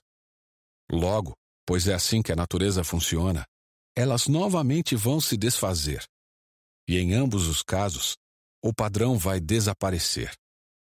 Dick teve a chance de transformar, ou melhor, deixar Deus transformar, esse padrão momentâneo na beleza de um espírito eternal. Mas ele não a aproveitou. Há um paradoxo aqui. Enquanto Dick não se voltar para Deus, ele vai achar que a bondade é propriedade sua. Mas enquanto ele pensar assim, ela não será dele.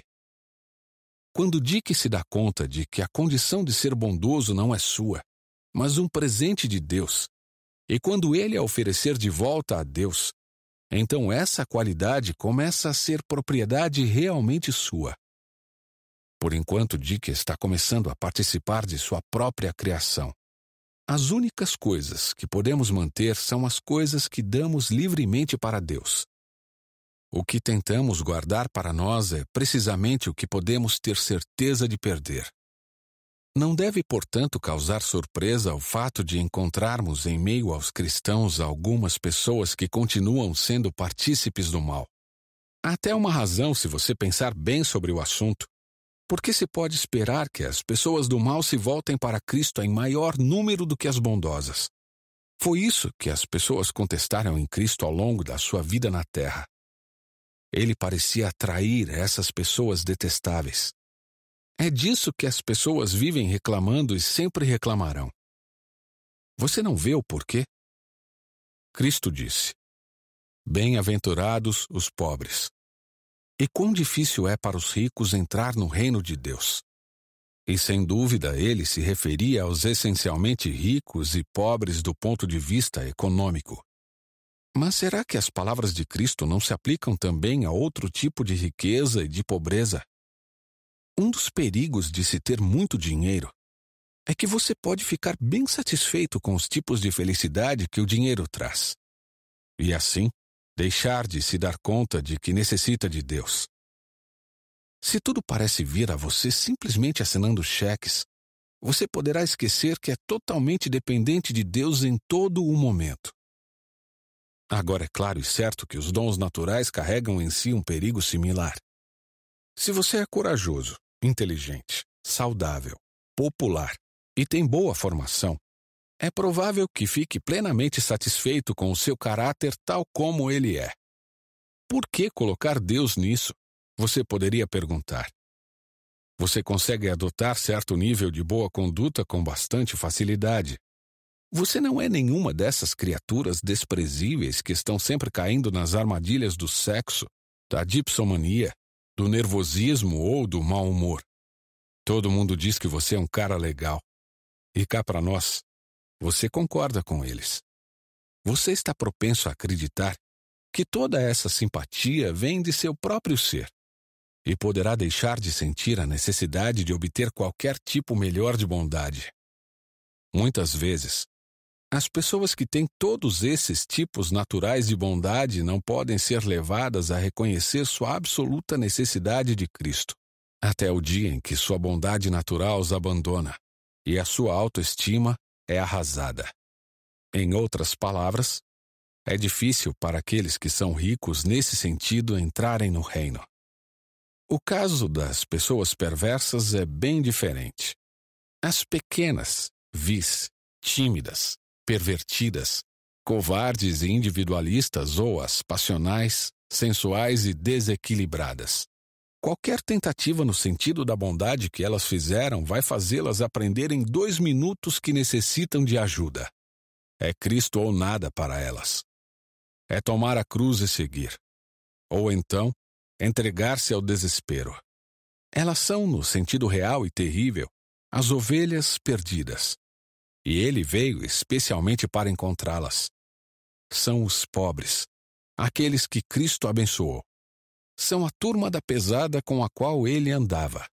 E é claro que os fariseus ainda dizem, como diziam desde o começo, que se houvesse algo de bom no cristianismo, essas pessoas não seriam cristãs.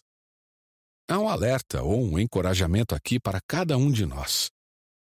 Se você é uma pessoa boa, se a virtude lhe cai bem, tome cuidado. Muito se espera daqueles para quem muito é dado. Se você toma com seus próprios méritos o que na verdade são dons que Deus lhe deu por sua natureza, e se contenta em simplesmente ser bondoso, continua no estado de rebeldia.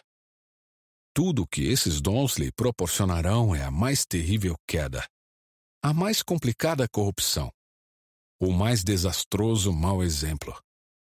O diabo já foi um arcanjo. Os dons naturais dele estavam tão acima dos seus quanto os seus estão acima daqueles dos de um chimpanzé. Mas se você é uma pobre criatura, contaminada por uma criação miserável num lar cheio de invejas vulgares e brigas sem sentido, vítima, contrariamente à sua vontade, de alguma perversão sexual repugnante, corroído dia após dia por um complexo de inferioridade que o faz ser grosseiro com seus melhores amigos, não se desespere. Ele sabe de tudo. Você é um dos pobres que Deus abençoou. Ele sabe que lata velha que você está tentando dirigir. Não desista. Dê o seu melhor. Um dia, quem sabe em outro mundo, mas quem sabe muito antes disso, ele vai jogar tudo isso no ferro velho e lhe dar um novo carro. E então, quem sabe você consiga surpreender a todos, pelo menos a si mesmo, pois terá aprendido a dirigir em uma escola dura. Alguns dos últimos serão os primeiros, e alguns dos primeiros serão os últimos. Ser bondoso, ter uma personalidade bem estruturada e íntegra, é uma coisa excelente. Devemos tentar por todos os meios médicos, educacionais, econômicos e políticos que estão ao nosso alcance produzir um mundo em que o máximo de pessoas cresçam e se tornem pessoas bondosas. Da mesma forma que devemos tentar produzir um mundo em que todos tenham o suficiente para comer. Mas não devemos supor que, mesmo se tivermos sucesso em fazer com que todos sejam bondosos, teremos salvado essas almas. Um mundo de pessoas boas, satisfeitas com sua própria bondade, que não olham para além disso e dão as costas para Deus, estaria tão desesperadamente precisando de salvação quanto um mundo miserável, e poderia até ser um mundo mais difícil de salvar. Pois a mera melhoria não é redenção, embora a redenção sempre melhore as pessoas, mesmo aqui e agora. E irá no final aprimorá-las até um nível que não podemos sequer imaginar. Deus se tornou homem para transformar as criaturas em filhos. Ou seja, não simplesmente para produzir homens melhores, mas sim uma nova espécie de ser humano. Não é o mesmo que ensinar um cavalo a saltar cada vez melhor mas sim como transformar o cavalo em uma criatura alada. É claro que, uma vez que ele tenha ganhado asas, vai voar por cima das cercas que ele nunca antes poderia ter saltado. E assim, derrotar o cavalo natural em seu próprio jogo. Mas pode haver um período em que ele não poderá fazer isso, que é quando as asas tiverem apenas começado a crescer. Nesse estágio, as protuberâncias nos seus ombros Ninguém poderia dizer, de olhar para elas, que elas se tornariam asas. Poderiam até lhe dar uma aparência desagradável. Mas talvez já tenhamos gastado tempo demais nessa questão. Se o que você quer é um argumento contra o cristianismo, e eu lembro bem de com quanta avidez buscava tais argumentos na época em que comecei a temer que ele fosse verdadeiro, poderá facilmente achar algum cristão tolo e medíocre e gritar: então é esse o novo homem de que tanto se gabam. Para mim, a espécie antiga era melhor. Mas uma vez que você tenha começado a ver com base em outros motivos que o cristianismo é verossímil, saberá no seu coração que isso não passará de uma tentativa sua de fugir do assunto. O que é que você pensa que sabe a respeito das almas das outras pessoas? Suas tentações, suas oportunidades e suas lutas? Você conhece apenas uma única alma em toda a criação. É a única cujo destino está depositado em suas mãos. Se houver um Deus, você está, por assim dizer, sozinho diante dele. Você não pode dispensá-lo com especulações sobre seu próximo ou memórias do que leu nos livros. Que diferença fará toda essa tagarelice e esse mimimi? Você seria realmente capaz de se lembrar de tudo isso quando a neblina anestésica que chamamos de natureza ou mundo real se dissipar e a presença na qual você sempre esteve se tornar palpável, imediata e inevitável. Capítulo 11 As novas criaturas No capítulo anterior, comparei a obra de Cristo da criação do novo ser humano ao processo de mutação de um cavalo numa criatura alada. Usei esse exemplo extremo a fim de enfatizar o ponto de que não se trata de mero aprimoramento, mas de transformação. Um paralelo mais próximo a isso no reino natural pode ser encontrado nas transformações marcantes que podemos provocar nos insetos, aplicando neles certa dose de radiação. Algumas pessoas acham que foi assim que a evolução se deu. As alterações nas criaturas, das quais tudo depende, podem ser produzidas pela radiação vinda do espaço sideral.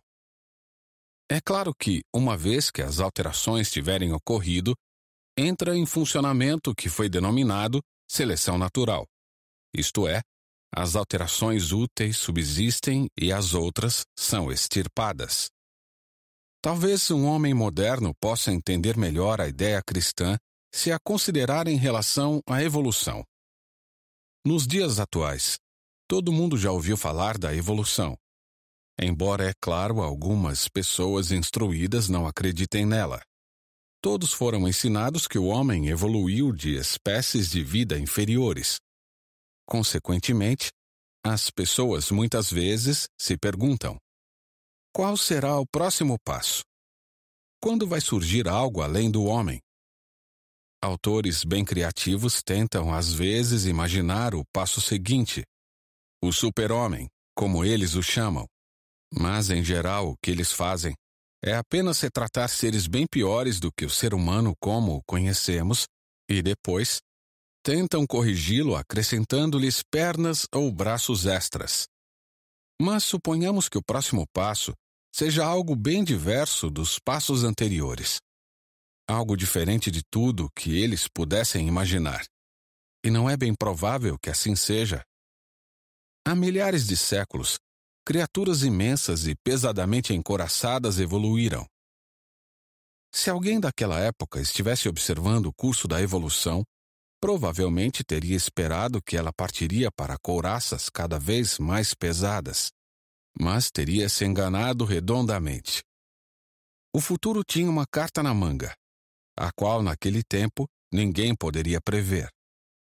Era para despontarem nele pequenos animais nus, desprovidos de couraças, dotados de cérebros aprimorados, com os quais iriam conquistar o planeta todo. Eles não apenas teriam mais poder do que os monstros pré-históricos, como também teriam um novo tipo de poder. O próximo passo não seria apenas diferente, mas assumiria um novo tipo de diferença. O fluxo da evolução não correria na direção em que todos o viam correr. Na verdade, entraria numa curva acentuada. Agora parece-me que a maioria das especulações populares sobre o próximo passo comete o mesmo tipo de erro. As pessoas veem, ou pelo menos pensam que veem, os seres humanos desenvolvendo grandes mentes e alcançando um controle maior sobre a natureza. E por pensarem que a correnteza está fluindo nessa direção, imaginam que ela vai continuar assim. Mas não consigo deixar de pensar que o próximo passo será realmente novo. Ele seguirá para uma direção que ninguém jamais imaginou. E dificilmente seria chamado de passo novo se não fosse dessa maneira. Não era de se esperar apenas a diferença, mas também um novo tipo de diferença. Não era de se esperar meramente a mudança, mas também um novo método de produzir a mudança. Ou, para usar um paradoxo, não era de se esperar que o próximo estágio da evolução sequer fosse um estágio. Era de se esperar que a evolução em si, como um método de produzir mudança, fosse superada. E, por fim, não seria surpresa que, quando a coisa fosse acontecer, pouquíssimas pessoas notassem que ela estivesse acontecendo. Ora, se podemos nos atrever a continuar falando nesses termos, a visão cristã diz precisamente que o próximo passo já foi dado. E ele é realmente novo. Não se trata da mutação de seres humanos dotados de cérebro para seres humanos dotados de mais massa encefálica. Trata-se de uma mutação que se desvia para uma direção totalmente diferente. Uma transformação que se dá do estado de criaturas de Deus para o de filhos de Deus. O primeiro exemplo apareceu na Palestina há dois mil anos. Em certo sentido, a mutação não é sequer uma evolução, porque não é algo que surge a partir de uma sequência natural dos eventos, mas algo que ingressa na natureza a partir de fora. Mas isso é precisamente o que se esperava. Chegamos à nossa ideia de evolução estudando o passado. Se há realmente novidades à nossa espera, então é claro que nossa ideia baseada no passado não vai de fato dar conta delas. E, na verdade, esse novo passo não se distingue de todos os anteriores apenas por sua natureza vinda de fora, mas de diversas outras maneiras. 1. Um, ela não se desenvolve pela reprodução sexual. Será que isso é de se surpreender? Havia uma época antes do aparecimento do sexo em que o desenvolvimento costumava ocorrer por diferentes métodos. Consequentemente, é de se esperar que venha o tempo em que o sexo desapareça, ou então, que é o que está acontecendo atualmente, uma época em que o sexo, embora continue a existir, deixe de ser o canal principal do desenvolvimento. 2. Nos estágios anteriores, os organismos vivos tiveram nenhuma escolha ou pouca escolha na hora de dar o próximo passo. O progresso era principalmente algo que acontecia com eles, não algo que eles faziam. Mas o novo passo, o da transformação de criaturas para filhos, é voluntário, pelo menos em certo sentido. Não é voluntário no sentido de que nós, sozinhos, poderíamos tê-lo dado ou sequer tê-lo imaginado. Mas é voluntário no sentido de que, se ele nos é oferecido, podemos recusá-lo. Podemos, se assim for do nosso agrado, recuar. Podemos enfiar nossa cabeça na areia e deixar a nova humanidade prosseguir sem nós. 3. Eu chamei Cristo de primeiro exemplo do novo ser humano. Mas é claro que ele é muito mais do que isso. Ele não é meramente um novo homem, um espécime das espécies, mas o novo homem. Ele é a origem, o centro e a vida de todos os novos seres humanos. E veio ao universo criado por sua própria vontade, trazendo com ele sua Zoé, a nova vida. Quero dizer nova para nós, é claro, pois em seu próprio habitat, Zoé sempre existiu.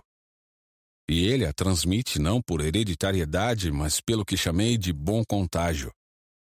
Todos os que a contraem, contraem-na pelo contato pessoal com Cristo. Outras pessoas se tornam novas por estarem nele. 4. Esse passo é dado numa velocidade diferente das anteriores. Comparado com o desenvolvimento do ser humano neste planeta, a difusão do cristianismo pela humanidade parece ocorrer na velocidade de um raio, pois dois mil anos não são quase nada na história do universo. Nunca se esqueça de que todos nós ainda somos os cristãos primitivos, as nefastas e ociosas divisões presentes entre nós são, assim esperamos, doenças de infância. Ainda estamos em fase de crescimento. O mundo exterior, sem dúvida, pensa precisamente o contrário. Ele pensa que estamos morrendo de velhice, mas não é a primeira vez que se pensa assim. Repetidas vezes ensinou-se que o cristianismo estava morrendo por perseguições vindas de fora e corrupções a partir de dentro, pelo crescimento do mundo islâmico e advento das ciências físicas, pelo surgimento de grandes movimentos revolucionários anticristãos. Mas o que aconteceu no mundo foi o desapontamento. Sua primeira decepção foi com relação à crucificação. O homem reviveu. Em certo sentido, e eu percebo quanto isso deveria lhes parecer terrivelmente injusto, isso continuou acontecendo desde então. Eles continuam a matar o que Cristo começou. E toda vez, da mesma forma que estão afofando a terra da sua cova, eles subitamente ouvem que ele ainda está vivo e irrompeu em algum outro lugar. Não me admira que eles nos odeiem. 5. Mas há mais em jogo do que isso. Regredindo para passos anteriores, uma criatura perde, na pior das hipóteses, seus poucos anos de vida sobre a Terra. Mas muitas vezes não perde nem sequer isso. Regredindo um passo nesse caso, perdemos o prêmio que é, no sentido mais estrito da palavra, infinito, pois agora terá chegado o momento crítico. Por séculos a fio, Deus guiou a natureza até chegar ao ponto de produzir criaturas que são capazes se assim o desejarem, de ser retiradas diretamente da natureza, de se tornarem deuses e deusas. Será que se deixarão capturar? De certa forma, é como a crise do nascimento. Enquanto não ressuscitarmos e seguirmos a Cristo, continuaremos a ser parte da natureza, a estar no ventre da nossa grande mãe. Sua gravidez foi longa, sofrida e tensa, mas ela chegou ao seu clímax. O grande momento é chegado. Tudo está pronto. O médico está aqui.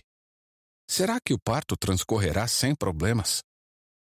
Mas é claro que é diferente de um nascimento comum em um sentido importante. Em um nascimento comum, o bebê não tem muita escolha, mas aqui tem. Eu me pergunto o que um bebê comum faria se tivesse o poder de escolher. Ele poderia preferir ficar no escurinho quentinho e na segurança do ventre pois com certeza acharia que o ventre era sinônimo de segurança. Mas ele estaria redondamente enganado, pois se permanecesse lá, morreria.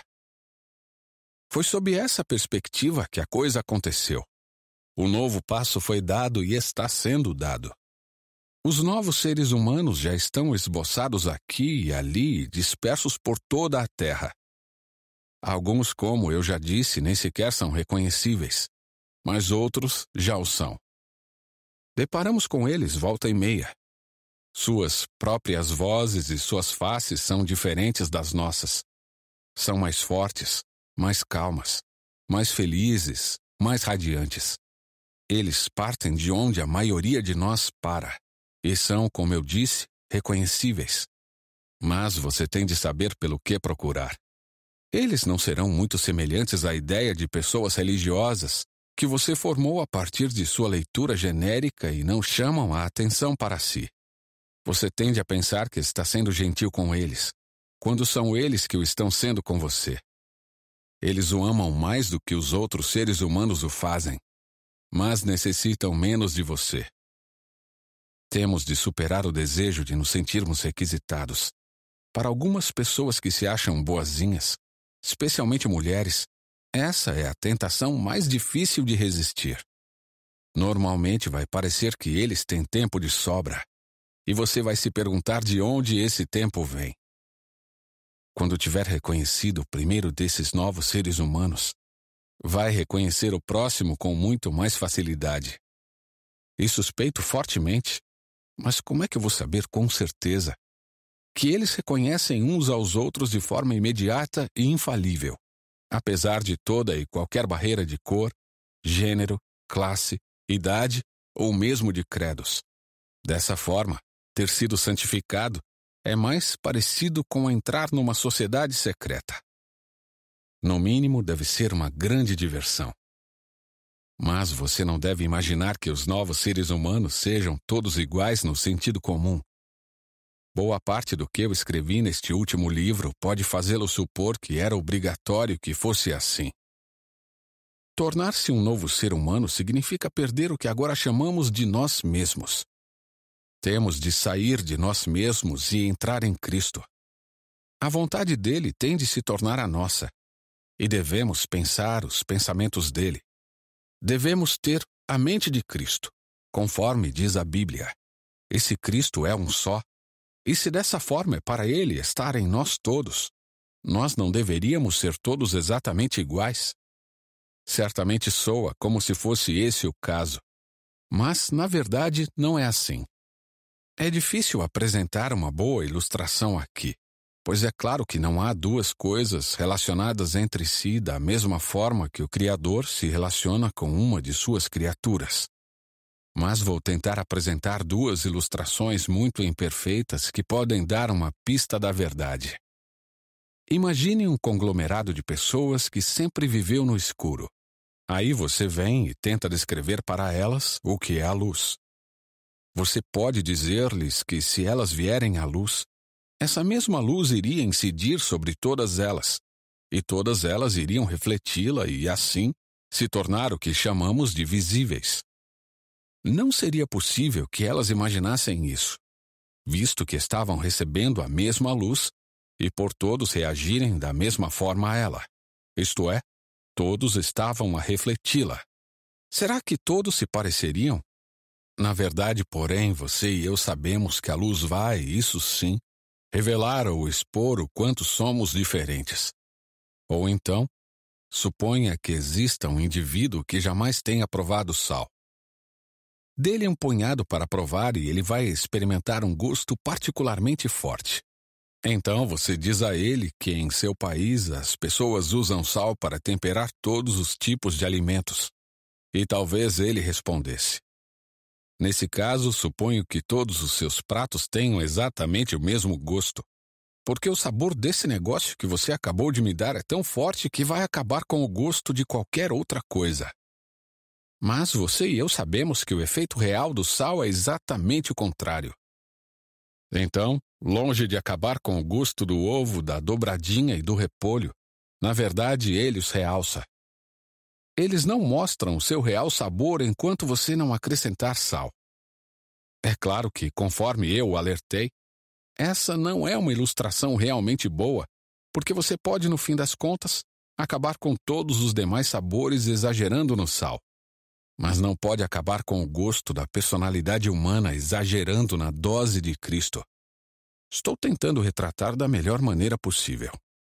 É algo parecido que acontece na nossa relação com Cristo. Quanto mais abrirmos mão de nós mesmos e deixamos Cristo assumir o controle, mais verdadeiramente nos tornamos nós mesmos. Há tanto dele que milhões e milhões de pequenos Cristos todos diferentes entre si, seguirão não sendo suficientes para expressá-lo completamente. Foi ele que os fez a todos. Ele inventou como um autor inventa personagens num romance, todos os humanos diferentes que você e eu fomos criados para ser. Nesse sentido, nosso eu verdadeiro está esperando completamente nele. Não adianta tentar ser eu mesmo sem ele. Quanto mais eu resisto a ele e tento viver independentemente dele, mais me deixo dominar pela minha própria hereditariedade, pela criação, pelo ambiente e pelos desejos naturais. Na verdade, o que eu chamei tão orgulhosamente de eu mesmo torna-se meramente o ponto de encontro para sequências de eventos aos quais dei início e que não consigo interromper. O que eu chamo de meus desejos se tornam meramente os desejos gerados pelo meu organismo físico ou por coisas que são injetadas em mim pelos pensamentos de outras pessoas ou mesmo sugeridas a mim por demônios. O que eu como, o que eu bebo e a qualidade do meu sono são os verdadeiros fatores que influenciam minha escolha de fazer amor com uma garota que está sentada na minha frente na cabine do trem. Considero essa decisão altamente pessoal e bem pensada e por isso me orgulho. É na propaganda que encontramos a verdadeira origem daquilo a que eu me refiro como minhas próprias ideias políticas pessoais. Em meu estado natural, não sou tanto a pessoa que eu gosto de pensar que sou.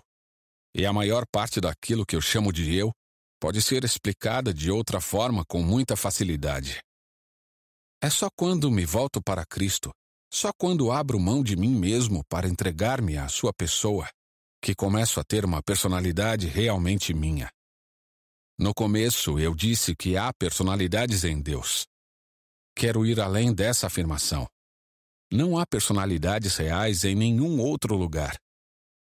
Enquanto você não tiver se entregado a ele, não será um eu verdadeiro. A igualdade é mais frequente entre os seres humanos mais naturais, não entre os que se entregaram a Cristo. Quão monotonamente iguais têm sido todos os grandes tiranos e conquistadores, quão gloriosamente diferentes todos os santos. Mas é preciso que haja uma entrega real do seu eu. Você deve jogá-lo fora, por assim dizer, às cegas. Cristo de fato vai lhe dar uma personalidade real, mas você precisa ir ao encontro dele para isso. Enquanto estiver preocupado com sua própria personalidade, você jamais caminhará na direção dele. O primeiríssimo passo é tentar esquecer tudo sobre o seu próprio eu, pois seu eu verdadeiro, novo, que é o de Cristo e também o seu, e seu precisamente porque é dele, não emergirá enquanto você estiver procurando por ele. Ele emergirá quando você estiver procurando por Cristo. Isso não lhe parece familiar? O mesmo princípio vale, como você deve saber, para as questões do dia a dia. Mesmo na vida social, você nunca passará uma boa impressão às outras pessoas enquanto estiver preocupado com o tipo de impressão que passará a elas. Ou então, na literatura e na arte, nenhuma pessoa que se preocupa com a originalidade jamais será original. Ao passo que, se você simplesmente tentar falar a verdade, sem ligar a mínima para quantas vezes ela tenha sido dita anteriormente, irá em 90% dos casos se tornar original sem nunca ter notado. Esse princípio está impregnado em toda a vida. Abra mão do seu eu e vai encontrá-lo de verdade. Põe a sua vida a perder e acabará por salvá-la. Submeta-se à morte, morte diária de suas ambições e de seus principais desejos, e também à morte de todo o seu corpo no final. Submeta-se com cada fibra do seu ser e acabará por encontrar a vida eterna. Não guarde nada para si. Nada de que você não tenha aberto mão de verdade será realmente seu. Nada em você que não tenha morrido será ressuscitado dos mortos. Se você buscar a si mesmo, só o que vai encontrar no final das contas é o ódio, a solidão, o desespero, a ira, a ruína e a decadência. Mas se você buscar a Cristo, acabará por encontrá-lo, e junto com ele, todas as demais coisas.